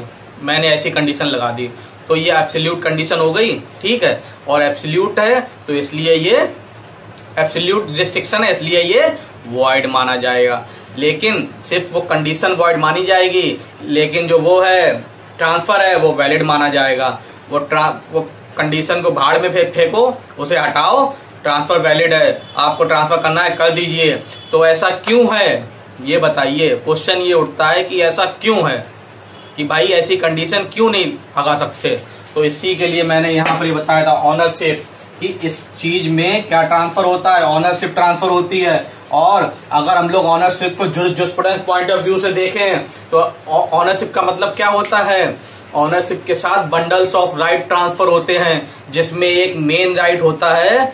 ऑनरशिप इंक्लूड्स बेसिक ठीक है? Ownership includes right to dispose of ठीक है? या राइट टू ट्रांसफ़र ऑनरशिप अगर किसी को ट्रांसफ़र हो रही है तो उसके साथ ये तो बेसिक राइट ज़रूर ट्रांसफ़र होंगे। कौन कौन सा? Right to dispose of the property और right to transfer the property ठीक? तो फिर अगर ये कंडीशन रिस्टेनिंग एलिनिएशन को अगर वैलिड कर देंगे तो वो इसके बेसिक प्रिंसिपल का वॉयलेशन होगा। किसका? ऑनरशिप का। है कि नहीं? चलिए तो इसीलिए ये कंडीशन रिस्टेनिंग एलिनिएशन वॉइड होता है। ये वॉइड होगा एब्सोल्युटली अगर कोई लगा दिया तो ये वॉइड हो जाएगा, ठीक? तो भाई, अब एब्सोल्युटली अगर मैं बार बार बोल रहा हूँ तो इसका मतलब कुछ ऐसा भी होता है कि अगर कोई पार्शियल रिस्ट्रिक्शन लगाया तो पार्शियल रिस्ट्रिक्शन क्या होता है? कि मैंने कहा कि भाई, देखो, तुम ये प्रॉपर्टी ट्रांसफ़र तो कर सकते हो, लेकिन सिर्फ़ इसी आदमी को कर सकते हो, सी को कर सकते हो, ठीक है? सिर्फ़ सी को कर सकते हो। तो कहने का मतलब ये है कि अगर पार्शियल रिस्ट्रिक्शन है तो वो वैलिड हो सकता है। अदरवाइज़ अदरवाइज़ इन फ्यूचर वो आपस, वो एब्सल्यूट ना हो रहा हो। अब आप कहोगे, विशाल भाई, ये क्या है? अभी समझाता हूँ इलस्ट्रेशन से आप समझिए। मान लीजिए ए ने ट्रांसफ़र की प्रॉपर्टी बी को, ठीक? ए ने बी को प्रॉपर्टी ट्रांसफ़र की इस कंडीशन के साथ, कि इस पार्शियल कंडीशन के साथ, कि तुम सिर्फ़ अगर बेचना चाहोगे तो सिर्फ़ सी को बेच सकते हो, ठीक है? तो अब इन फ्यूचर में अगर सी ने लेने से मना कर दिया प्रॉपर्टी अब वो बेचना चाहता है, लेकिन सी खरीदना नहीं चाहता, ठीक? तो ये कंडीशन क्या हो जाएगी? ये देखने में तो पार्शियल है कि भाई बेच सकता है, लेकिन सी को बेच सकता ठीक? लेकिन अब सी खरीद नहीं रहा तो ये एब्सोल्यूट हो जाएगी, और जैसे ही ये एब्सोल्यूट हो जाएगी, तभी वो वॉइड हो जाएगा। है कि नहीं? चलिए, एक और इलस्ट्रेशन एक और देखते हैं। जैसे कि मान लीजिए, आदमी बहुत होशियार है, ठीक है? वो इसका तोड़ ढूंढना चाहता है कि कैसे मैं प्रॉपर्टी किसी को ट्रांसफ़र भी कर दूँ, और उसके ऊपर कंडीशन भी लगा दूँ। तो वो क्या करता है? वो कहता है, देखो, मैं तुम्हें ये प्रॉपर्टी ट्रांसफ़र तो कर रहा हूँ, बेच तो रहा हूँ, या आपको गिफ्ट तो कर रहा हूँ, लेकिन अगर आप इसे बेचोगे तो आपको एक करोड़ रुपए की बेचनी पड़ेगी, जबकि उसकी वैल्यू कितनी है? मान लीजिए एक लाख. तो उसने ये कंडीशन लगा दी कि ये ज़रूर एक लाख की है, लेकिन अगर तुम बेचोगे तो कम से कम इसे एक करोड़ की बेचना, उससे कम में नहीं बेच सकते। उसने ऐसी कंडीशन लगा दी। तो ये कंडीशन क्या होगी? बताइए। वॉइड होगी। क्यों? क्योंकि इतने हाई प्राइस में कोई लेगा नहीं। कोई लेगा नहीं। तो फिर इसका मतलब ये राइट टू ट्रांसफ़र का वॉयलेशन है। मतलब राइट टू ऑनरशिप का। भाई ऑनरशिप का मतलब क्या है? कि उसके पास ट्रांसफ़र करने का भी राइट है। अब आप डायरेक्टली नहीं, लेकिन इनडायरेक्टली तरीके से वो क्या कर रहे हो? उसको रोक रहे हो। है कि नहीं? अब दूसरी कंडीशन लगा दी। या मैंने कहा कि एक लाख की प्रॉपर्टी है। अगर मैं उसे कम रेट में करवा दूँ समझ में आ रहा है कि नहीं आ रहा? थोड़ा कंसंट्रेट हो गया आप समझिए, सब समझ में आएगा। पहले, अब देखो वो क्या चाहता था, ये क्या चाहता है कि ये प्रॉपर्टी मैं इसे दे भी दूँ और ये ट्रांसफ़र भी ना कर पाए? तो इसलिए उसने क्या कंडीशन लगाई? कि यार, ऐसे इसमें कंडीशन लगा दो कि ये प्रॉपर्टी बहुत हाई रेट में इसे अगर बेचे तो हाई रेट में बेचे। क्योंकि ना वो बिकेगी, ना ये ट्रांसफ़र होगी, उसकी जो इंटेंशन है वो फुलफिल हो जाएगी। हो जाएगी कि नहीं? तो उसने लेकिन ऐसी चीज़ें भी वॉइड मानी जाएँगी। या बहुत लो प्राइस पे कर दे, ठीक है? अब लो प्राइस पे होगा। मान लीजिए आप कोई प्रॉपर्टी बेचना चाहते हैं, ठीक? अब उसकी वैल्यू मान लीजिए दस लाख है, ठीक? लेकिन उसमें कंडीशन ये लिखी हो कि अगर तुम बेचना चाहते हो तो दस हज़ार की बेचोगे। तो क्या आप कभी बेचोगे उसे? दस लाख की प्रॉपर्टी आप कभी दस हज़ार में बेचोगे? नहीं बेचोगे। है कि नहीं? तो इसीलिए वो कंडीशन भी क्या हो जाएगी? वॉइड हो जाएगी। ये सारी चीज़ें प्रामा फेसाई देखने में कैसे लग रहे हैं कि ये पार्शियल रिस्ट्रिक्शन है, लेकिन आगे चल के ये एब्सोल्यूट रिस्ट्रिक्शन हुए जा रहे हैं। अगर ये एब्सोल्यूट रिस्ट्रिक्शन हो रहे हैं तो फिर ये वॉइड होगा। ठीक? चलिए। वॉइड हमेशा कंडीशन होती है ट्रांसफ़र वॉइड नहीं होता। अब मान लीजिए मैंने किसी से प्रॉपर्टी खरीदी, उसने एक कंडीशन लगा के दी। तो वो कंडीशन वॉइड है, लेकिन ट्रांसफ़र वैलिड है। कंडीशन को साइड में हटाओ प्रॉपर्टी में बेच दूँगा। है कि नहीं? वो कंडीशन कुछ नहीं कर पाएगी। क्यों? कि वो कंडीशन अपने आप में ज़ीरो है, शून्य है, उसकी कोई वैल्यू नहीं है। ठीक? चलिए। अब इसमें एक केस है, मोहम्मद रजा अब्बास। इसी में टेन हम लोग अभी टेन ही देख रहे हैं ना? Mohammad Raza Abbas. Versus Mohammad Raza versus Abbas Bibi. क्या हुआ था इस केस में? इस केस में ये हुआ था कि कोर्ट ने ये कहा था कि अगर कोई ये कंडीशन लगाता है कि ये प्रॉपर्टी आप ट्रांसफ़र तो कर सकते हैं, लेकिन सिर्फ़ फैमिली मेंबर्स को ही ट्रांसफ़र कर सकते हैं। तो कोर्ट ने इसमें कहा था, देखिए, ये प्रामा फेसाई तो ये क्या है? पार्शियल रिस्ट्रिक्शन है। और ये पार्शियल रिस्ट्रिक्शन ही माना जाएगा, लेकिन ये कोई जनरल रूल नहीं है। मतलब इन फ्यूचर अगर मान लिया घर वाला कोई लेना नहीं चाहता, ठीक तो फिर उसके पास अधिकार है कि वो किसी और को बेच सकता है। लेकिन उससे पहली पहली कंडीशन यही फुलफिल करनी पड़ेगी कि घर वालों को ही बेचे फैमिली मेंबर्स को ही बेचे, ठीक है? उन्होंने कहा था कि देखो, ये ठीक है पार्शियल रिस्ट्रिक्शन है, लेकिन कोई जनरल रूल नहीं है ये, है, कि भाई कि सिर्फ़ फैमिली मेंबर्स को ही बेच सकते हो। फ़र्स्ट कंडीशन उन्हें दोगे, पहले आप उन्हीं से पूछोगे, वो ना खरीदे तो कहीं और बेच दो। जाए कंडीशन कौन सा केस है? मोहम्मद रजा वर्सेस अब्बास बीबी चलिए, समझ में आया कि नहीं है अब क्या है? सेक्शन टेन के मैंने दो एक्सेप्शन यहाँ पर लिखे हुए हैं। पहला लीज और दूसरा where properties transfer for benefit of married women अब पहला देखिए, इसके एक्सेप्शन क्या है? लीज भाई लीज के केस में पोजीशन ट्रांसफ़र होता है, ठीक है? तो इसमें कोई ऑनरशिप तो ट्रांसफ़र हो नहीं रही ऑनरशिप ट्रांसफ़र नहीं हो रही तो राइट टू ट्रांसफ़र का वॉलेशन नहीं हो रहा तो लीज का केस यहाँ पर ठीक है ठीक है? दू, दूसरा when property is transfer for benefit of married women इसमें क्या है? ये पहले इसको आप रीड मारिए फिर आपको समझाते हैं। ठीक है? सेक्शन टेन रीड मारिए। Where the property is transfer subject to a condition or limitation absolutely restraining absolutely restraining पे गोला कर लीजिए। The transferee or any person claiming under him from parting with or disposing of his interest in the property the condition or limitation is void void पे भी गोला कर लीजिएगा। Except in the case of lease पहला हो गया। Accept पे मतलब एक्सेप्शन डालीजिए पहला लीज दूसरा प्रॉपर्टी में be transfer to for the benefit of a women not being a Hindu Mohammedan or Buddhist so that she shall not have power during her marriage to transfer the देखिए, इसमें क्या हुआ था? अब आप थोड़ा पीछे जाइए और ये सोचिए कि ये एक्ट कब का है? 1882 का है ना? तो उस समय अब ये बोल रहा है कि मैरिड वुमेन जो कि हिंदू ना हो, मुस्लिम ना हो, बुद्धिस्ट ना हो। अरे तो भाई 1882 में हिंदू, मुस्लिम और बुद्धिस्ट को छोड़ के कौन था? क्रिश्चियन थे, क्रिश्चियन लोग कौन थे? वो सब जो इंग्लैंड से आए थे इंग्लिश मैन ठीक है? तो उन्होंने ये रिस्ट्रिक्शन लगा दी किसके ऊपर? कि भाई इंग्लिश वुमेन जो होगी, जो क्रिश्चियन वुमेन होगी, उसके ऊपर रिस्ट्रिक्शन लग सकती है कि जब तक वो मैरिड है, तब तक वो प्रॉपर्टी ट्रांसफ़र नहीं कर सकती, उसके ऊपर हम रिस्ट्रिक्शन लगा सकते हैं। ठीक है? तो ये इस इंटेंशन से ये चीज़ जोड़ी गई थी, ठीक? मैरिड वुमेन ये कोई इंडियन वुमेन के लिए नहीं जोड़ी गई थी। ठीक है? चलिए, इतनी बात समझ में आई सेक्शन टेन चलिए, अब इलेवन देखते हैं। और तो कुछ इसमें है नहीं। ना समझ में आए तो एक बार लेक्चर पीछे बैक करके फिर से सुन लीजिएगा, समझ में आ जाएगा। इलेवन क्या बोलता है? Restriction repugnant to interest created अब इसमें आप लिख लीजिए restriction in enjoyment of property क्या? नहीं सॉरी सॉरी हाँ हाँ।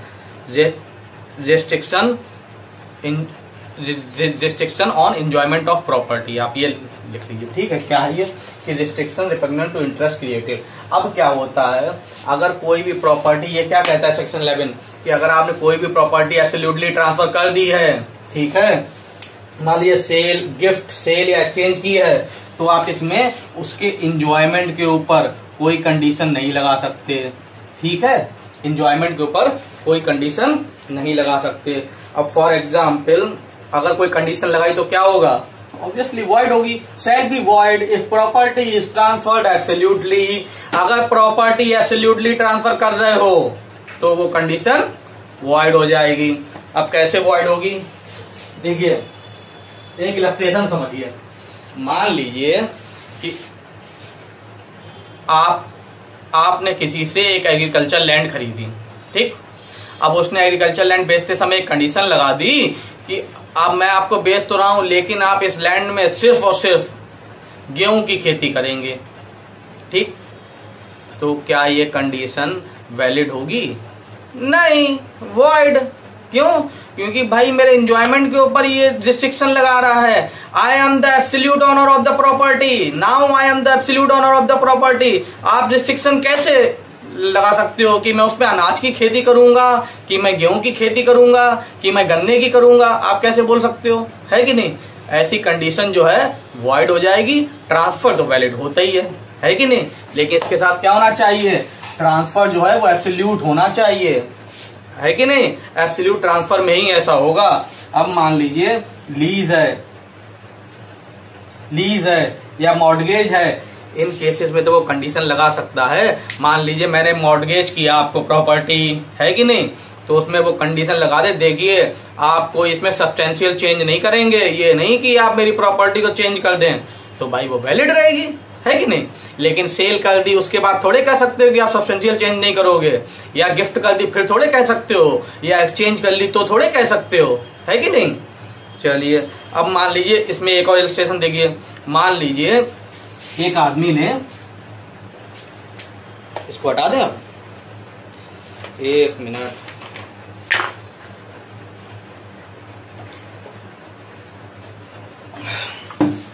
मान लीजिए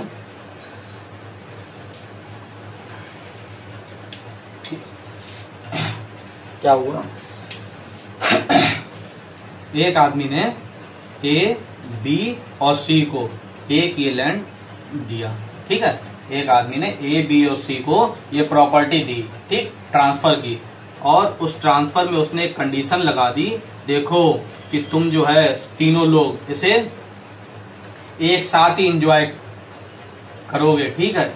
कि तुम तीनों को ज्वाइंटली रहना पड़ेगा इस इस प्रॉपर्टी में। आप इसको सेपरेट नहीं कर सकते। सेपरेट नहीं कर सकते। पार्टीशन नहीं कर सकते। उसने कहा पार्टीशन नहीं कर सकते। क्या हुआ? फिर से समझिए, एक आदमी ने ए बी और सी को एक प्रॉपर एक लैंड दी, ठीक है? और ये कहा कि आप इस प्रॉपर्टी को ज्वाइंटली ही इंजॉय कर सकते हैं। इसमें पार्टीशन नहीं कर सकते कि अलग अलग पार्टीशन करके रहने लगो। अब ये क्या चाहते हैं? ये पार्टीशन करना चाहते हैं तो क्या ये कर सकते हैं? ऑब्वियसली कर सकते हैं। क्यों? क्योंकि एब्सोल्यूट ट्रांसफ़र हुई है। अब ये एब्सोल्यूट ऑनर है, अब ये चाहे उसमें एक साथ रहें, चाहे अलग अलग रहें ऐसी कंडीशन क्या होगी? वॉइड हो जाएगी। ट्रांसफ़र वैलिड रहेगा।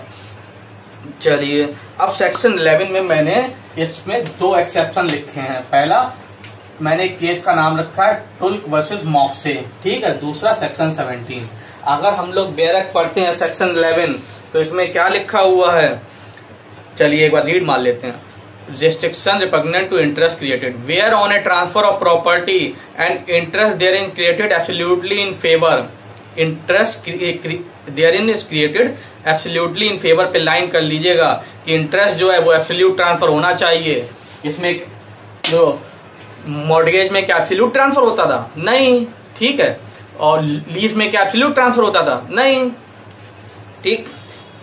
तो but the terms of the transfer direct that such interest shall be applied or enjoyed by him in a particular manner enjoyed by him in a particular manner पे line कर लीजिए he shall be entitled to receive and dispose of such interest as he were no such direction वो इस हिसाब से उस property को enjoy कर सकता है जैसे उसमें कोई डायरेक्शन नहीं दी हुई थी ठीक है जैसे एग्रीकल्चर लैंड में उसने कहा था वीट उगाओ ऐसी तैसी जाए वीट हम कुछ भी कर सकते हैं वो कंडीशन वॉइड हो गई ट्रांसफ़र तो वैलिड है ही ठीक अब इसमें कहने का मतलब है, जो नीचे जो दिया हुआ है, उसमें आप लिख लीजिए एक्सेप्शन जो अलग से ऐड किया गया है। इसमें आप देख रहे हैं where any such direction has been made ये जो दिया हुआ है, ये केस हुआ था टुल्क वर्सेस मॉक्से, उसके बाद ये जोड़ा गया था। पहले से नहीं था टीपीए में। आप देख रहे हैं क्या ये 1929 में जोड़ा गया था? तो कब जोड़ा गया था ये एक्सेप्शन ये टुल्क वर्सेस मॉक्से केस के बाद जोड़ा गया था। तो टुल्क वर्सेस मॉक्से केस में क्या हुआ था? टुल्क वर्सेस मॉक्से केस में एक आदमी का घर था, ठीक है? ये घर था एक आदमी का। तो उसके साथ साथ उसके पास ये प्लॉट भी था। घर से मिला हुआ एक लैंड भी था। तो उसने एक आदमी को ये लैंड बेचा इस कंडीशन के साथ कि वो यहाँ पर कंस्ट्रक्शन नहीं करेगा। ठीक? क्यों? क्योंकि अगर वो कंस्ट्रक्शन करेगा यहाँ पर तो उसे जो यहाँ से एयर आती है और जो यहाँ से सनलाइट आती है, वो नहीं आएगी। इस चक्कर में उसने बोला कि देखो, मैं तुम्हें लैंड तो बेच रहा हूँ, लेकिन तुम यहाँ पे कंस्ट्रक्शन नहीं करोगे। तो क्या ये कंडीशन वैलिड होगी कि नहीं? कोर्ट ने इसे एक्सेप्शन में डाला और कहा कि ऐसी कंडीशन वैलिड होगी। क्यों? क्योंकि for personal benefit of the transferor अगर कोई एडजॉइनिंग लैंड है, ठीक है, कोई एडजॉइनिंग लैंड है, और ट्रांसफरर जो है वो अपने पर्सनल बेनिफिट के लिए कोई उसमें कंडीशन लगाता है तो वो कंडीशन वैलिड होगी, ठीक? तो इसमें उन्होंने इसके एक्सेप्शन में डाल दिया। चलिए, दूसरा इसका एक्सेप्शन है सेक्शन 17 सेक्शन 12 के बैरक के लैंग्वेज में ये नहीं दिया हुआ है, उसमें अलग से लिख लीजिएगा कि सेक्शन दूसरा एक्सेप्शन जो उसमें सेक्शन 17 है। वो कैसे? अभी सेक्शन 17 समझाएँगे, तब मैं आपको बताऊँगा। पहले हम लोग 12 देखते हैं। कंडीशन मेकिंग इंटरेस्ट डिटर्मिनेबल अब क्या है ये? देखिए 12 जो है 12 के देखने से पहले हम लोग को सेक्शन 31 देखना पड़ेगा, ठीक है? 12 के ऊपर लिख लीजिए कि section 12 is an exception of section 31 ठीक? क्या लिखेंगे? 12 के ऊपर section 12 is an exception of section 31 section 31 क्या है? सेक्शन 31 एक बार आप रीड मान लीजिएगा। सेक्शन 31 जनरल रूल बताता है। देखिए 31 खोलिए। 31 condition that transfer shall cease to have effect in case of specified uncertain event happens or does not happen ये ये बताता है कि सेक्शन 31 आप ऐसे लिख लीजिए कि जनरल रूल बताता है। आप लिख लीजिए थोड़ा इस पे, वरना आप कंफ्यूज हो जाएँगे। पहले आप ये लिख लिये section 12 is an exception of section 31 ठीक है? अब लिखिए जनरल रूल ठीक है?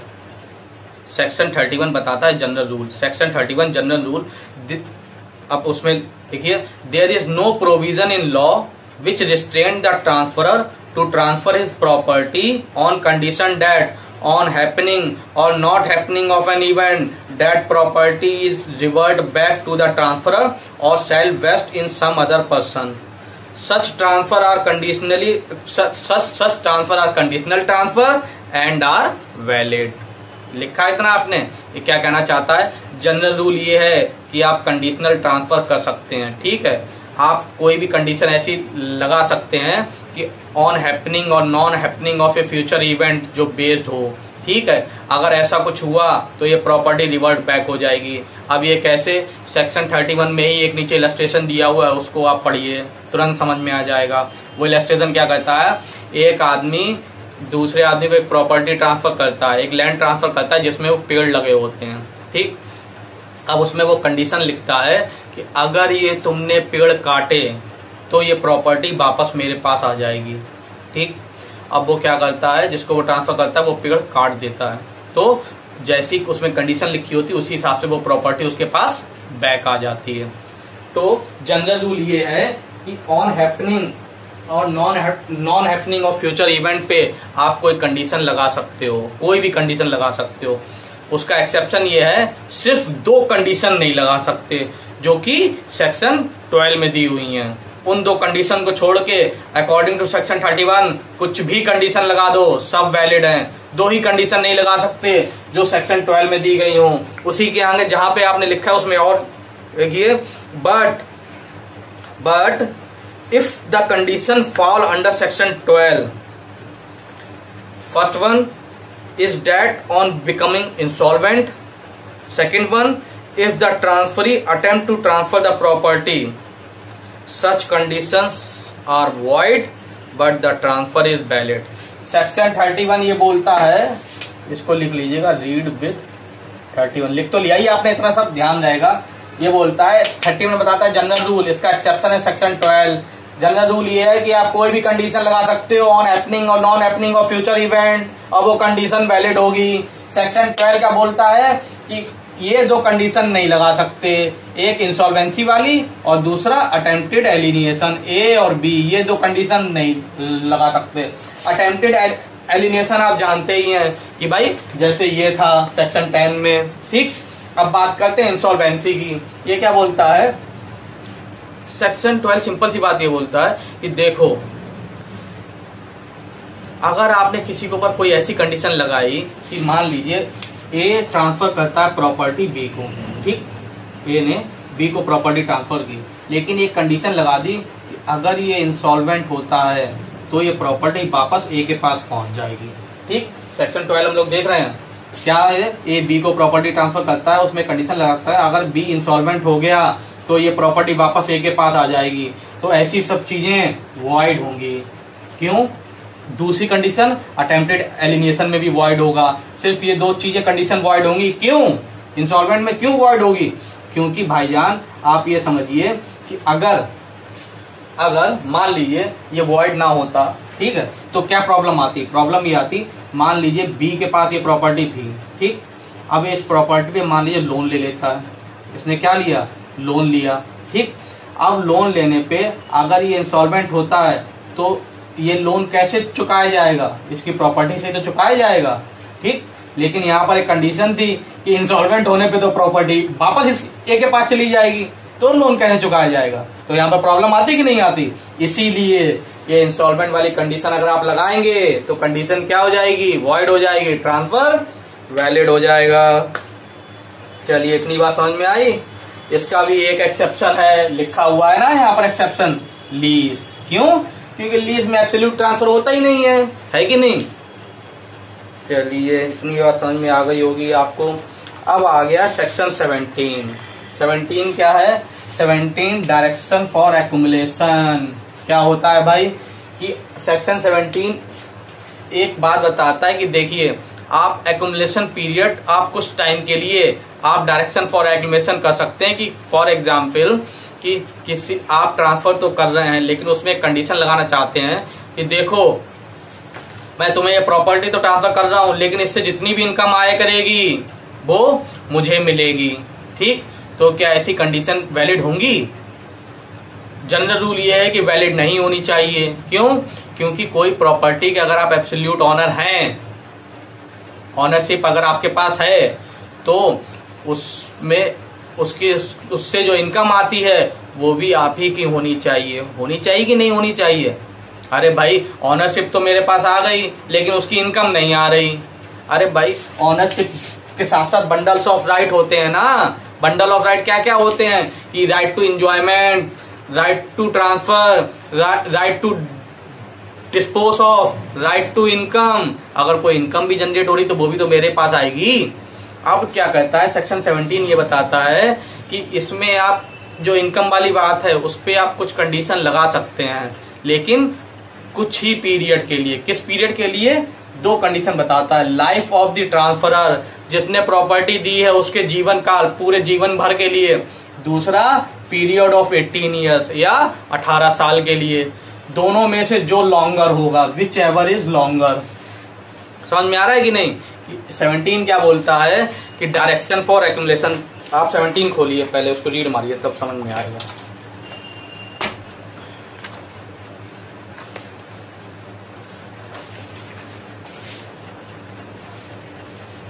सेवनटीन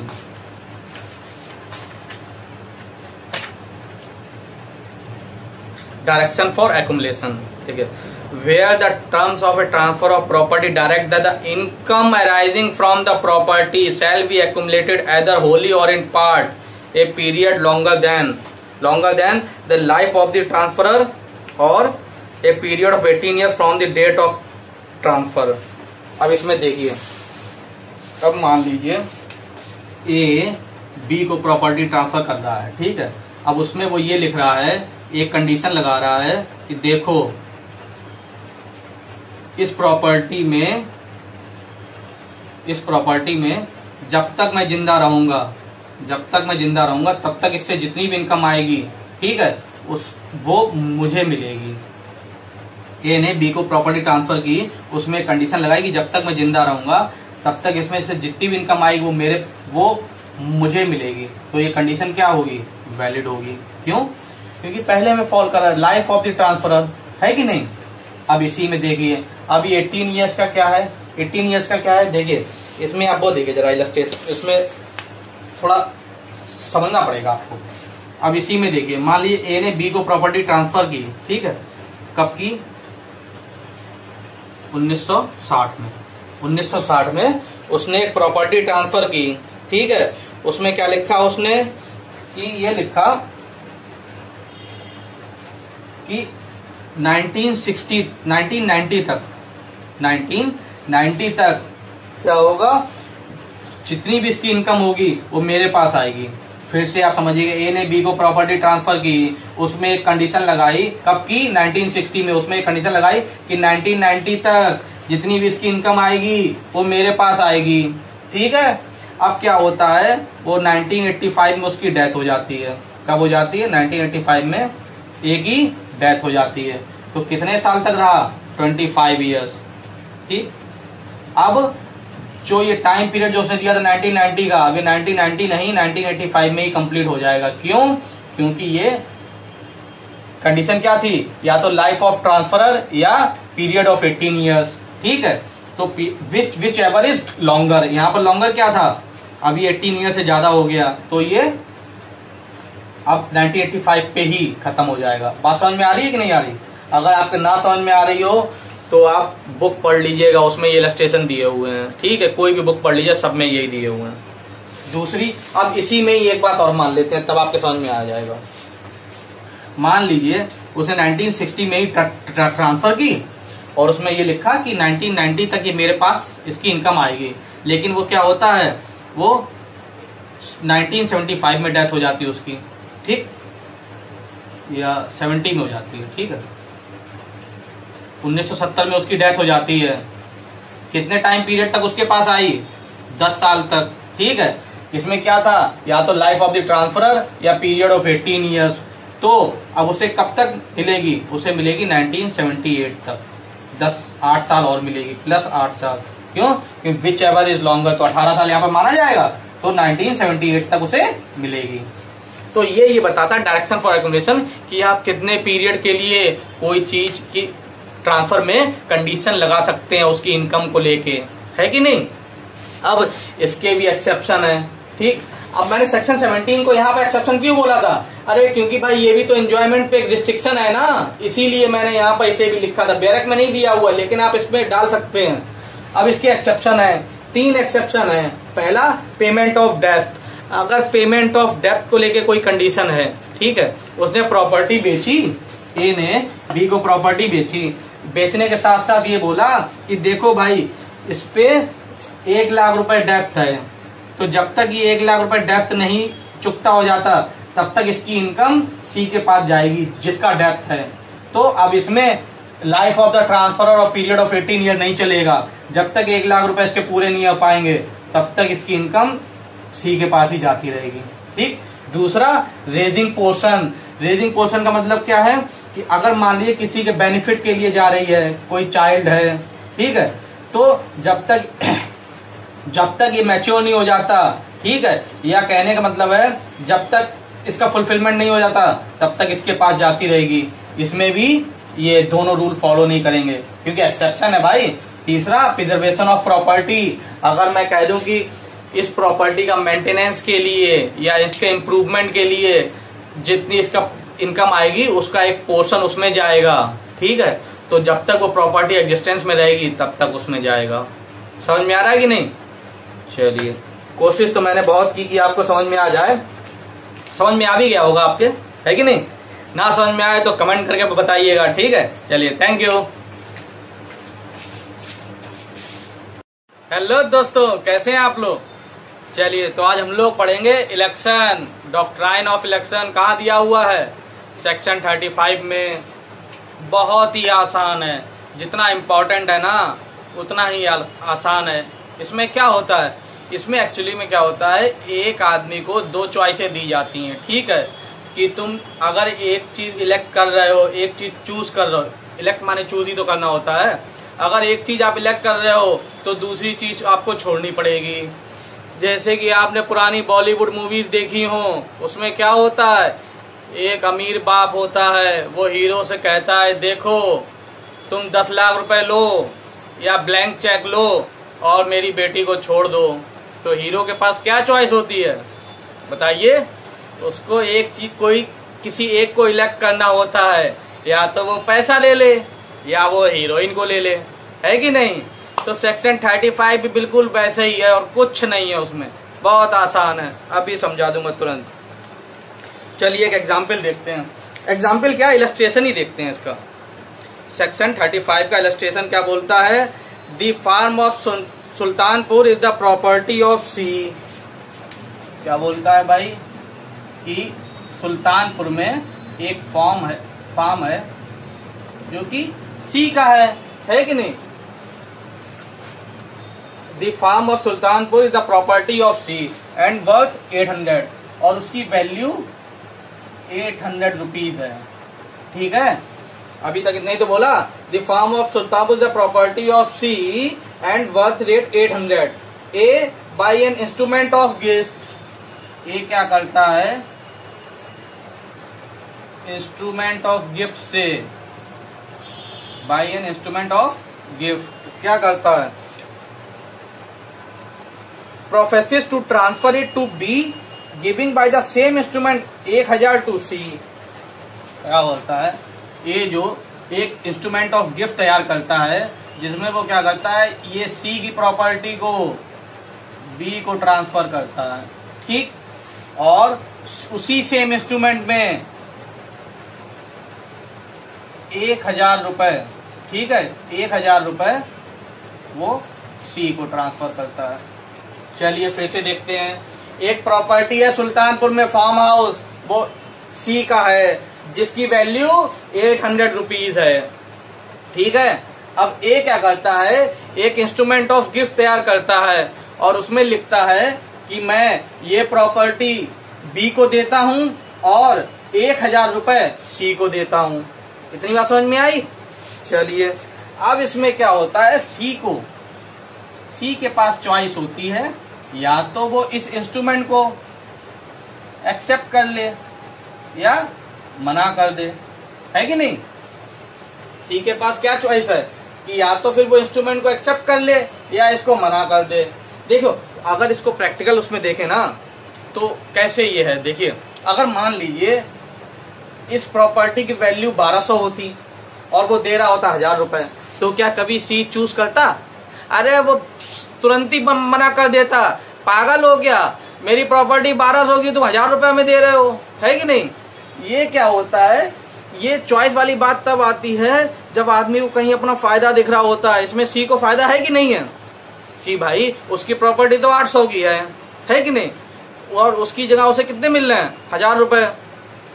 तो वो एक बात सोचेगा ना कि हाँ यार, जब यार ये कह रहा है कि ये प्रॉपर्टी तुम बी को दे दो और हज़ार रुपए मैं तुम्हें दे रहा हूँ तो वो सोचने में पड़ जाएगा कि यार, चलो यार, ऐसा करते हैं, हज़ार ही रुपए रख लेते हैं।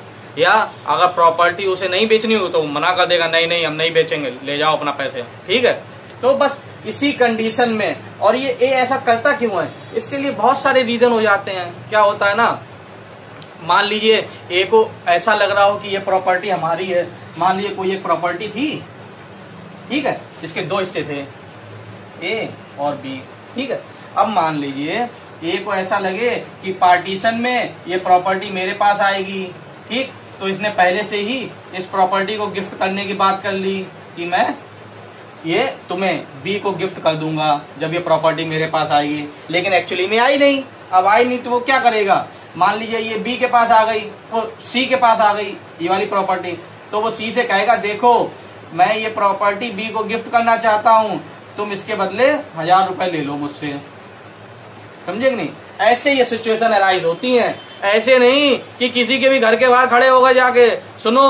और उससे तुम कहने लगे, सुनो, ये मैं मकान जो है, इसे गिफ्ट करना चाहता हूँ, ये लो पैसे, बेच दो। ऐसा थोड़े होता है।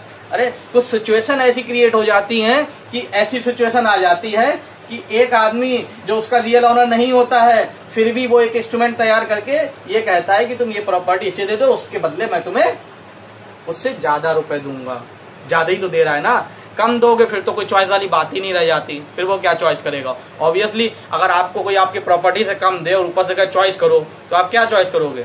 भाई, यही तो चॉइस करोगे कि हाँ भैया, मेरी प्रॉपर्टी मेरे पास रहने दो, पैसे अपने ले जाओ तुम। है कि नहीं?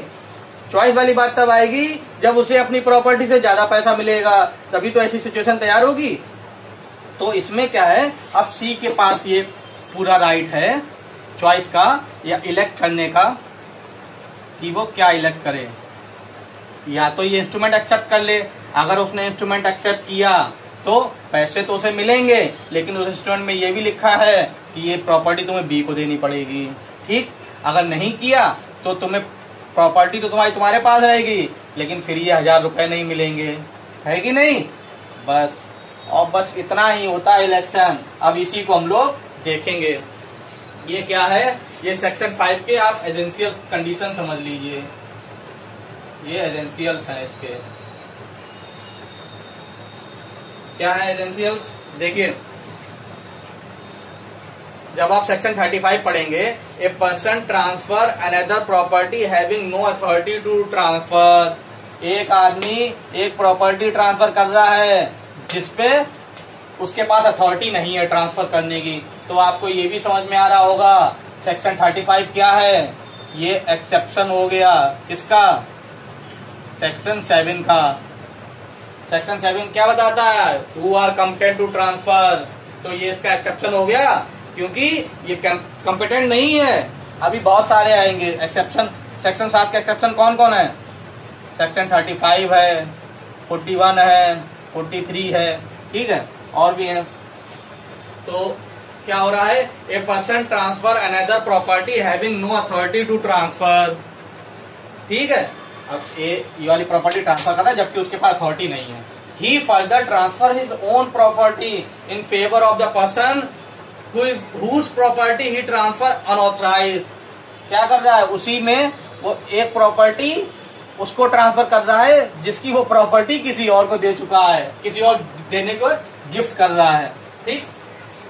Both the transfer must be in single transaction ये बहुत ज़रूरी है कि एक ही इंस्ट्रूमेंट ऑफ़ गिफ्ट में उसने दोनों बातें लिखी हो, ठीक है? जब एक ही में दोनों बातें लिखेंगी, तभी इलेक्शन वाली बात आएगी। तभी वो एक को चूज़ करने पर दूसरी चीज़ छोड़नी पड़ेगी। अगर अलग अलग डॉक्यूमेंट तैयार होंगे तो वो एक एक्सेप्ट कर लेगा, दूसरा छोड़ देगा। है कि नहीं है? हाँ तो इसीलिए एक ही इंस्ट्रूमेंट में तैयार करना होगा। Then the other person has right to तो सी के पास क्या राइट होगा? इलेक्ट या तो इसको इलेक्ट कर लो। ठीक है? The transfer in is own favour जो अपने फेवर में उसने अगर ट्रांसफ़र जो उसके फेवर में ट्रांसफ़र हो रहा है, उसके फेवर में क्या हो रहा है? हज़ार रुपए। और नॉट या हम मना कर दें, भैया, हम नहीं ले रहे। ठीक? अब दोनों ही केस में। But if he elect so he will be deprive from his own property unauthorise transfer अगर उसने हज़ार रुपए इलेक्ट कर लिए, ठीक है तो ये जो अनऑथराइज ट्रांसफ़र जो है ना, ये भी वैलिड हो जाएगा ऑथराइज ट्रांसफ़र हो जाएगा। क्यों? क्योंकि जो रियल ऑनर है ना, उसने ही कंसेंट दे दी कि भाई, ठीक है, हम पैसे ले रहे हैं, आपके ट्रांसफ़र कर दो। ठीक? चलिए, अब इसमें क्या है? इसमें कुछ चीज़ें और देखिए। मान लीजिए इसने ऐसा किया, ठीक है? यहाँ तक बात बनी अपनी। यहाँ तक बात अपनी बनी। उसके बाद क्या हुआ? अब सी जो है, कुछ बोल ही नहीं रहा। कुछ बोल ही नहीं रहा कि क्या करना है इलेक्ट करना है कि नहीं इलेक्ट करना है। तो इसका एक टाइम पीरियड भी है। क्या है भाई टाइम पीरियड देखिए टाइम पीरियड ये है, जब एक साल बीत जाएँगे, एक साल बाद, जब एक साल बीत जाएँगे तो क्या है? या तो ए ट्रांसफरर ट्रांसफरर और या इसके एलआर लीगल रिप्रेजेंटेटिव ट्रांसफरर या लीगल रिप्रेजेंटेटिव जिस दिन ये इसने इंस्ट्रूमेंट बनाया, उससे एक साल बाद इससे कह सकते हैं सी से कि यार, या तो तुम इसे इलेक्ट करो, ठीक है? या तो तुम इलेक्ट करो भाई कि क्या करना है? पैसे लोगे कि नहीं लोगे? अपना अपना मकान उसे दोगे कि नहीं दोगे? ठीक? अब मान लीजिए इसके बाद इन्होंने कहा तो अगर मान लीजिए दो साल बीत गए, ठीक है? मान लीजिए नहीं, ये टाइम पीरियड है, ठीक है? पहला टाइम पीरियड ये है कि एक साल के बाद ट्रांसफरर या उसके लीगल रिप्रेजेंटेटिव इससे बोल सकते हैं सी से, कि आप भाई इलेक्ट करिए, आपको क्या करना है, ठीक है? हज़ार रुपए लेने हैं कि अपनी प्रॉपर्टी अपने पास रखनी है।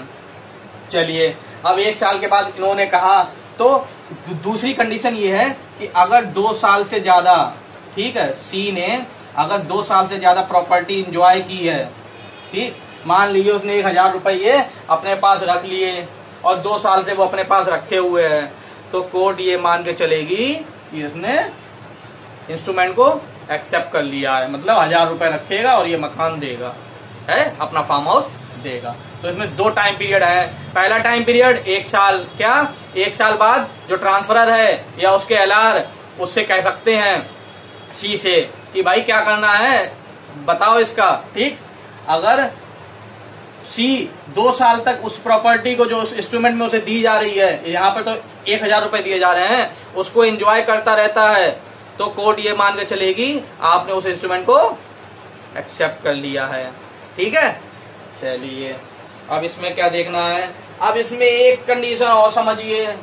अगर मान लीजिए सी ने मना कर दिया, भैया, हम नहीं ले रहे। ठीक, अपना तुम अपने पास रखो। तो बी जो है, इसको क्या मिलेगा? बी को क्या मिलेगा? भाई, इसको तो अगर ये एक्सेप्ट कर लेता तो बी को तो ये मकान मिलता। ये प्रॉपर्टी मिलती? सी जो फार्म हाउस था, वो बी को मिलता कि नहीं मिलता अगर ये एक्सेप्ट कर लेता? लेकिन इसने एक्सेप्ट नहीं किया, मना कर दिया कि मैं नहीं लूँगा हज़ार रुपए। मेरी प्रॉपर्टी मेरे पास रहेगी।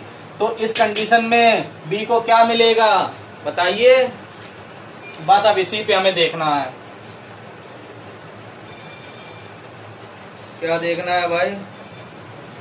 Remedies to disappointed disappointed transferee अब भाई ट्रांसफ़र ही तो डिसअपॉइंटेड हो गया ना। उसे तो पता है अरे यार, मुझे यार मकान मिलने वाला, वो फार्म हाउस मिलने वाला था सी का। अब यार उसने इलेक्ट किया नहीं, अब हमें मिला नहीं। अब मैं क्या करूँ? है कि नहीं? तो उसे क्या मिलेगा? इसमें दो बातें हैं। देखिए, अगर जो ट्रांसफ़र हो रहा है, अगर जो ट्रांसफ़र हो रहा है, वो अगर विदाउट कंसिडरेशन है। पहली बात तो ये देखना पड़ेगा कि जो वो ट्रांसफ़र कर रहा था, वो विदाउट कंसिडरेशन है कि कंसिडरेशन से दिख रहा कि नहीं?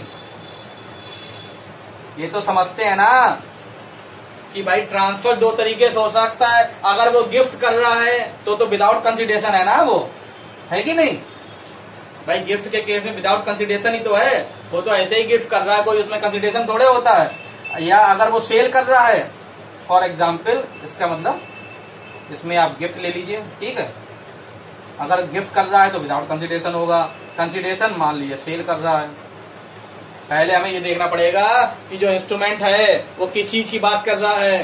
गिफ्ट है सेल है, क्या है? ये कैसे हम जानेंगे कि विदाउट कंसिडरेशन है कि कंसिडेशन है? अगर विदाउट कंसिडेशन हुआ तो इसमें दो बातें हैं।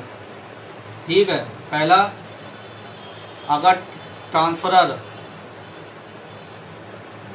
कंपिटेंट है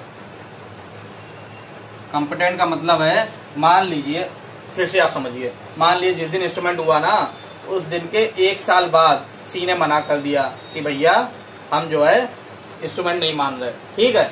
हम पैसे नहीं लेंगे, हम अपनी प्रॉपर्टी अपने पास रखेंगे। ठीक? तो इस केस में, अगर विदाउट कंसिडरेशन है, और ट्रांसफरर ए जो है, उस उस समय भी जब उसने मना किया, तब भी वो अगर कॉम्पिटेंट है तो बी को कुछ नहीं मिलेगा। ठीक है? बी गॉट नथिंग कुछ नहीं मिलेगा। अभी और डिटेल समझा देंगे। दू, एक बार और देखिए। अगर ट्रांसफरर अगर इनकम्पिटेंट है इनकम्पिटेंट का मतलब है इनकम्पिटेंट है। मान लीजिए कि वो मर गया। ठीक। तो बी को क्या मिलेगा? वैल्यू ऑफ़ दैट प्रॉपर्टी ठीक है। क्या मिलेगा? उसे उतना ही पैसा मिलेगा कंपनसेशन मिलेगा, मान लीजिए कंपनसेशन और कंपनसेशन कितना होगा? कंपनसेशन उतना होगा जितना इस प्रॉपर्टी की वैल्यू थी। अब आप फिर से इसको समझिए। देखिए, अब हम लोग बात ये कर रहे थे कि बेचारा बी जो है, जिसके नाम पे प्रॉपर्टी आने वाली थी, अब इसके मना करने से उसके पास तो कुछ आया नहीं। है कि नहीं? तो उसको क्या मिलेगा? उसके, उसको कुछ मिलेगा कि नहीं मिलेगा? हम लोग इसकी बात कर रहे हैं। तो remedies to disappointed transferee transferee B तो है यहाँ पर। बिल्कुल है। अब देखिए, अगर ये विदाउट कंसिडरेशन था ट्रांसफ़र जो इंस्ट्रूमेंट था, जो ट्रांसफ़र होने वाला था, वो अगर विदाउट कंसिडरेशन है तो उसमें हमें दो चीज़ें देखनी है कि जब जिस टाइम पे सी ने निग्लेक्ट की मतलब मना किया, उस समय अगर ए जो है तब भी कॉम्पिटेंट है तो फिर वो बी को कुछ नहीं मिलेगा। क्यों? क्योंकि भाई साहब, वो गिफ्ट में मान लीजिए ए जो है बी को क्या कर रहा था? गिफ्ट में ही तो दे रहा था। हम एक साल पहले गिफ्ट में दे रहे थे, अब वो गिफ्ट हो नहीं पाया, ठीक? क्योंकि उसने सी नहीं माना। तो यार, अगर मैं आज भी कॉम्पिटेंट हूँ तो मैं चाहूँ तो उसे फिर से दे सकता हूँ। तो वो तो मेरे ऊपर है ना, क्योंकि मैं ज़िंदा हूँ, है कि नहीं? अगर मान लीजिए ये इनकम्पिटेंट हो गया, मान लीजिए जब तक इसने इलेक्ट किया, तब तक ये मर गया। जब तक सी ने इलेक्ट किया कि उसे ये रखना है कि ये रखना है, उस दौरान ए मर गया। तो बेचारा ए क्या सोच के मरा कि चलो यार, कम से कम मैंने बी को वो मकान तो दे दिया। यही तो सोच के मरा। लेकिन मरने के बाद उसके क्या हुआ? बी को कुछ नहीं मिल रहा है। है कि नहीं? तो बेचारे की आत्मा भटकती रहेगी ये की। भटकती रहेगी कि नहीं? तो इसलिए क्या होगा? तो भाई, अगर इसके मरने के बाद, इसके इनकम्पटेंट होने के बाद सी अगर मना करता है, ठीक है तो बी को उतनी वैल्यू के कंपनसेशन दिया जाएगा। ठीक? फार्म हाउस तो दे नहीं सकते, सी मान नहीं रहा। ये तो बेचारा दे के मर गया, लेकिन एक्चुअली में बी के पास नहीं पहुँचा। अब क्या होगा? तो ए के जो एल होंगे ए के लीगल रिप्रेजेंटेटिव होंगे, उन्हें एज ए कंपनसेशन बी को आठ सौ रुपये देने पड़ेंगे। ठीक? अगर इस प्रॉपर्टी की वैल्यू एक लाख होती तो एक लाख रुपए देने पड़ते। कौन देगा?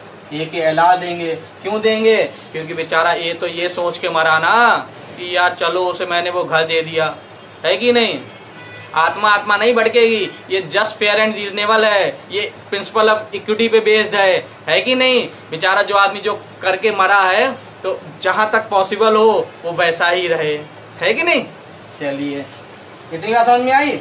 अगर कंसिडरेशन से है कंसिडरेशन से मान लीजिए सेल होता, मैं बी को बेच रहा होता बी इसके बदले मुझे आठ सौ रुपये दे रहा होता, कितना भी, मान लीजिए मैं कोई इसकी इसकी वैल्यू पाँच लाख होती, ठीक है?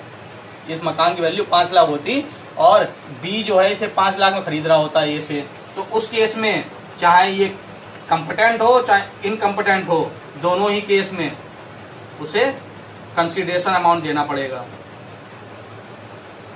कंसिडरेशन जो वैल्यू है, वो देनी पड़ेगी। कंसिडरेशन अमाउंट यहाँ पर कंसिडरेशन अमाउंट क्या होता है? भाई सेल में तो कंसिडरेशन होता है ना, कि ये ये दे रहा है फार्म हाउस पाँच लाख में। तो अगर नहीं मिल पा रहा है तो जो कंसिडरेशन अमाउंट है, वो उसे दो वापस। बस सिंपल सा है। तो कंसिडरेशन अमाउंट बी को मिल जाएगा। कभी कभार क्या होता है? कंसिडरेशन अमाउंट मानी नहीं होता है, कुछ और होता है। मान लीजिए ए सी ये वाला फार्म हाउस बी को इसलिए दे रहा हो कि बी ने इसकी बेटी से शादी की हो। है कि नहीं? इसलिए दे रहा हो। अब वो तो फार्म हाउस तो मिल नहीं पाया। ए भी मर गया। अब क्या मिलेगा बी को? तो बी को कंसिडरेशन अमाउंट क्या हो जाएगी? जितनी इस फार्म हाउस की वैल्यू होगी, वो कंसिडरेशन अमाउंट हो जाएगी। समझ में आएगी नहीं आपके? आ गया होगा।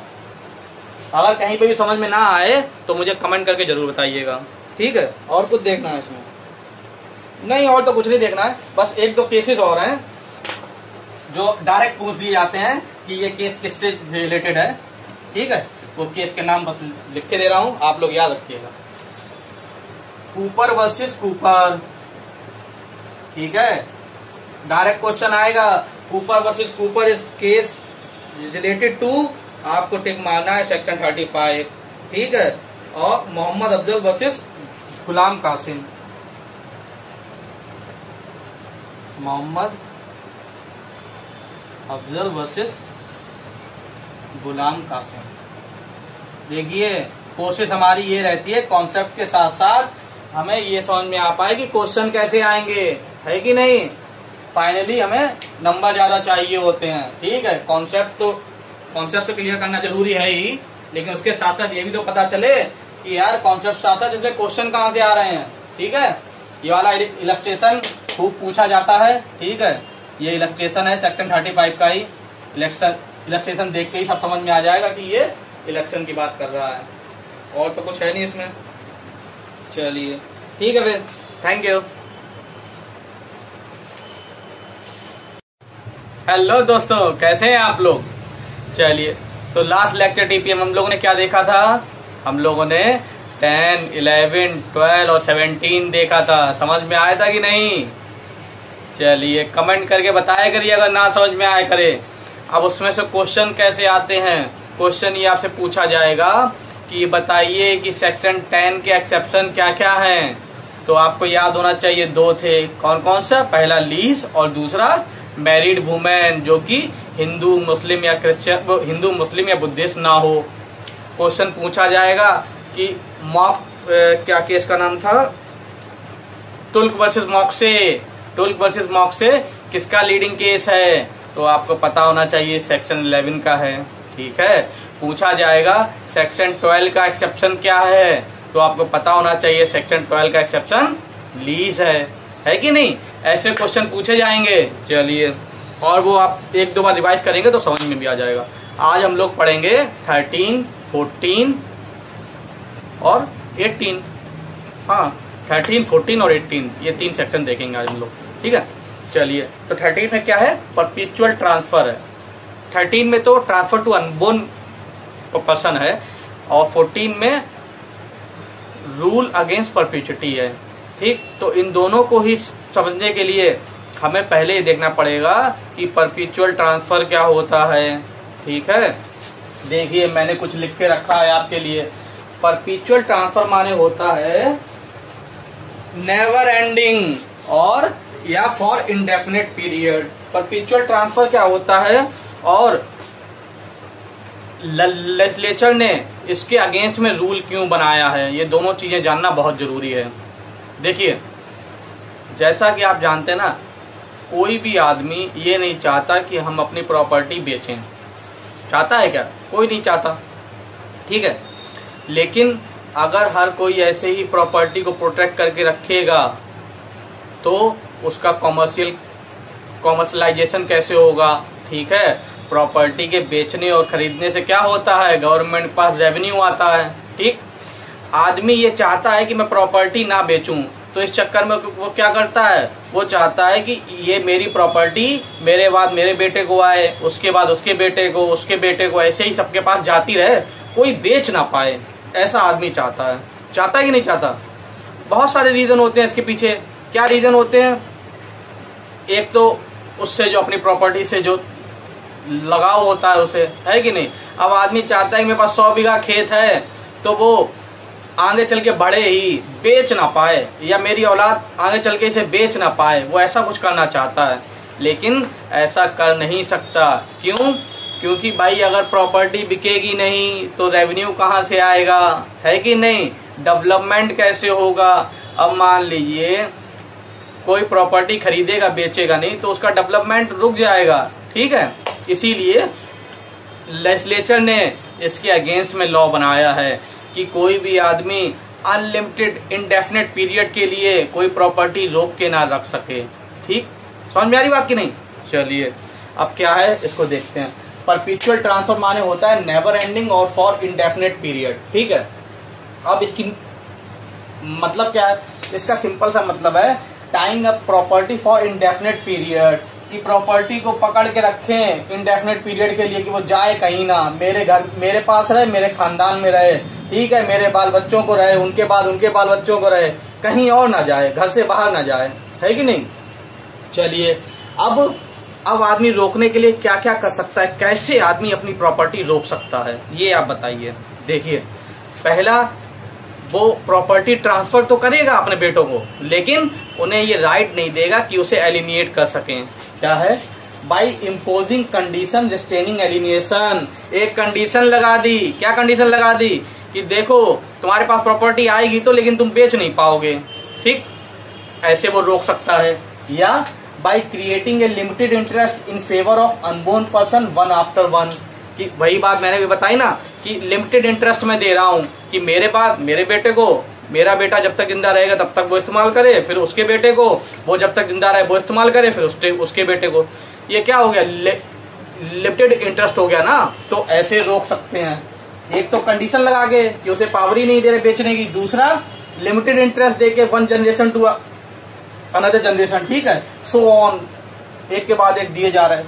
तीसरी कंडीशन ये लगा सकते हैं by restraining vesting of interest vesting of interest in favour of unborn person under section thirteen even after attaining his majority कहने का मतलब है अनबोर्न पर्सन के पास जाएगी तो लेकिन वो मेजर वो मेजर होने के बाद भी उसे ना बेच पाए। है कि नहीं? तो यही तीन तरीके निकल के आते हैं कि जिससे आदमी प्रॉपर्टी को इनडेफिनेट पीरियड के लिए रोक के रख सकता था। है कि नहीं? तो कोर्ट ने क्या किया कोर्ट ने क्या? लेजिस्लेचर ने क्या किया? इन तीनों ही चीज़ों को प्रोहिबिट कर दिया। कंडीशन रिस्टेनिंग एलिनेशन पढ़ चुके हम लोग। कहाँ पे है? सेक्शन टेन क्या बोल दिया इसको? कि प्रोहिबिट करता है, आप नहीं कर सकते ऐसा।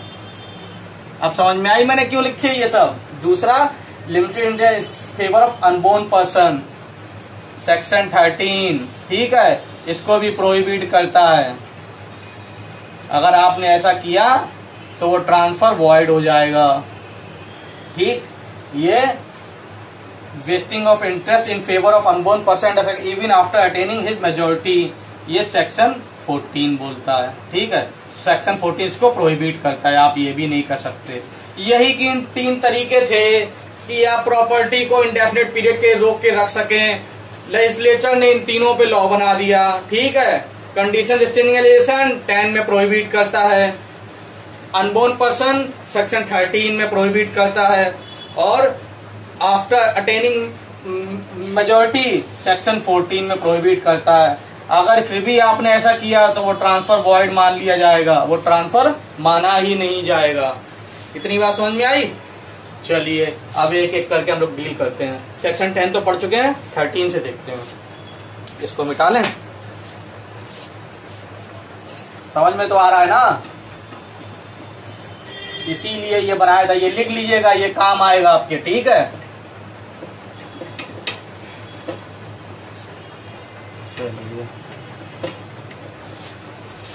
सेक्शन थर्टीन देखते हैं सेक्शन थर्टीन क्या बोलता है भाई? Transfer for benefit of unborn person transfer for benefit of unborn person क्या भाई बोलता है कि क्या आप किसी अनबोर्न पर्सन को ट्रांसफ़र कर सकते हैं? सेक्शन थर्टीन क्या बताता है? कि क्या आप किसी अनबोर्न पर्सन को, जो एग्जिस्टेंस में ही नहीं है, क्या उसको कोई प्रॉपर्टी ट्रांसफ़र कर सकते हैं? या उसके बेनिफिट के लिए उसे ट्रांसफ़र कर सकते हैं। और अगर हाँ तो कैसे? बस यही बात बताता है सेक्शन थर्टीन सेक्शन थर्टीन बोलता है, बिल्कुल आप किसी अनबोर्न पर्सन को ट्रांसफ़र कर सकते हैं, लेकिन तीन कंडीशन को फॉलो करना पड़ेगा। Three condition to be fulfilled fulfil to create an interest.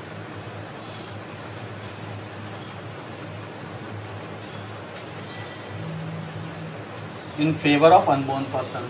क्या है भाई तीन condition? Unborn person. In favour of. बोलता है कि भाई ट्रांसफ़र तो तुम अनबोर्न पर्सन को कर सकते हो, बस आपको ये तीन कंडीशन फॉलो करनी पड़ेंगी। पहली क्या? First one no direct transfer made in favour of unborn person पहली ये कंडीशन ये है कि आप डायरेक्ट ट्रांसफ़र नहीं कर सकते अनबोर्न पर्सन को। No direct transfer can be made in favour of unborn person क्यों? क्यों नहीं कर सकते भाई?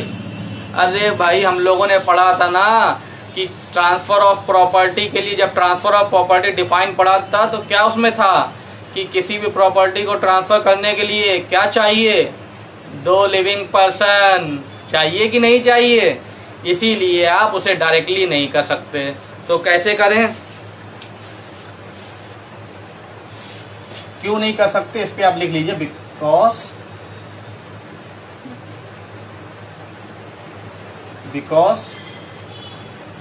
transfer require to living person at least to living person तो चाहिए ही ना। इसीलिए नहीं कर सकते। तो फिर कैसे कर सकते हैं? अरे भाई, आप किसी लिविंग पर्सन को लिविंग पर्सन को लिमिटेड इंटरेस्ट दे दें कि जब तक वो पर्सन जिसको आप, जो अनबोर्न पर्सन है, वो एग्जिस्टेंस में नहीं आ जाता, तब तक उसके पास लिमिटेड इंटरेस्ट रहे उसका। ठीक है? ये क्या? एक ब्रिज की तरह काम करेगा। ठीक है कि भाई, एक प्रॉपर्टी को एक आदमी से दूसरे आदमी के पास पहुंचाना है, सो भी उस आदमी के पास जो एग्जिस्टेंस में अभी नहीं है। तो उसके लिए एक लिविंग पर्सन को आप दे दो लिमिटेड इंटरेस्ट वो क्या करेगा? एक ब्रिज का काम करेगा कि आपकी प्रॉपर्टी और जब तक वो लिविंग पर्सन जब तक वो अनबोर्न पर्सन आ नहीं आता, तब तक के लिए उसको जोड़ने का काम करेगा। है कि नहीं? ठीक। दूसरी कंडीशन क्या है? The unborn person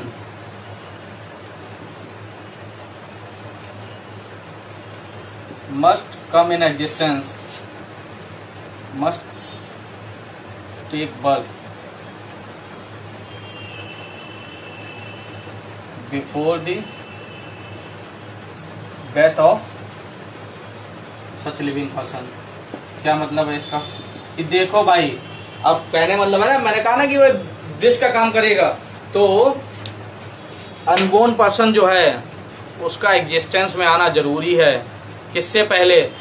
जिसको लिमिटेड इंटरेस्ट दिया है, उसके मरने से पहले। ठीक है? उसका एग्जिस्टेंस में आना ज़रूरी है। अगर एग्जिस्टेंस में नहीं आता है तो क्या होगा? इसमें दो बातें ध्यान रखिए। पहली कंडीशन क्या थी? कि हम डायरेक्टली ट्रांसफ़र नहीं कर सकते, हमें क्या करना पड़ेगा? जब तक के लिए किसी लिविंग पर्सन को लिमिटेड इंटरेस्ट देना पड़ेगा। ठीक है? दूसरी कंडीशन कि अनबोर्न पर्सन का एग्जिस्टेंस में आना ज़रूरी है, जब उसके मरने से पहले जिसके पास लिमिटेड इंटरेस्ट है। ठीक है? तो मान लीजिए, वो एग्जिस्टेंस में तो नहीं आया, उसका मतलब वो पैदा तो नहीं हुआ, लेकिन वो माँ के पेट में है तो क्या माना जाएगा? ठीक है? अगर अगर वो उसके मन उसके मरते समय इन मदर्स बॉम है, ठीक? माँ के पेट में तो क्या माना जाएगा?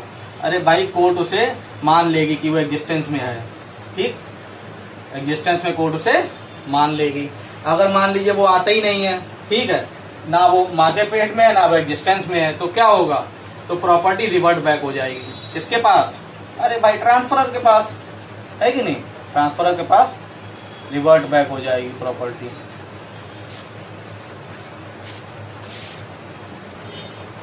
ठीक है? तो ये दोनों कंडीशन आपने देख ली क्या क्या कि अगर वो माँ के पेट में है मतलब जिसके पास लिमिटेड इंटरेस्ट था, उसके मरने से पहले अगर वो माँ के पेट में है, ठीक है? या उसके मरते टाइम उस, अगर वो माँ के पेट में है तो कोर्ट मान लेगी कि वो एग्जिस्टेंस में आ गया, ठीक? अगर वो उसके बर्थ नहीं होता है ठीक है? वो पैदा ही नहीं होता है, तब भी। तो फिर भाई, क्या होगा? वो प्रॉपर्टी रिवर्ट बैक हो जाएगी किसके पास? ट्रांसफरर के पास, ठीक? तीसरी कंडीशन क्या है? मैंने कहा ना कि तीन कंडीशन होनी चाहिए। तीसरी interest transfer transfer to unborn person must be absolute क्या है भाई? कि भाई जो मस्ट बी एब्सोल्यूट कहने का मतलब है, जिस आदमी, जिस अनबोर्न पर्सन के पास प्रॉपर्टी जा रही है ना, अब एब्सोल्युटली उसके पास होनी चाहिए। उसके पास लिमिटेड इंटरेस्ट नहीं रहेगा। ठीक है, कैसे? देखिए समझाते हैं भाई। ए है, उसने अपनी प्रॉपर्टी वो बी को देता है, ठीक? लिमिटेड इंटरेस्ट में, कि भाई तुम इसकी ध्यान रखना। ठीक है, कब तक? जब तक तुम्हारा बेटा बीस सन बीस सन, ठीक है, जब तक ये ना आ जाए। या इसमें चलिए, एक चीज़ और जोड़ दें। सन और बीस, सन सन। ठीक। ये देखिए ए प्रॉपर्टी बी को ट्रांसफ़र कर बी को लिमिटेड इंटरेस्ट में ट्रांसफ़र करता है कि ये जो है किसके पास जाएगी? ये तुम्हारे बेटे बी के सन के पास, और इसको भी लिमिटेड इंटरेस्ट देता है। इसके बाद किसके पास जाएगी? इसके भी सन के पास, बी सन सन। ठीक है? कितने जनरेशन को देना चाहता है? ये तो लिविंग पर्सन है। ये तो अभी एग्जिस्टेंस में है बी ठीक है? ए बी को देता है, देखो, तुम जब तक ज़िंदा हो, तब तक ये प्रॉपर्टी तुम्हारे पास रहेगी। तुम्हारे मरने के बाद, तुम्हारा जो होने वाला बेटा है, उसके पास जाएगी। उसके मरने के बाद, जो उसका भी बेटा है, उसके पास जाएगी। ठीक? इसको वो एब्सोल्युटली देता है। तो क्या ये ट्रांसफ़र वैलिड होगा? नहीं क्यों? क्योंकि ये थर्ड कंडीशन फुलफिल नहीं हो रही है। थर्ड कंडीशन क्या है? कि इंटरेस्ट टू अनबोर्न पर्सन अगर आपने किसी अनबोर्न पर्सन को ट्रांसफ़र कर रहे हैं तो उसको लिमिटेड नहीं एब्सोल्यूट इंटरेस्ट ट्रांसफ़र करेंगे। ठीक? तो अगर सिर्फ़ ये यहीं तक होता, ठीक? यहीं तक होता ये तो तो ये सही होता। तो इस यहाँ पर इसे एब्सोल्यूट इंटरेस्ट देना पड़ेगा। इतनी बात समझ में आई? बस इतना ही ये बोलता है। अब इसमें क्या है? एक चीज़ और, अगर ऐसा वो करता तो वाइड होता ना, इसमें एक चीज़ और लिखे फिर से मान लिया बीस, सन सन होता। ठीक? तो इसी पे ही, इसी को ही इंग्लैंड में क्या बोलते हैं? Rule of double possibility double possibility है ना ये? इसको भी इंग्लैंड में से प्रोहिबिट करते हैं। ठीक है? इसको भी वो नहीं मानते। तो इसको ये बोलते क्या है? रूल ऑफ़ डबल पॉसिबिलिटी कहने का मतलब सिर्फ़ इतना है कि इसी को रूल ऑफ़ डबल पॉसिबिलिटी बोलते हैं। और एक केस है केस का नाम है Whitby versus Mitchell Whitby versus Mitchell क्या हुआ था इस केस में? इस केस में रूल ऑफ़ डबल पॉसिबिलिटी को रिकॉग्नाइज किया गया था। मैं ये क्यों बता रहा हूँ? क्योंकि ये उत्तराखंड में बहुत बार पूछा गया ये क्वेश्चन। क्या पूछा गया है कि रूल ऑफ़ डबल पॉसिबिलिटी किससे रिलेटेड है? आपको बताना पड़ेगा सेक्शन थर्टीन से कि किस केस में रूल ऑफ़ डबल पॉसिबिलिटी को रिकॉग्नाइज किया गया था? विडबे वर्सेज मिचल में। बहुत बार पूछा गया, इसलिए ये चीज़ बतानी ज़रूरी थी और इसका कोई मतलब नहीं है यहाँ पर। ठीक है? और सेक्शन थर्टीन का एक लीडिंग केस है। याद रखिएगा, कभी भूलिएगा मत। जैसे मोरी बीवी वर्सेस दामोदर दास याद है आपको, वैसे इसे याद रखिएगा। कौन सा? गिरजेश दत्त वर्सेस दत्ता दिन। गिरजेश दत्त वर्सेस दत्ता दिन। ये केस का नाम है। ध्यान रखिएगा, ठीक है? लीडिंग केस है किसका? सेक्शन थर्टीन का। इसके फैक्ट ऐसे ही थे, क्या था इसमें? कि वो प्रॉपर्टी अपनी भतीजी को देता है और ये लिखता है उसमें कि देखो, जब तक तुम ज़िंदा हो तुम्हारे पास रहेगी, तुम्हारे मरने के बाद अगर तुम्हारे बेटा हुआ तो उसको, और अगर तुम्हें बेटी हुई तो तुम्हारी बेटी के पास भी लिमिटेड इंटरेस्ट रहेगा। फिर उसके बाद अगर उसके बेटा होता है तो उसको ट्रांसफ़र हो जाएगी। तो कोर्ट ने कहा, आप नहीं कर सकते, ये इसका वायलेशन सेक्शन थर्टीन का। ठीक है? चलिए। सेक्शन थर्टीन समझ में आया? क्या है? कि क्या आप अनबोर्न पर्सन को ट्रांसफ़र कर सकते हैं? बिल्कुल कर सकते हैं, लेकिन आपको तीन कंडीशन फॉलो करनी पड़ेगी। पहला, कि आप उसे डायरेक्टली नहीं कर सकते, किसी एक थर्ड पर्सन को अपॉइंट करना पड़ेगा एज ए लिमिटेड इंटरेस्ट दूसरा, जिसको आप ट्रांसफ़र कर रहे हैं तो जिसके पास लिमिटेड इंटरेस्ट है, उससे मरने से पहले उसका एग्जिस्टेंस में आना ज़रूरी है। अगर नहीं आया तो वो प्रॉपर्टी रिवर्ट बैक हो जाएगी। तीसरा, अगर आप अनबोर्न पर्सन को कर रहे हैं तो उसे आप एब्सोल्यूट इंटरेस्ट ट्रांसफ़र करेंगे। लिमिटेड इंटरेस्ट से काम नहीं चलेगा। ठीक है? लिमिटेड इंटरेस्ट करेंगे तो फिर वो वॉइड मान लिया जाएगा। ठीक है? ट्रांसफ़र ही नहीं माना जाएगा। ठीक? ट्रांसफ़र वॉइड है इसमें। कोई कंडीशन तो है नहीं। ट्रांसफ़र वॉइड हो रहा है इसमें। चलिए, अब जल्दी से सेक्शन 14 पे आते हैं। 14 क्या कहता है?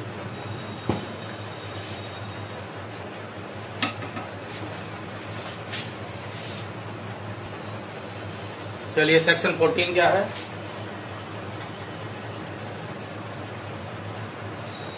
रूल अगेंस्ट परपेचुटी क्या बोलता है भाई? परपेचुटी मैंने आपको बताया ही अभी। कि क्या होता है? नेवर एंडिंग या फॉर इनडेफिनेट पीरियड तो उसी के अगेंस्ट में एक रूल है। रूल अगेंस्ट परपेचुटी जो सेक्शन 14 बताता है। ये क्या बताता है? कि आप प्रॉपर्टी को इनडेफिनेट पीरियड के लिए रोक के नहीं रख सकते। ठीक? ये ये बोलता है सिर्फ़। तो कैसे नहीं रोक के रख सकते आप? एक एग्ज़ाम्पल समझिए।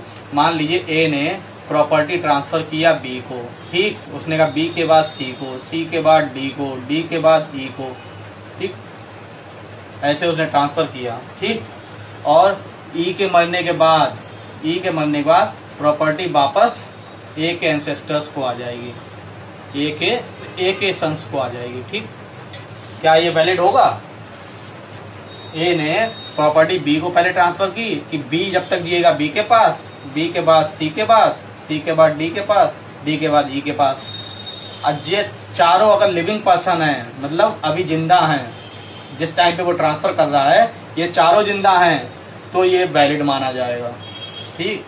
ये वैलिड माना जाएगा। क्यों? क्या ये रूल अगेंस्ट पब्लिसिटी का वॉलेशन नहीं है? अरे भाई, नहीं है। क्यों? क्या ये इंडेफिनेट पीरियड के लिए है? अरे भाई, अगर चारों ज़िंदा हैं तो मैक्सिमम ये कितने दिन जी जी सकते हैं? मुश्किल से सत्तर से अस्सी साल, है कि नहीं? मान लीजिए कोई दस साल का, कोई बीस साल का, कोई तीस साल का, कोई चालीस साल का है लेकिन सबकी लाइफ तो एक साथ ही चल रही है है कि नहीं? तो सत्तर से अस्सी साल में सब निपट जाएँगे। बी भी मर जाएगा सी भी मर जाएगा डी भी मर जाएगा ई भी मर जाएगा, ठीक है? उसके बाद ये ए के एंसेस्ट ए के सन के पास आ जाएगी, है कि नहीं? तो इसमें गलत कहाँ है? रूल अगेंस्ट परपिचुटी का वॉयलेशन कहाँ है ये? नहीं है, ठीक है।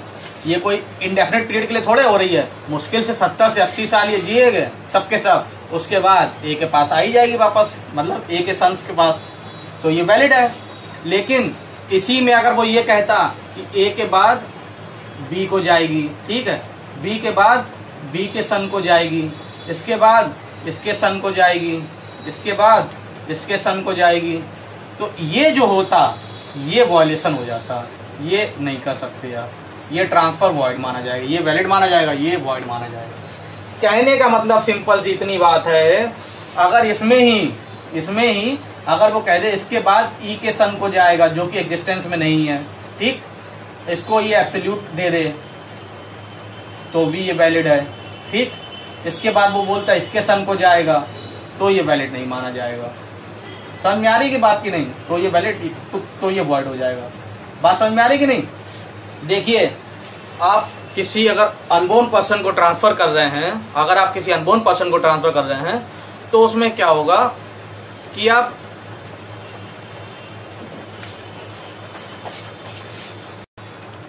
हाँ तो कहा थे हम लोग? इसमें जो है इस इसमें हम लोग कहाँ पे थे? तो इसमें हम लोग को देखना है कि जो सेक्शन थर्टीन में था ना अनबोर्न पर्सन उसी में बस एक लाइन और जोड़ दीजिए आप। क्या? उसी में एक चीज़ और जोड़ दीजिए कि भाई, कि जो अनबोर्न पर्सन है, जिसके पास प्रॉपर्टी ट्रांसफ़र हो रही थी, उसमें क्या था? ए ने ट्रांसफ़र की बी को बी के बाद बी के सन को। है कि नहीं? इसके सन को। तो जो अनबोर्न पर्सन है, इस पे भी आप कितनी टाइम के लिए रोक सकते हैं? बस ये रूल अगेंस्ट प्रॉपर्टी यहीं पर इतना ही बताता है। क्या बताता है? कि आप 18 इयर्स के लिए मतलब जब तक ये मेजोरिटी अटेंड नहीं कर लेता है, तब तक के लिए आप रोक के रख सकते हैं प्रॉपर्टी को। बस रूल अगेंस्ट प्रॉपर्टी यही बताता, वो चारों क्लाउज वो तीनों क्लाउज जो सेक्शन 13 में थे, उसके बाद एक क्लाउज और लिख लीजिएगा। क्या? इसी में, अगर सेक्शन 14 भी आए ना तो 13 वाले तीनों क्लाउज लिखने ही होंगे। चौथा क्लाउज और डाल लीजिए। क्या लिखिए? नोट करिए आप।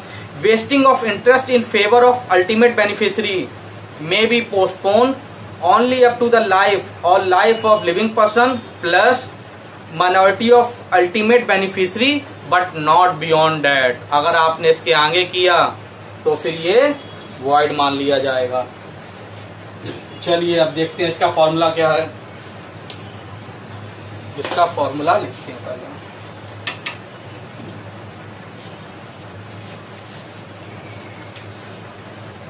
सेक्शन 14 के हिसाब से maximum remoteness of vesting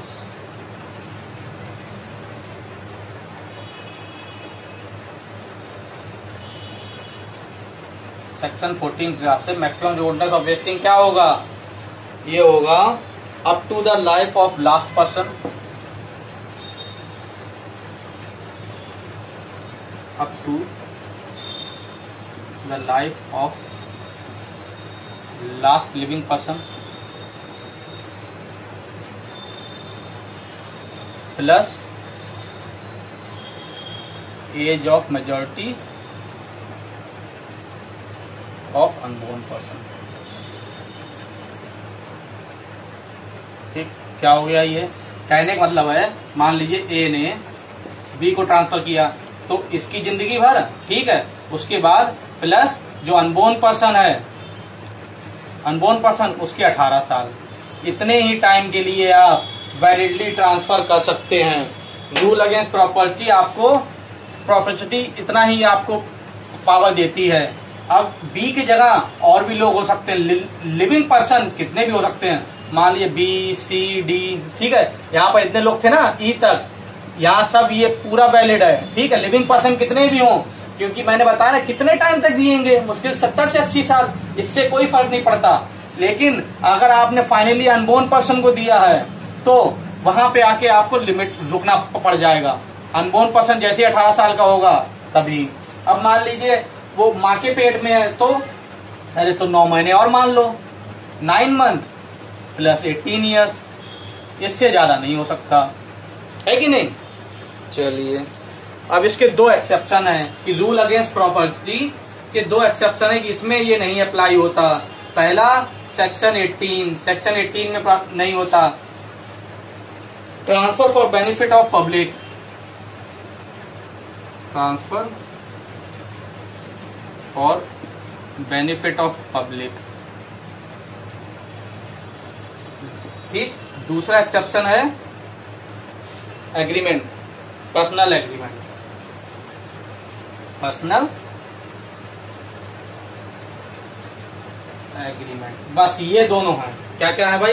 section 18 section 14 के रूल अगेंस्ट पब्लिसिटी के दो एक्सेप्शन है। पहला तो सेक्शन 18 है। सेक्शन 18 क्या बोलता है? सेक्शन 18 ये बोलता है कि अगर आपने कोई प्रॉपर्टी किसी पब्लिक इंटरेस्ट के लिए ट्रांसफ़र की है मतलब किसी हॉस्पिटल के लिए, किसी चैरिटी के लिए तो उसमें रूल रूल अगेंस्ट पब्लिसिटी नहीं अप्लाई होगा। ठीक है?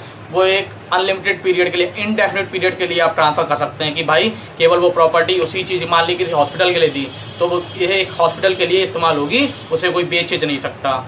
तो उसमें रूल अगेंस्ट पब्लिसिटी नहीं अप्लाई होगा। दूसरा एग्रीमेंट में अप्लाई नहीं होगा। ठीक है? मान लीजिए, हमने सिर्फ़ एग्रीमेंट टू सेल किया है। ठीक है? एग्रीमेंट टू सेल किया है। तो उस पर रूल अगेंस्ट पब्लिसिटी अप्लाई होगा? नहीं होगा। क्यों? क्योंकि ट्रांसफ़र ऑफ़ प्रॉपर्टी पे अप्लाई होता है। है कि नहीं? तो कहा, यहाँ पर सिर्फ़ एग्रीमेंट तो हो रहा है ट्रांसफ़र थोड़े हो रहा है. चलिए, अब कुछ और कुछ है। इसमें एक केस और है स्टैले वर्सेस लीग केस का नाम है। स्टैले वर्सेस लीग इसमें क्या बताया था? ऑब्जेक्ट बताया था। Object of rule against rule against perpetuity is public public policy ठीक है? बस इतनी सी बात। पूछा गया है एक दो बार ये, ठीक है? इस टेले वर्सेज लीग में इसके object of rule against publicity को पब्लिक पॉलिसी बोला गया था, ठीक है? चलिए, मेरे हिसाब से आपके समझ में तो आ गया होगा। ठीक है? एक बार बैरक पढ़ के देख लीजिएगा। ना समझ में आया कहीं पे तो मुझे कमेंट करके बताइएगा। देखते हैं फिर। ठीक है? और कुछ था इसमें?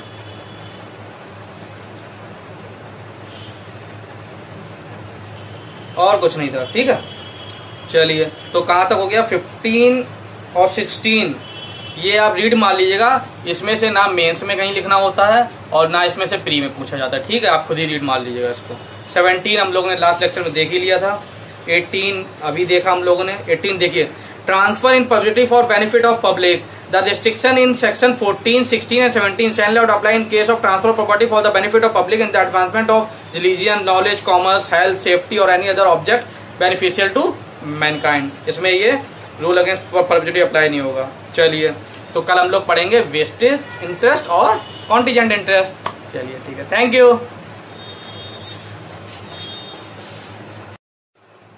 हेलो दोस्तों कैसे हैं आप लोग?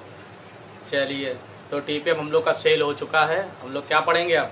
अगला टॉपिक मॉडगेज कहाँ दिया हुआ है? ये मैंने आपके लिए एक टेबल तैयार की अभी सब समझ में आ जाएगा क्या है इसमें। देखिए भाई मॉडगेज जो दिया हुआ है, वो चैप्टर फोर हाँ फोर में तो दिया हुआ है। हाँ जी चैप्टर फोर में दिया हुआ है। ये सेक्शन 58 से लेके कहाँ तक दिया हुआ है? 99 तक। 99 तो है नहीं 98 तक दिया हुआ है। 99 तो रिपील हो गया। तो सेक्शन 58 से 98 तक दिया हुआ है। बहुत इंपॉर्टेंट टॉपिक है। अच्छे से समझिएगा ठीक है? ना समझ में आए तुरंत कमेंट करके बताइएगा। विशाल भाई ये बात समझ में नहीं आई ठीक है? मैं अगले लेक्चर में आपको वो डाउट क्लियर करूँगा। चलिए तो मॉडगेज क्या होता है भाई? चैप्टर फोर बो, बोलता है of mortgage of immovable property and charges यहाँ पर मॉडगेज जो है वो हमेशा इमोवल प्रॉपर्टी का ही होगा ठीक? अब सेक्शन 58 इसका वेरी इंपॉर्टेंट क्या बताता है? सब कुछ यही बताता है। सब कुछ नहीं काइंड से बताता है। मतलब मेजर पार्ट जो है, वो सेक्शन 58 में ही दिया हुआ है। क्या है भाई? ये समझाने के लिए थोड़ा क्लियर करना पड़ेगा इसे। फिर से फिर से बना लेंगे हम लोग। दिख तो रहा है ना साफ़ साफ़ देखता हूँ, दिख रहा है कि नहीं। हाँ दिख तो रहा ही है। चलिए। क्या है भाई ये? सेक्शन 58 जब हम लोग रीड मारेंगे ना तो हमें क्या पता चलेगा? हमें पता चलेगा मॉडगेज क्या होता है। बोर्ड थोड़ा छोटा लगने लगा है मुझे। बड़े बोर्ड का इंतज़ाम करना पड़ेगा। तभी काम बनेगा। देखिए भाई, मान लीजिए एक आदमी है उसे चाहिए कुछ पैसे। ठीक है? एक आदमी है। ये उसे कुछ पैसे चाहिए। उसे अर्जेंट नीड है पैसों की। ठीक है? अब क्या है? उसके पास सिर्फ़ एक घर है। ठीक है? ये व्हाइट हाउस है उसके पास। इसके अलावा उसके पास कोई चीज़ नहीं। ठीक? अब क्या है? वो इस घर को बेचना तो नहीं चाहता, लेकिन पैसों की उसे बहुत ज़रूरत है। ज़रूरत होने के बहुत सारे कारण होते हैं। क्या है? मान लीजिए कोचिंग की फ़ीस भरनी है। समझे कि नहीं? अब पहले तो ये ऑनलाइन लेक्चर अवेलेबल नहीं थे। तो बेचारे एक को अपने बेटे को पढ़ाने के लिए जुडिशरी की तैयारी कराने के लिए क्या चाहिए? पैसों की ज़रूरत है। एक ही घर है। उसको वो बेचना भी नहीं चाहता, लेकिन पैसों की उसे ज़रूरत है। तो वो क्या करता है? बी के पास जाता है और कहता है, देखो, मैं ये मकान तुम्हें पाँच लाख रुपए जिसकी वैल्यू मान लो इसकी मार्केट वैल्यू देखी जाए तो मान लीजिए दस लाख रुपए है, ठीक है? लेकिन ये इसे बी को पाँच लाख रुपए में मॉडगेज रख देता है, गिरमी रख देता है, ठीक है? और कहता है कि तुम मुझे पाँच लाख रुपए दे दो। बी इस मकान के बदले इसे पाँच लाख रुपए दे देता है, ठीक? तो यहाँ पर ये कौन है? ए ट्रांसफरर है, ठीक है? बी कौन है? ट्रांसफरी है जिसके पास चीज़ आ रही है। ठीक? अब क्योंकि ये केस मॉडगेज का है ना, जैसे सेल हम लोग ने पढ़ा था तो उसमें क्या था? ट्रांसफ़र ऑफ़ ऑनरशिप इसमें क्या होता है? ट्रांसफ़र ऑफ़ इंटरेस्ट होता है। क्यों ये भाई इसने इस ट्रांसफ़र इस इस मकान का इंटरेस्ट बी को क्यों ट्रांसफ़र किया? क्योंकि भाई बी इसलिए लेता है कि वो सिक्योर डेप कि भाई जो मैंने इसे पैसा दिया है, वो सुरक्षित रहे। ऐसा ना हो। मान लीजिए अगर ये मकान गिरवी ना रखता बी ये अगर पैसे नहीं देता तो बी क्या करेगा? कुछ नहीं कर पाएगा। तो दो चीज़ें आपने यहाँ पर देखी। यहाँ पर क्या ट्रांसफ़र हो रहा है? ऑनरशिप नहीं हो रही है। सेल में ऑनरशिप ट्रांसफ़र होती है। यहाँ पर सिर्फ़ इंटरेस्ट ट्रांसफ़र हो रहा है। क्यों? क्योंकि ये डेप्थ को बी अपना जो है पैसा दिया, उसको सिक्योर करना चाहता है। ठीक है? जहाँ अगर मॉडगेज होगा, ठीक है? अगर मॉडगेज होगा मॉडगेज के केस में ट्रांसफरर को हम मॉडगेजर बोलते हैं। ठीक? इसको मॉडगेजी बोलते हैं। ट्रांसफरी को मॉडगेजी ट्रांसफरर को मॉडगेजर इस प्रॉपर्टी को जो सब्जेक्ट मैटर है, उसको हम मॉडगेज प्रॉपर्टी कहेंगे। मॉडगेज प्रॉपर्टी ठीक? और मनी जो पाँच लाख रुपए इसने दी है, इसको हम मॉडगेज मनी कहेंगे। और कुछ है। और अगर मान लीजिए इसको ट्रांसफ़र करते समय रजिस्ट्रेशन की ज़रूरत है, ठीक है? अगर रजिस्ट्रेशन की ज़रूरत है, हर केस में नहीं होती। अभी हम लोग ये देखेंगे, तब इसमें मालूम पड़ेगा। अगर रजिस्ट्रेशन की ज़रूरत है तो उसको हम मॉडगेज डीड कहेंगे। ठीक, ये टर्म समझ में आ गए? क्या क्या है? ये सब सेक्शन 58 में दिए हुए हैं, ठीक है? सेक्शन 58 में क्या क्या दिया हुआ है? कि मॉडगेजर कौन होगा? मॉडगेजी कौन होगा? ट्रांसफरर मॉडगेजर होगा? ट्रांसफरी मॉडगेजी होगा?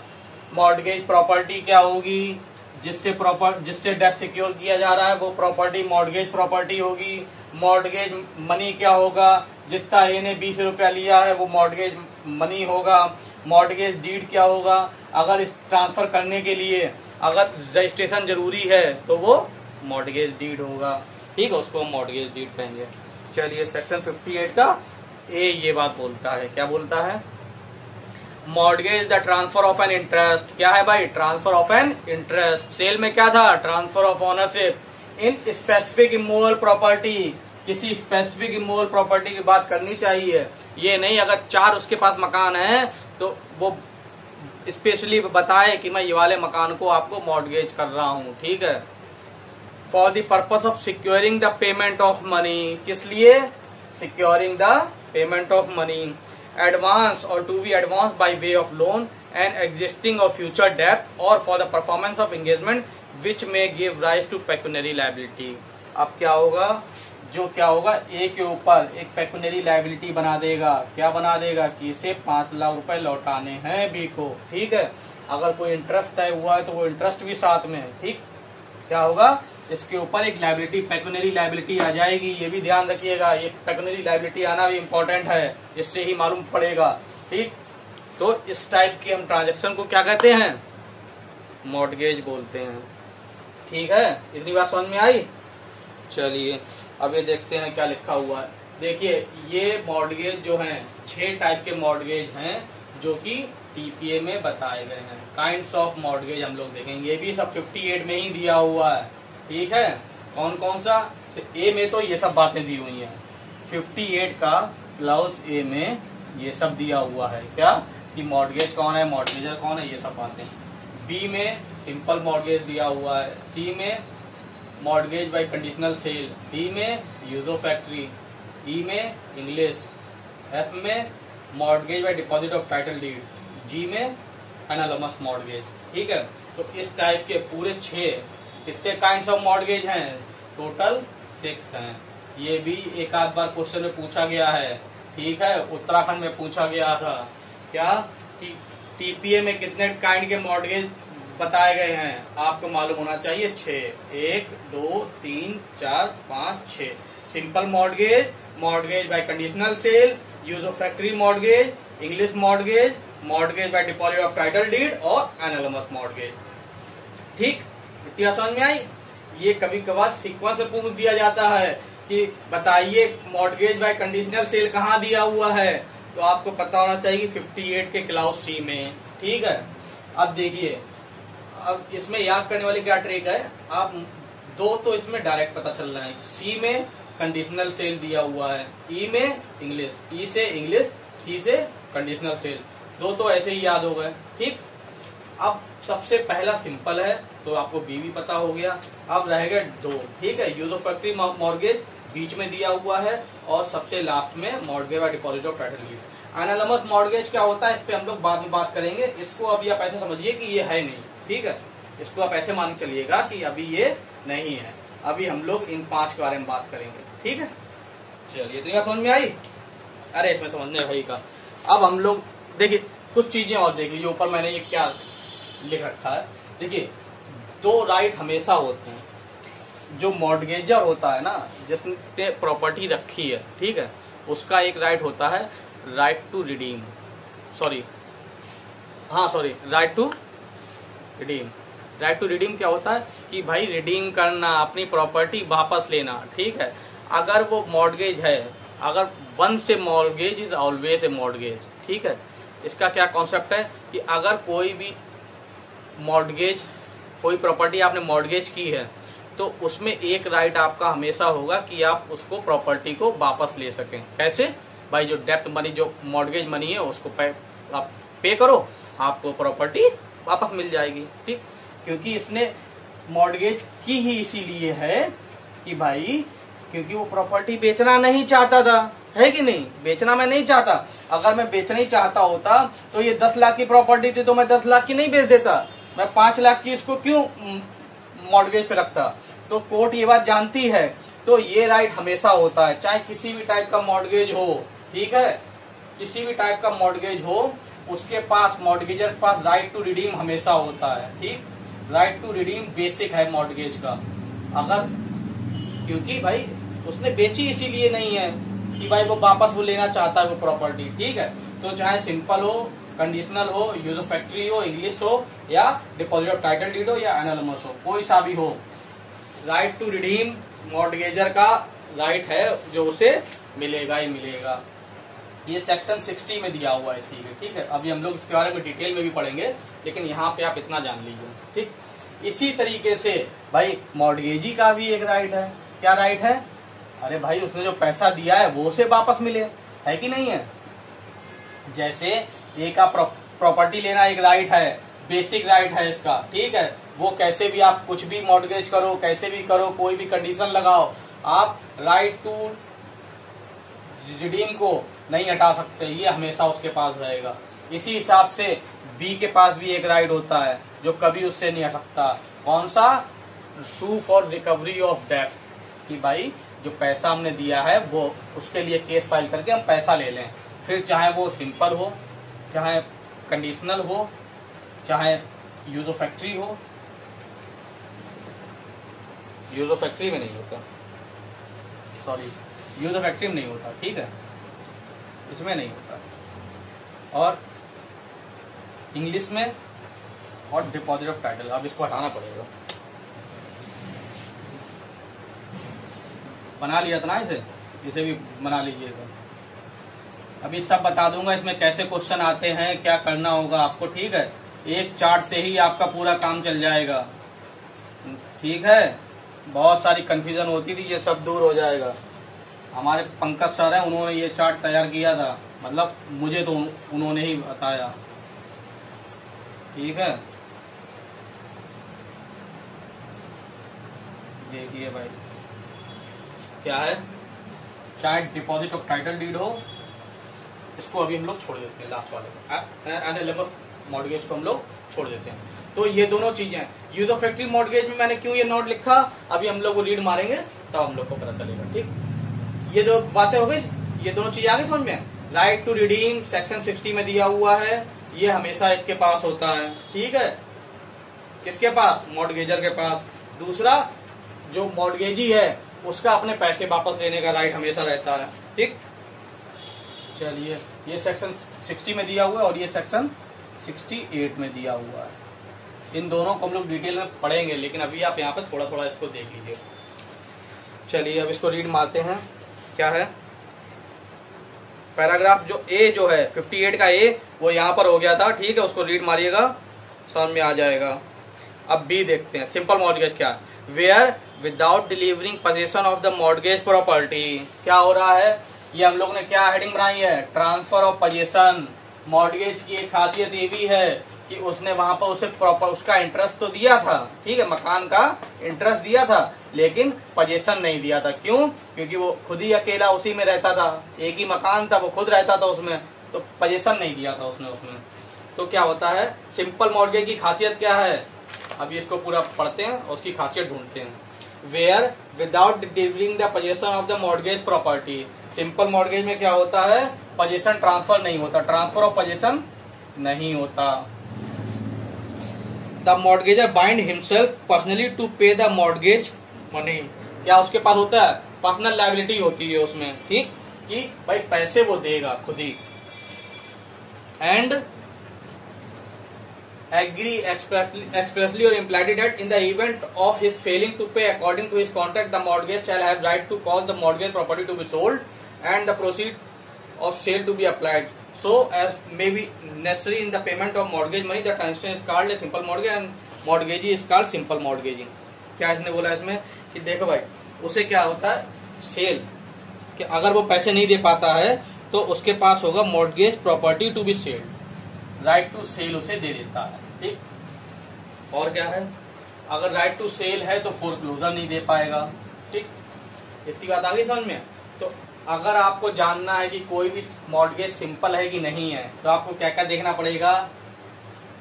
अगर पजेशन नहीं दे रहे हैं, ठीक है? मॉडगेज प्रॉपर्टी का पजेशन मॉडगेजी को नहीं दे रहे ठीक? और उसमें अगर वो इन डिफ़ॉल्ट अगर मॉडगेज पेमेंट नहीं कर पा रहा है, अगर उसके पास राइट टू सेल है तो फिर वो सिंपल मॉडगेज होगा। सिंपल सी बात यह है कि सिंपल मॉडगेज की खासियत ये होती है कि मॉडगेजी के पास सेल करने का राइट होता है, ठीक है? फोर क्लोजर का नहीं होता है। रिकवरी ऑफ़ डेथ का तो हमेशा होता ही है। पजेशन ऑफ़ ट्रांसफ़र नहीं होता है। ठीक? चलिए। अब mortgage by conditional sale where the mortgage of ostensibly sale the mortgage property on condition dealt on default of payment of the mortgage money on a certain date the sale sale become absolute अब इसमें क्या होता है? Right to cell तो नहीं होता, ठीक है। क्यों नहीं होता? क्योंकि इसमें फोर क्लोजर होता है उसके पास। इसलिए राइट टू सेल नहीं होता, ठीक। Transfer of possession conditional sale में नहीं होता। इसमें भी ट्रांसफ़र ऑफ़ पोजीशन की कोई बात नहीं की गई, ठीक। इसको आप रीड मारिएगा एकदम समझ में आ जाएगा। पूरा रीड मार दीजिएगा इसमें। यूज़ ऑफ़ फैक्ट्री मॉडगेज में क्या होता है? यूज़ ऑफ़ फैक्ट्री मॉडगेज में क्या होता है? कि इसके पास यूज़ ऑफ़ फैक्ट्री मॉडगेज क्या होता है? कि मैंने किसी को प्रॉपर्टी मॉडगेज की, ठीक है? मैंने उसे मॉडगेज पे अपना घर दिया, मान लो एक लाख रुपए में, कि भाई तुम मुझे एक लाख रुपए दे दो और ये मकान तुम तब तक रखो जब तक तुम इससे एक लाख रुपए पैदा नहीं कर लेते। मान लीजिए उस मकान का रेंट आता है, दस हज़ार रुपए महीने, ठीक है? तो एक लाख रुपए दस महीने में तैयार हो जाएँगे उसके मतलब उसे मिल जाएँगे। तो हम मैं कहूँगा देखो भाई, मैं, तुम मुझे एक लाख रुपए दे दो और ये मकान मैं तुम्हें एक साल के लिए दिए दे रहा हूँ। एक साल में तुम्हारा पैसा जब उसमें निकल आएगा, तब तुम हमें ये वापस दे देना। इसीलिए इसीलिए इसमें रिकवरी ऑफ़ डेप्थ का राइट नहीं होता है। क्यों? क्योंकि उसमें उसे उस प्रॉपर्टी से ही पैसा निकालना होता है। अब बात समझ में आई? यूजो फैक्ट्री मॉडगेज में सू फॉर रिकवरी ऑफ़ डेप्थ मॉडगेजी के पास क्यों नहीं होता? क्योंकि वो उसने वो केस फ़ाइल करके पैसे नहीं ले पाएगा इसमें। कैसे ले पाएगा? आप उसी प्रॉपर्टी से पैसा पैदा करें। ठीक है? जब आपका पूरा पैसा निकाला है, तब उसे प्रॉपर्टी वापस कर दें। बस। ठीक? तो जब आप यूजो फैक्ट्री मॉडगेज जब रीड मारेंगे ना तो आपको पता चलेगा, यूजो फैक्ट्री मॉडगेज ही ऐसा है जिसमें इसके ऊपर पर्सनल लाइबिलिटी नहीं होती, पैसा पे करने का। अब भाई, अगर ए ने कोई प्रॉपर्टी बी को दी है अगर यूजो फैक्ट्री मॉडगेज पे दी है तो क्या कहा है उसने कि भाई, इससे जब तुम्हारा एक लाख रुपए निकला है तब तुम हमें ये वापस कर देना।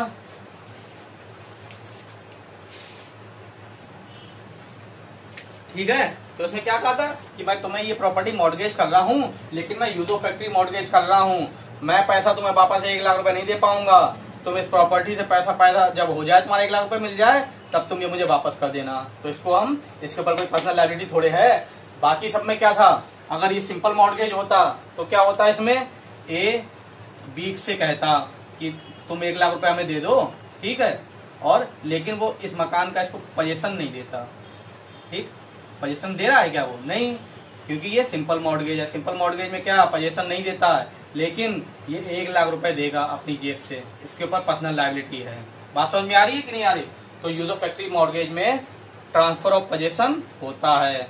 अरे पोजीशन जब वो उसे देगा तभी तो वो पैसा पैदा करके इसे वापस देगा ना। ठीक? और यूज़र फैक्ट्री में और कोई खास बात है? और कुछ, कुछ नहीं है ना ये होता। अब वो सेल भी नहीं कर सकता तुमने ली क्यों? यूजो फैक्ट्री में क्यों ली? यूजो फैक्ट्री में सिर्फ़ तुम्हारे पास एक ही राइट है। पोजीशन लो उससे पैसा पैदा करो। जब पैसा निकल आए जितना भी तुम्हारा मॉडगेज डेप्थ था, वो सब निकल आए, फिर उसे वापस कर दो। ठीक? तो ना आप इस पे प्रॉपर्टी को सेल करने के लिए केस फ़ाइल कर सकते हैं कि साहब, एक लाख रुपए पैदा नहीं हो पा रहा इससे, इसको बेच के हमें एक लाख रुपए दो। नहीं कर सकते। क्यों? क्योंकि यूजो फैक्ट्री है। ठीक? फोर क्लोजर के लिए भी नहीं डाल सकते। ठीक? और रिकवरी ऑफ़ डेप्थ नहीं कर सकते। उसकी कोई लाइबिलिटी नहीं है। एक ही है transfer of possession transfer of possession लो और पैसा पूरा लो उससे। उस प्रॉपर्टी से इंग्लिश मॉडगेज क्या होता है? इंग्लिश मॉडगेज जो होता है, वो मिक्सचर होता है। किसका? सिंपल का और कंडीशनल का। सिंपल का और यूजो फैक्ट्री का। क्या क्या होता है इसमें? इसमें ट्रांसफ़र ऑफ़ पोजीशन भी होता है, ठीक? और सेल भी होता है। सॉरी ट्रांसफ़र ऑफ़ पोजीशन ही होता है बस। ठीक? ना इसमें राइट टू सेल होगा, ना फोर ना फोर क्लोजर होगा। हाँ सही है। ठीक है। इसमें ना राइट टू सेल होगा, ना राइट टू फोर क्लोजर होगा। इसमें क्या क्या होगा? इसमें पजेशन होगा आपके पास। ठीक है? और सू फॉर रिकवरी ऑफ़ डेप्थ के लिए आप केस कर सकते हो। ठीक? पजेशन भी आपके पास रहेगा, और अगर वो पैसा नहीं लौट आता है तो आप केस फ़ाइल करें। सू फॉर रिकवरी ऑफ़ डेप्थ कोर्ट में कि साहब, मेरा जो पैसा है, इनसे दिलवाओ। आप चाहे ये दें चाहे इनका घर बेच के दिया जाए। है कि नहीं? अब mortgage by deposit of title deed क्या होता है? ये होता है कि भाई बड़े बड़े शहरों में क्या होता है कि भाई आदमी जो है, उसे पैसा चाहिए होता है, ठीक? अब वो वहाँ पैसाइजेशन से कोई लेना देना नहीं होता। वो क्या करते हैं? वो अपने कागज़ लेके जाते हैं और बैंक में जमा कर देते हैं। बैंक में बैंक में हमेशा mortgage by deposit of title deed होता है। क्या होता है? कि वो अपने भाई मकान के कागज़ लेके गए, बैंक में जमा किए, बैंक ने देखे हाँ भाई नहीं का है। तो भाई लोन दे दिया उसके ऊपर, ठीक है? तो उसी को हम बोलते हैं mortgage by deposit of title deed इसमें क्या होता है? अगर आपने पैसा नहीं दिया, बैंक आपका घर बेच देगी, उनके पास राइट टू सेल होता है, ठीक है? अगर राइट टू सेल होगा तो फोरक्लोजर तो हो नहीं सकता, ठीक? और सू फॉर रिकवरी ऑफ़ डेप्थ होता ही होता है वो तो ठीक? पोजेशन इसमें नहीं मिलता। केवल डॉक्यूमेंट उसके पास रहते हैं। ठीक? इतनी समझ में आई? अब एनालोमस मॉर्गेज क्या होता है? अगर कोई भी मॉर्गेज आपने कुछ कंडीशन ऐसी लिखी, इसमें कंडीशन तो आप अपनी ओर से लिख सकते हो ना। आपने अगर अपनी कंडीशन कुछ ऐसी लिखी, ठीक है, जो कंडीशन इनमें से मैच नहीं खा रही है, या इनसे इनका मिक्सचर हो रही है, ठीक है, कुछ आपने ऐसी कंडीशन लिखी जो ना तो वो सिंपल में फॉल हो रहा है, इन चारों में फॉल नहीं हो रहा है, इन पाँचों में फॉल नहीं हो रहा तो वो कोर्ट एनालोमस मॉडगेज मान लेगी, जिसमें क्या होता है, सारी चीज़ें आपकी कंडीशन पे ही बेस्ड होती हैं, ठीक? As per your condition as per your terms and condition जैसे ही आपने टर्म्स एंड कंडीशन उसमें सेट की हैं, उसी हिसाब से आपके राइट्स होंगे, ठीक? तो एनालोमस मॉडगेज में सब आपके ऊपर होता है। Recovery of right to redeem तो रहेगा ही रहेगा उसके पास। चाहे आप कुछ भी कंडीशन जोड़ दो, ऐसा कभी नहीं कर सकते। आप कहो कि देखो, तुम ये मुझे मॉडगेज कर रहे हो, लेकिन तुमने अगर एक साल में पैसा नहीं दिया तो फिर ये तुम्हारा मकान कभी तुम्हें नहीं मिलेगा। ऐसा नहीं कर सकते आप, ठीक? उसके पास राइट टू रिडीम तो हमेशा रहेगा ही रहेगा। क्योंकि उसने मॉडगेज ही इसीलिए किया है कि भाई वो बेचना नहीं चाहता, वो चाहता ये वापस मेरे पास आ जाए। तो ये राइट उसका कभी दूर नहीं जा सकता। इसी हिसाब से एक राइट होता है रिकवरी ऑफ़ डेथ भाई जिसने पैसा दिया है, वो भी दूर नहीं जा सकता। लेकिन यूजो फैक्ट्री मॉडगेज एक ऐसा होता है, जिसमें वो उसी प्रॉपर्टी से पैसा जनरेट करता है। तो उसमें वो रिकवरी ऑफ़ डेप्थ के लिए नहीं जा सकता, बाकी सब में जा सकता है। ठीक? क्वेश्चन इसमें कैसे आते हैं? वो इम्पोर्टेंट है। क्वेश्चन कैसे आता है? कि आप ये बताइए कि सिंपल मॉडगेज में कौन सा राइट होता है? क्या सेल होता है? फोरक्लोजर होता है?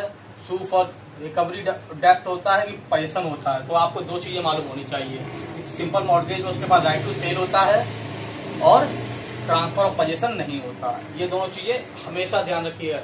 कभी इसमें और इसमें कंफ्यूजन होगी नहीं। ठीक है, ये दोनों तो होंगे ही होंगे। सिर्फ़ यूजो फैक्ट्री को छोड़ के इसमें नहीं होता। बाकी आपको ये तीन याद करने हैं।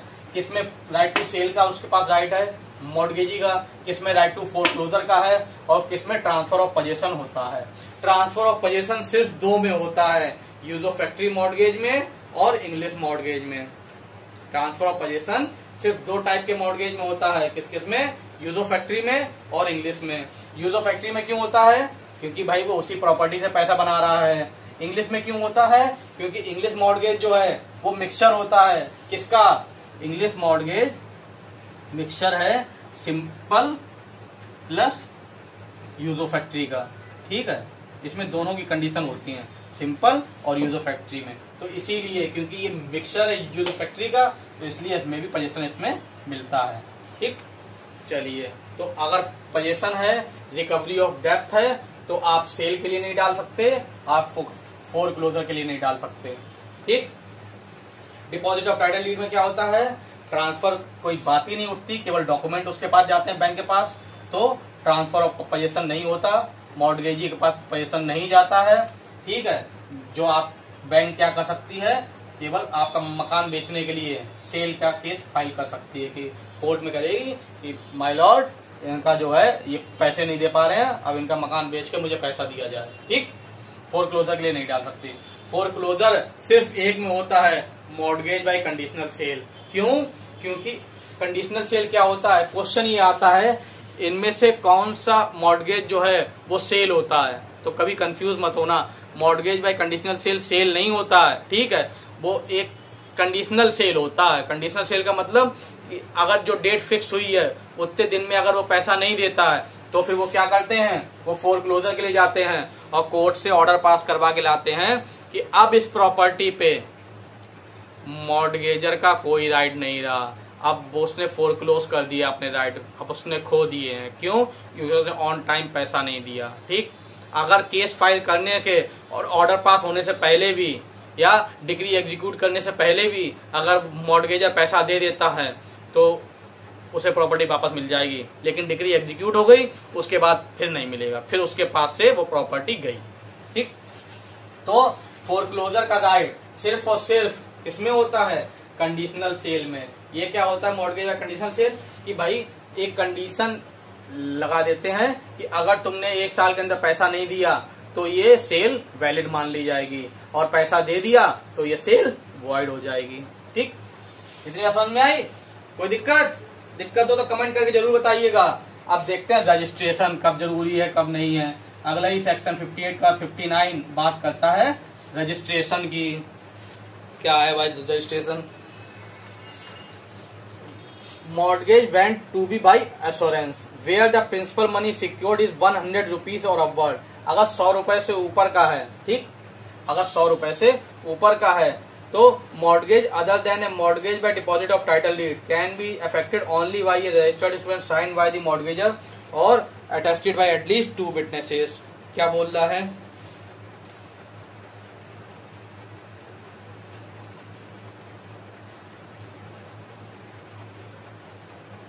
where the principal money secured is less than one hundred rupees a mortgage may be effected other by registered instrument sign और अटेस्टेड और एफर्सेड और is the case of delivery of delivery of the property. हाँ हाँ कोई दिक्कत नहीं है। चलिए। देखिए अब क्या होता है इसमें बोल रहा है कि अगर सौ रुपए से ऊपर का है ठीक? सौ रुपए से ऊपर का है तो क्या होगा इसमें? बताइए।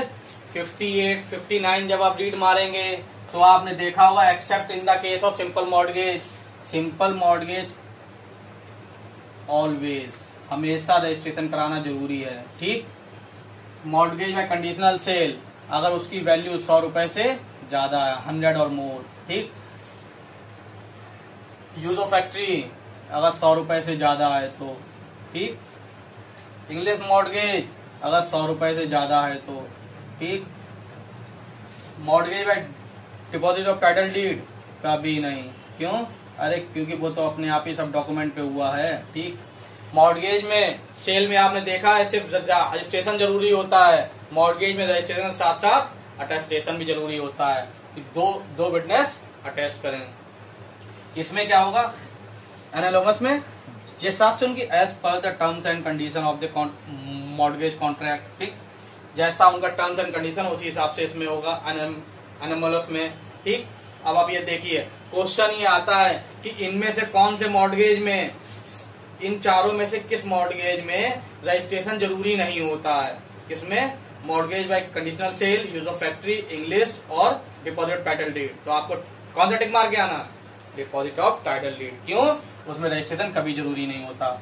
इन तीनों में, इन तीनों में अगर इसकी जो प्रॉपर्टी वैल्यू सौ रुपए से ज़्यादा होगी, तभी आपको रजिस्ट्रेशन करवाना पड़ेगा।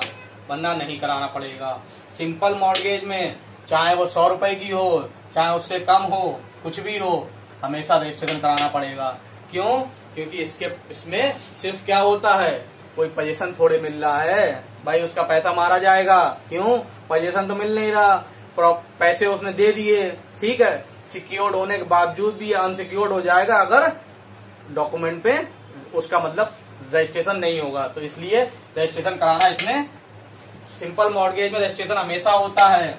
बाकी तीन में कंडीशनल सेल में यूजो फैक्ट्री में इंग्लिश में, अगर सौ रुपए से ऊपर होगा तो होगा। मॉडगेज या डिपॉजिट टाइटल डीड में कभी नहीं होता। क्यों? क्योंकि वो अपने आप ही कागज़ पे ही पूरा काम होता है, ठीक है? अरे भाई, उसने बैंक में कागज़ रखे, तभी ये होगा। ठीक? बात समझ में आई? चलिए क्वेश्चन इसमें इसी तरीके से आते हैं। ये चार्ट बना लीजिएगा, याद कर लीजिएगा, ठीक है? तो हम लोगों ने इसमें कौन कौन देख लिया? 58 और 59 देख लिया। अब देखिए, इसमें जो है, कुछ सेक्शन केवल राइट्स एंड लाइबिलिटीज की बात करते हैं, वो आप खुद पढ़ लीजिएगा। मैं क्या क्या इसमें पढ़ाऊँगा आपको? देखिए, हम लोग पढ़ेंगे, साथ में सेक्शन 60 को पढ़ेंगे, ठीक? और 60 को पढ़ेंगे।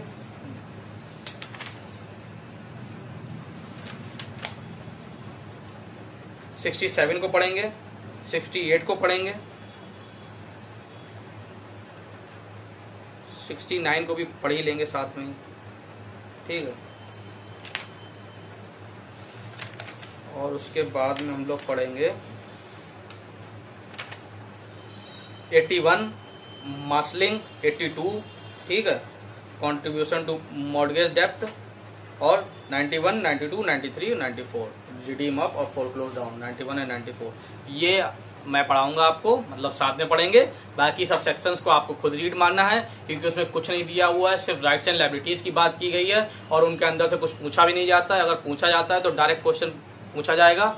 मतलब सिर्फ़ सेक्शन ये बात बता देंगे कि बताओ ये चीज़ कौन से सेक्शन में दी हुई है। तो आप ऐसे ही याद कर लेना, उससे भी काम चल जाएगा। एक बार रीडिंग मान लेना तो आपको राइट्स लाइबिलिटी भी मालूम हो जाएँगे। उसके अंदर से नहीं आता है, ठीक? चलिए। तो इसका मतलब हम लोग मॉडगेज दो से तीन लेक्चर और बनेंगे। तीन और मॉडगेज हो जाएगा, ठीक? उसके बाद क्या रह जाएगा? उसके बाद कुछ नहीं है लीज है एक्सचेंज है गिफ्ट है और एक्सनेबल क्लेम है। हो ही जाएगा थोड़े दिनों में, ठीक? चलिए तो ऐसा करिएगा चैनल को सब्सक्राइब ना किया हो तो सब्सक्राइब सब्सक्राइब कर लीजिएगा और वीडियो को लाइक भी किया करिए भाई। लाइक तो बढ़ते ही नहीं है व्यूज़ तो बढ़ रहे हैं, लेकिन लाइक नहीं बढ़ रहे हैं। इसका मतलब आपको अच्छी नहीं लग रही है। ठीक है, अच्छी नहीं लग रही है तो डिसलाइक करिए, अच्छी लग रही है तो लाइक करिए। ठीक है थैंक यू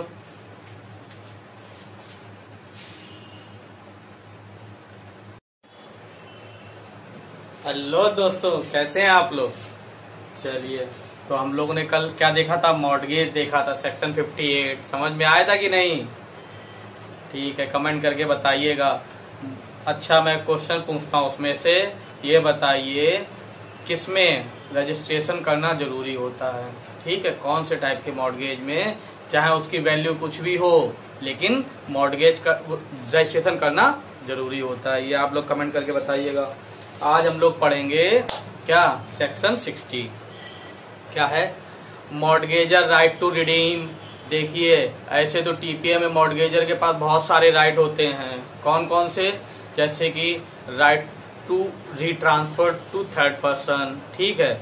अगर वो किसी, अगर वो मॉडगेजी से ये कहता है कि ये प्रॉपर्टी मुझे ट्रांसफ़र ना करके तुम किसी थर्ड पर्सन को कर दो तो मॉडगेजी को वो भी करना पड़ेगा। या मान लीजिए कि टू इंस्पेक्ट डॉक्यूमेंट कि जब तक प्रॉपर्टी उसके पास है मॉडगेजी के पास तो अगर डॉक्यूमेंट उसके पास हैं तो वो उनको जाके कभी भी चेक भी कर सकता है, ठीक है? तो ऐसे बहुत सारे राइट हैं, लेकिन हम लोग को इसमें पढ़ना क्या है? Right to redeem section sixty ठीक है? ईपीए में क्या देखेंगे हम लोग? सेक्शन सिक्सटी मेन राइट जो है, इसका, किसका? मॉडगेजी मॉडगेजर का राइट टू रिडीम किसके पास होता है? मॉडगेजर पास। मॉडगेजर कौन होता है? अरे भाई, जिसने प्रॉपर्टी अपनी गिरवी रखी है, जो जिसने लोन लिया है और लोन लेते समय अपनी प्रॉपर्टी गिरवी रखी है, उसको हम क्या कहते हैं? मॉडगेजर। कल तो हमने ये बात बताई थी ना, ये तो बेसिक है, मॉडगेजर कौन है, मॉडगेजी कौन है, ठीक है? चलिए तो देखते हैं राइट टू रिडीम क्या है भाई।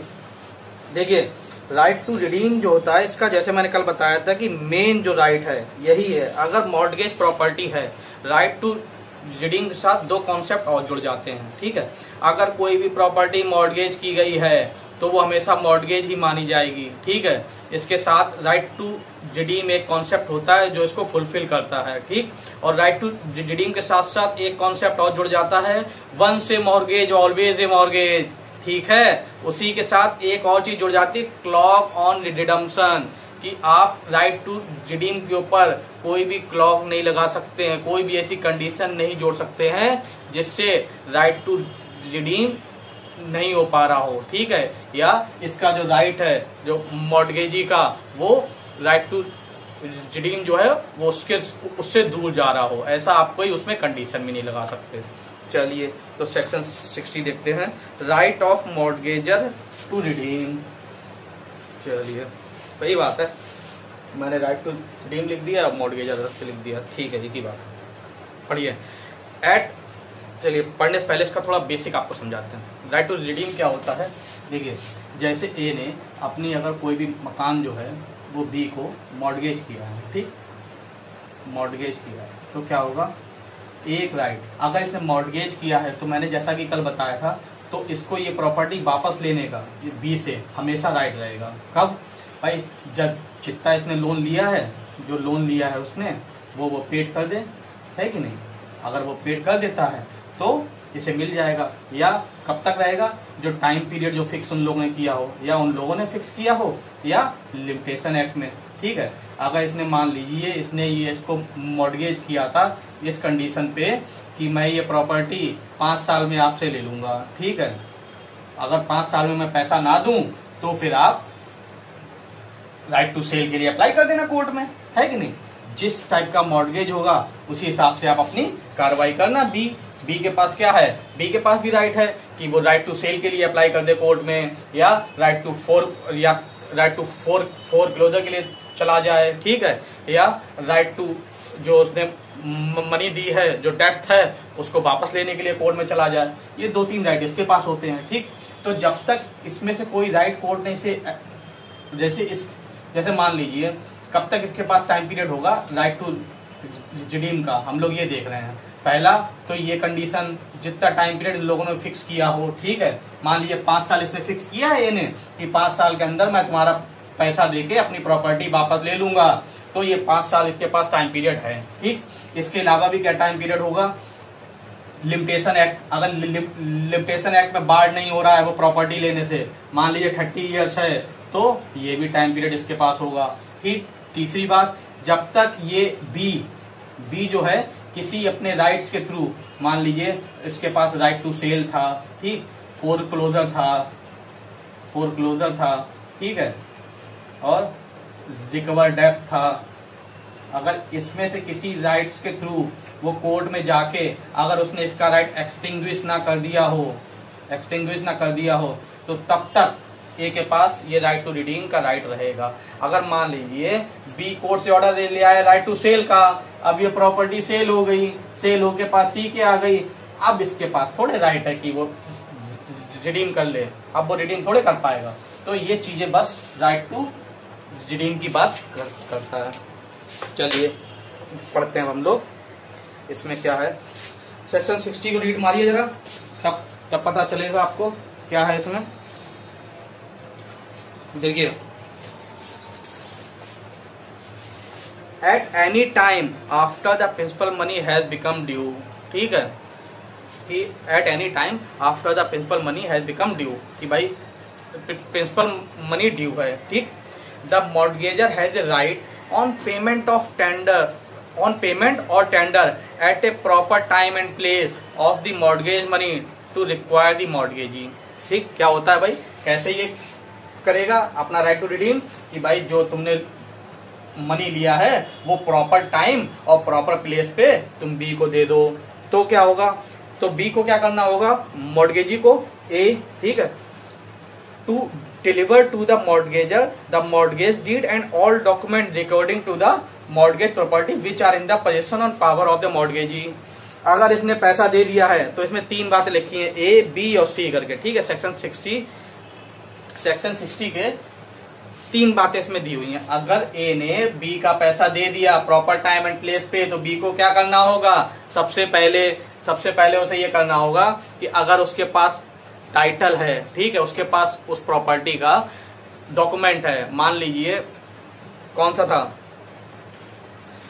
मॉडगेज बाई टाइटल डीड था, ठीक है। अब तो उसमें क्या करना होगा उसे? तो उसे जो भाई आपके पास डॉक्यूमेंट है बी के पास वो उसे वापस दो, है कि नहीं? चलिए, दूसरी बात।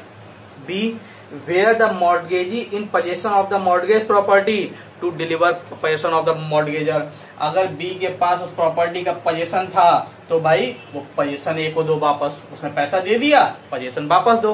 बेसिक चीज़ें हैं, ठीक? सी क्या बोलता है?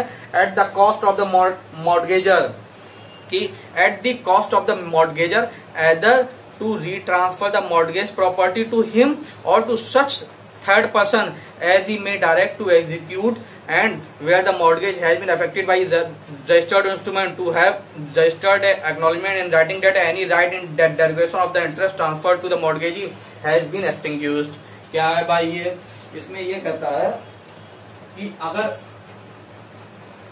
मॉडगेजर के ही खर्चे पे इसके खर्चे पे, ठीक है? ए के खर्चे पे ही। अगर ए कहता है कि तुम ये मुझे नहीं, तुम ये प्रॉपर्टी मुझे वापस ना करके, तुम ये सी को वापस कर दो, ठीक है?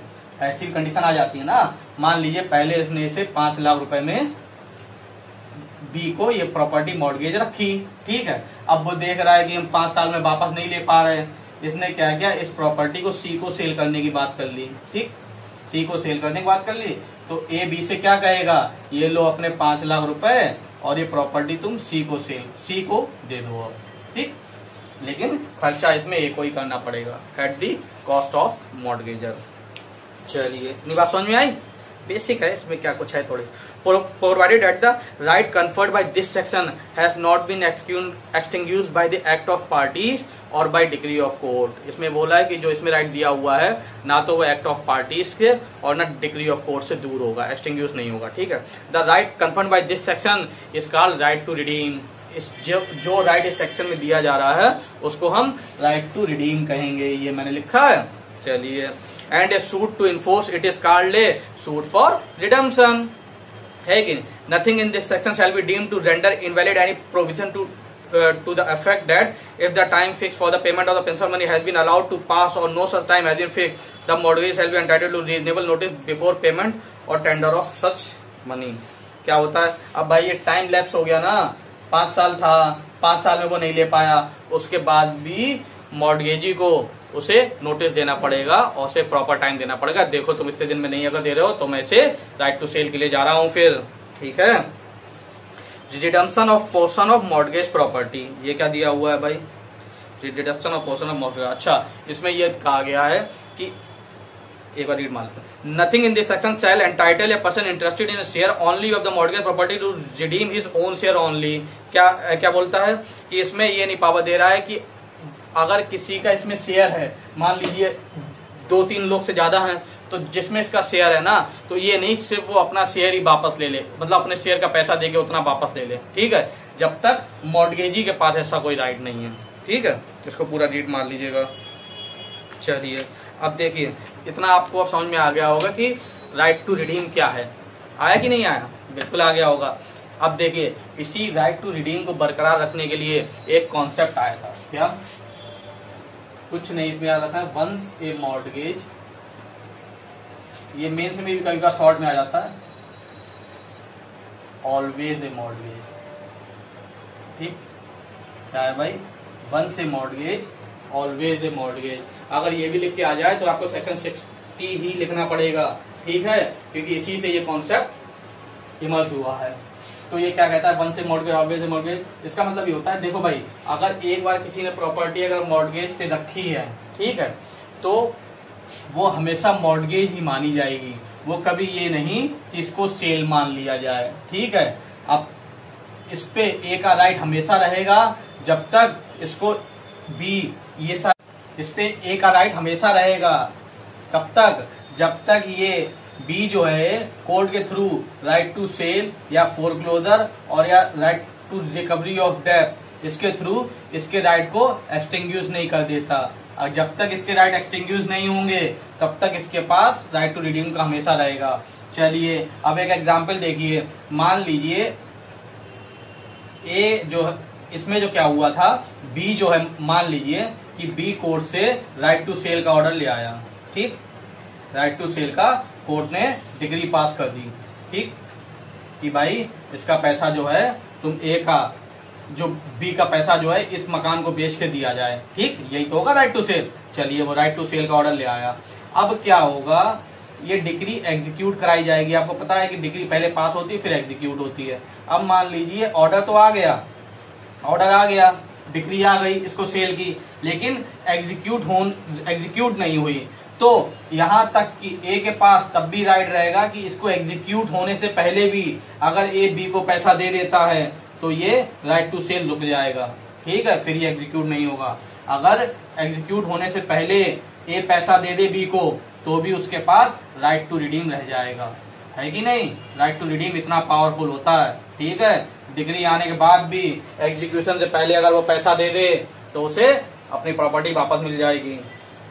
चलिए अब इसी को, इसीलिए इसको वन से मॉर्गेज ऑलवेज ए मॉर्गेज बोलते हैं। देखिए प्री में एक क्वेश्चन आता है कि ये कॉन्सेप्ट जो है वन से मॉर्गेज ऑलवेज ए मॉर्गेज ये किससे आया था? मतलब किस केस में आया था? तो इसमें दो केसेस हैं, ठीक है? पहला Harris versus Harris Harris versus Harris ठीक? दूसरा Vernon versus Bethell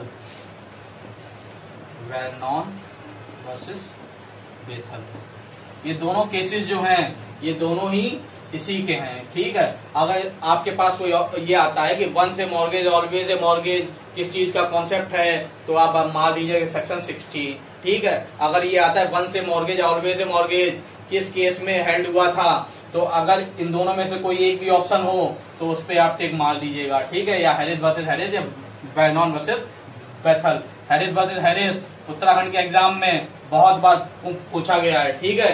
PDF paper उठा के देखिएगा, आपको मिल जाएगा। क्या क्या क्वेश्चन आया था? कि once mortgage always a mortgage case का लीड इसका लीडिंग केस कौन सा है? तो आपको टिक मार के आना है Harris versus Harris Himachal Pradesh में ये वाला आया था। क्या? कि वेनॉन वर्सेस पैथल किसका लीडिंग केस है? तो वन से मॉर्गेज ऑलवेज से मॉर्गेज का। ठीक है तो ये दोनों आप याद रखिएगा। चलिए, इसी के साथ एक कॉन्सेप्ट होता है clog on redemption clog on redemption क्या है भाई ये? क्लॉग ऑन रिडम्सन भी इसी की एक कॉन्सेप्ट है, जो ये बोलता है कि अब अब आप ये तो जान गए कि राइट टू रीडिंग को आप डायरेक्टली उससे नहीं छीन सकते, ये से है कि नहीं? राइट टू रिडीम तो उसके पास रहेगा ही रहेगा।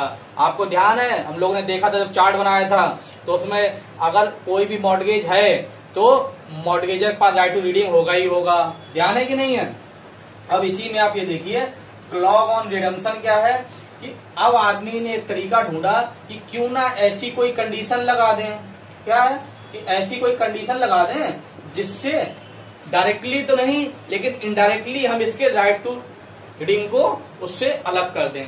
कैसे?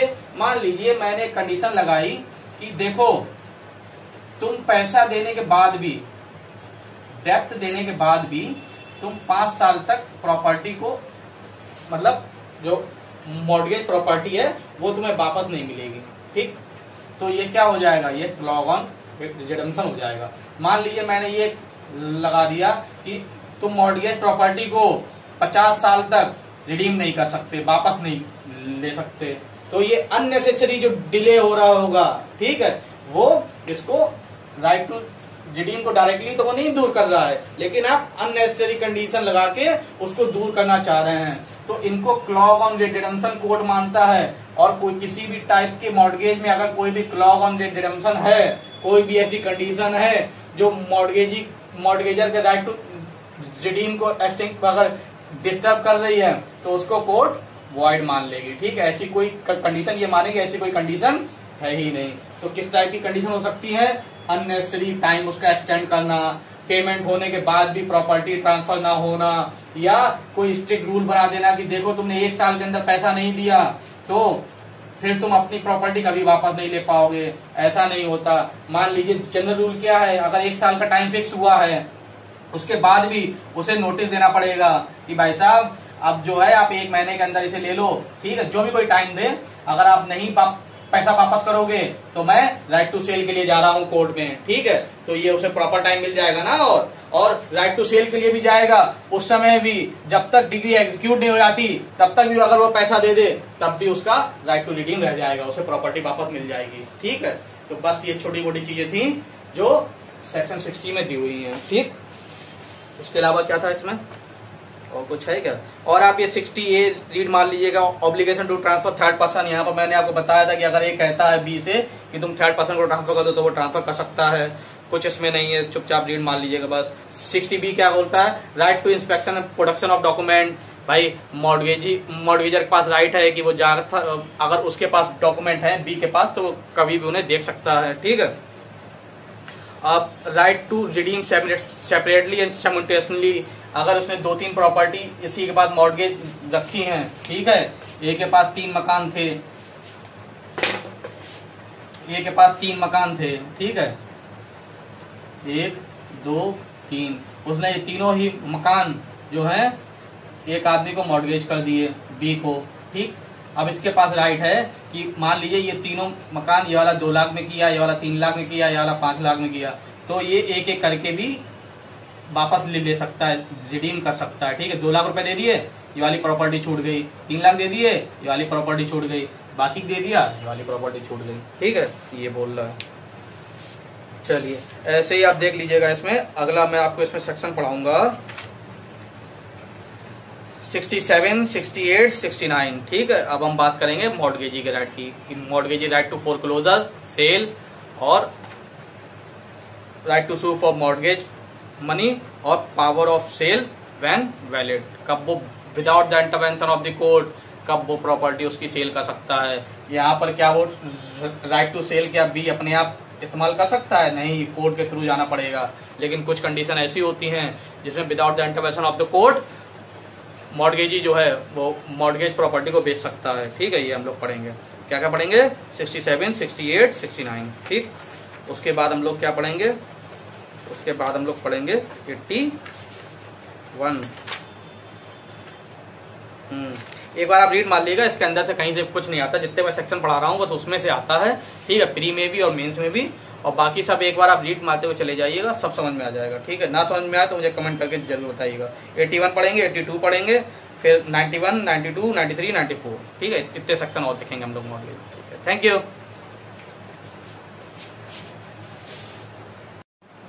हेलो दोस्तों, कैसे हैं आप लोग? चलिए तो लास्ट लेक्चर में ओटीपी में क्या पढ़ा था?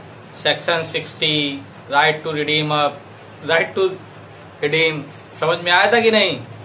भाई साहब मॉडगेजर का सबसे इम्पोर्टेंट राइट होता है राइट टू रिडीम अगर कोई भी मॉडगेज कोई भी प्रॉपर्टी अगर मॉडगेज हुई है तो वो हमेशा मॉडगेज ही मानी जाएगी. क्यों? क्योंकि उसके पास मॉडगेजर के पास राइट टू रिडीम होता है सिर्फ़ इसलिए. ठीक है, हम लोगों ने पढ़ा था. लास्ट लेक्चर अगर आप लोगों ने देखा हो, जो पहली बार ये लेक्चर देख रहा हो तो वो देख ले। और हम लोग ने इंट्रोडक्शन से पूरा स्टार्ट किया था सेक्शन वन से, और हम लोग यहाँ तक पहुँच गए हैं, ठीक है? इसके अलावा भी हमारे चैनल पे और कौन कौन से प्ले लिस्ट है? इसके अलावा एस है टॉट है, ठीक है? प्ले लिस्ट में जाके इस चैनल की चेक कर लीजिएगा। आपके काम का जो हो, वो आप पूरा देख सकते हैं, ठीक है? चलिए तो हम लोग आज पढ़ेंगे, भाई मॉडगेजी के क्या राइट होते हैं? मॉडगेजी के हम लोग देखे थे कि तीन इंपॉर्टेंट राइट होते हैं। क्या क्या right to foreclose right to sale और right to recovered mortgage money यही तीन राइट होते हैं ना मेन और बहुत सारे राइट होते हैं, लेकिन ये तीन मेन है जो हम लोग को पढ़ने हैं। हम लोग मॉडगेज मॉडगेज में कौन कौन सेक्शन पढ़ेंगे हम लोग? हम लोग ने 58 पढ़ा, ये तो इम्पोर्टेंट था ही। 59 पढ़ा 60 पढ़ा 67 अभी हम लोग देख रहे हैं। 68 देखेंगे। और कौन सा देखेंगे? 81 देखेंगे 82 देखेंगे और 91 से 94 तक देखेंगे। इतने हम लोग देखेंगे, ठीक है? इसके अलावा बाकी सारे सेक्शंस इम्पोर्टेंट नहीं है। आप लोग खुद रीड मारिएगा, ना समझ में आए तो मुझे बताइएगा, ठीक है? चलिए, इस पे आते हैं। राइट टू फोर क्लोजर और सेल सेक्शन 67 चलिए, बेरक खोलिए। क्या बोलता है भाई? In the absence of contract to the contrary ठीक है, इसको तो हटाई दीजिए। The mortgagee has at any time after the mortgage money become due to him and before a decree has been made for the redemption of mortgage property और the mortgage money has become paid और deposit as hereinafter provided a right to obtain from the court a decree that the mortgagor shall be absolutely debarred of his right to redeem the property और a decree that the property be sold. क्या कह रहा है भाई ये? ये 67 ये बोल रहा है कि तीन कंडीशन में कौन कौन सी? ये देखिए मैंने लिख के रखी है। पहला in the absence of the contract the mortgagee has at any time after the mortgage money has become due ये बता रहा है सेक्शन 67 कि वो फोर क्लोजर के लिए और सेल के लिए कोर्ट कब जा सकता है? ये तीन कंडीशन में जा सकता है। कि किसी भी समय at any time when the mortgage money has become due जब जो उसने मॉडगेज मनी की है ना, जो प्रॉपर्टी उसने दी थी, वो जो उसने मनी जो दिया था, वो ड्यू है, ठीक है? और ऑब्वियसली मान लीजिए मैंने कोई एक मकान गिरवी रखा पाँच लाख रुपए में मॉडगेज रखा पाँच लाख रुपए में, ठीक है? उसने मुझसे कहा था कि मैं दो साल में ये पैसे देके आपसे छुड़ा लूँगा, ठीक है? अब दो साल कंप्लीट हो गया, वो आ ही नहीं रहा तो मुझे क्या करना पड़ेगा? अब क्या है? अब मॉडगेज मनी तो मेरी ड्यू है ही तो मैं दो साल बाद कोर्ट पहुँच जाऊँगा। इसके लिए, या तो फोरक्लोजर के लिए, या सेल के लिए। तो पहला mortgagor mortgage money has become due दूसरा before the decree of redemption कहीं ऐसा ना हो कि वो सेक्शन 60 में अब दूसरी पार्टी है, वो राइट टू रिडीम का ऑर्डर ले आए। वो कब ला पाएगा? जब वो मेरा पैसे दे देगा। ठीक है? तो पहला mortgage money has become due दूसरा before the decree of redemption तीसरा mortgage mortgage money has paid और डिपॉजिट जब ये तीनों काम ना हो, ठीक है? कि भाई पैसा भी ड्यू है, ठीक है? ये डिग्री ऑफ़ रिडम्सन भी ना लाया हो मॉडगेजर और उसने पैसा पेड या डिपॉजिट भी ना किया हो। इन तीनों ही केस में मॉडगेजी के पास क्या राइट है? कि वो कोर्ट जाए और इनमें से कोई एक डिग्री लेके आए, क्या? या तो डिग्री ऑफ़ फोरक्लोजर या डिग्री ऑफ़ सेल। पढ़िए इसे। लिखा था यहाँ पे? क्या लिखा था? और the mortgage money has paid और deposit hereinafter provided a right to obtain from the court a decree that the mortgagor shall be absolutely divide of his right to redeem ये जो है ना आप अगला वाला पैराग्राफ पढ़िए। A suit to obtain a decree that a mortgagor shall be absolutely divide of his right to redeem the mortgage property is called a suit for foreclosure तो ऊपर जो, ऊपर दिया है ना from the court a decree that the mortgagor shall be absolutely divide तो ये पूरी डेफिनेशन दी हुई है सूट फॉर फोरक्लोजर की। तो इसको हम लोग डिग्री ऑफ़ फोरक्लोजर भी तो कह सकते हैं। बिल्कुल कह सकते हैं। भाई, जब फोरक्लोजर की पूरी डेफिनेशन लिख दी उसको उसको हम लोग डेफिनेशन पर लिख के सिर्फ़ फोरक्लोजर लिख ले रहे हैं।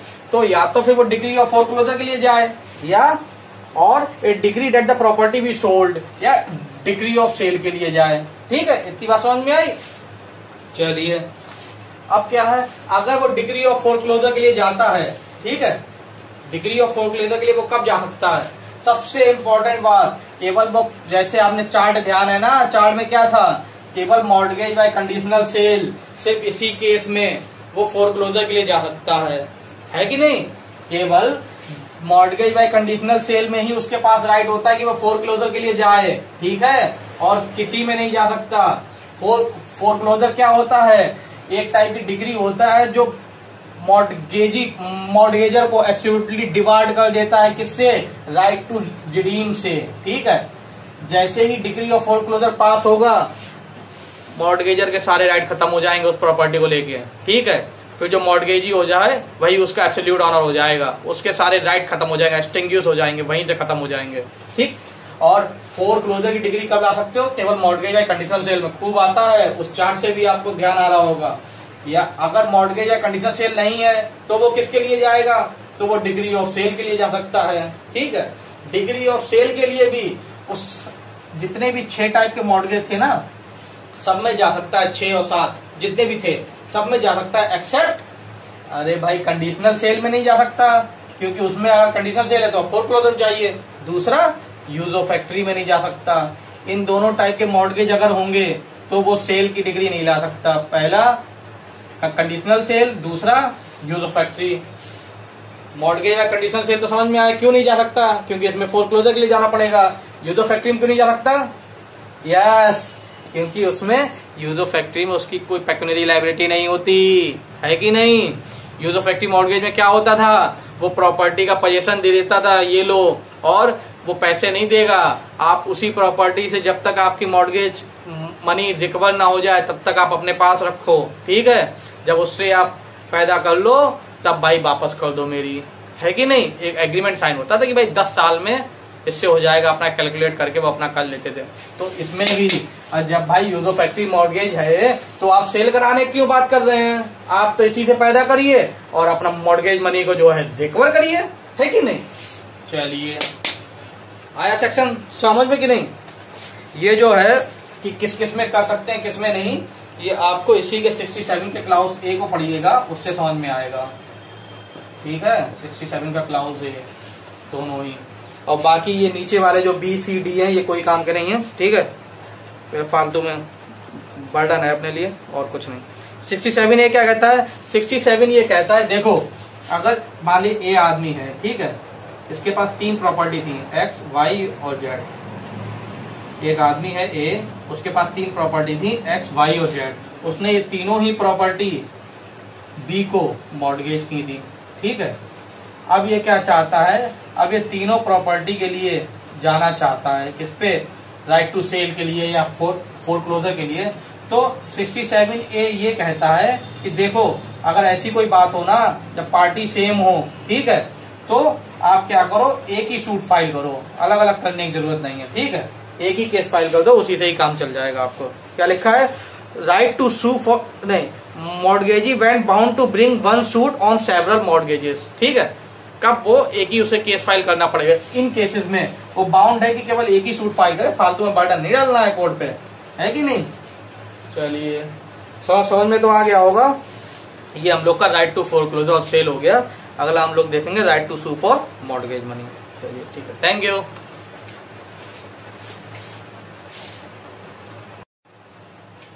चलिए दोस्तों तो लगे हाथ हम लोग। Right to sue for mortgage money भी देख लेते हैं। क्या है इसमें? सेक्शन 68 छोटा सा ही है हो जाएगा तुरंत ही। Right to sue for mortgage money यही तो तीन मेन राइट थे जो हम लोग को पढ़ने हैं। किसके? मॉडगेजी के। है कि नहीं? चलिए, क्या बोलता है भाई सेक्शन 68 सेक्शन 68 चार बातें बताता है। चार कंडीशन में, चार ऐसी कंडीशन बताता है, जब मॉडगेजी के पास राइट है कि वो मॉडगेज मनी के लिए केस फ़ाइल कर सकता है। है कि नहीं? कि भाई, अब फोर क्लोजर देख लिया कि फोर क्लोजर के लिए कब कर सकता है? अगर कंडीशनल सेल है तो फिर फोर तो वो फोर क्लोजर के लिए कर देगा। ठीक है? अब सेल के लिए कब कब कर सकता है? अगर मॉडगेज बाई कंडीशनल सेल या यूज़ ऑफ़ फैक्ट्री मॉडगेज नहीं है तो वो सेल के लिए कर सकता है। ये दोनों ही चीज़ों में तीन कंडीशन फुलफिल होनी चाहिए। कौन कौन सी? कि जो मॉडगेज मनी है, वो ड्यू है। ठीक है? और डिग्री ऑफ़ रिडम्सन नहीं है, ठीक है? और उसने जो मॉडगेज मनी है, वो पेड नहीं की है, ठीक? पेड या डिपॉजिट नहीं की है। तो इन तीनों ही कंडीशन है, वो दोनों में से किसी एक चीज़ को चूज़ कर लेगा, या तो फोरक्लोजर या सेल ठीक? अब इनके अलावा तीसरा होता है कि मॉडगेज मनी के लिए वो कब जा सकता है कि भाई जो हमने पैसा दिया है, वो मुझे मिल जाए। उसमें चार कंडीशन दी हुई हैं। कौन कौन सी? जब पहली ये बात कि मॉडगेज मॉडगेजर ने अपने आप को बाइंड मॉडगेजर ने अपने आप को बाइंड किया है कि वो मॉडगेज मनी पे करेगा। ठीक है? अभी थोड़ा डिटेल में समझा देंगे। पहला where the mortgagor binds himself to repay to repay the same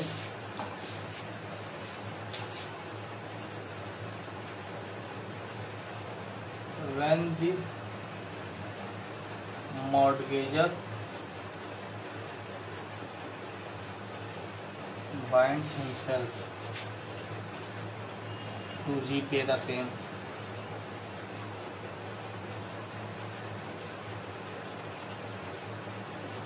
दूसरा where the mort mortgage property destroyed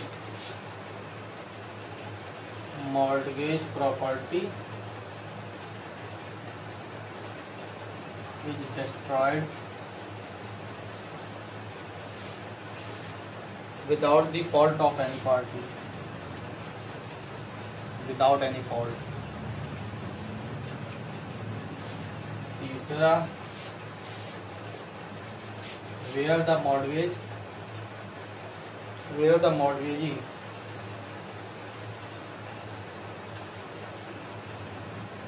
is deprived of his is deprived of his security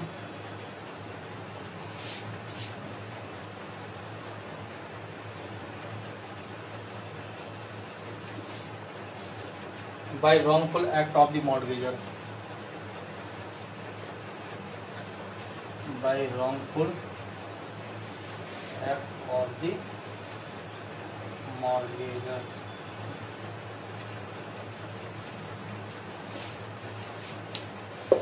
where the mortgagee being entitled to possession the mortgager failed to deliver the possession where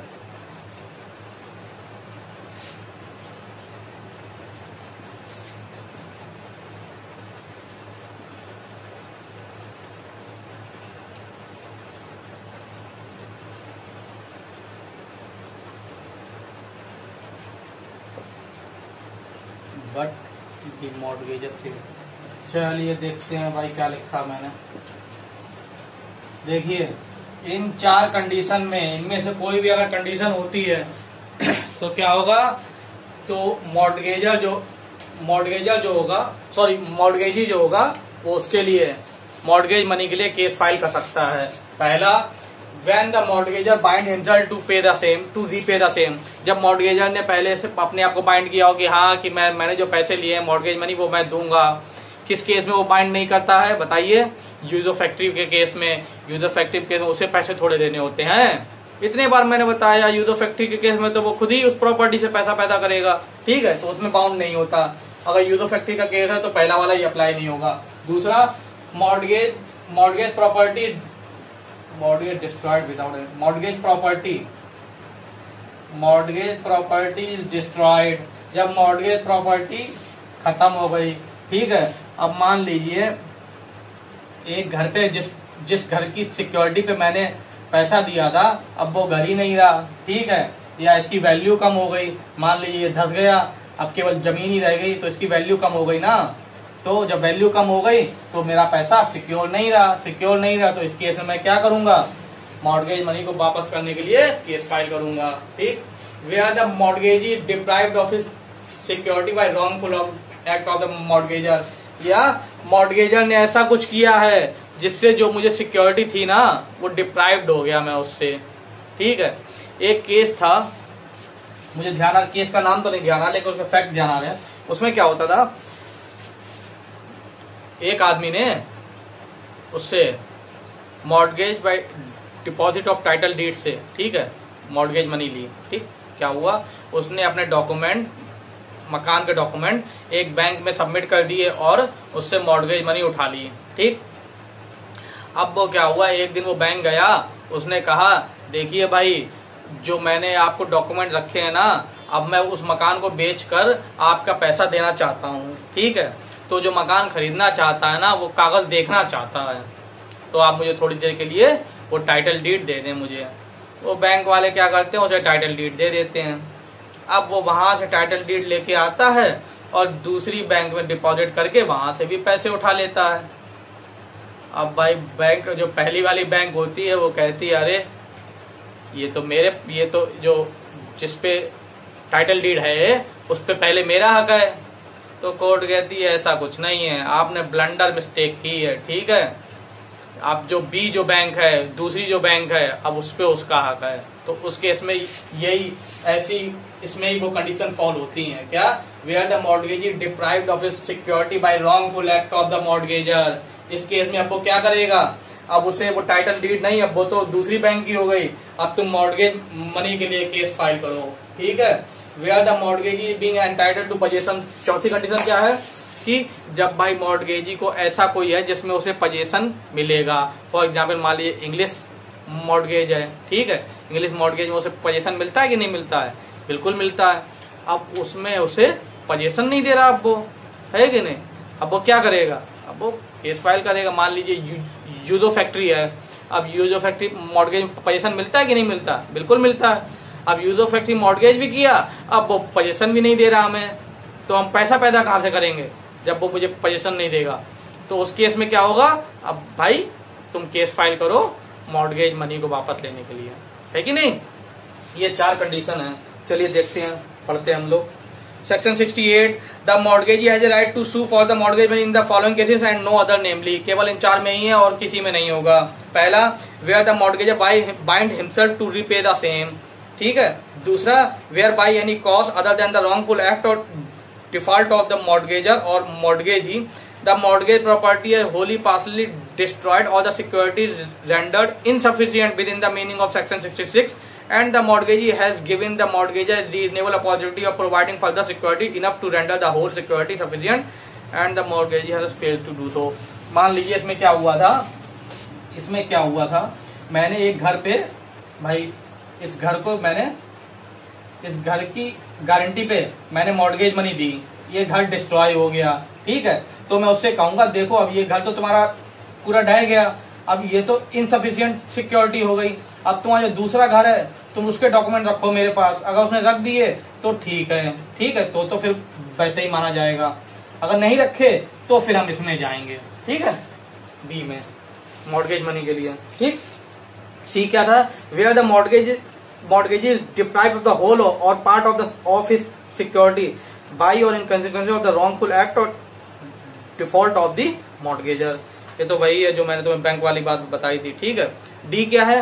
Where the mortgagee being entitle to possession of the mortgage property वही लिखा हुआ है। चलिए, ठीक है, आप लोग read मार लीजिएगा। सेकंड क्लाउस क्या बोलता है इसका? Where a suit is brought under clause A or B मतलब ए और बी के केस में।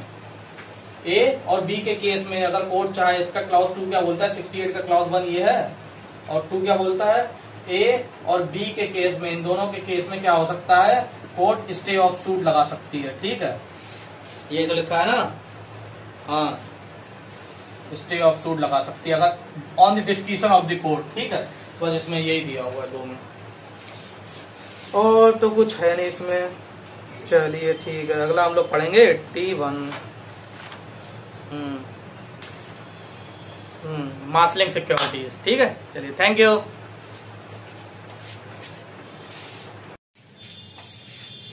हेलो दोस्तों, कैसे हैं आप लोग? चलिए तो टीपीएम हम लोग का कहाँ तक हो गया था? सेक्शन 68 तक हो गया था। Right to sue for mortgage money समझ में आया था कि नहीं? कमेंट कमेंट करके बताया करिए। वैसे मैं आप लोग से बहुत खुश हूँ, आप लोग इतना ज़्यादा कमेंट कर रहे हैं, ठीक है? सब्सक्राइबर भी बढ़ रहे हैं।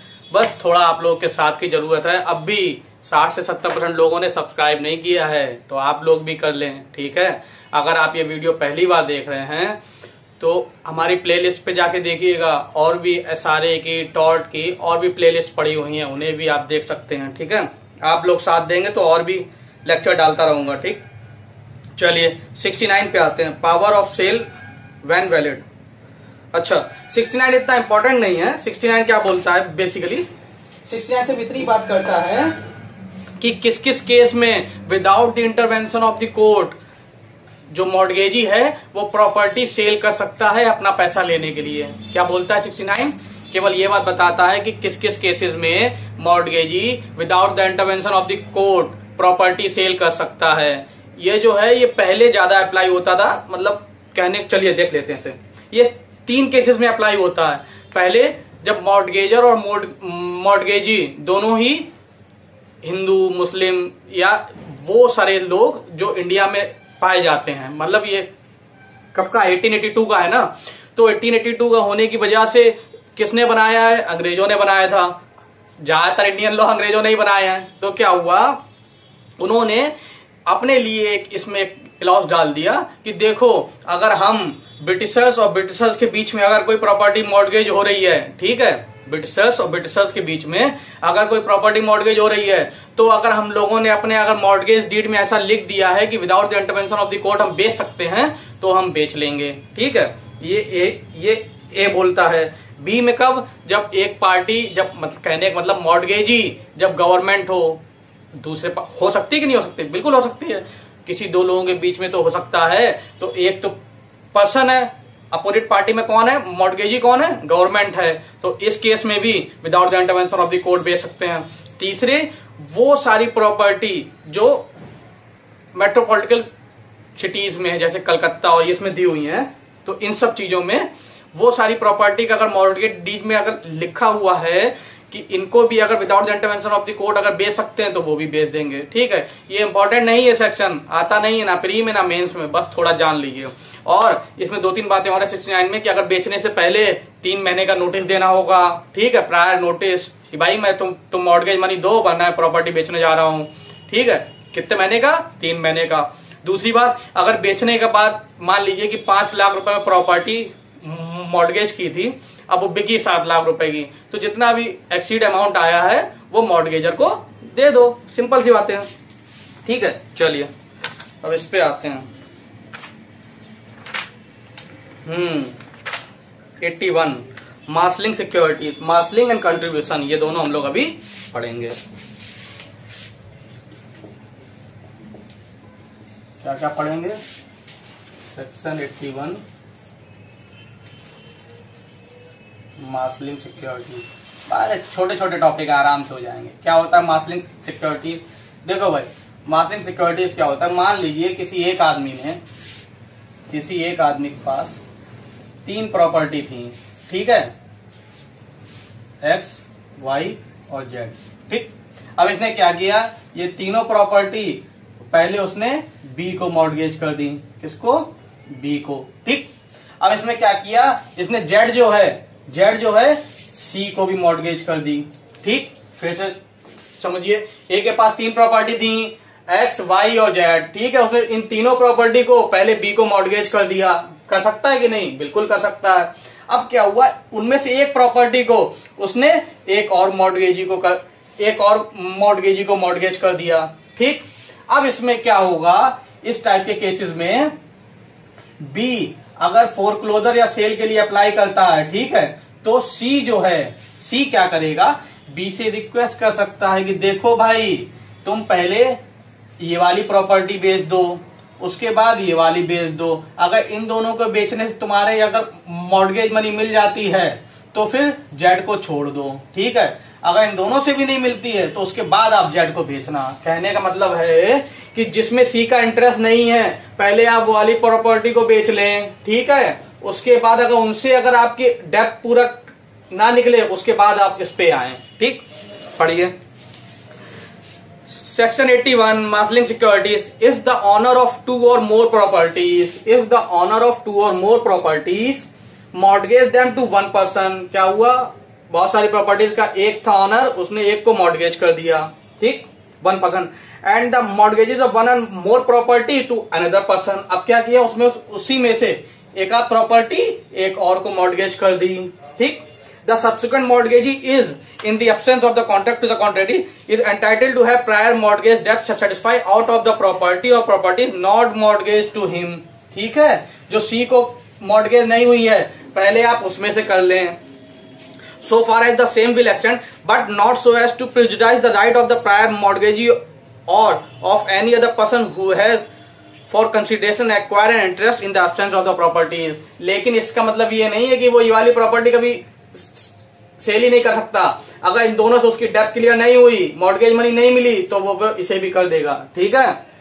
चलिए, समझ में आएगी नहीं आया? अरे आसान ही। है अब कॉन्ट्रीब्यूशन क्या बोलता है?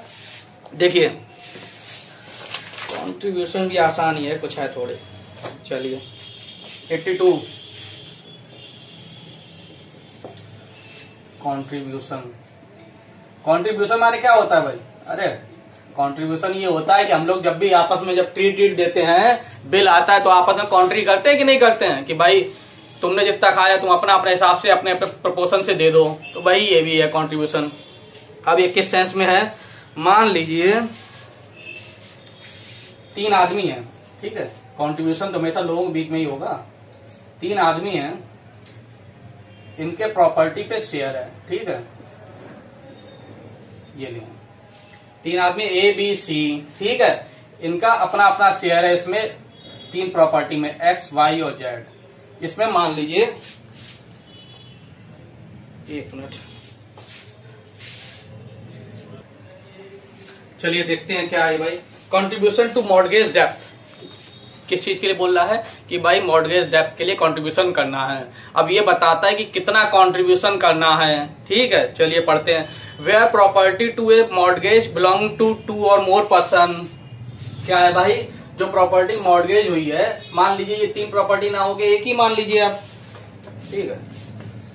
अब मान लीजिए एक ही प्रॉपर्टी है ये। एक प्रॉपर्टी है, लेकिन उसमें शेयर तीनों का है, ठीक है? शेयर तीनों का है। Where property subject to a model belong to two or more person having distinct and separate rights of ownership therein the different share in one part or the other अब क्या बोलता है? मान लीजिए इन तीनों का डिफरेंट शेयर भी है। मान लीजिए कि ये प्रॉपर्टी की पूरी कीमत, मान लीजिए साठ लाख है, ठीक है? तो एक ही इसमें तीस लाख की है प्रॉपर्टी बी की जो है वो बीस लाख की है, इसकी दस लाख की है। ठीक है? इस इस हिसाब से इस प्रॉपर्टी में शेयर है इनका। कितना? मान लीजिए पूरी प्रॉपर्टी का वैल्यू साठ लाख है। ए का जो शेयर है वो तीस लाख का है बी का जो है बीस लाख का है सी का जो है दस लाख का है। ठीक है? अब इन तीनों ने क्या किया? इन तीनों ने मॉडगेज कर दी है प्रॉपर्टी डी को। ठीक? कर दी कि नहीं कर दी? कितने रुपए में? मान लीजिए छह लाख रुपए में। ठीक है? छह लाख में इन्होंने प्रॉपर्टी मॉडगेज कर दी डी को। तो अब जब पैसे इन्हें देने होंगे ना डी को तो किस हिसाब से दिए जाएँगे? यही ये बोलता है कॉन्ट्रीब्यूशन टू मॉडगेज डेट जिस हिसाब से जो प्रॉपर्टी मॉडगेज हुई है, उसमें जितना इनका शेयर है, उसी प्रपोर्शन में ये इसको पैसे मॉडगेज डेट देंगे। तो इस हिसाब से क्या? तीन लाख इसको देना पड़ेगा, दो लाख इसको देना पड़ेगा, एक लाख इसको छह लाख रुपए ना? तो तीन दो पाँच एक छह। ऐसे ये लोग अपने प्रपोर्शन के हिसाब से जितना इनका शेयर है प्रॉपर्टी में, उसी हिसाब से इन्हें मॉडगेज डेप्थ में कंट्रीब्यूशन करना पड़ेगा। सिंपल सी बात है, समझ में आ गई? तो चलिए फिर से पढ़ते हैं। Liable to contribute rateably to the depth secured by the mortgage and for the purpose of determining the rate at which each share or part shall contribute ठीक है? जिस हिसाब से इनका शेयर है, उसी हिसाब से इनका कंट्रीब्यूशन मान लिया जाएगा। एक बात और इसमें दे दी गई है the value thereof shall be deemed to be its value at the date of mortgage after deduction of the amount of any mortgage any other mortgage or charge to which it may have subject on the date ये क्या बोलता है? Simple ये बात बोलता है कि देखो, क्योंकि जिस हिसाब से इनका कॉन्ट्रीब्यूशन हो जिस हिसाब से इनका शेयर है शेयर के हिसाब से ही इनका कॉन्ट्रीब्यूशन होगा। ठीक? अब मान लीजिए, आखिरी वाली लाइन से बोलती है कि अगर कोई प्रॉपर्टी पे कोई चार्ज है, या वो किसी और को मॉडगेज हो रखी है, मान लीजिए ये प्रॉपर्टी इसने दस लाख की है, इसने सी ने सिर्फ़ सी ने ये प्रॉपर्टी पाँच लाख में किसी और को शेयर पे दे रखी, किसी और को मॉडगेज कर रखी थी, मान लीजिए ई e को, ठीक है? ध्यान से समझिएगा छोटी सी बात है बस। अब पहले सिंपल रूल क्या था? जितना शेयर है, उसी हिसाब से कंट्रीब्यूशन दे दिया, ठीक? अब मान लीजिए कोई एक प्रॉपर्टी थी सी ने अपने शेयर को पहले से ही ई e को मॉडगेज पे रख रखा है ठीक है? तो अब ये पाँच लाख पे अगर रखी हुई है तो अब इसकी वैल्यू पाँच ही मानी जाएगी। क्योंकि पाँच पे तो ये पहले से ही रख गई उधर है कि नहीं? तब इसकी वैल्यू कि, कितनी मानी जाएगी? पाँच लाख।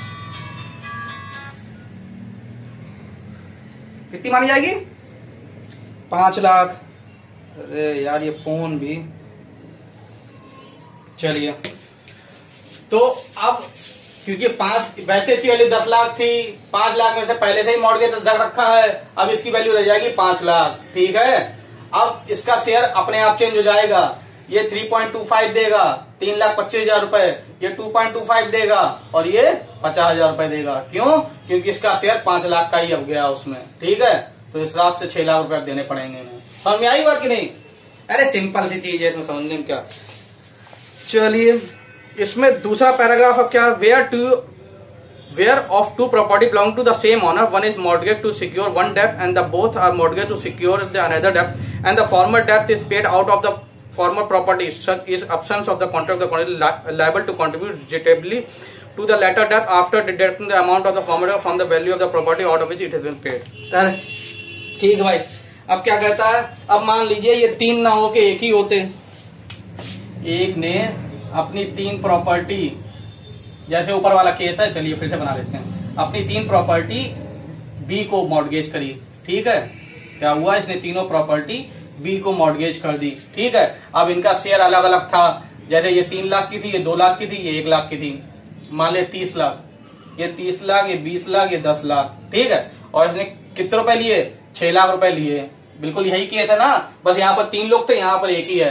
तो अब इसे अगर प्रॉपर्टी अपनी छुटानी होगी ना तो ये तीन लाख रुपए देके ये वाली छूट जाएगी, दो लाख रुपए देके ये वाली छूट जाएगी, एक लाख रुपए देके ये वाली छूट जाएगी। ठीक है? मतलब एक एक करके भी वो छुड़ा सकता है, जिस हिसाब से उसकी वैल्यू है, उसी प्रोपोर्शन में अगर वो पैसा बी को देता रहे। ठीक है? ये इसका सेकंड पैराग्राफ बोलता है। थर्ड पैराग्राफ क्या बोलता है? थर्ड ये बोलता है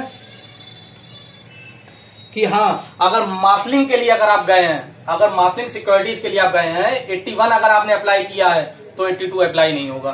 क्या बोलता है? Nothing in this section apply to a property liable under section 81 to the claim of subsequent mortgagee ठीक है? 81 के लिए अगर आपने अप्लाई कर दिया तो 82 के लिए अप्लाई नहीं होगा। कहने का मतलब इसमें दो ही पैराग्राफ आपको याद रखने हैं। ये वाला और ये वाला। ये पैराग्राफ वाला जो पैराग्राफ फ़र्स्ट था, उसके ये है, और ये पैराग्राफ सेकंड है, उसका है। ठीक है? चलिए, अब तो कोई दिक्कत है नहीं इसमें। हम्म। आगे हम लोग पढ़ेंगे अब इसमें। 91 एक्चुअली में क्या है? 91 को रिडीम अप बोलते हैं और 94 को फोरक्लोजर डाउन ठीक है? क्या है? 91 को रिडीम अप 94 को फोरक्लोज डाउन ये हम लोग पढ़ेंगे लास्ट में। ठीक है? क्यों? क्योंकि इसमें प्री में सिर्फ़ इतना ही आता है। क्या क्वेश्चन आता है? कि which sex which section of TPA is known as redeem up foreclose down तो आपको टिक मार के आना है 91 94 क्या आता है? रिडीम अप 91 बात करता है। फोर क्लोज डाउन 94 बात करता है। डायरेक्ट ऐसे ही आता है ठीक है? एक तो ये आर्टिकल ये, ये वाले सेक्शन भी याद रखिएगा और ये जो इसको क्या शॉर्ट में कहते हैं, इसको जेडीएम अप कहते हैं, इसको फोर क्लोज डाउन कहते हैं, ये भी याद रखिएगा। ठीक है? और इस पर थोड़ा मेंस में आता है तो उसके लिए आंसर फ्रेम करना पड़ेगा। इसीलिए मैं आपको बाद में पढ़ाऊँगा। चलिए सबरोगेशन अभी देखेंगे हम लोग। सबरोगेशन और प्रोहिबिशन ऑफ़ टैकिंग ठीक है? थैंक यू चलिए, फिर लगे हाथ, ये भी देख लेते हैं भाई सबरोगेशन क्या है। सेक्शन 92 और 93 एक साथ पढ़ने होते हैं। क्या है? सेक्शन 92 बोलता है डॉक्ट्राइन ऑफ़ सबरोगेशन और सेक्शन 93 बोलता है प्रोहिबिशन ऑफ़ टेक टेकिंग क्या है भाई दोनों? देखिए सबरोगेशन माने क्या होता है? पता है? सबरोगेशन माने होता है किसी और के जूते में अपना पैर डालना। क्या होता है भाई? सबरोगेशन सब्रोगेशन माने होता है किसी और के जूते में अपना पैर डालना। मतलब किसी और के राइट को खुद एक्वायर कर लेना। ठीक है, किसी की पोजीशन पे आपको खुद आ जाना। कैसे? मान लीजिए, ये ने ये प्रॉपर्टी थी। ठीक है? किसको? इसने ये प्रॉपर्टी तीन लोगों को मॉडगेज की। किस बी सी और डी क्या हुआ? ए के पास तीन प्रॉपर्टी थी एक्स वाई जेड और उसने वो तीन आदमी को मॉडगेज पे कर दी। बी सी और डी ठीक है? अब क्या होता है? सेक्शन 91 क्या कहता है? कि इसके अलावा मॉडगेजर के अलावा और कौन कौन इसमें प्रॉपर्टी जिसका भी इंटरेस्ट होगा, वो इस प्रॉपर्टी को रिडीम के लिए डाल सकता है। ठीक है? 91 क्या कहता है?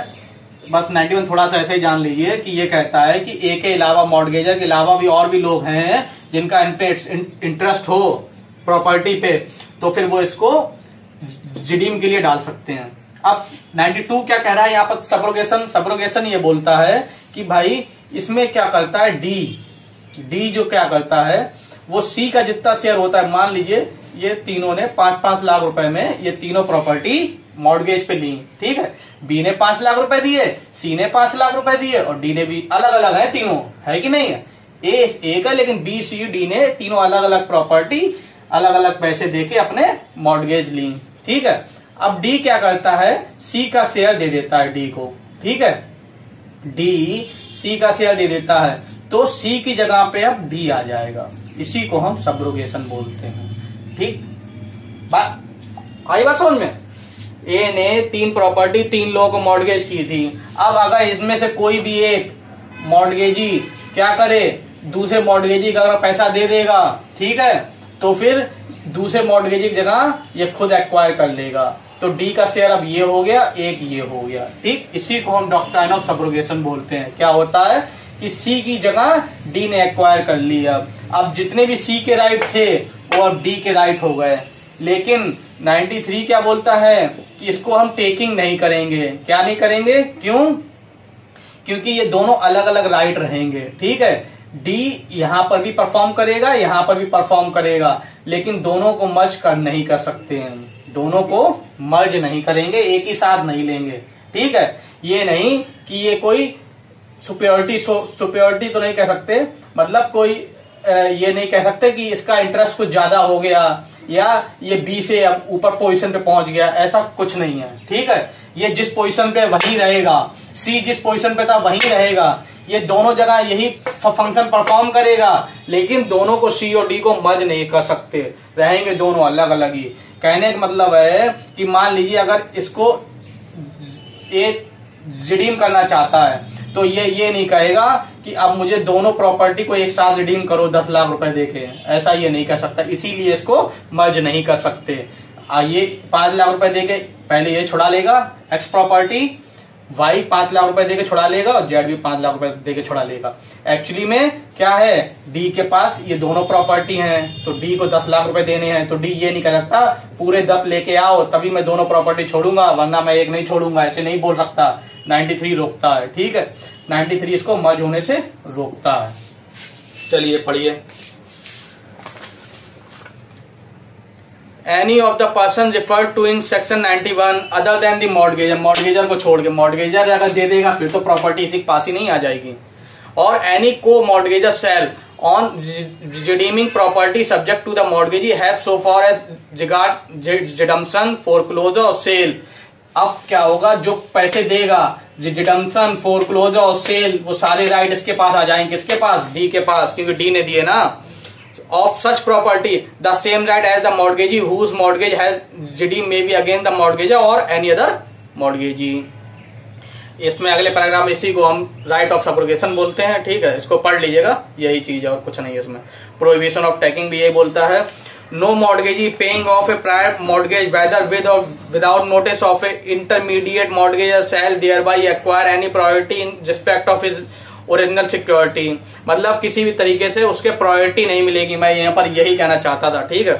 कि किसी भी तरीके का उसके पास प्रायोरिटी नहीं आ जाएगा। रहेगा सेम ही, ठीक है? सी के जो राइट थे वही रहेंगे। बस तुम दो दो जगह मतलब फ़ंक्शन परफॉर्म करोगे, ठीक है?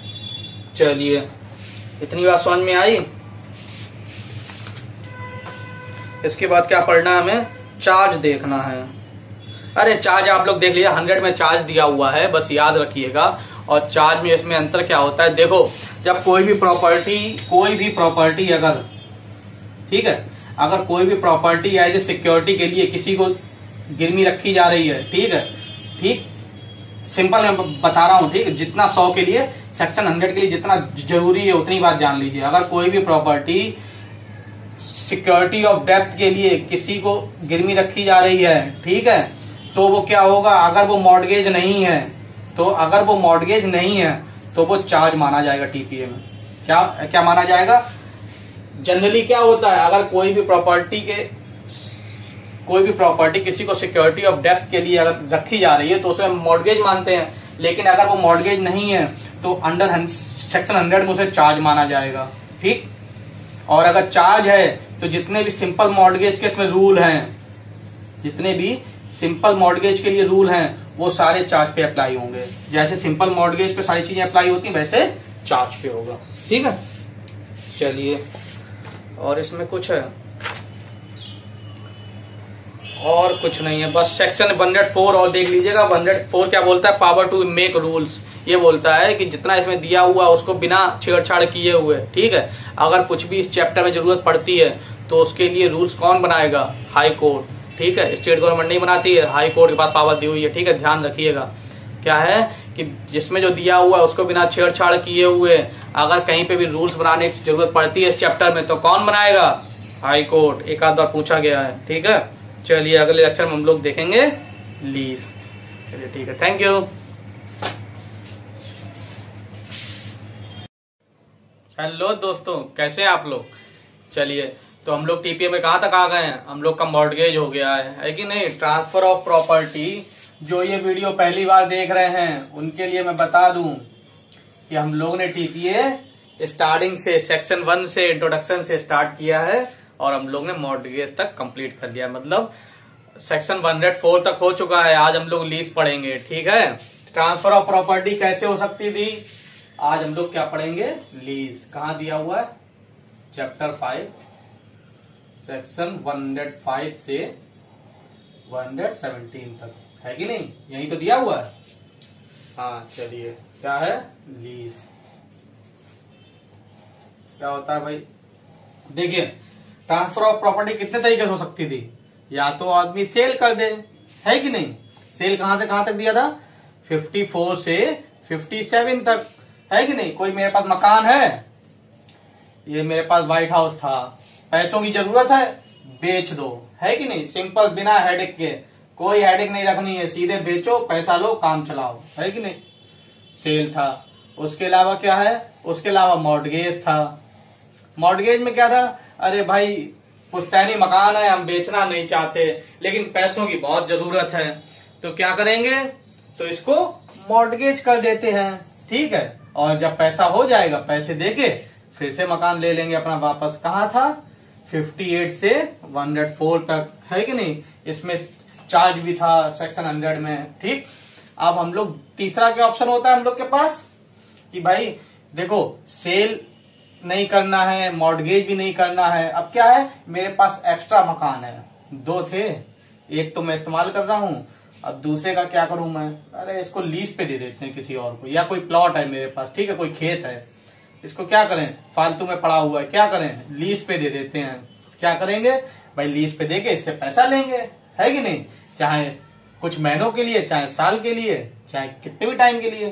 तो ऐसे ही एक जो है, ट्रांसफ़र ऑफ़ प्रॉपर्टी का एक ऑप्शन लीज भी होता है। इसके अलावा और क्या रह जाएगा? लीज कहाँ से, कहाँ तक दिया हुआ है? अभी हम लोग देखा, एक से पाँच से एक सौ सत्रह। इसके अलावा एक ऑप्शन क्या होता है? इसके बाद आएगा आपका गिफ्ट नहीं एक्सचेंज। सॉरी एक्सचेंज भी कर सकते हैं। है कि नहीं? एक्सचेंज 118 से 121 उसके बाद क्या आएगा? उसके बाद गिफ्ट आएगा। 122 से एक है कि नहीं? चलिए ये सब पढ़ेंगे आराम से। अब दो तीन लेक्चर रह गए हैं और आप लोग वीडियो खूब लाइक भी कर रहे हैं बहुत अच्छा लग रहा है। है कि नहीं?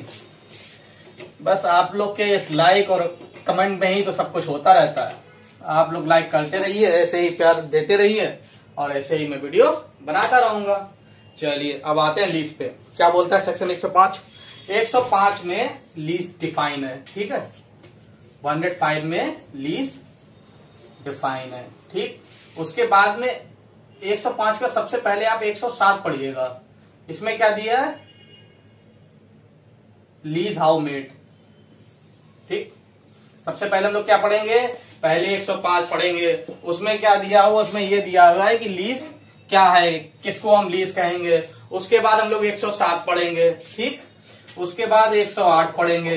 ड्यूरेशन ऑफ़ लीज, कितने टाइम पीरियड के लिए क्या होगी? ठीक है, चलिए पहले ये पढ़ लेते हैं, उसके बाद आगे के देखेंगे।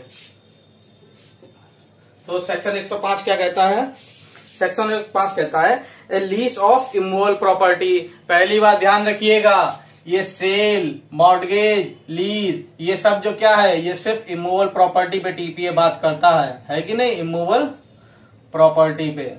मूवेबल पे नहीं अप्लाई होगा, ठीक है?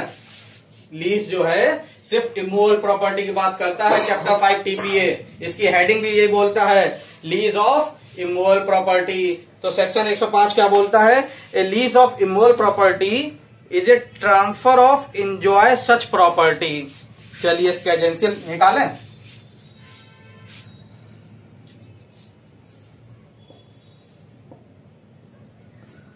लीज के एजेंसियल्स देखते हैं। क्या निकलेंगे भाई? पहला नोट कर लीजिए कि lease of immovable property is a transfer of right to enjoy क्या होता है? सिर्फ़ राइट टू इंजॉय ट्रांसफ़र होता है इसमें। मॉडगेज में क्या होता है? सिर्फ़ उसके लिए। अगर यूजो फैक्ट्री है तो तो वो ट्रांसफ़र देगा, लेकिन मॉडगेज में हमेशा ऐसा नहीं कि ट्रांसफ़र होगा। है कि नहीं? कमेंट करके बताइएगा किसमें ट्रांसफ़र की ज़रूरत नहीं होती है। ठीक है? Mortgage by deposit of title deed में क्या ट्रांसफ़र की ज़रूरत होती है? नहीं। सिर्फ़ कागज़ दे दिए जाते हैं। है कि नहीं? अब सेल में तो ऑनरशिप ही ट्रांसफ़र होती है। है कि नहीं? उसमें कोई राइट टू एंजॉय थोड़ा ट्रांसफ़र होता है। एब्सोल्यूट ऑनरशिप ट्रांसफ़र होगी। एक बार मैंने बेच दिया, अब बेच दिया। अब कुछ नहीं रहा मेरा उसमें। है कि नहीं? एक्सचेंज में क्या होता है? एक्सचेंज में भी एब्सोल्यूट ऑनरशिप ट्रांसफ़र होगी। चलिए, अब पहले इसी पे आते हैं। इनको हटा देते हैं, वरना ये हमेशा डिस्टर्ब करते रहेंगे। ध्यान वहीं पहुँच जाएगा बार बार। लीज पे बात नहीं हो पाएगी। चलिए। क्या है भाई? पहला एजेंसियल है कि ट्रांसफ़र ऑफ़ एंजॉय केवल ट्रांसफ़र ऑफ़ एंजॉयमेंट हो सकता है, केवल होता है, ठीक है? Transfer of enjoy of such property चलिए, किस लिए? अरे ऑब्वियसली कंसिडरेशन के लिए होगा, है कि नहीं? कुछ पैसे उससे मिलेंगे तभी तो हम कर रहे हैं। तीसरा फॉर सर्टेन टाइम अगर टाइम अनसर्टेन है तो वो लीज नहीं माना जाएगा। है कि नहीं? तो क्या वो लीज माना जाएगा? आज बोर्ड गड़बड़ कर रहा है। चलिए पढ़ते हैं। A lease of immovable property transfer of right to enjoy such property made for a certain time express or implied है कि नहीं? एक्सप्रेस इम्प्लाइड और इन परपिटिटी सर्टेन टाइम या तो एक्सप्रेस होगा। अभी बात करते हैं इस पर या इम्प्लाइड होगा या परपिचुटी में होगा। ठीक है? In consideration of a price paid or promise है कि नहीं? और ऑफ़ मनी अब कंसिडरेशन क्या हो सकता है? या तो कोई प्राइस हो सकता है ठीक है? मनी हो सकता है शेयर हो सकता है है कि नहीं?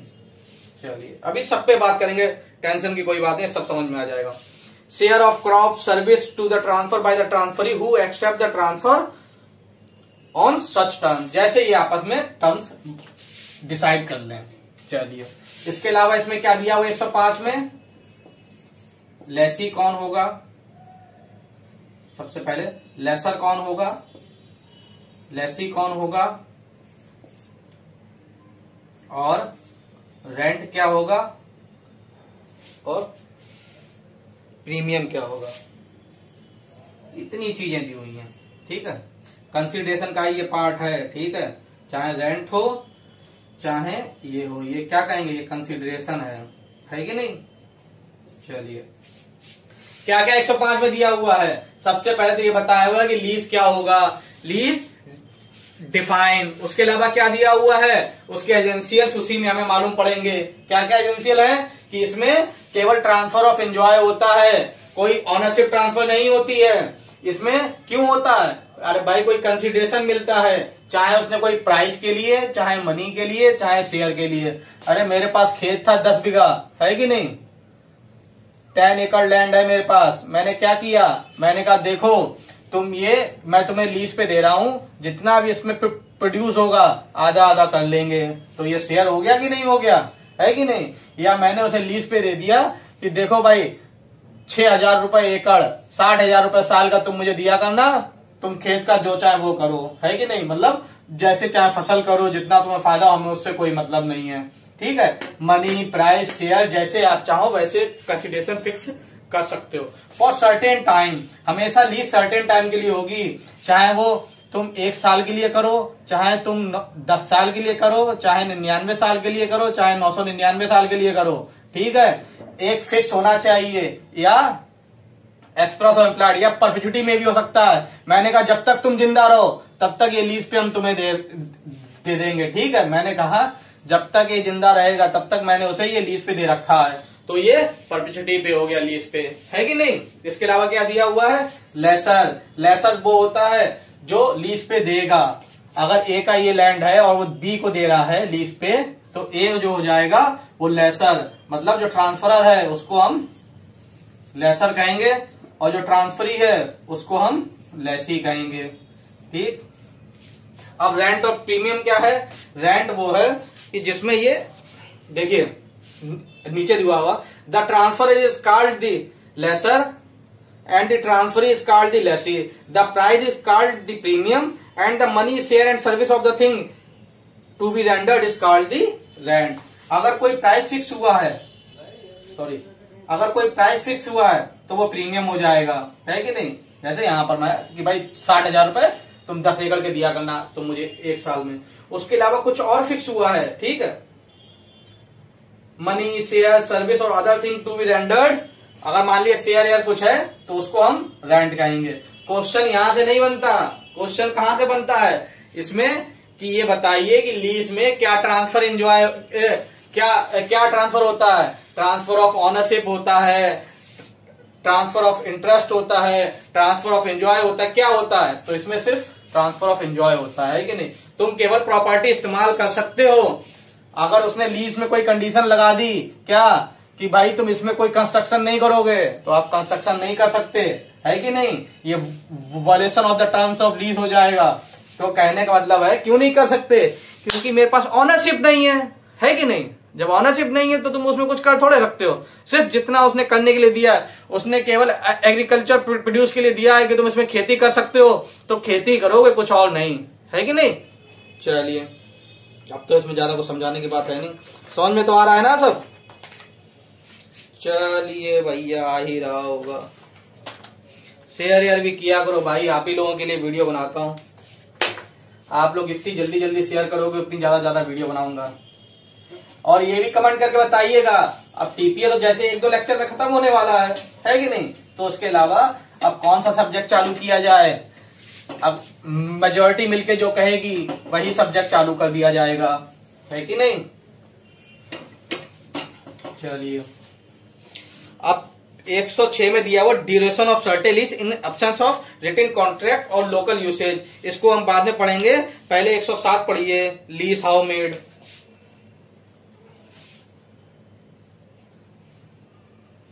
ड्यूरेशन 106 में था। बताया करो। आप कहाँ से बताओगे? ऑनलाइन क्लासेस में यही तो दिक्कत होती है। अगर कुछ मैंने मान लो यहाँ पर 106 में लिखना चाहता लेकिन 108 लिख गया तो फिर वो गलती रहेगी। अगर वहाँ पे कोई स्टूडेंट बैठा होता सामने तो वो टोक देता, सर, ये 108 नहीं 106 है। है कि नहीं? चलिए लीज हाउ मेड देखते हैं? सेक्शन एक सौ पाँच बाद हम लोग क्या पढ़ रहे हैं? एक सौ सात। लीज हाउ मेड कैसे लीज बनेगा? देखिए भाई साहब। इसमें क्या होता है? बहुत सिंपल है, पढ़ लेते हैं। A lease of immovable property from year to year or for any term exceeding one year ठीक है? कहने का मतलब है, अगर कोई भी लीज ईयर टू ईयर है ईयर टू ईयर या जिसमें ईयरली रेंट फिक्स है ईयरली रेंट ठीक? कोई भी लीज ईयर टू ईयर या ईयरली रेंट फिक्स है तो वो हमेशा वो राइटिंग में होना चाहिए। ठीक? क्या होना चाहिए? अगर कोई भी लीज ईयर टू ईयर है, मान लीजिए मैंने ये खेत इसे नौ साल के लिए, दस साल के लिए मैं दे रहा हूँ, ठीक है? एक साल से ज़्यादा के लिए अगर दे रहा हूँ मोर देन वन ईयर ठीक है? तो हमें इसका रजिस्ट्रेशन कराना पड़ेगा, ठीक? A lease of immovable property from year to year or for any term exceeding one year or reserving yearly rent can be made only by a registered instrument इसका मुझे क्या कराना पड़ेगा? ये रजिस्ट्रेशन के थ्रू होगी। अगर साल भर से ज़्यादा है तो ठीक? एक साल या एक साल ज़्यादा है, या ईयरली रेंट जिसमें फिक्स है, उन दोनों केसेस में क्या है? Year to year or for any time term exceeding one year or reserving a yearly rent अगर ईयरली रेंट फिक्स है, या ईयर टू ईयर है, या मोर देन वन ईयर है, ठीक?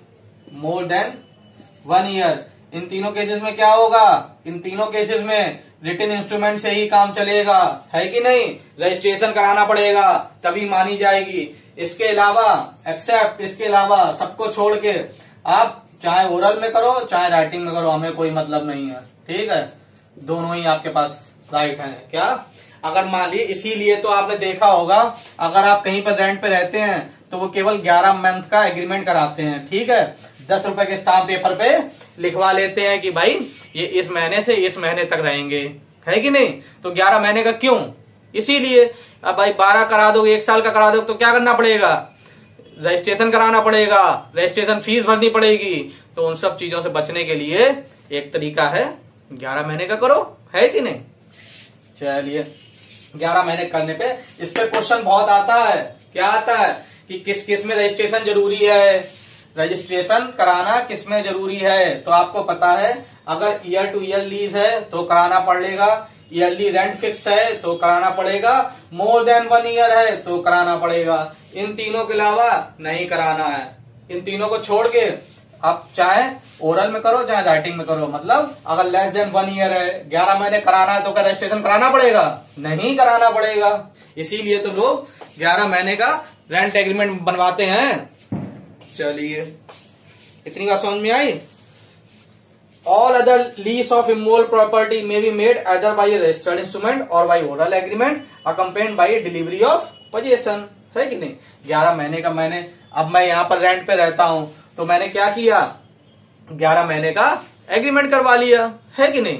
क्या मालिक ने मुझे क्या दे दिया? इस कमरे का पजेशन दे दिया कि रहो इसमें आराम से। चलिए। Where a lease of immovable property is made by registered instrument such instrument or where there are more instrument than one each such instrument shall be executed by both the lessor and the lessee अरे भाई, अगर कोई भी registered instrument से है तो उसमें दोनों के, दोनों उसे एग्जीक्यूट कराएँ, दोनों के साइन ऑफ़ में। ठीक? और कुछ नहीं है। नीचे स्टेट गवर्नमेंट वाली बात तो ऐसे ही फालतू की है। ठीक है? समझ में आई बात की नहीं इतनी? अरे इसमें समझना था ही क्या? 105 हो गया 107 हो गया। अब आप देखिए duration of lease duration of lease क्या है? अब भी बताते हैं।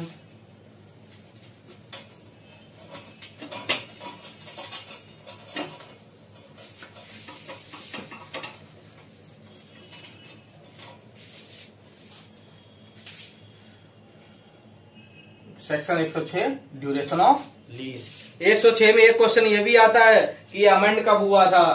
ठीक है? ये 2002 में अमेंड हुआ था, ठीक? सब्सिट्यूट हुआ था पूरा ये 106 काफ़ी पूछा जाता है, ध्यान रखिएगा। एक और 53 ए मुझे कमेंट करके बताइएगा, कब जोड़ा गया था 53 ए ठीक है? ये भी पूछा जाता है। और 106 2002 में जोड़ा गया था। हम्म। 2003 है इन्फोर्समेंट डेट 2002 है, वैसे 2003 है, ठीक है? चलिए, अब ड्यूरेशन ऑफ़ लीज क्या है? देखिए, पढ़ते हैं। In the absence of a contract or local law or usage of contrary ठीक है? ये ऊपर ऊपर वाली लाइन हटा दिया करिए। अगर कोई भी वहाँ पे अपने हिसाब से उन्होंने अपने कॉन्ट्रैक्ट में कुछ लिख लिया है, या वहाँ पे कोई पहले से कस्टम चला आ रहा है तो वो अलग बात है, ठीक है? तो वो माना जाएगा। अगर ऐसा कुछ नहीं है तो जो हम बता रहे हैं मतलब जो टीपीए बता रहा है तो ये माना जाएगा। टीपीए क्या बता रहा है? A lease of immovable property of agriculture or manufacturing purpose दो चीज़ों के लिए। एग्रीकल्चर मैन्युफैक्चरिंग पर्पस इन दोनों के लिए, अगर आपने किसी को कोई प्रॉपर्टी ये प्लॉट था, ये मैंने एग्रीकल्चर पर्पस के लिए दिया, ठीक है, या मैन्युफैक्चरिंग पर्पस के लिए दिया तो इन दोनों केसेस में ये प्रिज्यूम करके चलेंगे कि ये ईयर टू ईयर है, ठीक है? हम क्या प्रिज्यूम करके चलेंगे कि अगर आपने किसी को एग्रीकल्चर या मैन्युफैक्चरिंग पर्पज के लिए कोई लैंड लीज पे दी है तो अगर आपने कॉन्ट्रैक्ट में कुछ नहीं लिखा है तो ये मान के चलेंगे कि वो क्या है? ईयर टू ईयर है। है कि नहीं? अगर वो ईयर टू ईयर है तो अगर इसको हम वो करना चाहते हैं, ठीक है? Shall be to year to year अगर टर, टर्मिनेट करना चाहते हैं इस लीज को अगर हम टर्मिनेट करना चाहते हैं तो मुझे सिक्स मंथ नोटिस देना पड़ेगा। बहुत क्वेश्चन पूछा जाता है। लीज में से एक आध क्वेश्चन आते ही रहते हैं। क्या क्या आएगा? पहली बात तो कौन सी लीज ईयर टू ईयर मानी जाएगी? एग्रीकल्चर या मैन्युफैक्चरिंग पर्पज के लिए है। अगर कोई भी लीज ईयर टू ईयर है तो उसको टर्मिनेट करना चाहते हैं तो कितने दिन का नोटिस देना पड़ेगा? सिक्स मंथ नोटिस कितने दिन का? छह महीने का नोटिस देना पड़ेगा पहले से। ठीक है? और इन सबके अलावा वो मंथ टू मंथ मानी जाएगी। ठीक है? और अगर कोई भी लीज मंथ टू मंथ है, इसको अगर टर्मिनेट करना है, खत्म करना है, कितने दिन पहले नोटिस देना पड़ेगा? फिफ्टीन डेज़ ठीक है? ये बहुत क्वेश्चन पूछा जाता है। 106 में ड्यूरेशन ऑफ़ लीज कि कब तक के लिए लीज मानी जाएगी? एग्रीकल्चर और मैन्युफैक्चरिंग पर्पज के लिए ईयर टू ईयर मानी जाएगी। या तो आप अपने लीज में लीज एग्रीमेंट में साफ़ साफ़ लिखो। अगर कुछ नहीं लिखा हुआ है तो इस ग्राउंड पे हम क्या मान लेंगे? अगर एग्रीकल्चर पर्पज के लिए है तो ईयर टू ईयर मान लेंगे। मैन्युफैक्चरिंग पर्पज के लिए है तो ईयर टू ईयर मान लेंगे। और अगर ईयर टू ईयर है कोई भी लीज तो उसको टर्मिनेट करना है तो हमें सिक्स मंथ नोटिस बहुत पूछा जाता है, याद रखिएगा। सिक्स मंथ का नोटिस देना पड़ेगा। और अगर मंथली मंथली है तो फिफ्टीन डेज़ का नोटिस देना पड़ेगा। है कि नहीं? याद रखिएगा, कुछ याद रहे ना आए चलिए and lease of immovable property for any any other purposes shall be deemed to be lease from month to month terminable on the part either of the lessor or lessee by fifteen days notice ठीक है? अब दोनों में से कोई भी अगर चाहे लेसर और चाहे लेसी कोई भी टर्मिनेट करना चाहता है तो अगर ईयर टू ईयर है तो छह महीने पहले उसे नोटिस देना पड़ेगा। है कि नहीं? अरे भाई मैन्युफैक्चरिंग पर्पज के लिए लिया उसे टाइम तो देना पड़ेगा कि वो कम से कम छह महीने का तो टाइम दो कि वो खाली करे। है कि नहीं? मान लीजिए लीज आपने दस साल के लिए की थी, ठीक है? या पाँच साल के लिए की थी। अब आप उससे एक साल बाद ही कहो तो पंद्रह दिन में खाली कर देना। अरे भाई, उसने पूरा सेटअप लगा रखा है, ऐसे कैसे खाली कर देगा? कम से कम छह महीने का टाइम दो उसे। है कि नहीं? या एग्रीकल्चर पर्पज के लिए तो भी छह महीने टाइम दो। अरे कोई फ़सल हो रही है तो ऐसे थोड़े वो तुमने कहा पंद्रह दिन में खाली कर दो, ऐसे कैसे खाली हो जाएगा? दूसरी बात, अगर इसके अलावा कुछ और है मंथ टू मंथ है है कि नहीं? अरे भाई, हमसे मेरे मकान मालिक ने कहा ये खाली कर दो, है कि नहीं? ठीक है, पंद्रह दिन का टाइम दो, हम दूसरा रूम ले लेंगे, कहीं और रहने लगेंगे, है कि नहीं? उसमें कोई इशू नहीं है। तो इसमें फिफ्टीन डेज़ का नोटिस हो जाएगा। ठीक? बहुत पूछा जाता है, याद रखिएगा। चलिए। Not not withstanding anything contained in any other law for the time being enforced the period mentioned in subsection 1 shall commence from the date of receipt of notice अब ये छह महीने पंद्रह दिन का टाइम कब से चालू होगा जारे जिस दिन से नोटिस दिया है है कि नहीं जिस दिन नोटिस दिया है उसी दिन से मालूम हो जाएगा रिसिप्ट ऑफ़ नोटिस ठीक है जब से उसे नोटिस उसके पास पहुँचा है चलिए तीसरा देखें a notice under subsection one shall not be deemed to be invalid merely because the period mentioned falls short of the specified तीसरा पॉइंट ये कह रहा है कि देखो, मान लीजिए 15 डेज़ का नोटिस था, है कि नहीं? अब मान लीजिए मैंने उसे जो टाइम दिया ना, उसमें मैंने 14 डेज़ लिख दिया, ठीक है कि 14 डेज़ में खाली करो। लेकिन अगर मैंने केस जो है, ये टाइम लैप्स होने के बाद किया है, जो स्पेसिफाइड टाइम है, अगर इसके बाद मैंने केस किया है ना तो इससे कोई फ़र्क नहीं पड़ेगा। कि उसमें तुमने चौदह दिन ही क्यों लिखे थे? है कि नहीं? अरे केस तो मैंने जो टाइम लैप्स हो गया, उसके बाद ही किया, है कि नहीं? तो उससे कोई फ़र्क नहीं पड़ेगा, वो इनवैलिड नहीं होगा। चौथा पॉइंट ये कहता है कि भाई, आप जो नोटिस देना है उसे तो कैसे दें? जैसे दे पाओ, या तो तुम डिलीवरी खुद उसे दिया हो जाके, ठीक? या पोस्ट करके भेज दो, या उसके घर में किसी को सर्वेंट को, किसी को दे आओ, या उसी को मालिक को दे दो, ठीक है? मालिक को सर्वेंट को जैसे तुम देना पाओ वैसे दे दो। और कुछ ना हो, कोई ना मिले तो क्या करें? उसके घर के बाहर चिपका आना, ठीक है? कॉन्स्पीसियस पार्ट पे। उसके घर के बाहर conspicuous part of the house घर के बाहर नोटिस की तरह चिपका देना। है कि नहीं? कॉन्स्पीसियस पार्ट क्या होता है? जिस पे ध्यान जाए तुरंत। अरे, आदमी अपने घर में घुसता है, सबसे पहले गेट पे ही तो ध्यान जाएगा। तुम गेट पे नोटिस चिपका के आ गए। है कि नहीं? आप फ़िल्मों फ़िल्मों में देखा होगा, हॉलीवुड मूवियों में क्या होता है? कोई अगर अगर हस्बैंड वाइफ रह रहे हैं, कोई जाता है, कोई दूसरा सो रहा है तो उसे उठाते नहीं है, क्या करते हैं? फ्रिज पे एक स्टीकर चिपका देते हैं, पूरा अपनी बात लिख देते हैं कि हम यहाँ गए हैं, वहाँ गए हैं। तो क्या होता है? वो जानते हैं कॉन्स्पिशियस पार्ट है, आसानी से दिख जाएगा, ध्यान जाएगा इसका, ठीक है, वो जान जाएगा कि मैं कहाँ पे हूँ, है कि नहीं? तो ऐसे कॉन्स्पिशियस पार्ट ठीक? क्या है? अब ये नोटिस कैसे दिया जाएगा? जैसे चाहे डिलीवरी कर दो, उसको खुद दिया जाके पोस्ट कर दो सर्वेंट मिल जाए, घर का कोई आदमी मिल जाए, उसे दे दो।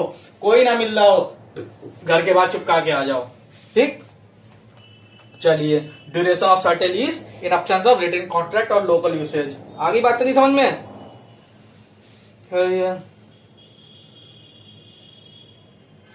और इसमें कुछ है?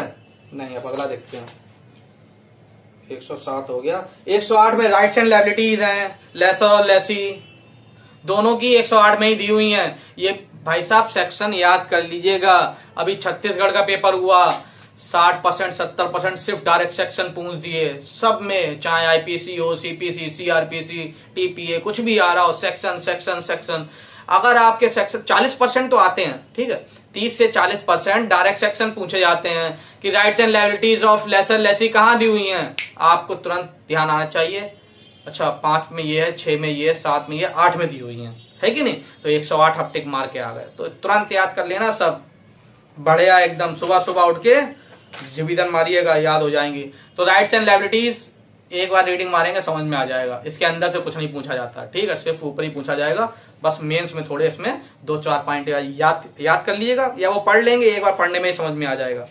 राइट्स लाइबिलिटीज क्या होती हैं? भाई प्रॉपर्टी में अगर हमने लीज पे दिया है तो जिस पर्पज के लिए दिया है, वही काम करे, उसमें कोई नुकसान ना पहुँचाए, है कि नहीं?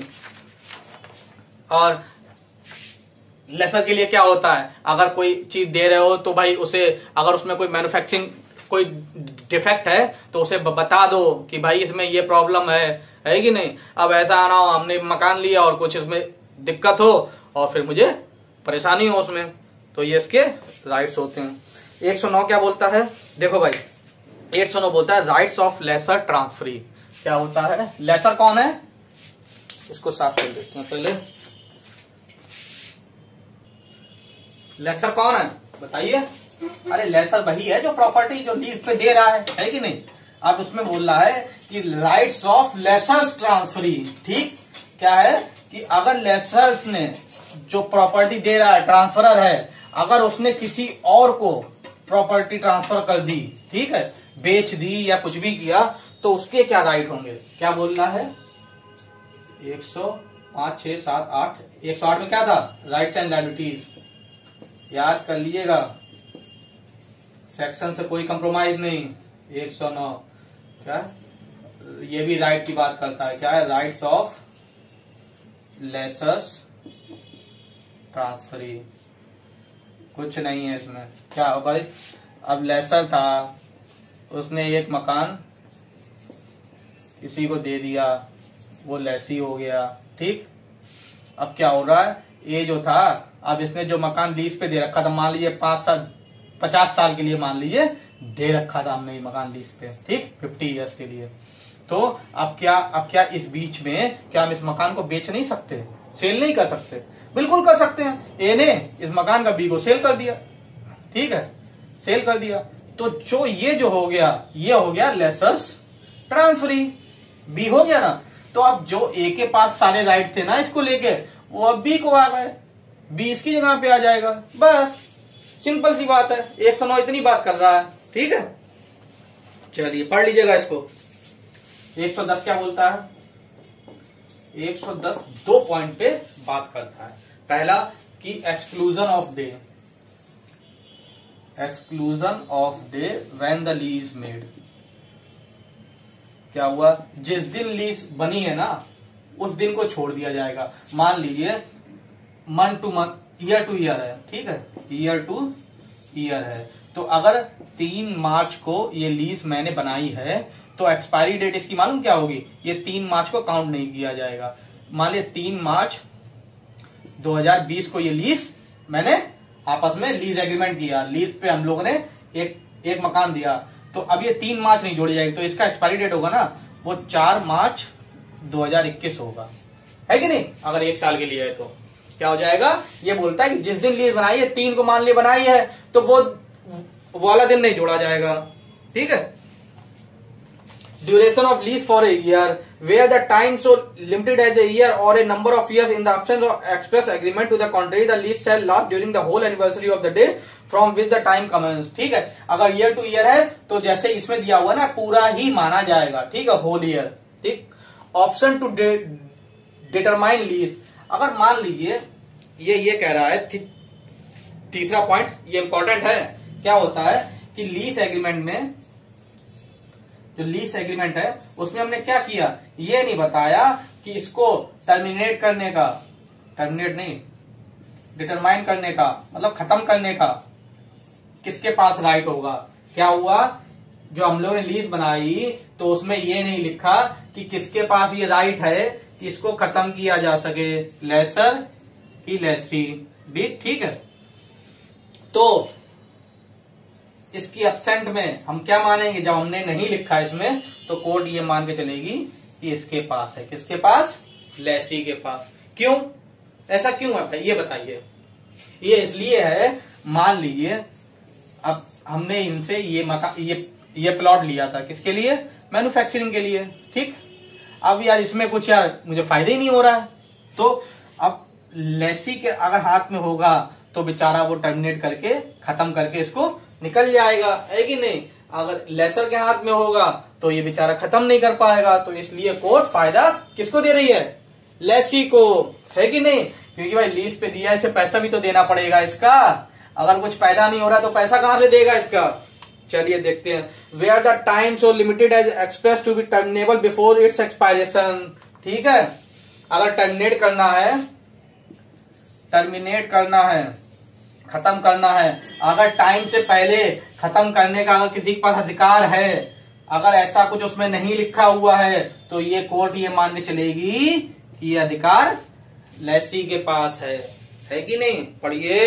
Are the time so limited express to be terminable before its expiration and the lease omit to mention at whose option is it is so terminable the lessee and not the lessor shall have such option है कि नहीं लेसी के पास होगा ना कि laser के पास इसके पास नहीं होगा क्या बोलता है तीसरा पॉइंट तीसरा पॉइंट 110 का ये बोलता है कि अगर समय से पहले टर्मिनेट करने का अगर अधिकार किसी के पास है और उसमें लीज में मेंशन नहीं है कि वो किसके पास है तो क्या करना होगा? तो कोर्ट क्या मान के चलेगी? कोर्ट ये मान के चलेगी अधिकार किसके पास है? लेसी के पास, ना कि लेसर के पास। चलिए, अब हम लोग देखेंगे डिटर्मिनेशन ऑफ़ लीज 110 से लेके 117 तक, ठीक है? अगले लेक्चर में। फिर ज़्यादा बड़ा हो जाएगा अपलोड होने में दिक्कत आएगी, ठीक है? थैंक यू और हम आपका बहुत बहुत शुक्रिया करना चाहते हैं कि आप लोग हमारी वीडियो देख रहे हैं। पसंद भी कर रहे हैं लाइक कर रहे हैं, लेकिन अभी भी 60 परसेंट लोगों ने चैनल को सब्सक्राइब नहीं किया है तो आप लोग से भी गुजारिश है सब्सक्राइब कर लें। है कि नहीं? चलिए ठीक है थैंक यू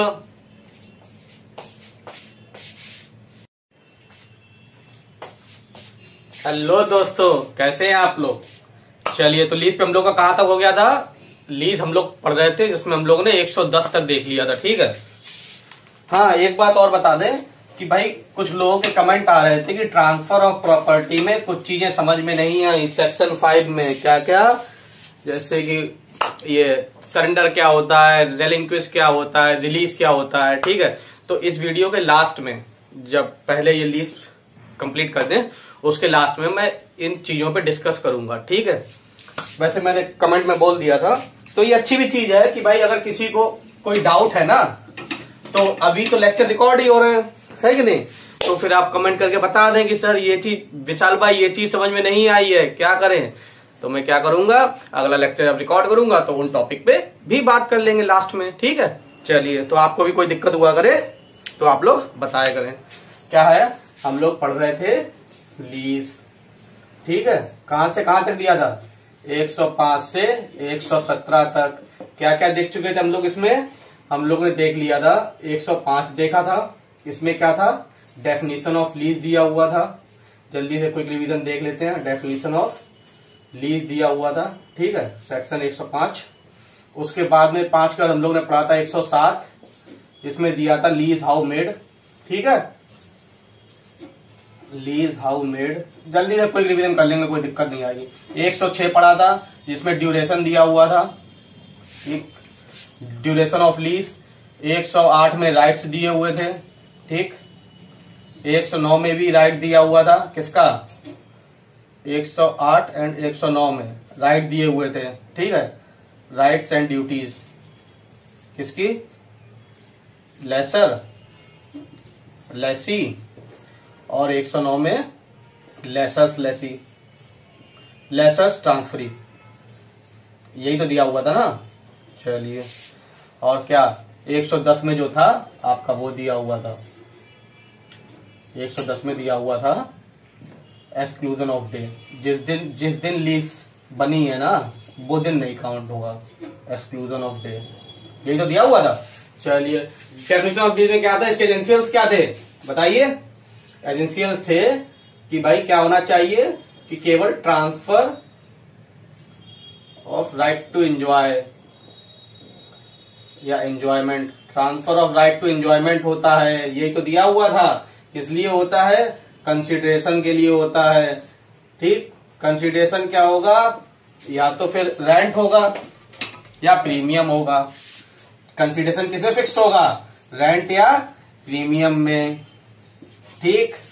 इमूवेबल प्रॉपर्टी होनी चाहिए। अगर टीपीए में है तो टीपीए सेक्शन सिक्स ये चैप्टर जो फाइव है लीज ये केवल उसकी बात करता है इमूवेबल प्रॉपर्टी की। है कि नहीं? तो ये भी एक एसेंशियल था। और कुछ था। सर्टेन पीरियड फिक्स टाइम होना चाहिए। सर्टेन पीरियड होना चाहिए। सर्टेन पीरियड का मतलब है, कोई ना कोई एक उसमें कब एंड होगा, ये उसमें लिखा होना चाहिए। ये कल हम लोग वैसे डिस्कस कर चुके हैं, ठीक है? जल्दी जल्दी देख रहे हैं। यही तो था ना? चलिए, और बाकी तरह इसमें लेसर लेसी और इन सब के बारे में दिया हुआ था। लीज हाउ मेड में क्या था? जल्दी से देख लेते हैं ऐसे भी। लीज हाउ मेड में ये दिया हुआ था कि देखिए, अगर एग्रीकल्चर और मैन्युफैक्चरिंग मैन्युफैक्चरिंग ज़्यादा गीला हो गया, मैन्युफैक्चरिंग। इन दोनों में क्या होगा? इन दोनों में ईयर टू ईयर माना जाएगा। ठीक? हम्म ठीक है? और अगर ये छह और सात दोनों को एक साथ देख लेते हैं, ठीक है? इन दोनों को एक साथ देखते हैं। कल वैसे पढ़ चुके हैं, जिसने लेक्चर ना देखा, वो वाला देख लेना पहले। ये केवल कोई रिवीजन हो रहा है इसका। एग्रीकल्चर और मैन्युफैक्चरिंग पर्पज में ईयर टू ईयर मानेंगे, ठीक है? अगर ईयर टू ईयर होगा तो इसको टर्मिनेट करने के लिए कितने दिन का नोटिस दिया जाएगा?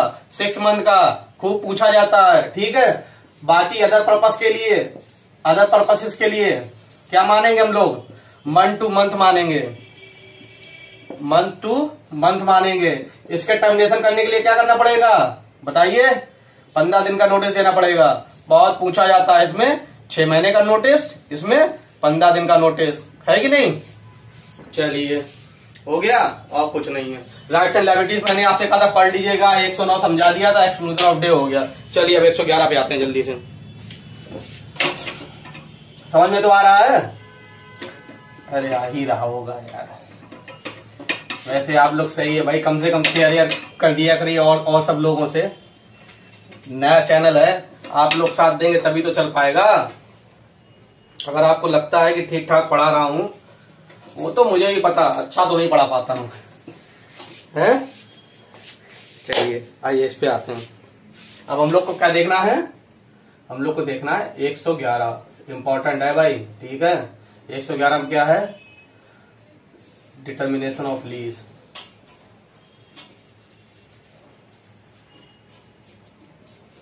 कहने का मतलब है कि लीज कब कब खत्म हो सकती है? रुकिए, जरा इस पर लिख लेते हैं। चलिए, ये मैंने लिख लिया। क्या है? 111 क्या बोलता है? 111 ये बताता है ग्राउंड बताता है किसके? कि कब जो है लीज जो है खत्म हो जाएगी। किस किस कंडीशन में किस किस ग्राउंड में लीज खत्म मानी जाएगी। तो किस किस ग्राउंड में उठाइए सेक्स बैरक उठाइए, अपना पढ़े। हम्म। देखिए, सबसे पहला सेक्शन एक सौ ग्यारह क्या कहता है? डिटर्मिनेशन ऑफ़ लीज कहने का मतलब है, कब टर्मिनेट हो कब खत्म मानी जाएगी। कब खत्म मानी जाएगी? तो बताइए भाई, कब मानी जाएगी? इसमें ए बी सी डी करके एच तक दिया हुआ है। हाँ पूरा लिखिए। एच तक दिया हुआ है। तो क्या है इसमें? सबसे पहला बाय एफ्लिक्स ऑफ़ टाइम मतलब कोई टाइम फिक्स किया था, हमने कोई ये लैंड हमने लीज पे दी थी, ठीक है? कितने टाइम के लिए? फाइव इयर्स के लिए। पाँच साल हो गए।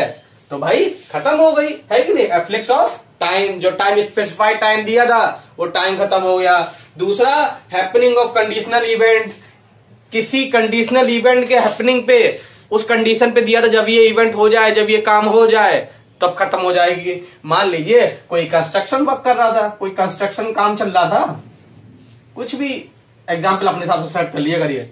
कंस्ट्रक्शन को चल रहा था तो उसके काम, मैंने कहा, जब तक ये तुम्हारा काम नहीं हो जाता, तब तक मैं तुम्हें लीज पे दे रहा हूँ। जैसे ही खत्म हो जाएगा लीज खत्म हो जाएगी। अब मान लीजिए, दो साल में काम कंप्लीट हो गया तो दो साल बाद ये हट जाएगा। By termination of lessor interest in the property अब जिसने दिया है, मान लीजिए ए ने बी को दिया है, अब ए का ही इंटरेस्ट नहीं रहा ए ने किसी और को बेच दिया सी को बेच दिया तो भाई ये टर्मिनेट हो सकती है है कि नहीं? बाई मर्जर मर्जर में क्या होता है? ये ऐसे ही दिए हुए, अभी रीडिंग भी मान लेंगे, ठीक है? मर्जर में क्या होता है कि भाई, ये जो है, मान लीजिए, ये ए ने बी को दिया था ये लैंड ठीक है? अब बी इसी लैंड को इससे परचेस कर लेता है तो क्या होगा? दोनों का इंटरेस्ट मर्ज हो जाएगा ना? अब किसके पास आ गए सारे राइट बी के पास आ गए। तो बाई मर्जर ई क्या है? By express surrender expressly B जो है सरेंडर किए दे रहा है ए को कि भैया, हम लीज टर्मिनेट करना चाहते हैं, ठीक है? या इम्प्लाइड सरेंडर या इम्प्लाइडली सरेंडर करना चाहते हो। अब जी क्या है? By forfeiture forfeiture में क्या होता है ना कि कब खत्म हो जाएगी, कब मान ली जाएगी खत्म। ये तीन कंडीशन दी हुई हैं। ठीक है? ये तीन कंडीशन दी हुई हैं सेक्शन 111 के जी में। क्या क्या अगर वायलेशन ऑफ़ एक्सप्रेस कंडीशन मैंने ये लैंड दिया था तो मैंने कहा था, इसमें मेरे चार पेड़ लगे हुए हैं, ठीक है? उनको मत कभी छेड़ना मतलब इस लीज मैं तुम्हें ये लैंड लीज पे तो दे रहा हूँ, लेकिन इसमें मेरे चार पेड़ लगे हुए उनको काटना मत। अगर तुमने इनको काट दिया तो ये लीज मैं कैंसिल कर दूँगा, ठीक है? फोर ये फोर फीचर मान ली जाएगी, खत्म मान ली जाएगी। अब क्या हुआ? इसने, इस कंडीशन का वॉयलेशन कर दिया, इसने पेड़ काट दिए। काट दिए तो क्या हो गया? वॉयलेशन ऑफ़ एक्सप्रेस कंडीशन हो गया? तो इस ग्राउंड पे मैं लीज को टर्मिनेट कर सकता हूँ, खत्म कर सकता हूँ। Intentionally denying the title of the lessor ये बी जो था, अब वो ए को मालिक मानने से ही मना करने लगा। वो, मान लीजिए, ये क्या कर रहा है? डिनाई कर रहा है एक से कि भाई, अब मैं आपको रेंट नहीं दूँगा, मैं किसी और को लीज के पैसे दूँगा। क्यों? क्योंकि आप ऑनर नहीं हो। ऐसा नहीं होता। जिसने आपको लीज पे प्रॉपर्टी दी है, आपके लिए वही हमेशा रहेगा। ठीक है? वही मालिक रहेगा हमेशा। चलिए तो अगर वो आपको, अगर लेसी जो है लेसर का टाइटल डिनाई कर रहा है तो ये भी एक ग्राउंड है। ऐसो को तो सबसे पहले भगाओ। है कि नहीं? उनकी इंटेंशन खराब हो चुकी है। वो क्या करेंगे? अब वो आपको मालिक मानने के लिए तैयार नहीं है। तो ऐसे को तो पहले भगाओ। कब्जा करने सोच रहा है। ठीक है? तो तुरंत लीज को खत्म कर दो। और लेसी बिकम इंसॉल्वेंट अगर वो इंसॉल्वेंट हो जाता है कौन? बी अगर इंसॉल्वेंट का मतलब क्या हो गया? कर, कुछ रहा ही नहीं इसके पास। तो ये इसके पैसे कैसे भरेगा? जब पैसे नहीं भर पाएगा तो क्या करना है? भैया ये खत्म करो। जब पैसे नहीं दे पाएगा तो उसे क्यों दे रखी है? तो अगर लेसी इंसॉल्वेंट हो जाता है तो। ठीक? ये तीन ग्राउंड है जी में फोर फोर फीचर में। एच क्या बोलता है? बाय एक्सपायरेशन ऑफ़ नोटिस जैसे क्या मान लीजिए साल से साल था year to year year to year था तो इसमें क्या होता है? इसमें छह सिक्स मंथ का नोटिस देना पड़ेगा आपको, ठीक? तो आपने नोटिस दिया, जैसे टाइम पीरियड खत्म होता है सो ही वो मान ली जाएगी कि फोर फीचर हो गई, खत्म हो गई मतलब डिटरमाइन हो गई टर्मिनेट हो गई, ठीक है? या फिफ्टीन डेज़ नोटिस जो था फिफ्टीन डेज़ का नोटिस कर दिया, बस। ठीक? चलिए, देखिए बेरक निकालिए, देखते हैं क्या। पहला by efflux of time limited thereby कोई टाइम है। फिक्स टाइम है, वो टाइम कंप्लीट हो गया, बस खत्म। ठीक?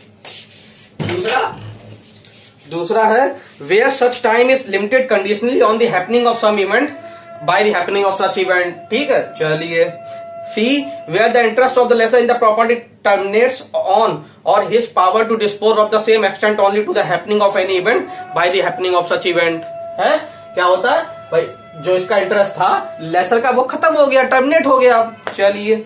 डी क्या बोलता है? In case of interest of the lessee and the lesser in the whole of the property become vested at the same time in one person, in the same right. दोनों का राइट किसी एक ही आदमी के पास आ गया है कि नहीं? बी ने प्रॉपर्टी खरीद ली इसे। अब लीज किस बात की, अब तो वही ऑनर बन गया।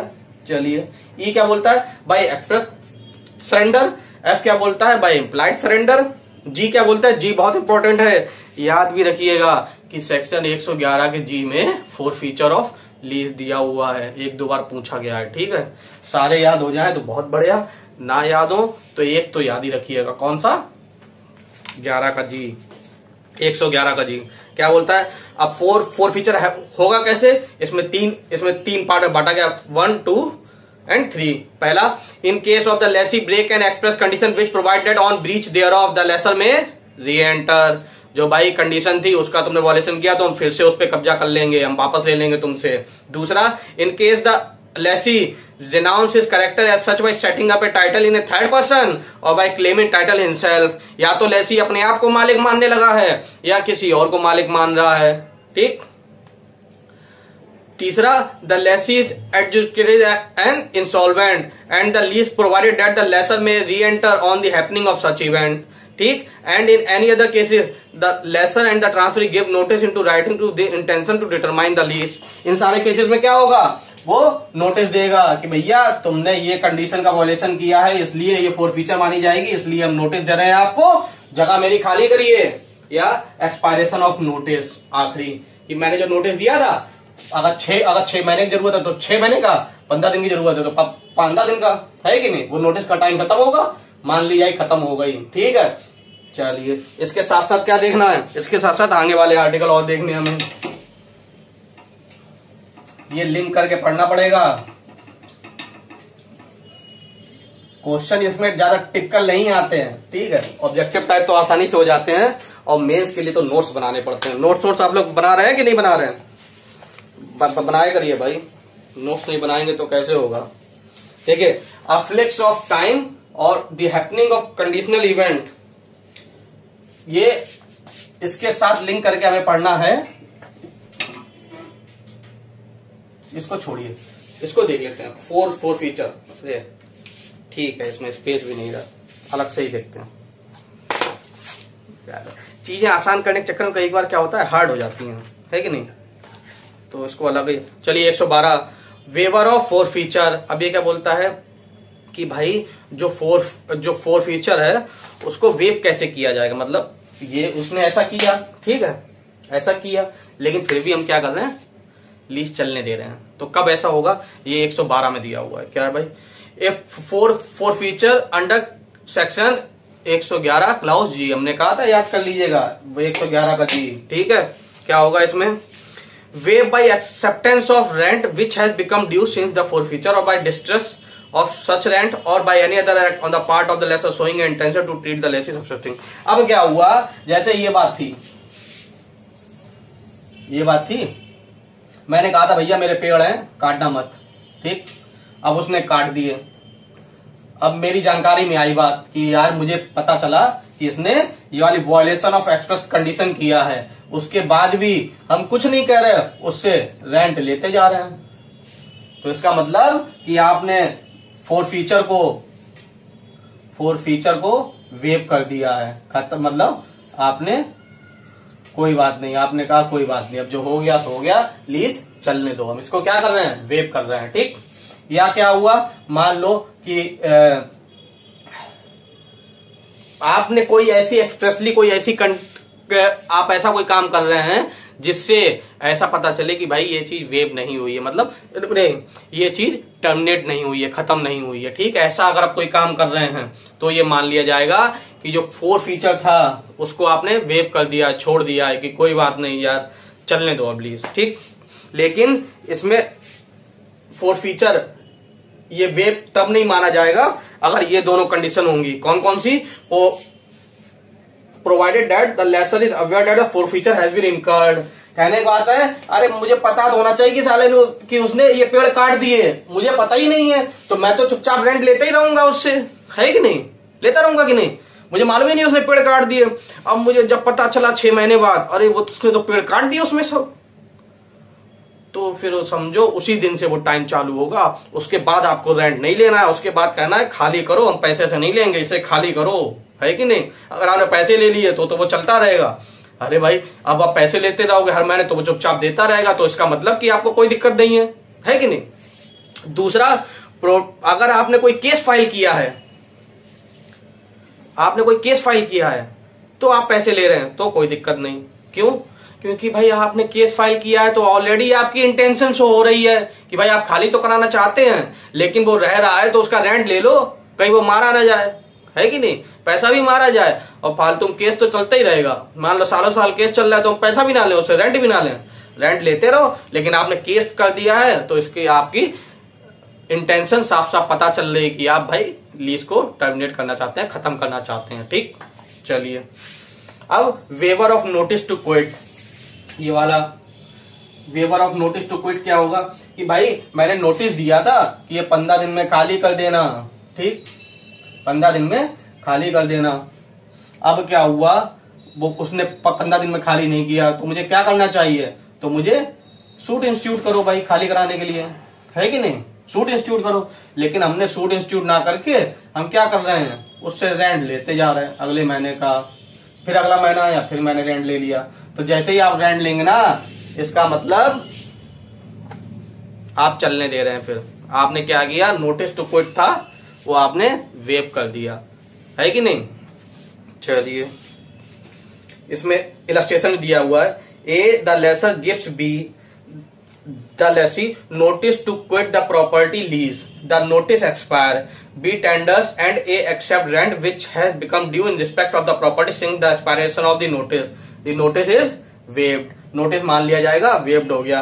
इसका इलस्ट्रेशन बी जो है, वो एग्ज़ाम में पूछा जाता है। ठीक है, इस पे इंपॉर्टेंट लिख लीजिएगा। क्या है? A the lessor gift B क्या? A the lessor gift B the lessee notice to quit the property lease क्या किया? उसने नोटिस दिया भैया प्रॉपर्टी खाली करो। पंद्रह दिन का नोटिस दिया। अब क्या हुआ? The notice expire and B remains in possession notice तो खत्म हो गया, लेकिन बी पोजेशन में है। A gift B as a lessee a second notice to quit अब मैंने जब सेकंड नोटिस दिया ना तो पहला जो नोटिस होगा, वो वेब मान लिया जाएगा। अब सेकंड नोटिस से बात होगी। है कि नहीं? तो इसमें यही पूछा जाता है क्वेश्चन कि इसमें क्या वेब होगा? वेब होगा कि नहीं होगा। तो आपको याद रखना है कि भाई पहला नोटिस जो दिया था, वो वेब हो गया। अब सेकंड नोटिस से बात बनेगी। चलिए, समझ में आया एक सौ तेरह की नहीं? कि एक बार आपने नोटिस टू क्विट दिया है, अगर इसमें एक सौ ग्यारह एच में एक बार आपने नोटिस दिया है कि भैया अब हम टर्मिनेट करना चाहते हैं, खत्म करना चाहते हैं तो उसके बाद फिर कोई ऐसे काम मत करना।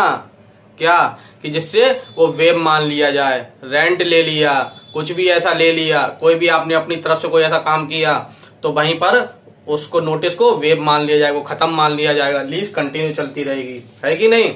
रिलेशनशिप खत्म करना चाहते हैं तो खत्म ही कर दो एकदम। आखिरी मैसेज भेजो कि भैया ये अब रिलेशनशिप नहीं रखनी, है कि नहीं? अगले दिन फिर आपने एक मैसेज कर दिया कि कैसे हो? फिर तो फिर चौपट हो जाएगा। फिर काय बात का? फिर कोई थोड़े हुआ, है कि नहीं? चलिए, अगला देखें। 114 relief against forfeiture for non payment of rent इसमें क्या है? Where a lease of more property as determined by forfeiture of non payment of rent क्या हुआ? कि रेंट नहीं दे रहा है तो क्या करना है? अभी बताते हैं क्या करना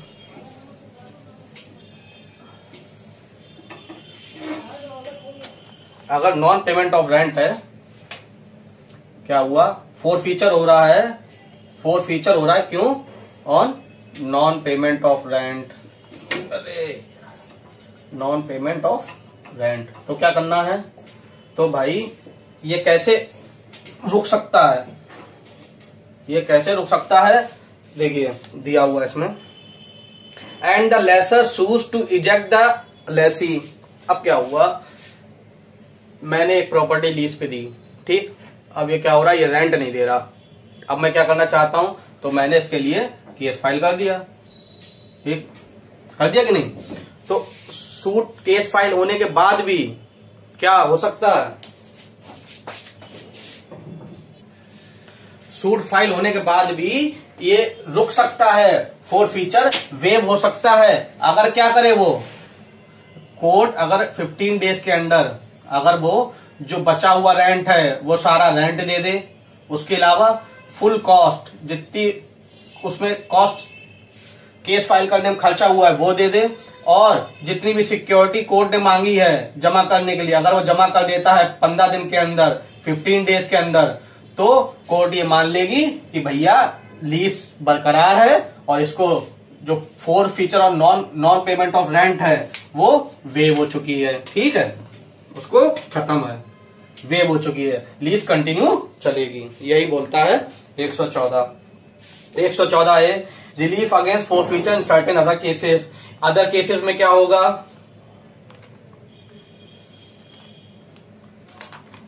Relief against forfeiture certain other cases where a lease of immovable property determined by forfeiture for a breach of an express condition which provide that on breach thereof the lessor may re enter no suit for ejectment shall lie unless and until lessor has serve on the notice क्या क्या करना होगा?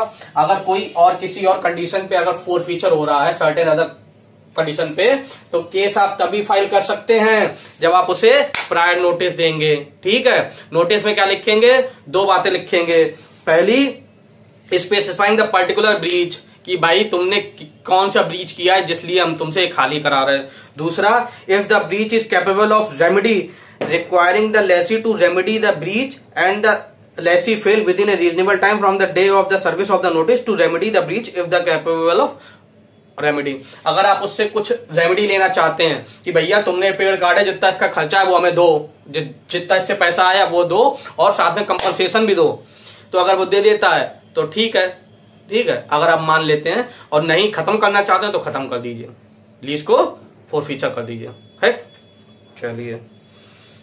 अब effect of surrender and forfeiture और under leases under क्या होता है? Under Lesi होता है कि मैंने इसको रेंट पे दिया ए ने बी को रेंट पे दिया, ठीक है? ए ने बी को एक मकान दिया रेंट पे हंड्रेड रुपीज़ पर डे पे, ठीक? वो हंड्रेड रुपीज़ पर मंथ पे, ठीक? सौ रुपए महीने पे इसने बी को एक घर दिया। बी ने क्या किया? वही घर सी को डेढ़ सौ रुपए पर मंथ पे दे दिया। तो ये क्या हो गया? ये अंडर लेसी हो गया। इसको सबलेट कर दिया। सबलेट तो जानते हैं ना? सबलेट कर दिया। ए ने बी को लीज पे दिया था। बी ने सी को दे दिया। ठीक है? कर सकता है। लेकिन ए के लिए सी के लिए सारे राइट सेम हो जाएँगे जो बी के लिए हैं। सी बी जो है सी जो है, वो बी की जगह ले लेगा। ठीक है? और फिर ए और सी में वही सारे राइट अप्लाई होंगे जो ए और बी पे अप्लाई हो रहे हैं अभी तक। ठीक? इतनी सी बात करता है। इसमें अंदर से कुछ नहीं पूछा जाता। बस आर्टिकल याद रखिएगा, ठीक है? अफेक्ट ऑफ़ होल्डिंग ओवर अब ये क्या बोलता है भाई? अफेक्ट ऑफ़ होल्डिंग ओवर ये बोलता है कि भाई, अगर टाइम खत्म हो गया, ठीक है इंपॉर्टेंट आर्टिकल है, पूछा जाता है, वो इंपॉर्टेंट सेक्शन है, पूछा जाता है, याद रखिएगा 116 में अफेक्ट ऑफ़ होल्डिंग ओवर दिया हुआ है, ठीक? चलिए। टीपीए में आपको सेक्शन तो सारे ही याद करने पड़ेंगे, जितने मैंने पढ़ाए हैं, ठीक है? अभी छत्तीसगढ़ का पेपर मैंने देखा। धनाधन आर्टिकल धनाधन सेक्शन पूछे गए हैं, ठीक है? मतलब 40 परसेंट तो हमेशा ही पूछे जाते हैं। उसमें 60 परसेंट पूछ दिए, पैंसठ परसेंट पूछ दिए तो आदमी चौक गया, अरे इतने सेक्शन इतने सेक्शन अरे भाई अरे भाई, अरे होता है भाई, बिना सेक्शन के सिलेक्शन ले पाओगे? याद नहीं होता, याद करो, दिमाग तेज करो, बादाम खाओ, कुछ भी करो, याद तो करने पड़ेंगे। अगर जुडिशरी निकालनी है तो कोई सब्सिट्यूट नहीं है भाई साहब उसका। लगे रहो, बस लगे रहो। चलिए, इस कहा बात करते एक सौ सोलह। एक सौ सोलह अफेक्ट ऑफ़ होल्डिंग ओवर क्या बोलता है ये? अफेक्ट ऑफ़ होल्डिंग ओवर क्या होगा? कि भैया, हमने किसी को ये बोर्ड ऑफ़ ड्रामा करने लगा, इसको ठीक कराना पड़ेगा। मैंने बी को एक घर दिया, ठीक?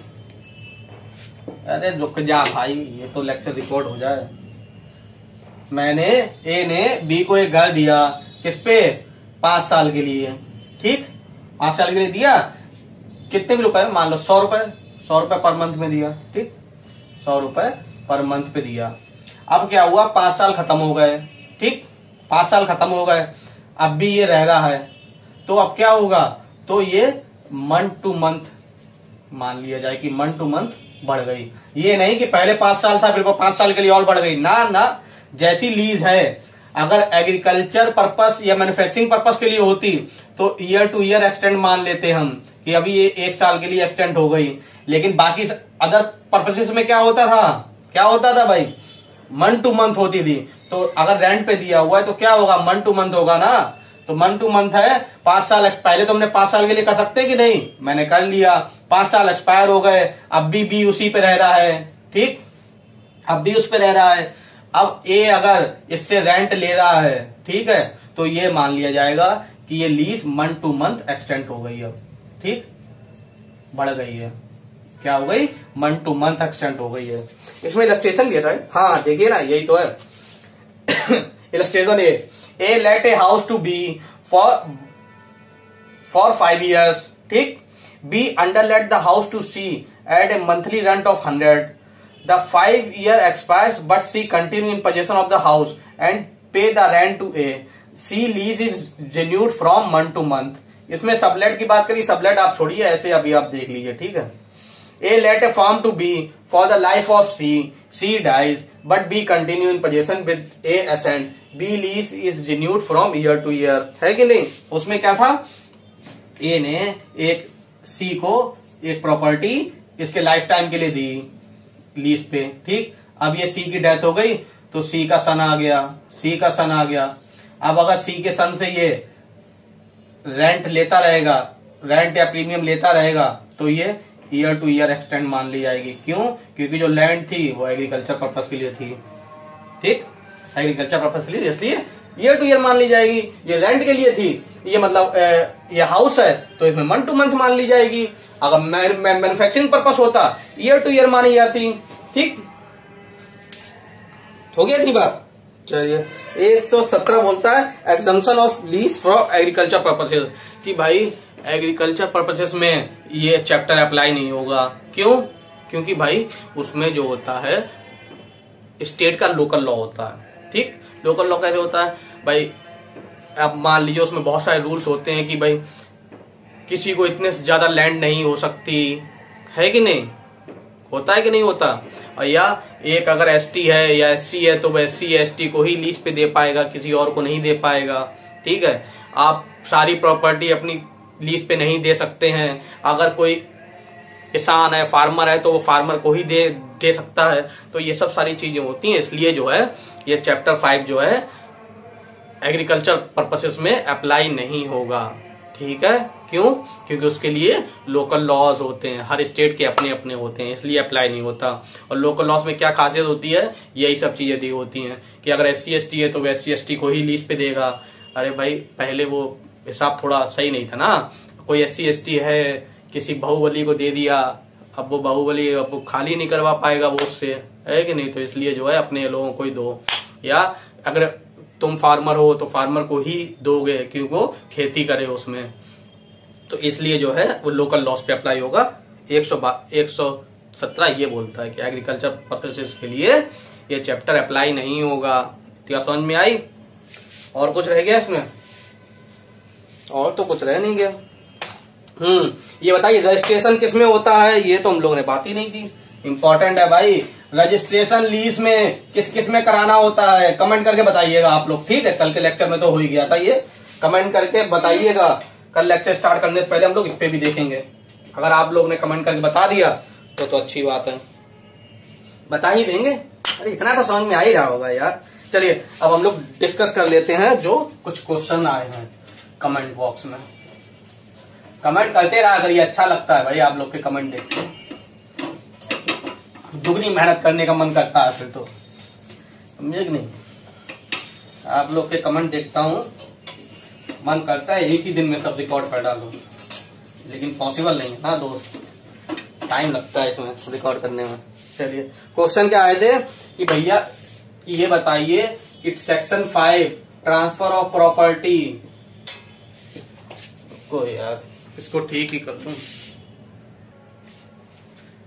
चलिए सेक्शन फाइव क्या बोलता है कि ट्रांसफ़र ऑफ़ प्रॉपर्टी डिफाइन यही तो बताता है ना। तो इसका कहने का मतलब ये होता है कि अंडर टीपीए सेक्शन फाइव ये बताता है कि कौन कौन सी चीज़ें ट्रांसफ़र ऑफ़ प्रॉपर्टी मानी जाएँगी। जैसे कि सेल है। ट्रांसफ़र ऑफ़ प्रॉपर्टी है कि नहीं है? बिल्कुल है। मॉडगेज है। ट्रांसफ़र ऑफ़ प्रॉपर्टी है कि नहीं है? बिल्कुल है। एक्सचेंज है ट्रांसफ़र ऑफ़ प्रॉपर्टी है। इसके अलावा क्या है? गिफ्ट है ट्रांसफ़र ऑफ़ प्रॉपर्टी है। इसके अलावा क्या है? ये सब चीज़ें example of transfer of property TPA के हिसाब से हैं। क्या चीज़ें ट्रांसफ़र ऑफ़ प्रॉपर्टी नहीं है? सरेंडर है। लीज भी इज़ द एग्ज़ाम्पल अभी अभी हम लोगों ने लीज पढ़ा है, ये भी ट्रांसफ़र ऑफ़ प्रॉपर्टी है। सरेंडर है। उसके बाद में कंप्रोमाइज है। ये पढ़ा था हम लोगों ने, लेकिन कुछ लोग कह रहे हैं कि, सर, भाई, मुझे बहुत अच्छा लगता है, आप लोग क्वेश्चन पूछते हैं ना। बस यही है कि रिकॉर्डेड क्लासेस में यही दिक्कत आती है बस, कि यार उनके जवाब हम तुरंत के तुरंत नहीं दे सकते, क्योंकि आप तुरंत पूछ नहीं सकते। Surrender compromise family settlement family settlement और और बताइए। चार्ज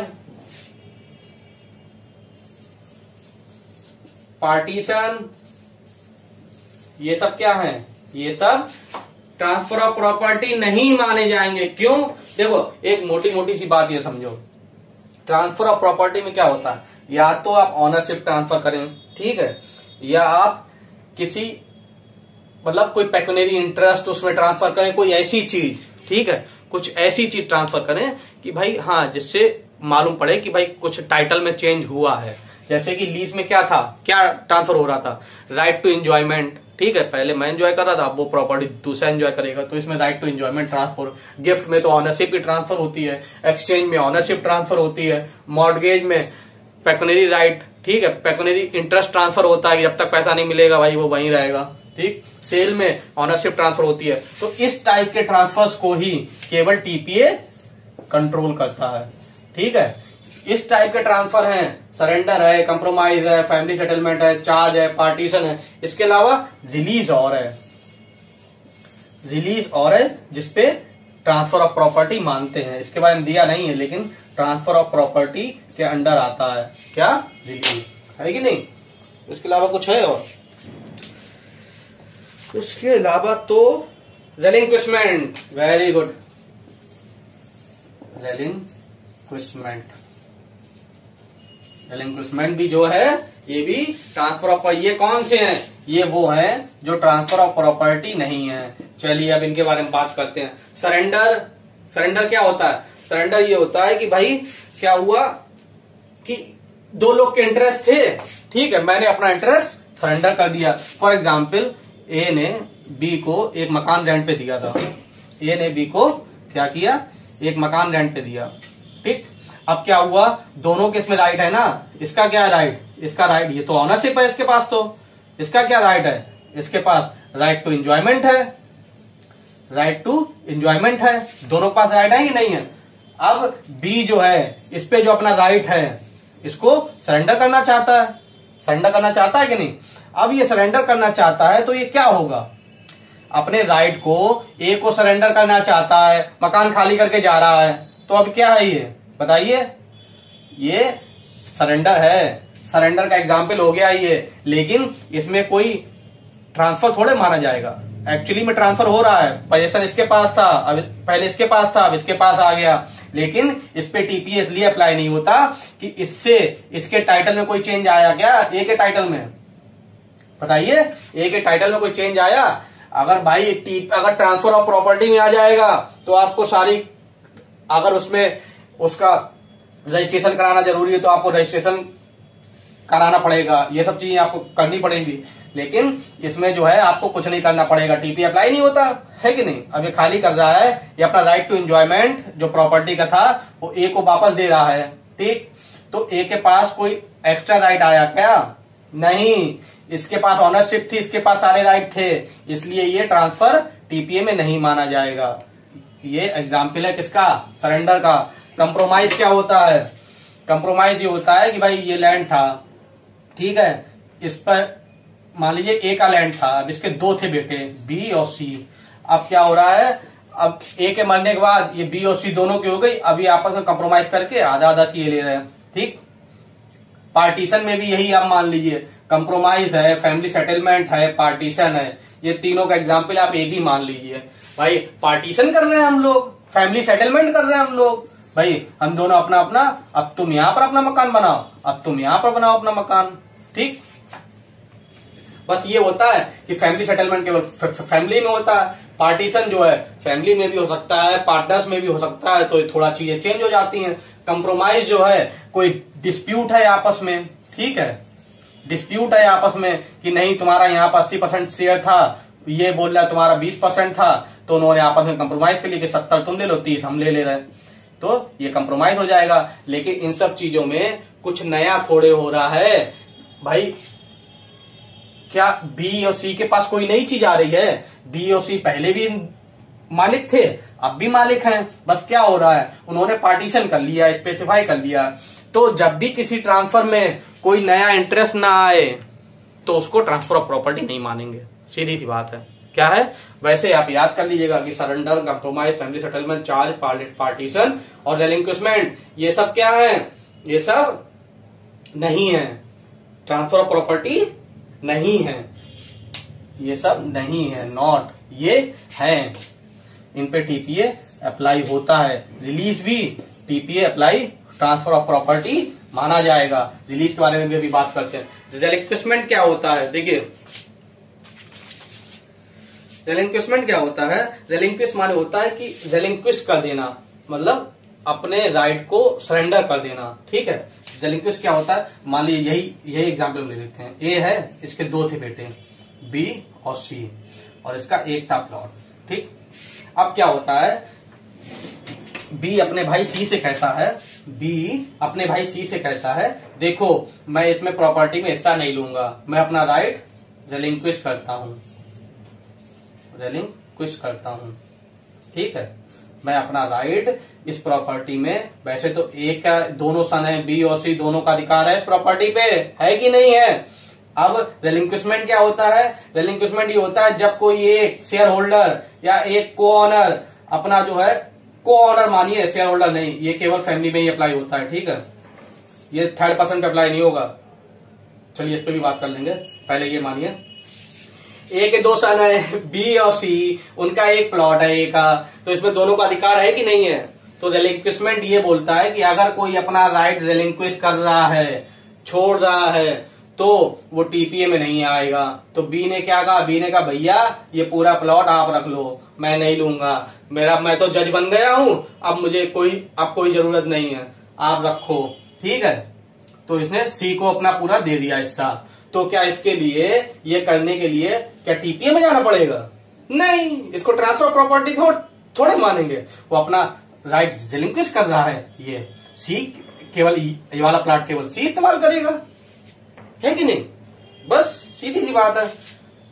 अरे यार बहने सारी जो होती हैं, मान लीजिए, ए है, उसके दो लड़के हैं, ए और बी, और एक लड़की है सी, ठीक? ए ए तो है ही। अब इसके एक लड़का है, बी, एक है डी, और एक लड़की है जो है जी, ठीक है? एक गर्ल है उसकी। तो क्या होता है? उसने अगर लड़की की शादी कर ली तो लड़की क्या करती है? अपना प्रॉपर्टी में, पापा की प्रॉपर्टी में अपने राइट को रेलिंक्विश कर देती है। वो क्या कभी मांगती है क्या? ठीक है? अरे भाई, आपकी बुआ है, आपकी बहने हैं, अगर शादी हो गई है तो उन्होंने कोर्ट तो कहता है कि भाई तीनों का हिस्सा है। है कि नहीं है? कोर्ट के हिसाब से तीनों का हिस्सा है। अब तो वो भी हटा दिया कि 2005 से पहले 2004 से पहले का वो भी हटा दिया। तुम कितने भी पुराने हो, तुम्हारा हमेशा इस प्रॉपर्टी में हिस्सा रहेगा। लड़की का अपने पापा की प्रॉपर्टी में हमेशा हिस्सा है। अपने माँ बाप की प्रॉपर्टी में। लेकिन क्या होता है? इंडियन कल्चर क्या कहता है? ये अपना राइट रेलिंक्विश कर देती हैं। वो कहती है कि आप भाई लोग आपस में ले लो। है कि नहीं? मैं नहीं लूँगी। तो इसी को तो रेलिंक्विशमेंट कहते हैं। समझ में आएगी नहीं?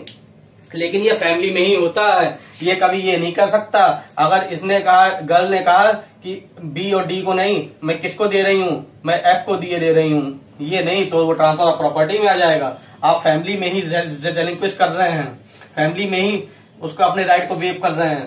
तब टीपी अप्लाई नहीं होगा। किसी थर्ड पर्सन को दे दिया तो टीपी अप्लाई हो गया। मेरे हिसाब से रेलिंक्विशमेंट समझ में आ गया होगा। अब चार्ज क्या होता है? चार्ज पे भी टीपीए नहीं अप्लाई होता। है क्यों? अरे चार्ज एक सिंपल सी चीज़। चार्ज ये होता है कि किसी प्रॉपर्टी का आपको चार्ज दिया गया है। क्या चार्ज? कि भाई जब तक आपका पैसा नहीं मिल रहा है, तब तक आप इसको अपने पास रखो। अब क्या हुआ? मान लीजिए मेंटेनेंस का केस है। मेंटेनेंस का केस है। कोर्ट ने मेंटेनेंस ऑर्डर पास किया और क्या एक हाउस को as a charge as a charge रख दिया कि अगर इसे दो लाख रुपए तुम्हें नहीं टू लैक्स रुपीज़ कंपनसेशन नहीं मिल रहा है इसे तो ये प्रॉपर्टी बेच के दिया जाएगा। तो ये प्रॉपर्टी क्या हो गई? ये चार्ज हो गई। तो क्या इससे जिसके फेवर में मान लीजिए कोई वुमेन है, जिसके फेवर में मेंटेनेंस ऑर्डर आया है तो क्या वो, ये माना जाएगा कि ये ट्रांसफ़र है? ट्रांसफ़र माना जाएगा? नहीं, कोई इसकी ऑनरशिप थोड़े इसके पास आ रही है। इसके पास सिर्फ़ इसका चार्ज आ रहा है कि अगर तुम्हें दो लाख रुपए नहीं मिलते हैं तो ये प्रॉपर्टी बेच के तुम्हें दो लाख रुपए दिए जाएँगे। ये चार्ज है। ठीक है? तो इसमें भी इसलिए टीपी अप्लाई नहीं होता। और कुछ रह गया। सरेंडर हो ही गया। चलिए। कंप्रोमाइज फैमिली सेटलमेंट पार्टीशन ये एक ही जैसे होते हैं। चलिए, अब तो समझ में आएगा। रिलीज़ और रह गया। रिलीज़ को और देखते हैं उसके बाद। चलिए रिलीज़ में क्या होता है? रिलीज़ में कोई छोटा इंटरेस्ट जो है ना, कोई अपना इंटरेस्ट कोई दूसरे को रिलीज़ पहली बात तो कंफ्यूज मत होइएगा। इन सब में बहुत हल्के हल्के अंतर हैं। रिलीज़ पहली बात क्या माना जाता है? रिलीज़ ट्रांसफ़र ऑफ़ प्रॉपर्टी माना जाता है। इसमें क्या होता है कि अगर कोई स्मॉल इंटरेस्ट कोई अपना दूसरे इंटरेस्ट दूसरे को इंटरेस्ट ट्रांसफ़र करता है, ठीक है? और ये दोनों इंटरेस्ट मिलके दूसरे को एक अलग टाइटल या बिग इंटरेस्ट कह सकते हैं आप। बड़ा इंटरेस्ट कोई बन जाता है तो उसमें क्या होगा? उसको ट्रांसफ़र ऑफ़ प्रॉपर्टी मान लिया जाएगा। फॉर एग्ज़ाम्पल दो थे ये लैंड ठीक है? अगर अब ये आपस में भाई आई तो है नहीं, जो फैमिली सेटलमेंट होता। अब ए जो होता है बी इन दोनों ने मिलकर एक प्लॉट लिया था, ठीक है? अब ए जो क्या करता है, अपने रिलीज़ कर देता है बी को अपने सारे इंटरेस्ट जो इसमें इसमें, इस इस प्रॉपर्टी में जो इसका इंटरेस्ट है, चाहे कंसिडरेशन से, चाहे विदाउट कंसिडरेशन कंसिडरेशन या विदाउट कंसिडरेशन अगर ए अपने राइट को रिलीज़ कर रहा है, वैसे दोनों ऑनर थे। ए ने कहा, ऐसा है, मैं अपना हिस्सा तुम्हें दे रहा हूँ रिलीज़ कर रहा हूँ। तो इसमें क्या होगा? अब बी के पास पहले तो हाफ़ था फिफ्टी परसेंट शेयर था इस प्रॉपर्टी का। लेकिन जब ए रिलीज़ कर देगा हंड्रेड परसेंट शेयर आ जाएगा। लेकिन इस पे टीपी अप्लाई हो जाएगा। क्यों? क्योंकि ये आपस में अगर वो नहीं है, क्या कहते हैं फैमिली एमली नहीं है तो क्या हो रहा है इसमें? तो इसमें बी के पास स्मॉल इंटरेस्ट था, अब बिग इंटरेस्ट हो गया, पूरे का आ गया। तो ये टाइटल चेंज हो रहा है ना? टाइटल चेंज हो रहा है कि नहीं है? टाइटल भी चेंज हो रहा है राइट्स भी चेंज हो रहे हैं, ठीक है? तो इसलिए ये क्या माना जाएगा? ये ट्रांसफ़र ऑफ़ प्रॉपर्टी माना जाएगा। चलिए, मेरे साथ समझ में आ गया होगा आपको। आज लेक्चर बहुत लंबा हो गया। चलिए, कोई बात नहीं। जब पढ़ना है तो लंबा लंबा क्या होता है? है कि नहीं? ठीक है थैंक यू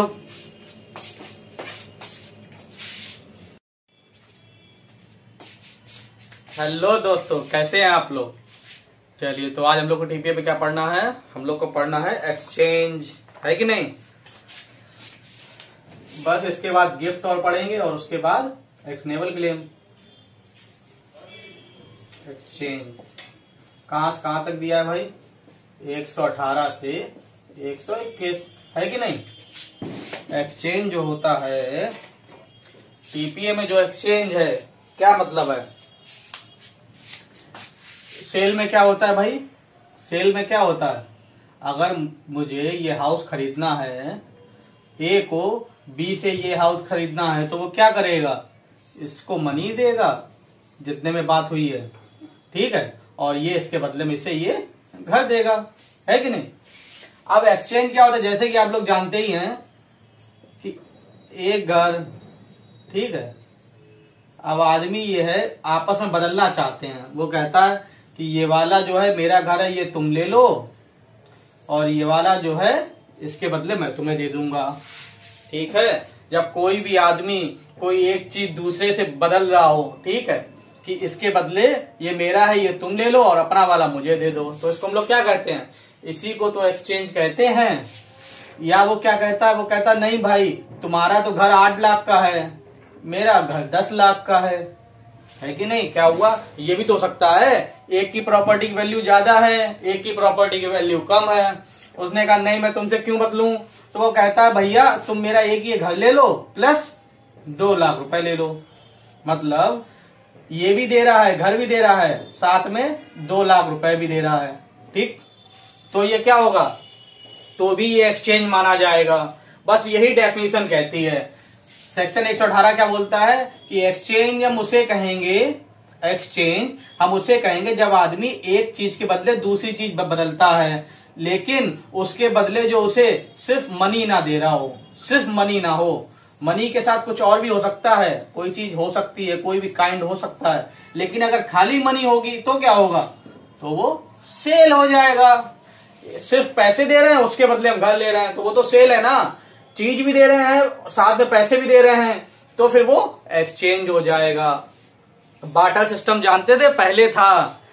जब मैं छोटा था और जब नानी घर जाया करता था गाँव में तो वहाँ पर क्या होता था कि वो आइसक्रीम आइसक्रीम वाले बेचने आते थे तो वो पैसे नहीं लेते थे। क्या? घर में से एक कटोरी गेहूँ ले आया, उसे गेहूँ दे दिया, उसने उसके बदले मुझे आइसक्रीम दे दी। ये क्या था? यही तो एक्सचेंज था, यही तो बाटर सिस्टम था, है कि नहीं? अब इसमें क्या है? दो चीज़ें ध्यान रखनी है कि सिर्फ़ मनी नहीं होना चाहिए। सिर्फ़ मनी नहीं होना चाहिए। मनी के साथ कुछ और भी होना चाहिए। या मनी ना हो, बिल्कुल ही ना हो, ठीक है? सिर्फ़ घर के बदले घर हम एक्सचेंज कर रहे हैं, चल जाएगा। घर के साथ मनी भी दे रहे हैं और उसके बदले घर ले रहे हैं तो भी ये एक्सचेंज ही कहा जाएगा। है कि नहीं? सिंपल चीज़ है, एकदम बहुत आसान टॉपिक है, ठीक है? इसमें जो क्वेश्चन आता है, वो डायरेक्ट यही आता है कि भाई एक्सचेंज कहाँ दिया हुआ है, ये ये, अंदर कुछ भी नहीं है इसमें। क्योंकि एक्सचेंज जैसे ही मैंने ऊपर लिखा है ना सेल तो इसमें सारे रूल्स एंड रेगुलेशन, सब सेल वाले फॉलो होते हैं। जैसे सेल में होता है, वैसे ही सब चीज़ें एक्सचेंज में होती हैं। आप लोग मुझे ये बताइए, मान लीजिए आपके पास सौ का नोट है मतलब अमीर लोग है ना हम लोग तो हम लोग के पास मान लो दो हज़ार का नोट है, सौ का नहीं, ठीक है? हम लोग के पास मान लीजिए दो हज़ार का नोट है। चलिए सौ का ही रखते हैं। गरीब लोग हैं हम लोग। सौ का नोट है। अब सौ के नोट में क्या आप किसी के पास गए? भैया, ये लो सौ रुपए और इसके बदले मुझे चेन इसके बदले मुझे दो पचास पचास के नोट दे दो। क्या हुआ? आप किसी के पास सौ का नोट लेके गए कहा कि भैया, इसके बदले मुझे पचास पचास के नोट दे दो। तो बताइए, ये क्या होगा? मनी के बदले मनी ले रहे हैं तो वो क्या होगा? एक्सचेंज होगा? नहीं, वो एक्सचेंज थोड़े होता है, वो तो चेंज होता है। आप क्या करा रहे हो? चेंज करा रहे हो। लेकिन अगर इंडियन मनी है, ठीक है, आप उसे रुपए देके रुपए देके आप उससे डॉलर ले रहे हो। क्या कर रहे हो?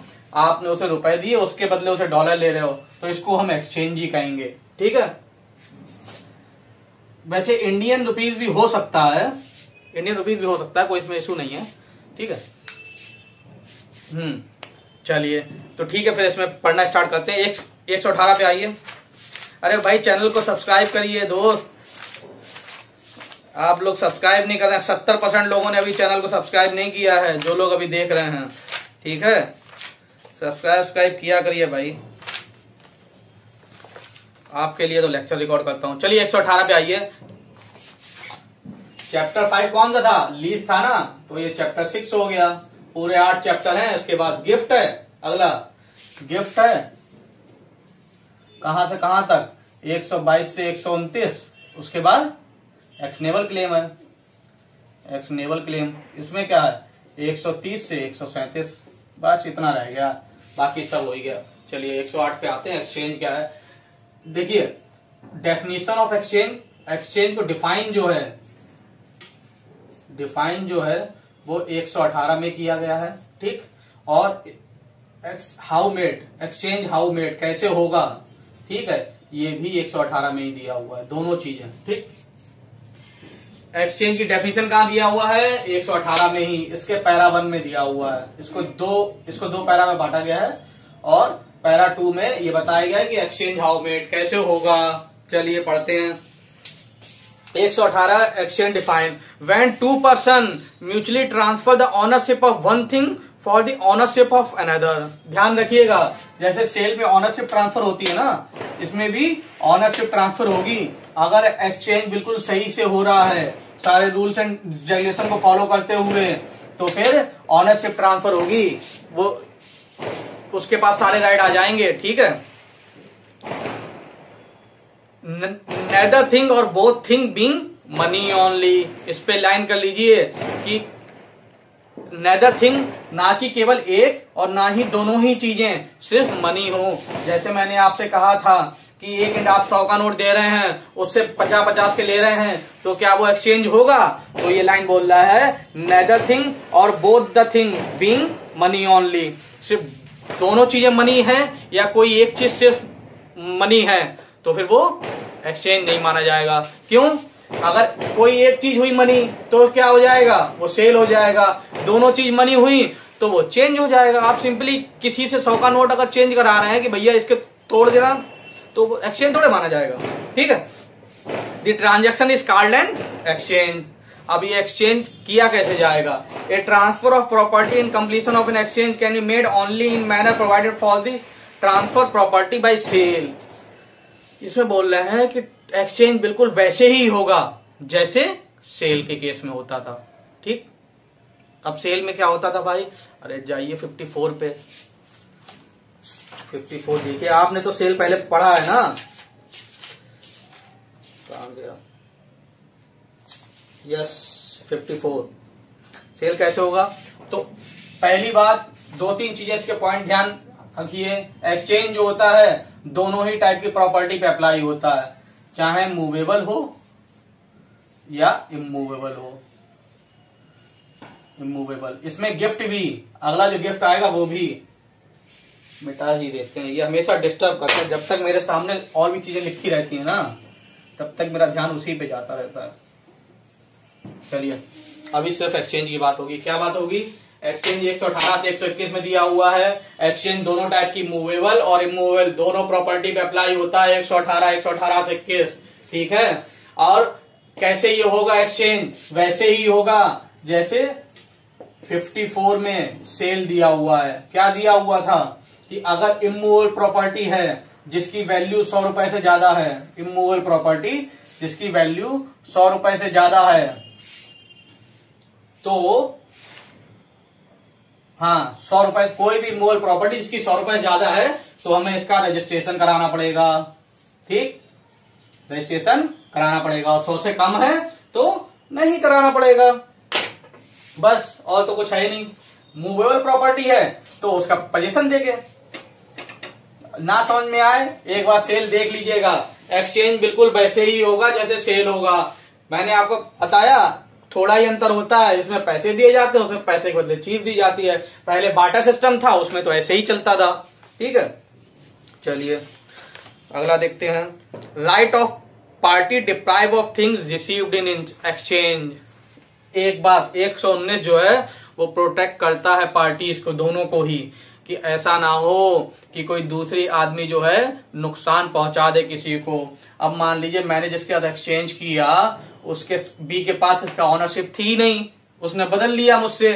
अब जब बी की ऑनरशिप नहीं है, मान लीजिए सी की है, अब जब इस पे इसकी ऑनरशिप ही नहीं है सी की है तो सी तो मुझसे वापस ले लेगा। तो क्या होगा? अगर ऐसा कुछ होता है टाइटल या ऑनरशिप इसके पास नहीं होती है तो इसे, ये, इसकी प्रॉपर्टी जो थी वो वापस करनी पड़ेगी विदाउट कंसिडरेशन ठीक है? बिना किसी कंसिडरेशन के। तुमने उसे गलत चीज़ दी क्यों? है कि नहीं? जिसने भी गलत चीज़ दी है दूसरे को, उसे विदाउट कंसिडरेशन वापस करना पड़ेगा। एक सौ उन्नीस यही कहता है। ठीक है मतलब इनके राइट को प्रोटेक्ट करता है कि ऐसी कोई भी चीज़ एक्सचेंज नहीं हो जाएगी। तुम्हारी अगर ऑनरशिप है उस पर तभी आप बदल सकते हैं, वरना आप नहीं बदल सकते। 120 पे आइए। Rights and liability of the parties rights and liabilities वही हैं जो सेल के पास होती थी। सेलर और वायर में। ठीक है, वही इनकी राइट्स एंड लाइबिलिटी एक बार पढ़ लीजिए क्या क्या लिखा हुआ है, जो सेक्शन 55 में दी हुई थी। सेक्शन 55 में तो दी हुई थी? हाँ चलिए। Save as otherwise provided in this chapter each party as the right and is subject to the liabilities of the seller as to that which gift which he gift and the right is subject to the liabilities of a buyer as to which he take ठीक है, जो seller buyer के liabilities हैं 55 में। वही यहाँ पर होंगी। क्या बोलता है ये? 120 बोलता है। 121 एक्सचेंज ऑफ़ मनी के बारे में बात करता है। क्या है भाई exchange money on an exchange of money each party thereby warrant the genuineness of money given by him ठीक है? अगर आप एक्सचेंज ऑफ़ मनी कर रहे हैं तो दोनों पार्टी ये मान के चलेंगे कि वो जेन्यून दे रहे हैं। ठीक है? आप गारंटी ले रहे हैं कि भाई हाँ मैं जो आपको एक्सचेंज करके दे रहा हूँ वो मनी ही है। मतलब ओरिजिनल मनी है, ठीक है? डुप्लीकेट नोट नहीं दे रहे हैं। बस, इतना सा ही था। इसके बाद हम लोग पढ़ेंगे गिफ्ट गिफ्ट थोड़ा बड़ा हो जाएगा। बड़ा कुछ नहीं, ये सब आसान है टीपीए में।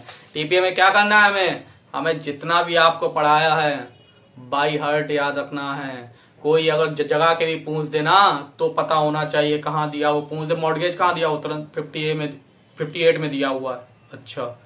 ठीक है। सो जा बेटा। ऐसे करना है, ठीक है? चलिए, ठीक। थैंक यू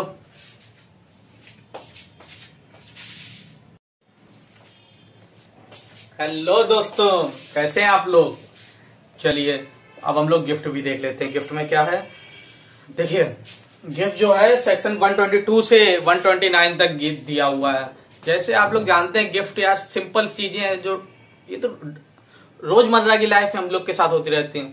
कोई भी गिफ्ट देता है, कैसे देता है? बताइए। वॉलेंट्रीली दे देता है अपनी मर्ज़ी से।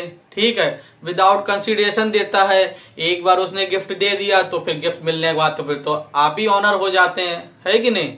तो टीपीए जो है गिफ्ट में दोनों प्रॉपर्टी की बात करता है। चाहे मूवेबल हो, चाहे इमूवेबल हो। सेक्शन 22 में सेक्शन 122 में ये बताया गया है डेफिनेशन ऑफ़ गिफ्ट कि गिफ्ट की डेफिनेशन क्या है? 123 में गिफ्ट हाउ मेड कैसे गिफ्ट किया जाएगा, ठीक है? चलिए देखते हैं। Section 122 gift is the transfer of certain existing existing होनी चाहिए एग्जिस्टिंग पे गोला कर लीजिए कि भैया फ्यूचर नहीं, अरे मैं कह दू, जब मेरी नौकरी लगेगी या जब मैं जज बन जाऊँगा, तब मैं तुम्हें एक घर लेके दूँगा, ठीक है? मतलब तब मैं तुम्हें एक घर लेके दूँगा। ऐसा नहीं होता भाई। गिफ्ट में ये सब नहीं चलता। गिफ्ट में एग्जिस्टिंग होनी चाहिए, अभी है तो आप गिफ्ट दे पाओगे। फ्यूचर व्यूचर का कुछ नहीं। एग्जिस्टिंग मूवेबल और immovable property made voluntarily voluntarily होनी चाहिए। ज़बरदस्ती में गिफ्ट थोड़े होता है। ये तो सब अपने प्यार मोहब्बत में होता है कि भाई दे दिया भाई, इच्छा था, हमने गिफ्ट में दे दिया, उसे नहीं थी इच्छा तो नहीं दिया। एंड विदाउट कंसिडरेशन कंसिडरेशन नहीं होता। ये नहीं कि मैं तुम्हें गिफ्ट में ये दूँगा और तुम मुझे गिफ्ट में ये देना। ऐसा थोड़े होता है। एक बार दे दिया तो वो वॉलेंटरली था विदाउट कंसिडरेशन था। अगर बदले में अगर कुछ लेने लगे, फिर वो तो एक्सचेंज हो जाएगा। अभी अभी पढ़ा कि नहीं पढ़ा एक्सचेंज हम लोगों ने? चलिए। By one person called the donor जो दे रहा है, यहाँ देख लेते हैं। ए जो है बी को अपना हाउस गिफ्ट करना चाहता है, कर सकता है कि नहीं? अगर वो ऑनर है तो वो बिल्कुल कर सकता है, ठीक? तो ए जो हो जाएगा, वो हो जाएगा डोनर देने वाला। बी हो जाएगा डोनी लेने वाला, जैसे गिफ्ट मिल रहा है। है कि नहीं? बस। अरे भाई ट्रांसफरर होता था ट्रांसफरी होता था। इसमें डोनर है और डोनी है, ठीक? Acceptance when to be made इसमें एक चीज़ ध्यान रखने वाली बात है, कब होगा भाई acceptance such acceptance must be made during the life time of the donor and while he is still capable of giving ठीक? अब क्या होगा? अब गिफ्ट तो तभी होगा ना, जब ए बी को देगा और बी एक्सेप्ट कर लेगा। अरे कोई आपको कोई चीज़ गिफ्ट देना चाहता है तो अगर आपका लेने का मन नहीं है तो क्या वो ज़बरदस्ती आपको दे देगा? जब तक आप खुद लेंगे नहीं, तब तक गिफ्ट थोड़े ले लेगा। है कि नहीं? तब तक वो गिफ्ट थोड़े माना जाएगा। इसका भी भाई एक राइट है कि हम लेना चाहते कि नहीं लेना चाहते, तुम देना चाहते हो, बात सही है, हम नहीं लेना चाहते, नहीं चाहिए मुझे। तो ये जो होता है, अगर बी जो डोनी है, वो एक्सेप्ट कर सकता है तो कब तक कर सकता है? तब तक या तो ए के लाइफ टाइम में। ए ने कहा, देखो, मैं तुम्हें ये बी को बोला कि मैं तुम्हें घर गिफ्ट करना चाहता हूँ। बी ने कहा कि, देखो, कुछ नहीं बोलना बी तो कब तक ये बी एक्सेप्ट कर सकता है? ठीक है, मैं लिए ले रहा हूँ। कब तक? या तो इसके लाइफ टाइम में। जब तक ये ज़िंदा है, ठीक है? या जब तक ये कैपेबल है देने के लिए। अब इसने जब कहा था कि भाई, मैं तुम्हें गिफ्ट पे करना चाहता हूँ, तुम ले लो, तब तो तुमने कुछ नहीं कहा। उसने ये घर किसी को बेच दिया।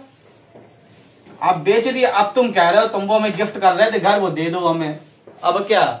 अब वो कैपेबल ही नहीं रहा तुम्हें देने के लिए, अब तो मैं बेच चुका हूँ। है कि नहीं? तो क्या है? या तो उसके लाइफ टाइम में, या वो कैपेबल हो उसको देने के, उसके पास प्रॉपर्टी वो रही हो। जब थी, तब तुमने ली नहीं, अब क्या कर सकते हैं? इसमें जो लास्ट वाला है if the donee dies before acceptance अगर डोनी लेने से पहले गिफ्ट लेने से पहले मर जाता है बी गिफ्ट एक्सेप्ट करने से पहले मर जाता है तो गिफ्ट क्या होगा? बहुत क्वेश्चन आता है लाइन कर लीजिएगा इस पे। हज़ार बार पूछा जाता है, बहुत, हर पेपर में दिख जाता है ये क्वेश्चन अगर बी जो डोनी है, उसने गिफ्ट एक्सेप्ट नहीं किया, ठीक है, उसी बीच बी की डेथ हो जाती है डोनी की तो गिफ्ट का क्या होगा? वाइड हो जाएगा। ऐसा नहीं होगा कि इसके जो हेयर्स हैं, उनके पास राइट पहुँच जाए कि तुम एक्सेप्ट कर सकते हो तो कर लो। ना ना वाइड हो जाएगा। क्या हो जाएगा? अगर डोनी एक्सेप्ट करने से पहले इसकी डेथ हो जाती है डोनी की, गिफ्ट क्या होगा? यस वाइड हो जाएगा। आखिरी लाइन लेते हैं if the donee dies before acceptance the gift is void line कर लीजिएगा, बहुत पूछा जाता है। चलिए, अब ट्रांसफ़र हाउ अफेक्टेड इसमें एक क्वेश्चन ये है। ट्रांसफ़र हाउ इफ़ेक्टिव चलिए पहले पढ़ते हैं। For the purpose of making of gift of making a gift of immovable property the transfer must be accepted by a registered instrument sign by on behalf of the donor attested by the at least two witnesses. For the purpose of making a gift of movable property the transfer may be affected either by registered instrument signed as aforesaid or by delivery such delivery shall be made in the same way as the goods sold by delivered देखें अब क्या हुआ transfer how affected कैसे होगा transfer how affected कैसे होगा भाई देखिए इसमें दो बातें हैं जैसे गिफ्ट दोनों प्रॉपर्टी के लिए डील करता है मूवेबल और इमूवेबल तो दोनों प्रॉपर्टी के लिए गिफ्ट करता है। अगर इमूवेबल प्रॉपर्टी है, ध्यान रखिएगा, अगर इमूवेबल प्रॉपर्टी है, फिर चाहे कितनी भी वैल्यू की हो, चाहे वो दस रुपए की हो, चाहे एक रुपए की हो, चाहे कितनी की भी हो, भाई साहब रजिस्टर्ड इंस्ट्रूमेंट में होगा और अटेस्टेड होगा। और जहाँ पे मैंने आपको अटेस्टेशन पढ़ाया था तो मैंने ये बताया था कि किस किस चीज़ों में अटेस्टेशन होता है। कमेंट करके बताइएगा मुझे। अटेस्टेशन किन किन तीन चीज़ों में रिक्वायर्ड होता है, ठीक है? चलिए इस पे आते हैं फिर से। तो इसमें क्या होगा? अगर इमोल प्रॉपर्टी है, रजिस्ट्रेशन कराना पड़ेगा। दूसरा अटेस्टेशन अटेस्टेशन का मतलब होता है at least two witnesses attested by at least two witnesses ठीक है? अगर मूवेबल प्रॉपर्टी एनी वैल्यू कोई भी वैल्यू हो, चाहे सौ रुपए हो, चाहे सौ से कम सेल में क्या होता था? सेल में क्या होता था? सेल ऑफ़ इमोवल प्रॉपर्टी अगर सौ रुपए ज़्यादा की है तो ही उसका रजिस्ट्रेशन कराना पड़ता था। गिफ्ट में ऐसा नहीं है, कुछ भी वैल्यू की होगी। आपको क्वेश्चन आएगा कि एक गिफ्ट इमोल प्रॉपर्टी करना चाहता है जिसकी वैल्यू 99 है तो कैसे कर सकता है? रजिस्ट्रेशन से विदाउट रजिस्ट्रेशन से, ध्यान रखना गिफ्ट में कोई वैल्यू वैल्यू नहीं होती। रजिस्ट्रेशन कराना ज़रूरी होता है, ठीक है? और अटेस्टेशन भी होता है। अटेस्टेशन का मतलब at least two witnesses movable property में क्या है? रजिस्ट्रेशन कराना चाहो, करा लो। नहीं कराना है। डिलीवरी दे दो केवल। अरे यार, मैं तुम्हें हम आपको एक फ़ोन गिफ्ट करना चाहते हैं। फ़ोन तो मूवेबल है ना? फ़ोन गिफ्ट करना चाहते हैं। तो क्या हम रजिस्ट्रेशन कराएँगे क्या जाके उसका? क्या करना है? बस आपको थमा देना है। लो भाई फ़ोन रख लो। आपके पोजिशन में दे देना है। बस, हो गया। गिफ्ट हो गया, और क्या? चलिए, अब इसके 122 से हम लोग देखते हैं इसकी डेफिनेशन में, इसके एजेंसी क्या क्या है। गिफ्ट में क्या होता है? Transfer of ownership ownership transfer होता है। कोई इंटरेस्ट इंटरेस्ट थोड़े, पूरी ऑनरशिप एक बार गिफ्ट कर दिया, बस हो गया। Property must be existed existed future property अगर फ्यूचर प्रॉपर्टी के बारे में बोलते हैं तो क्या होगा? फ्यूचर प्रॉपर्टी के लिए गिफ्ट होगा क्या? नहीं होगा। Must be without consideration without consideration होना चाहिए। ये थोड़े कि हम तुम्हें गिफ्ट में ये दे रहे तुम मुझे वो दो। ना, ये सब नहीं चलेगा। Voluntarily must be by a competent person competent person होना चाहिए वॉलेंटरली होना चाहिए। किसी से ज़ोर जबरस्ती करके नहीं। ज़ोर ज़बरदस्ती करके गिफ्ट नहीं लिए जाते। ठीक है? उसकी इच्छा हो तभी ठीक है। Acceptance must be donee accepted by donee or on it behalf ठीक है? डोनी एक्सेप्ट कर ले। इसका एक्सेप्टेंस भी करना ज़रूरी होता है। तो 122 130 हो गए? 122 123 ध्यान रखिएगा, कोई भी वैल्यू क्या इमोल प्रॉपर्टी हो, चाहे एक रुपए की वैल्यू हो रजिस्ट्रेशन कराना ज़रूरी है। और अटेस्टेशन भी होगा एटलीस्ट बाय टू विटनेसेस चलिए 124 पढ़ते हैं। Gift of existing and future property अब क्या हुआ? 124 से बोलता है कि मैंने दोनों चीज़ों का गिफ्ट किया। कि भाई, एक तो देखो, एक मैं तुम्हें प्लॉट जो है अभी दिए दे रहा हूँ, एक जो मैं फ्यूचर में खरीदूँगा, वो दूँगा। मैंने एक को गिफ्ट दिया। मैंने कहा, देखो, एक जो मेरे पास अभी प्लॉट है, वो मैं अभी दिए दे रहा हूँ। बाकी का जो दूसरा है, वो मैं तुम्हें खरीद के दूँगा फ्यूचर में। ठीक है? तो इसमें क्या होगा? भैया, जो अभी वाला है, वो वैलिड माना जाएगा। जो फ्यूचर वाला है, वो वॉइड माना जाएगा। ठीक है? चलिए, पढ़ते हैं। एक सौ चौबीस का मतलब a gift comprises both existing and future property is void as to the latter future property is void as to the latter जो बाद वाली बात है फ्यूचर प्रॉपर्टी वाली, वो वाली वॉइड मानी जाएगी? पहले वाला ठीक है। अब gift to several of whom one does not accept अब क्या हुआ?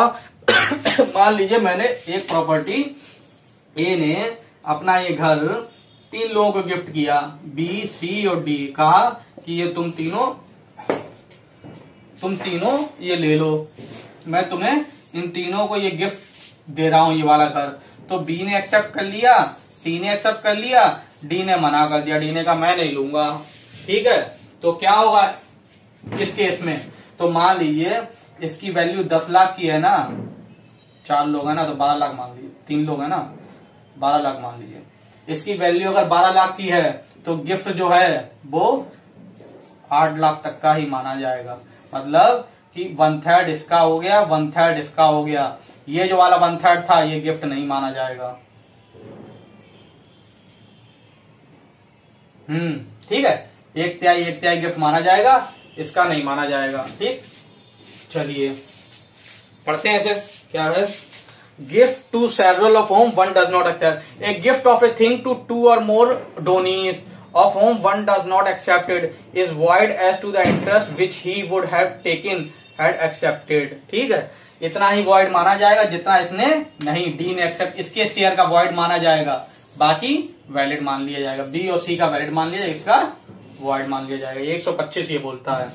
126 बोलता है कंडीशनल गिफ्ट लिख लीजिए।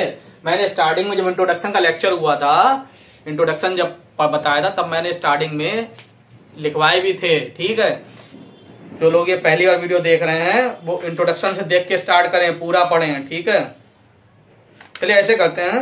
ये 126, 27, 28 अगले लेक्चर में पढ़ेंगे ठीक है? हाँ एक सौ उनतीस तक ठीक? ठीक है थैंक यू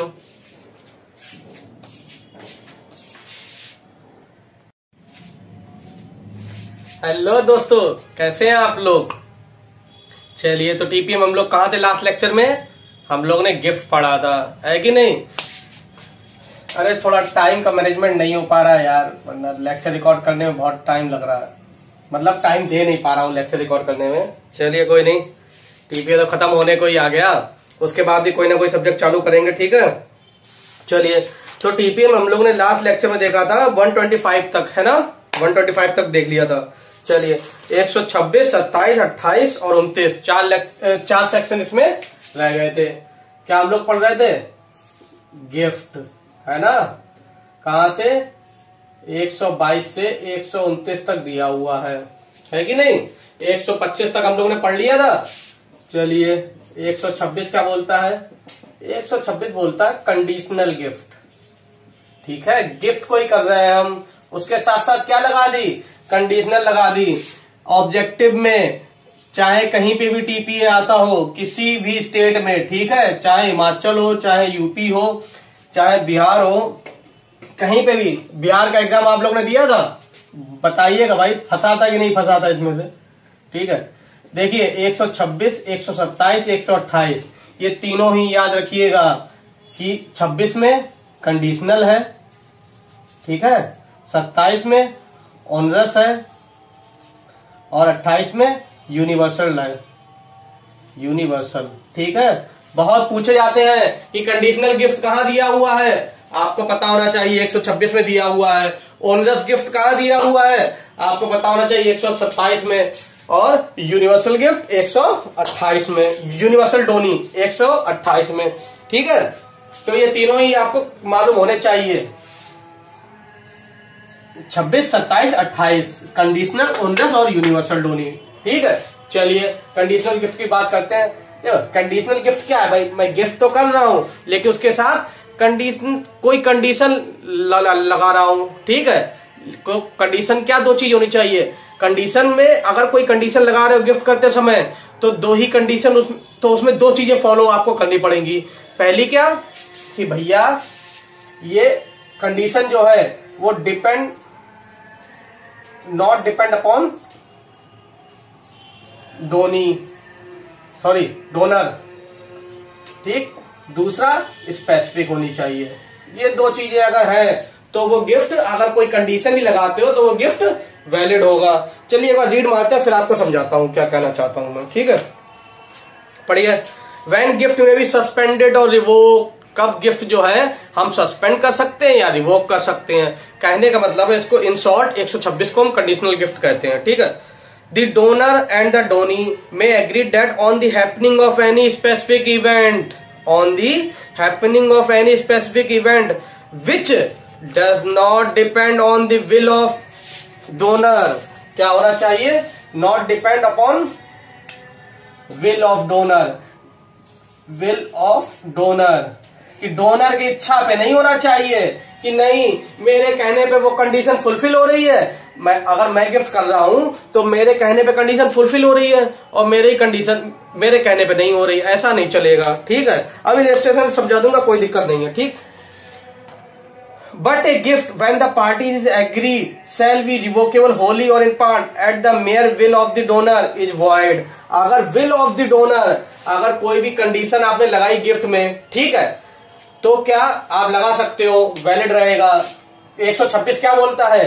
कि आप कोई भी कंडीशन अगर गिफ्ट में लगा रहे हो तो आप लगा सकते हो। वैलिड है अगर आपने इन दोनों चीज़ों को फॉलो किया है। किस किस को कि जो कंडीशन है, वो not depend upon the will of donor होनी चाहिए और स्पेसिफिक होनी चाहिए। और कंडीशन क्या होनी चाहिए? कंडीशन होनी चाहिए on happening of certain event happening of यही तो कंडीशन होती है। अरे अब तो इतना कंडीशन एंडीशन पढ़ चुके हैं, इतना तो जानकारी होगी भाई। जब हम लोग दस, ग्यारह, बारह उन्नीस, बीस, इक्कीस, ये सब पढ़ चुके हैं, उसके बाद छोटी मोटी चीज़ों दिक्कत थोड़ी आनी चाहिए। और हैपनिंग ऑफ़ सर्टेन इवेंट कोई भी ऐसी कंडीशन जो depend on the happening of certain event और not depend upon the will of the donor और स्पेसिफिक अगर ये चीज़ें कंडीशन आप फुलफिल कर रहे हो तो इसका मतलब कंडीशनल गिफ्ट आप कर सकते हो, जो कि वैलिड माना जाएगा। लेकिन अगर कोई भी आपने गिफ्ट किया जो condition will of the donor पे डिपेंड है, सिर्फ़ डोनर की इच्छा पे तो फिर वो वाइड वाइड हो जाएगा। कैसे? देखिए, इसी में इलेक्ट्रेशन आप देखिएगा। ए बी को एक लाख रुपए गिफ्ट करता है वन लैख क्या करता है?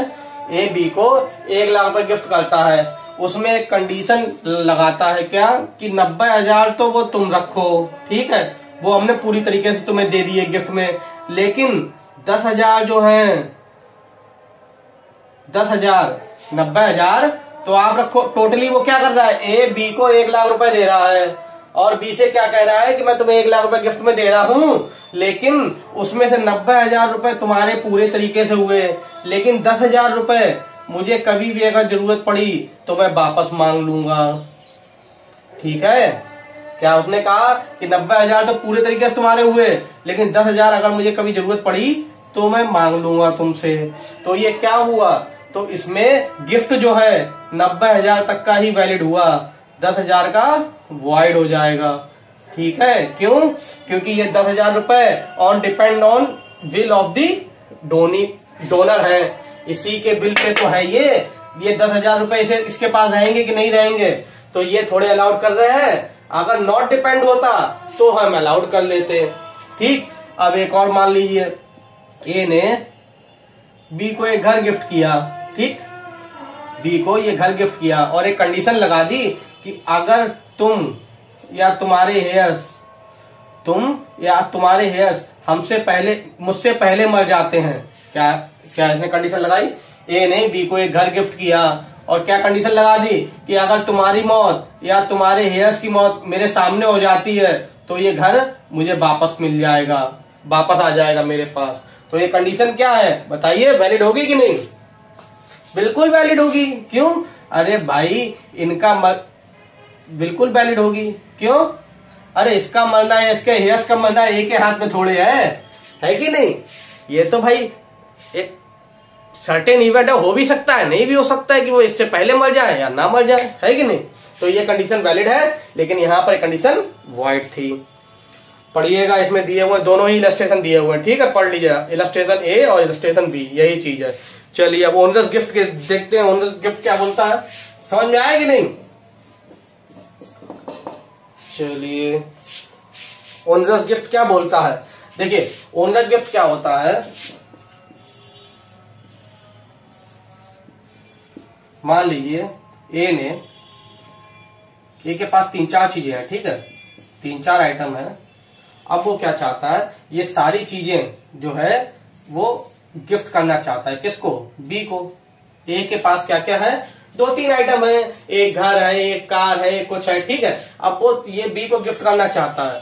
तो अब क्या, मान लीजिए इसमें एक घर है। मान लीजिए एक घर है, एक कार है, ठीक है। और क्या है उसके पास? और मान लीजिए एक आध चीज़ और है। एक प्लॉट है, ठीक। ये तीन चीज़ें हैं उसके पास। क्या क्या है? एक घर है एक कार है और एक प्लॉट है। अब क्या होता है? अब घर पे, मान लीजिए, पाँच लाख का लोन होता है, जो इसे बैंक को देना है। कितने का?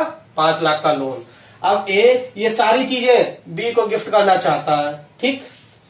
लेकिन तो अगर बी लेता है, ये, अगर ये सिंगल ट्रांजेक्शन में है सिंगल ट्रांजेक्शन में है, क्या है भाई? ए ने ये तीनों चीज़ें, घर गाड़ी प्लॉट ये तीनों चीज़ें बी को गिफ्ट कर रहा है। लेकिन इसमें प्रॉब्लम यह है कि घर के ऊपर पाँच लाख की लाइबिलिटी है। पाँच लाख का बैंक लोन है। तो अगर ये सिंगल ट्रांजेक्शन में बी को दे रहा है ये तीनों चीज़ें तो बी ये सिंगल ट्रांजेक्शन में अगर मिल रहा है इसे तो इसे तीनों ही चीज़ें चूज़ करनी पड़ेंगी। ऐसा नहीं है। वो कहे, देखो भाई, इस पे तो पाँच लाख की लाइबिलिटी हम घर नहीं लेंगे। कार और प्लॉट हमें दे दो। ऐसा नहीं कर पाएगा। क्यों? क्योंकि ये सिंगल ट्रांजेक्शन में सारी चीज़ें गिफ्ट कर रहा है। अगर एक्सेप्ट करना है तो एज ए होल एक्सेप्ट करो। रिजेक्ट करना है तो एज ए होल रिजेक्ट कर दो। इतनी बात समझ में आई? चलिए। लेकिन अगर ये सिंगल ट्रांजेक्शन में नहीं होता, ठीक है? अगर ये सिंगल ट्रांजेक्शन में नहीं होता, मान लीजिए आज हमने उसे ये घर गिफ्ट किया, उसने मना कर दिया, भैया हम नहीं लेंगे क्योंकि इस पे पाँच लाख की लाइबिलिटी है। कल हमने उसे कहा अच्छा कार लोगे? उसने, भाई, वो, अब उसके ऊपर है, वो ले भी सकता है। अगर ये सिंगल ट्रांजेक्शन में नहीं है नॉट इन सिंगल ट्रांजेक्शन तो इसके पास राइट होता सिंपल सी बात है, होता कि नहीं होता? अरे भाई अलग अलग ट्रांजेक्शन में हम दे रहे हैं, एक ट्रांजेक्शन में घर दे रहा है, मेरी मर्ज़ी, मैं लू ना लू, अगले ट्रांजेक्शन में मुझे कार दे रहा है, मैंने ले ली, अगले ट्रांजेक्शन में मुझे प्लॉट दे रहा है, मैंने ले लिया, क्यों? इन पे लाइबिलिटी नहीं दी, वो मैंने नहीं लिया। अगर डिफरेंट ट्रांजेक्शन में है तो मैं कोई एक चीज़ ले सकता हूँ, कोई एक चीज़ रिजेक्ट कर सकता हूँ, लेकिन सिंगल ट्रांजेक्शन में है तो ऐसा नहीं कर सकता। तो या तो सब लो, या तो सारा छोड़ दो। अगर मैंने लिया सारी चीज़ें तो ये लाइबिलिटी मुझे भरनी पड़ेगी पाँच लाख रुपए। सारी चीज़ें उसकी मेरे पास आ गई, अब लाइब्रेटी कौन भरेगा? मैं तो भरूँगा। बस, इतनी सी बात कहता है ये। समझ में आ रहा है कि नहीं? अरे आ ही रहा होगा यार, समझ। में और कुछ बताइए आप लोग। अरे भाई शेयर यार किया करो यार अपने दोस्तों से। आप लोग शेयर करोगे, मुझे और अच्छा लगेगा। मैं कोशिश करूँगा कि और ज़्यादा टाइम निकालू, आपके लिए लेक्चर रिकॉर्ड करूँ, ठीक है? अब आप लोग यहाँ तक देखते हुए आ गए हैं तो इसका मतलब आपको अच्छा ही लगता होगा। और आप मेरे लिए इतना कर भी सकते हैं। नहीं कर सकते? अरे बिल्कुल ही कर सकते हैं। चलिए, अब कहाँ तक आ गए हम लोग? यूनिवर्सल डोनी क्या होता है भाई? यूनिवर्सल जैसा उसका नाम है ना यूनिवर्सल डोनी, अगर ए अपनी सारी चीज़ें, मान लीजिए इसके पास जितनी भी चीज़ें थी, जितनी भी चीज़ें थी ना, उसमें सब चीज़ें अगर बी को डोनेट कर रहा मतलब गिफ्ट किए दे रहा है, सारी चीज़ें बी को गिफ्ट किए दे रहा है तो बी क्या हो जाएगा? यूनिवर्सल डोनी हो जाएगा। क्या हो जाएगा? Universal donee. किसके पास ए ने अपना सारा कुछ बी को दे दिया गिफ्ट गिफ्ट कर दिया, ठीक है? तो ये यूनिवर्सल डोनी हो जाएगा। अब चाहे इस पे लाइबिलिटी हो, चाहे ना हो। अब मान लीजिए ए ने ये तीनों चीज़ें ऐसे बी को दी, ठीक है? अब क्या हुआ? इसमें मान लो दस लाख रुपए की लाइबिलिटी है। बैंक लोन था। कितने का? दस लाख रुपए का। तो क्या अब इन, फिर बाद में क्या हुआ? बैंक ने बी के खिलाफ एग्जीक्यूट एग्जीक्यूट कराने की कोशिश की तो पता चला इन वैल्यू की, इस तीनों की कीमत आठ लाख रुपए थी। समझने की कोशिश करिएगा। ए ने अपनी सारी चीज़ें किसे गिफ्ट कर दी? बी को। तो बी क्या हो गया? यूनिवर्सल डोनी हो गया। हो गया कि नहीं हो गया? अब मान लीजिए इसके ऊपर एक ऊपर दस लाख रुपए लाइबिलिटी थी। अब वो लाइबिलिटी इसके ऊपर आ जाएगी कि नहीं आ जाएगी? अभी ऊपर हम लोग देखा था एक सौ सत्ताईस में। बिल्कुल इसके ऊपर आ जाएगी। अब इसके पास जो गिफ्ट में आई थी चीज़ें, उनकी वैल्यू आठ लाख ही है। ठीक है? इसके ऊपर लाइबिलिटी कितनी थी? दस लाख रुपए। तो अब जितना इसके पास आया था गिफ्ट में, वो तो सब इसने वापस देना पड़ेगा। वापस क्या? मतलब जिसके ऊपर लोन जिसका लोन है वो ले लेगा। है कि नहीं? बाकी के दो लाख रुपए कहाँ से आएँगे? क्या कहने का मतलब है क्वेश्चन ये उठ रहा है, क्या यूनिवर्सल डोनी पर्सनली लाइबल होगा? एक ही लाइबिलिटी के लिए। या यूनिवर्सल डोनी की जो प्रॉपर्टी खुद की होगी, क्या वो पर्सनली लाइबल होगी? एक ही लाइबिलिटी के लिए। बताइए। नहीं होगी। ठीक है। चलिए, इसमें लिख लीजिए एक बार। फिर इसको रीड मारते हैं। अरे ओनरस गिफ्ट में हम लोग ने रीड नहीं मारा। अच्छा एक चीज़ रह गई थी। चलिए, पहले ओनरस गिफ्ट पे आते हैं, ठीक है? ओनरस गिफ्ट क्या बोलता है? Where a gift in the form of a single transfer to the same person of several thing क्या हो गया? सिंगल ट्रांसफ़र हो रहा है सेम पर्सन को हो रहा है सेवरल थिंग हो रहा है of which one is and the others are not burden by an obligation the donee can take nothing by the gift unless he accepted it fully अगर सिंगल ट्रांजेक्शन है तो क्या करना पड़ेगा? बताइए। पूरा ही एक्सेप्ट करना पड़ेगा, चाहे लाइबिलिटी हो, चाहे ना हो। ठीक? Where a gift in the form of two or more separate and two or more separate and independent transfer, अगर टू और मोर सेपरेट और इंडिपेंडेंट ट्रांसफ़र है तो क्या उसके ऊपर है? वो ले ले या ना ले, ठीक है?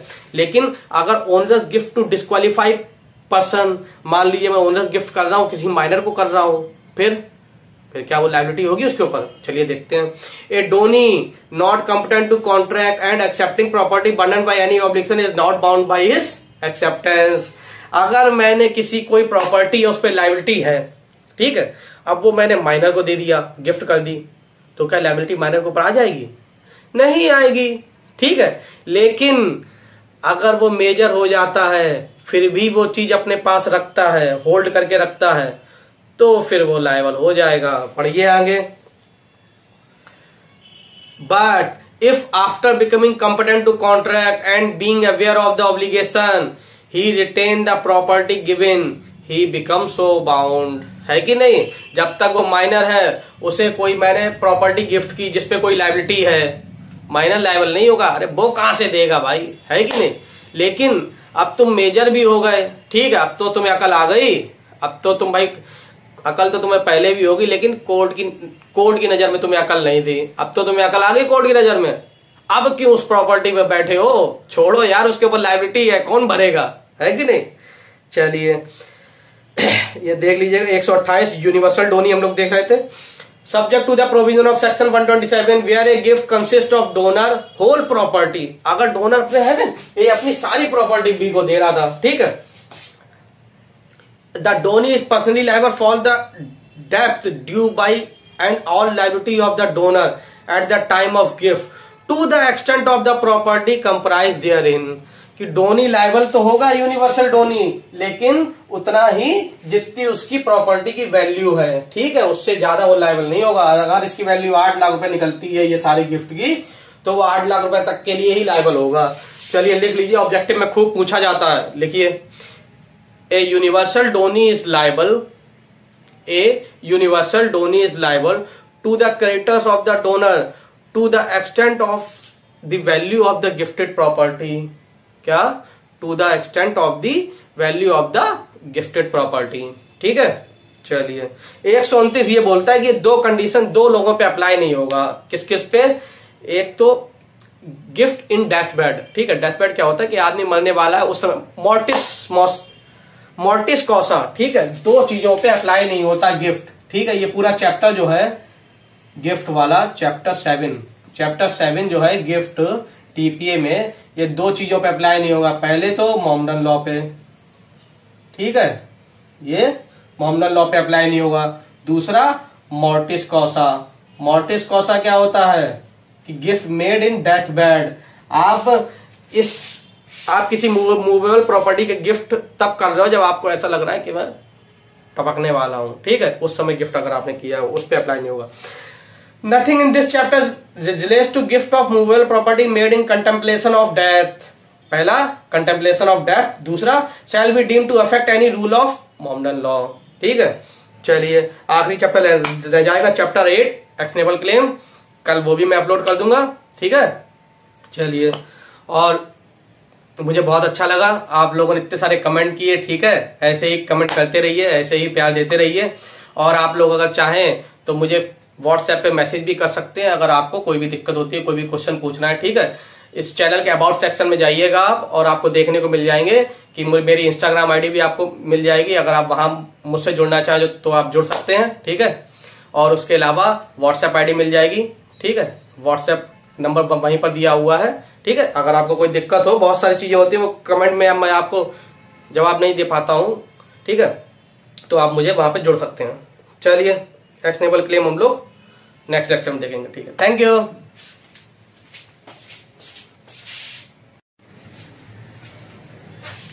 हेलो दोस्तों, कैसे हैं आप लोग? आज हमारा टीपीए पे आखिरी लेक्चर है, क्योंकि बस एक ही टॉपिक रह गया एक्सनेबल क्लेम ठीक है? अगर आप ये लेक्चर पहली बार देख रहे हैं तो आप ये जान लीजिए, हम लोगों ने टीपीए सेक्शन वन से स्टार्ट किया था इंट्रोडक्शन से, और ये पूरा कंप्लीट हो गया। अगर आपने ना देखा हो तो आप इसी चैनल की प्लेलिस्ट में जाके पूरा टीपीए देख सकते हैं, ठीक है? इसके अलावा भी वहाँ पर प्लेलिस्ट में एस पे भी है, ठीक है? स्पेसिफिक जली फैक्ट, उसके अलावा टॉट पे भी है, और भी दो चार वीडियो है, आप देख लीजिएगा, ठीक है? आपके काम की कोई चीज़ हो तो आप ज़रूर देखें और कमेंट करके मुझे बताएँ, ठीक है? और अभी भी टीपीए पूरा खत्म होने को आ गया, साठ परसेंट लोगों ने अभी भी चैनल सब्सक्राइब नहीं किया है। अरे भाई, सब्सक्राइब कीजिए, आपके लिए इतनी मेहनत कर रहे हैं, ठीक है? और जो लोग यहाँ देखते हुए आए हैं, यहाँ तक वो तो खैर सब्सक्राइब कर ही चुके होंगे। चलिए एक्सनेबल क्लेम कहा दिया हुआ है? चैप्टर एट में सेक्शन 130 से 137 यही तो दिया हुआ है। लेकिन सेक्शन 130 से 137 में क्या दिया हुआ है? उसमें ट्रांसफ़र ऑफ़ एक्सनेबल क्लेम दिया हुआ है। एक्सनेबल क्लेम क्या है? देखिए, एक तो चीज़ एक्सनेबल क्लेम ठीक है? अब एक्सनेबल क्लेम कुछ है तो उसका ट्रांसफ़र हो सकता है क्या?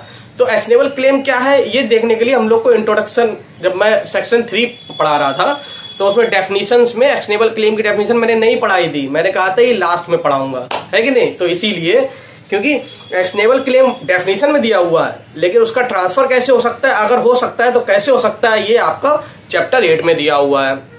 ठीक है? एक्शनेबल क्लेम क्या होता है? देखो, बहुत सारी चीज़ें लॉ में जो भी कुछ है ना, वो हम लोग के डेली लाइफ में अप्लाई होता है। ठीक, बस हम लोग को पता नहीं होता इसको क्या कहते हैं। मान लीजिए, मेरे दो दोस्त हैं, ठीक है? दो, तीन दोस्त हैं मेरे। मान लीजिए अभिनव है और अभिषेक है। दो, ये दो मेरे दोस्त हैं, एक अभिनव, एक अभिषेक। तो मान लीजिए मैंने अभिनव से एक हज़ार रुपए उधार ले रखे हैं, ठीक है? या मैंने अभिनव को एक हज़ार रुपए उधार दे रखे हैं। मान लीजिए मैंने अभिनव को एक हज़ार रुपए उधार दे रखे हैं, ठीक है? अब अभिषेक मेरे पास आता है, ये कहता है कि, विशाल भाई अगर आपके पास हज़ार रुपए हो तो मुझे दे दीजिए, मुझे काम है। ठीक है? या वो मुझसे अपने ही पैसे माँगता है कि तुमने मुझसे हज़ार रुपए लिए थे, मुझे वापस दो। ठीक है? तो मैं उससे क्या कह सकता हूँ? मैं कह सकता हूँ भाई, मेरे पास तो अभी नहीं है, लेकिन मेरे पैसे अभिषेक के पास है, अभिनव के पास है, तुम उससे ले लो जाके। ठीक है? तो अब क्या होगा इसमें? ये क्या हुआ? अरे, यही तो एक्सनेबल क्लेम है। क्या मैंने कहा कि मेरा पैसा किसी और के पास है, तुम उससे ले लो। ठीक है? तो यही मेरा जो एक्सनेबल क्लेम था, ठीक है, वो मैंने उसे ट्रांसफ़र कर दिया। यही एक्सनेबल क्लेम है और इसका ट्रांसफ़र कैसे हुआ, मैंने तुम्हें यह भी बता दिया, ठीक है। अब क्या होता है? एक्सनेबल क्लेम क्या है? ऐसा कोई भी क्लेम ऐसा कोई भी क्लेम जिसके लिए मैं कोर्ट के थ्रू एक्शन ले सकूँ वो पैसा वापस लेने के लिए या वो चीज़ वापस लेने के लिए।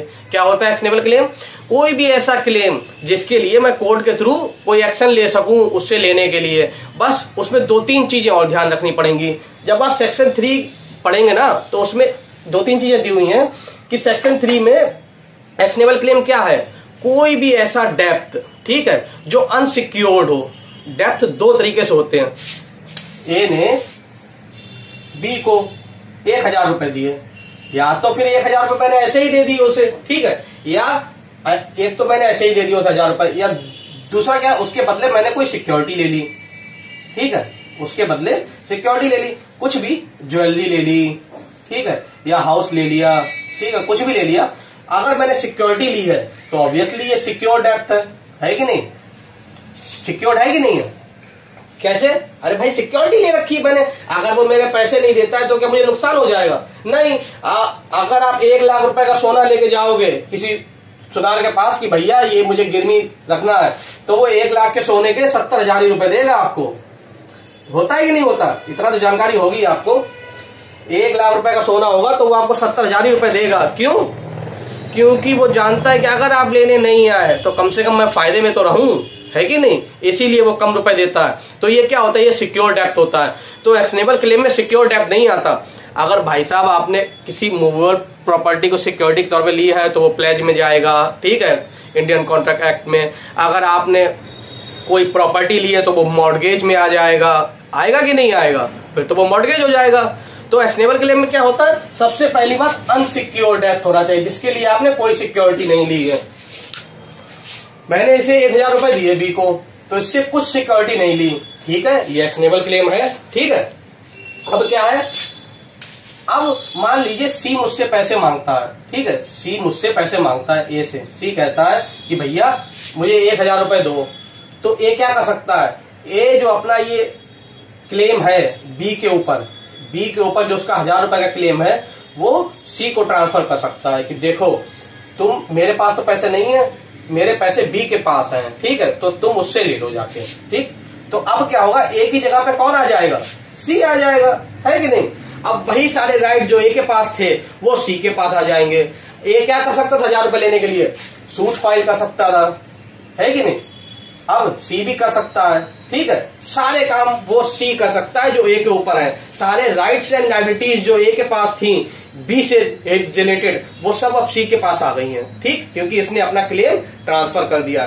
तो एक्सनेबल क्लेम क्या होता है? एक्सनेबल क्लेम होता है कि कोई भी क्लेम जो अनसिक्योर डेप्थ के ऊपर हो, या एक claim to any beneficial interest in movable property not actual constructive possession of the claimant अब मान लीजिए कोई मूवेबल प्रॉपर्टी है, ठीक है? वो मैंने आपको दे रखी है। मान लीजिए मेरा फ़ोन है, मैंने आपको दे रखा है। तो अब ये भी क्या हो जाएगा? एक्सनेबल क्लेम हो जाएगा। अगर कोई मूवेबल प्रॉपर्टी मेरे पास नहीं है, ठीक है? मेरे पास है तो वो एक्सनेबल क्लेम थोड़े है। फिर तो वो मेरी मूवेबल प्रॉपर्टी है। अगर वो मैंने किसी थर्ड पर्सन को दे रखी है, ठीक है?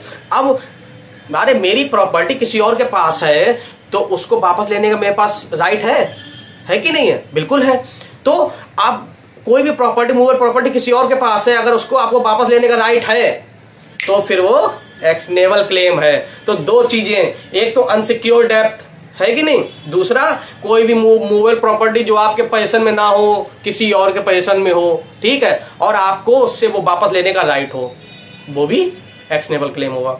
तो सेक्शन थ्री से एक बार समझ में आई? चलिए आप पहले डेफिनेशन क्लॉज में आइए सेक्शन थ्री में एक बार रीड मार लेते हैं। वैसे भी आज ये आखिरी लेक्चर है टीपीए पर आखिरी है। इसके अलावा हमें कमेंट करके बताइएगा, ठीक है? कि और किस पे लेक्चर रिकॉर्ड किए जाएँ। हाँ एक्सनेबल claim means A claim to any depth other than the depth secure bye mortgage of immovable property क्या है? कोई भी ऐसा depth other than A depth secured bye mortgage of immovable property अगर मॉर्गेज रखी है प्रॉपर्टी तो एक्सनेबल क्लेम क्यों होगा? वो तो मॉर्गेज में जाएगा, ठीक है? और प्रॉपर्टी और बाई हाइपोथिकेशन हाइपोथिकेशन में भी क्या होता है कि वैसी चीज़ें जिसके लिए आपने सिक्योरिटी ले रखी हो। और प्लेज ऑफ़ मूवेबल प्रॉपर्टी अगर प्लेज ऑफ़ मूवेबल प्रॉपर्टी है तो क्या होगा?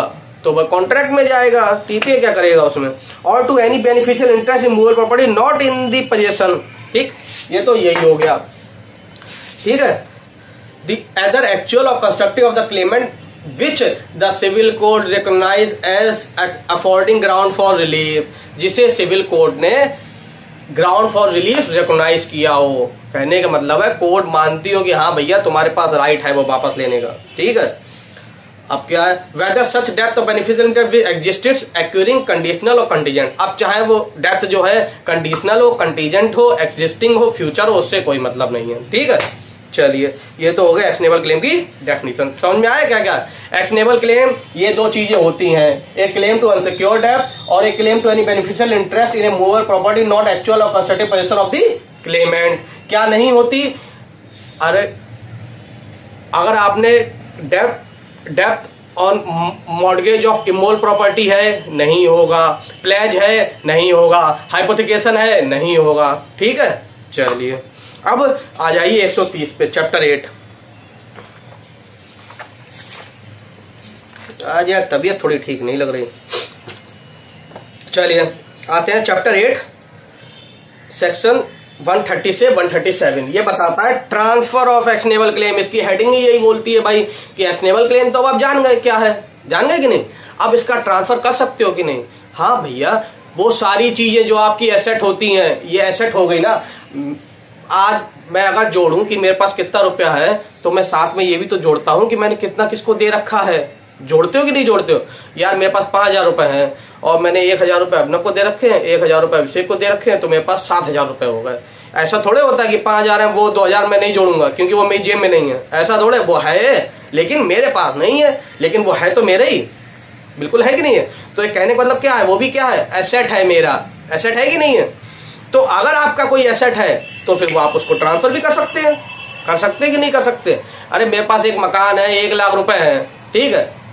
एक लाख रुपए है और एक मकान है। ये दोनों चीज़ें मेरी एसेट है कि नहीं है? दोनों को मैं ट्रांसफ़र भी कर सकता हूँ। मैं चाहे आपको दे दूँ, मैं चाहे किसी को भी दे दूँ। है कि नहीं? तो अगर कोई आपकी चीज़ एसेट है, ये तो हम लोग जान गए एक्सनेबल क्लेम भी एसेट है। है कि नहीं? अब इसको हम ट्रांसफ़र कर सकते हैं, बिल्कुल कर सकते हैं। जैसे सेल कर सकते हैं मॉडगेज कर सकते हैं, ऐसे ही एक्सनेबल क्लेम को भी ट्रांसफ़र कर सकते हैं।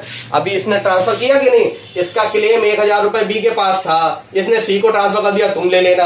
है कि नहीं? अब क्या है? चलिए इसी पे आते हैं। Section thirty transfer of actionable claim कैसे होगा? पहली बात राइटिंग में होगा और साइन बाय द ट्रांसफ़र होगा। राइटिंग में करना पड़ेगा आपको, ठीक है? ऐसे मुँह से बोलने नहीं होगा। इन राइटिंग और sign by the transfer registration की ज़रूरत नहीं है। ठीक है अटेस्टेशन की भी ज़रूरत नहीं है। सिर्फ़ राइटिंग में होना चाहिए। और ट्रांसफरर यहाँ पर ट्रांसफ़र कौन हो गया? ए इसके साइन होने चाहिए। For consideration or without consideration खूब पूछा जाता है ऑब्जेक्टिव में कि एक्सनेबल क्लेम में कंसिडरेशन चाहिए कि नहीं चाहिए। भैया, चाहे कंसिडरेशन हो, चाहे ना हो फॉर कंसिडरेशन विदाउट कंसिडरेशन दोनों ही अलाउड होगा। सेल में क्या होता है? कंसिडरेशन होता है कि नहीं होता बिल्कुल होता है। गिफ्ट में कंसिडरेशन होता है? नहीं होता है। है कि नहीं? एक्सनेबल क्लेम में दोनों ही चीज़ें होती है। कंसिडरेशन हो भी सकता है, नहीं भी हो सकता है। मैं अपने दोस्त को हज़ार रुपए दे रहा हूँ। मतलब ये एक्सनेबल क्लेम ट्रांसफ़र कर रहा हूँ। मैंने अभिषेक से कहा, यार, तुम अपना से ले लो। तो इसमें कंसिडरेशन भी हो सकता है कि मुझे उसी के रुपए देने हो। या विदाउट कंसिडरेशन भी हो सकता है कि वो मुझसे ऐसे ही मांग रहा हो, इसलिए मैंने उससे कह दिया। ठीक है, मेरे पास नहीं लेकिन किसी और से ले लो जाके। तो दोनों चीज़ें हो गई कि नहीं?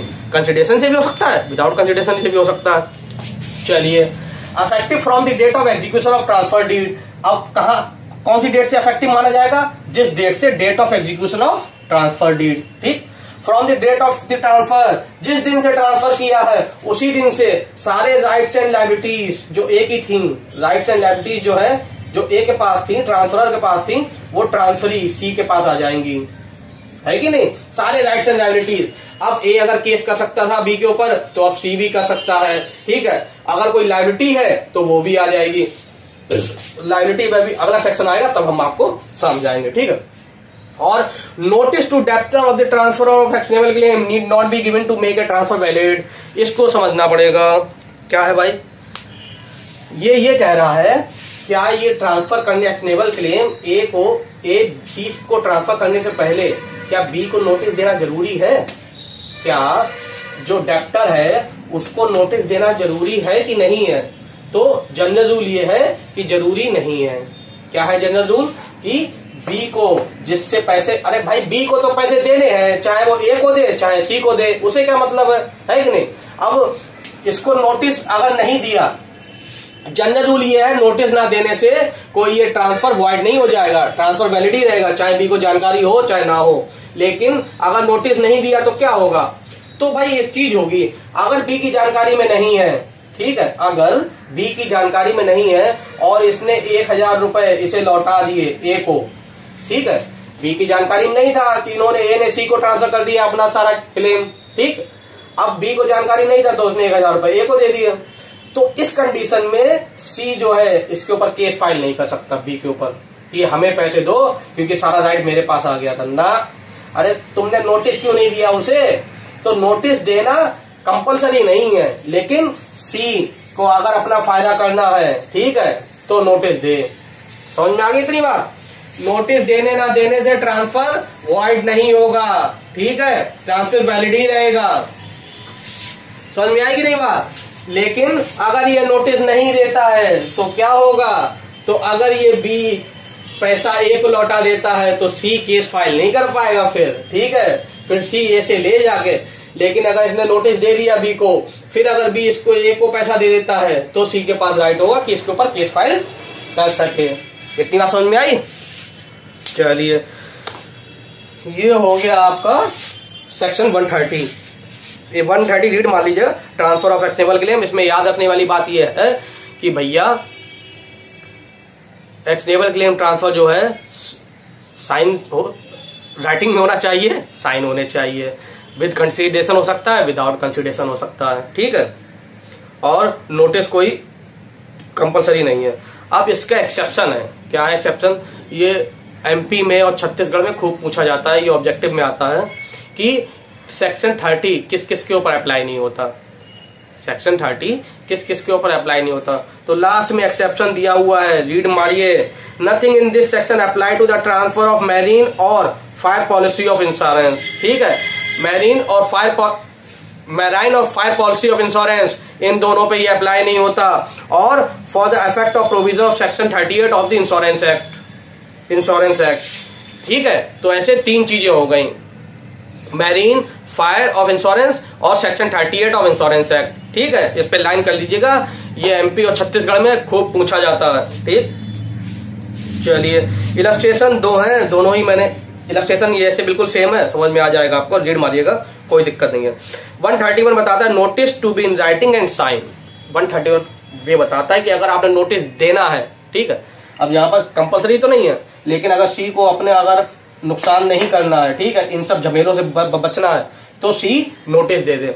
सी नहीं सी सी नोटिस देने के लिए कहेगा, लेकिन नोटिस देगा कौन? ए ही देगा। नोटिस अगर भेज रहे हो बी को तो उसमें ए के साइन होंगे, ठीक है? हाँ अगर ए या इसका एजेंट साइन करने से मना कर देता है, मना कर देता है, वो कहता नहीं यार, छोड़ो यार नोटिस की क्या ज़रूरत है यार? ए को ए को लगता है, शायद यार बी मुझे ही पैसे दे जाए, ठीक है? तो इसलिए वो कहता है नोटिस की कोई ज़रूरत नहीं मत साइन करो यार, मत भेजो। तो इस केस में सी क्या करेगा? अरे भाई सी खुद साइन करके भेज दे कि भैया, पैसे मत दे देना ए को। अब उसे राइट हमें ट्रांसफ़र कर दिए हैं। ठीक है? हो सकता है कि ये साइन ना करे। क्यों भाई? अगर साइन नोटिस भेजने से नोटिस ना भेजने से किसका फ़ायदा हो सकता है? ए का फ़ायदा हो सकता है। तो शायद इस लालच में वो साइन ना करे नोटिस में कि यार मैं नहीं साइन कर रहा। ठीक है?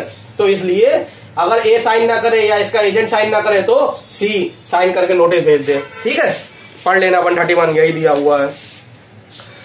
अब warranty of solvency of debtor 133 133 क्या कहता है?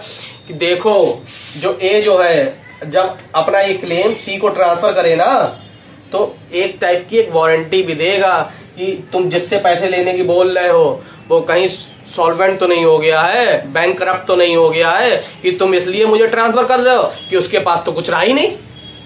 हो सकता है ना? तुमने कहा, यार सी से ले लेना। ओ तुम एक तुम बी से ले लेना। तुम्हें पता है बी के पास कुछ रहा ही नहीं हो। वो देगा कहाँ से? ठीक है? तो आपको एक वारंटी देनी पड़ेगी कि जिस समय आप ये ट्रांसफ़र कर रहे हैं अपना एक्शनेबल क्लेम उस समय जिससे आप लेने की बोल रहे हैं, वो कहीं सॉल्वेंट तो नहीं हो चुका। है कि नहीं? तो एक लिमिटेड होगी ये। लिमिटेड वारंटी होगी, लेकिन एक वारंटी होगी। ठीक है?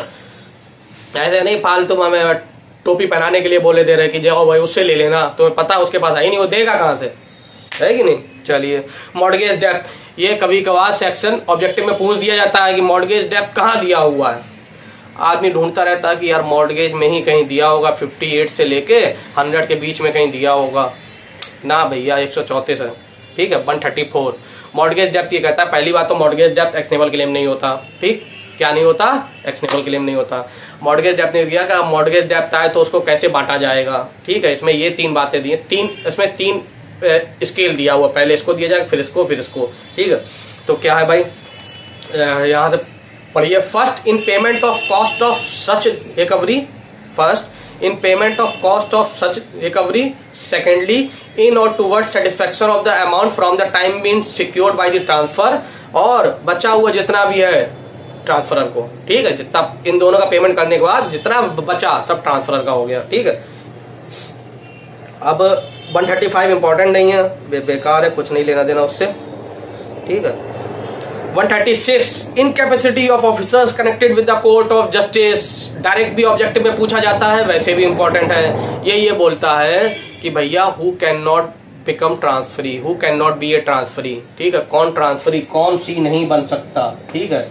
अब कोई भी ऐसा जो कोर्ट ऑफ़ जस्टिस से रिलेटेड है, चाहे वो जज हो, चाहे लीगल प्रैक्टिशनर हो, चाहे कोई भी ऑफिसर ऑफ़ द कोर्ट हो, ठीक है, वो ट्रांसफ़र ही नहीं बन सकता कि वो कह दे, ऐसा है ऐसे कि तुम मुझे ये ट्रांसफ़र कर दो क्लेम मैं सब वसूल कर लूँगा, ठीक है बी से। ऐसा नहीं, आप इसमें किसी भी टाइप में इंटरेस्टेड नहीं हो सकते। अरे भाई बाइसनेस आ जाएगी भाई बाइसनेस आ जाएगी कि नहीं आ जाएगी? इसीलिए आप ट्रांसफरी नहीं बन सकते। क्या बोलता है भाई? 136 याद रखिएगा, बहुत इंपॉर्टेंट है। नो जज legal practitioner or officer connected with any court of justice shall buy or traffic in or stipulated for or agree to receive any share of or interested in any actionable claim and no court of justice shall enforce at the instance or at the instance of any person claiming by or through him any actionable claim so dealt with him as a aforesaid ठीक? चलिए। 137 ये बताता है कि ये जो पूरा chapter एक्सनेबल claim वाला है निगोशियबल इंस्ट्रूमेंट एक्ट में अप्लाई नहीं होगा। 137 सिर्फ़ इतना बताता है कि चैप्टर 8 एक्सनेबल क्लेम अप्लाई नहीं होगा। एक्सनेबल क्लेम अपने आप में क्या हो गया? भाई साहब एक्सनेबल क्लेम अपने आप में एक मूवेबल प्रॉपर्टी हो गई। है कि नहीं? ये एक्सनेबल क्लेम चैप्टर एट मैंने आपको इंट्रोडक्शन पढ़ाया था। तो उसमें मैंने ये बताया था कौन कौन से चैप्टर कौन कौन सी प्रॉपर्टी पे अप्लाई होते हैं, ठीक है? अगर आपने स्टार्टिंग से ना देखा हो तो ज़रूर देखें स्टार्टिंग से, ठीक है? कमेंट कमेंट करते रहा करें, ऐसे ही प्यार देते रहें। और भाई, अगर आपको लगता है कि इससे टीपीए से, पूरे से आपको कोई फ़ायदा हुआ है तो प्लीज़ इसको शेयर भी करें अपने दोस्तों से, ठीक है? दिल बड़ा करके शेयर करो यार, मैंने पढ़ लिया है, तुम भी पढ़ो, है कि नहीं? ठीक है दोस्त? चलिए एक चीज़ और लिख लीजिए। ऑब्जेक्टिव में आता है कि कौन कौन चीज़ें एक्शनेबल क्लेम है कौन कौन सी नहीं है। ठीक है? क्या आता है कि बताइए इसमें से एक्शनेबल क्लेम कौन सा है? चार ऑप्शन दे दिए, पहचानना होगा आपको। बताइए इसमें से एक्शनेबल क्लेम कौन सा नहीं है? एक कोई नहीं होगा, आपको पहचानना होगा। तो एक चार्ट टाइप का बना लीजिए। लिखिए कौन कौन चीज़ें एक्शनेबल क्लेम होती हैं। नोट करिए। सबसे पहले तो अनसिक्योर डेप्थ दूसरा claim for arrears of rent ये सब चीज़ें मैं वो बता रहा हूँ जो एक्शनेबल क्लेम है। कौन कौन से हैं? पहला एक्शनेबल क्लेम वो अनसिक्योर डेथ दूसरा claim for arrears of rent तीसरा ए शेयर इन पार्टनरशिप चौथा right to proceed of business पांचवा प्रोविडेंट फंड छठा, एक एक claim for return of earnest money अभी ये छत्तीसगढ़ में आया था, ठीक है? छत्तीसगढ़ के एग्ज़ाम मैंने देखा था, उसमें आया था ये। एक claim for return of earnest money और Muslim women's claim for unpaid dower. ये सारी चीज़ें जो है, वो एक्शनेबल क्लेम है, ठीक है? अब क्या क्या एक्शनेबल क्लेम नहीं है? नॉट एक्शनेबल क्लेम में कौन कौन सी चीज़ आती है? मॉडगेज डेप्थ डिग्री ठीक है? डिग्री अगर कोई स्पेसिफिक अमाउंट की है तो हो सकती है। जनरल रूल ये है डिग्री एक्शनेबल क्लेम नहीं है। मैसने प्रॉफिट नहीं है। Right to right to get damages for breach of contract देखिए, एक चीज़ और होती है। अब इससे मुझे ध्यान आया कि क्या होता है भाई अगर एक्शनेबल क्लेम है तो उसमें एक चीज़ और कि अमाउंट स्पेसिफिक होना चाहिए, ठीक है? स्पेसिफिक कैसे? कि भैया, हज़ार रुपए मुझे लेने हैं तो हज़ार रुपए मुझे मालूम होने चाहिए। ऐसा कुछ नहीं हो सकता कि अनस्पेसिफिक हो। जैसे कि a right to get damages for breach of contract actionable claim नहीं है। A right to a right to get damages for breach of contract actionable claim नहीं है। क्यों? क्योंकि भाई ब्रीच ऑफ़ कॉन्ट्रैक्ट में पता नहीं है मुझे कितना अमाउंट मिले। अनलिक्विडेटेड होता है ना, कोर्ट कितना देगी तो इसलिए ये एक्सनेबल क्लेम नहीं है स्पेसिफिक नहीं है, ठीक? चलिए a right to claim benefit of a contract coupled with a liability ठीक है? A right to claim benefit of contract coupled with liability अगर लाइबिलिटी आ जाती है, देखिए, और क्या क्या चीज़ें नहीं होती? अगर ब्रीच ऑफ़ ट्रस्ट है सॉरी ब्रीच ऑफ़ टॉट है। ब्रीच ऑफ़ टॉट में ये जो, मान ले ए ने बी के साथ ब्रीच ऑफ़ टॉट किया तो बी के पास हो गया ये राइट कि इसके ऊपर केस फ़ाइल कर सके तो क्या ये ट्रांसफ़र कर सकता है? नहीं कर सकता, क्योंकि इसमें ब्रीच ऑफ़ ट्रस्ट में अनस्पेसिफिक होता है कितना अमाउंट मिलेगा, ठीक है? ठीक? और ये राइट टू सू है, जो कि ट्रांसफ़र वैसे भी नहीं हो सकता, है? सेक्शन सिक्स बोलता है, ठीक? इसलिए, चलिए। और कॉपीराइट ऑफ़ ए बुक ये सब चीज़ें क्या होती हैं? एक्सनेबल क्लेम नहीं है, ठीक है? अच्छा अब आप लोग मुझे बताइएगा क्या ऑब्जेक्टिव टाइप क्वेश्चन भी इसके लिए आपको कराने पड़ेंगे, ठीक है? अगर आप चाहते हैं कि मैं ऑब्जेक्टिव टाइप क्वेश्चन मैं सोच रहा था वैसे कि 50 50 क्वेश्चन का दो दो दो वीडियो रिकॉर्ड कर लू। 50 ऐसे क्वेश्चन जो बहुत ज़्यादा एग्ज़ाम में आते हैं। 50 ऐसे जो बहुत कम आते हैं, लेकिन टफ है, ठीक है? टफ है मतलब कम ही आते हैं। मतलब मान लो दस क्वेश्चन कहीं आते हैं तो उसमें आठ तो ऐसे आ जाएँगे जो रैंडम इधर उधर पूछे ही जाते हैं। दो थोड़े टफ आ जाते हैं, ठीक है? तो मैं सोच रहा हूँ ऐसे पचास पचास दो मतलब दो सेट तैयार कर दूँ, ठीक? है और उनके वीडियो बना के अपलोड कर दूँ। आप लोग मुझे कमेंट करके बताइएगा कि ऐसा करना ज़रूरी है कि नहीं है, ठीक है? जैसा आप लोग कहेंगे उसी हिसाब से आगे काम किया जाएगा, ठीक है? Thank you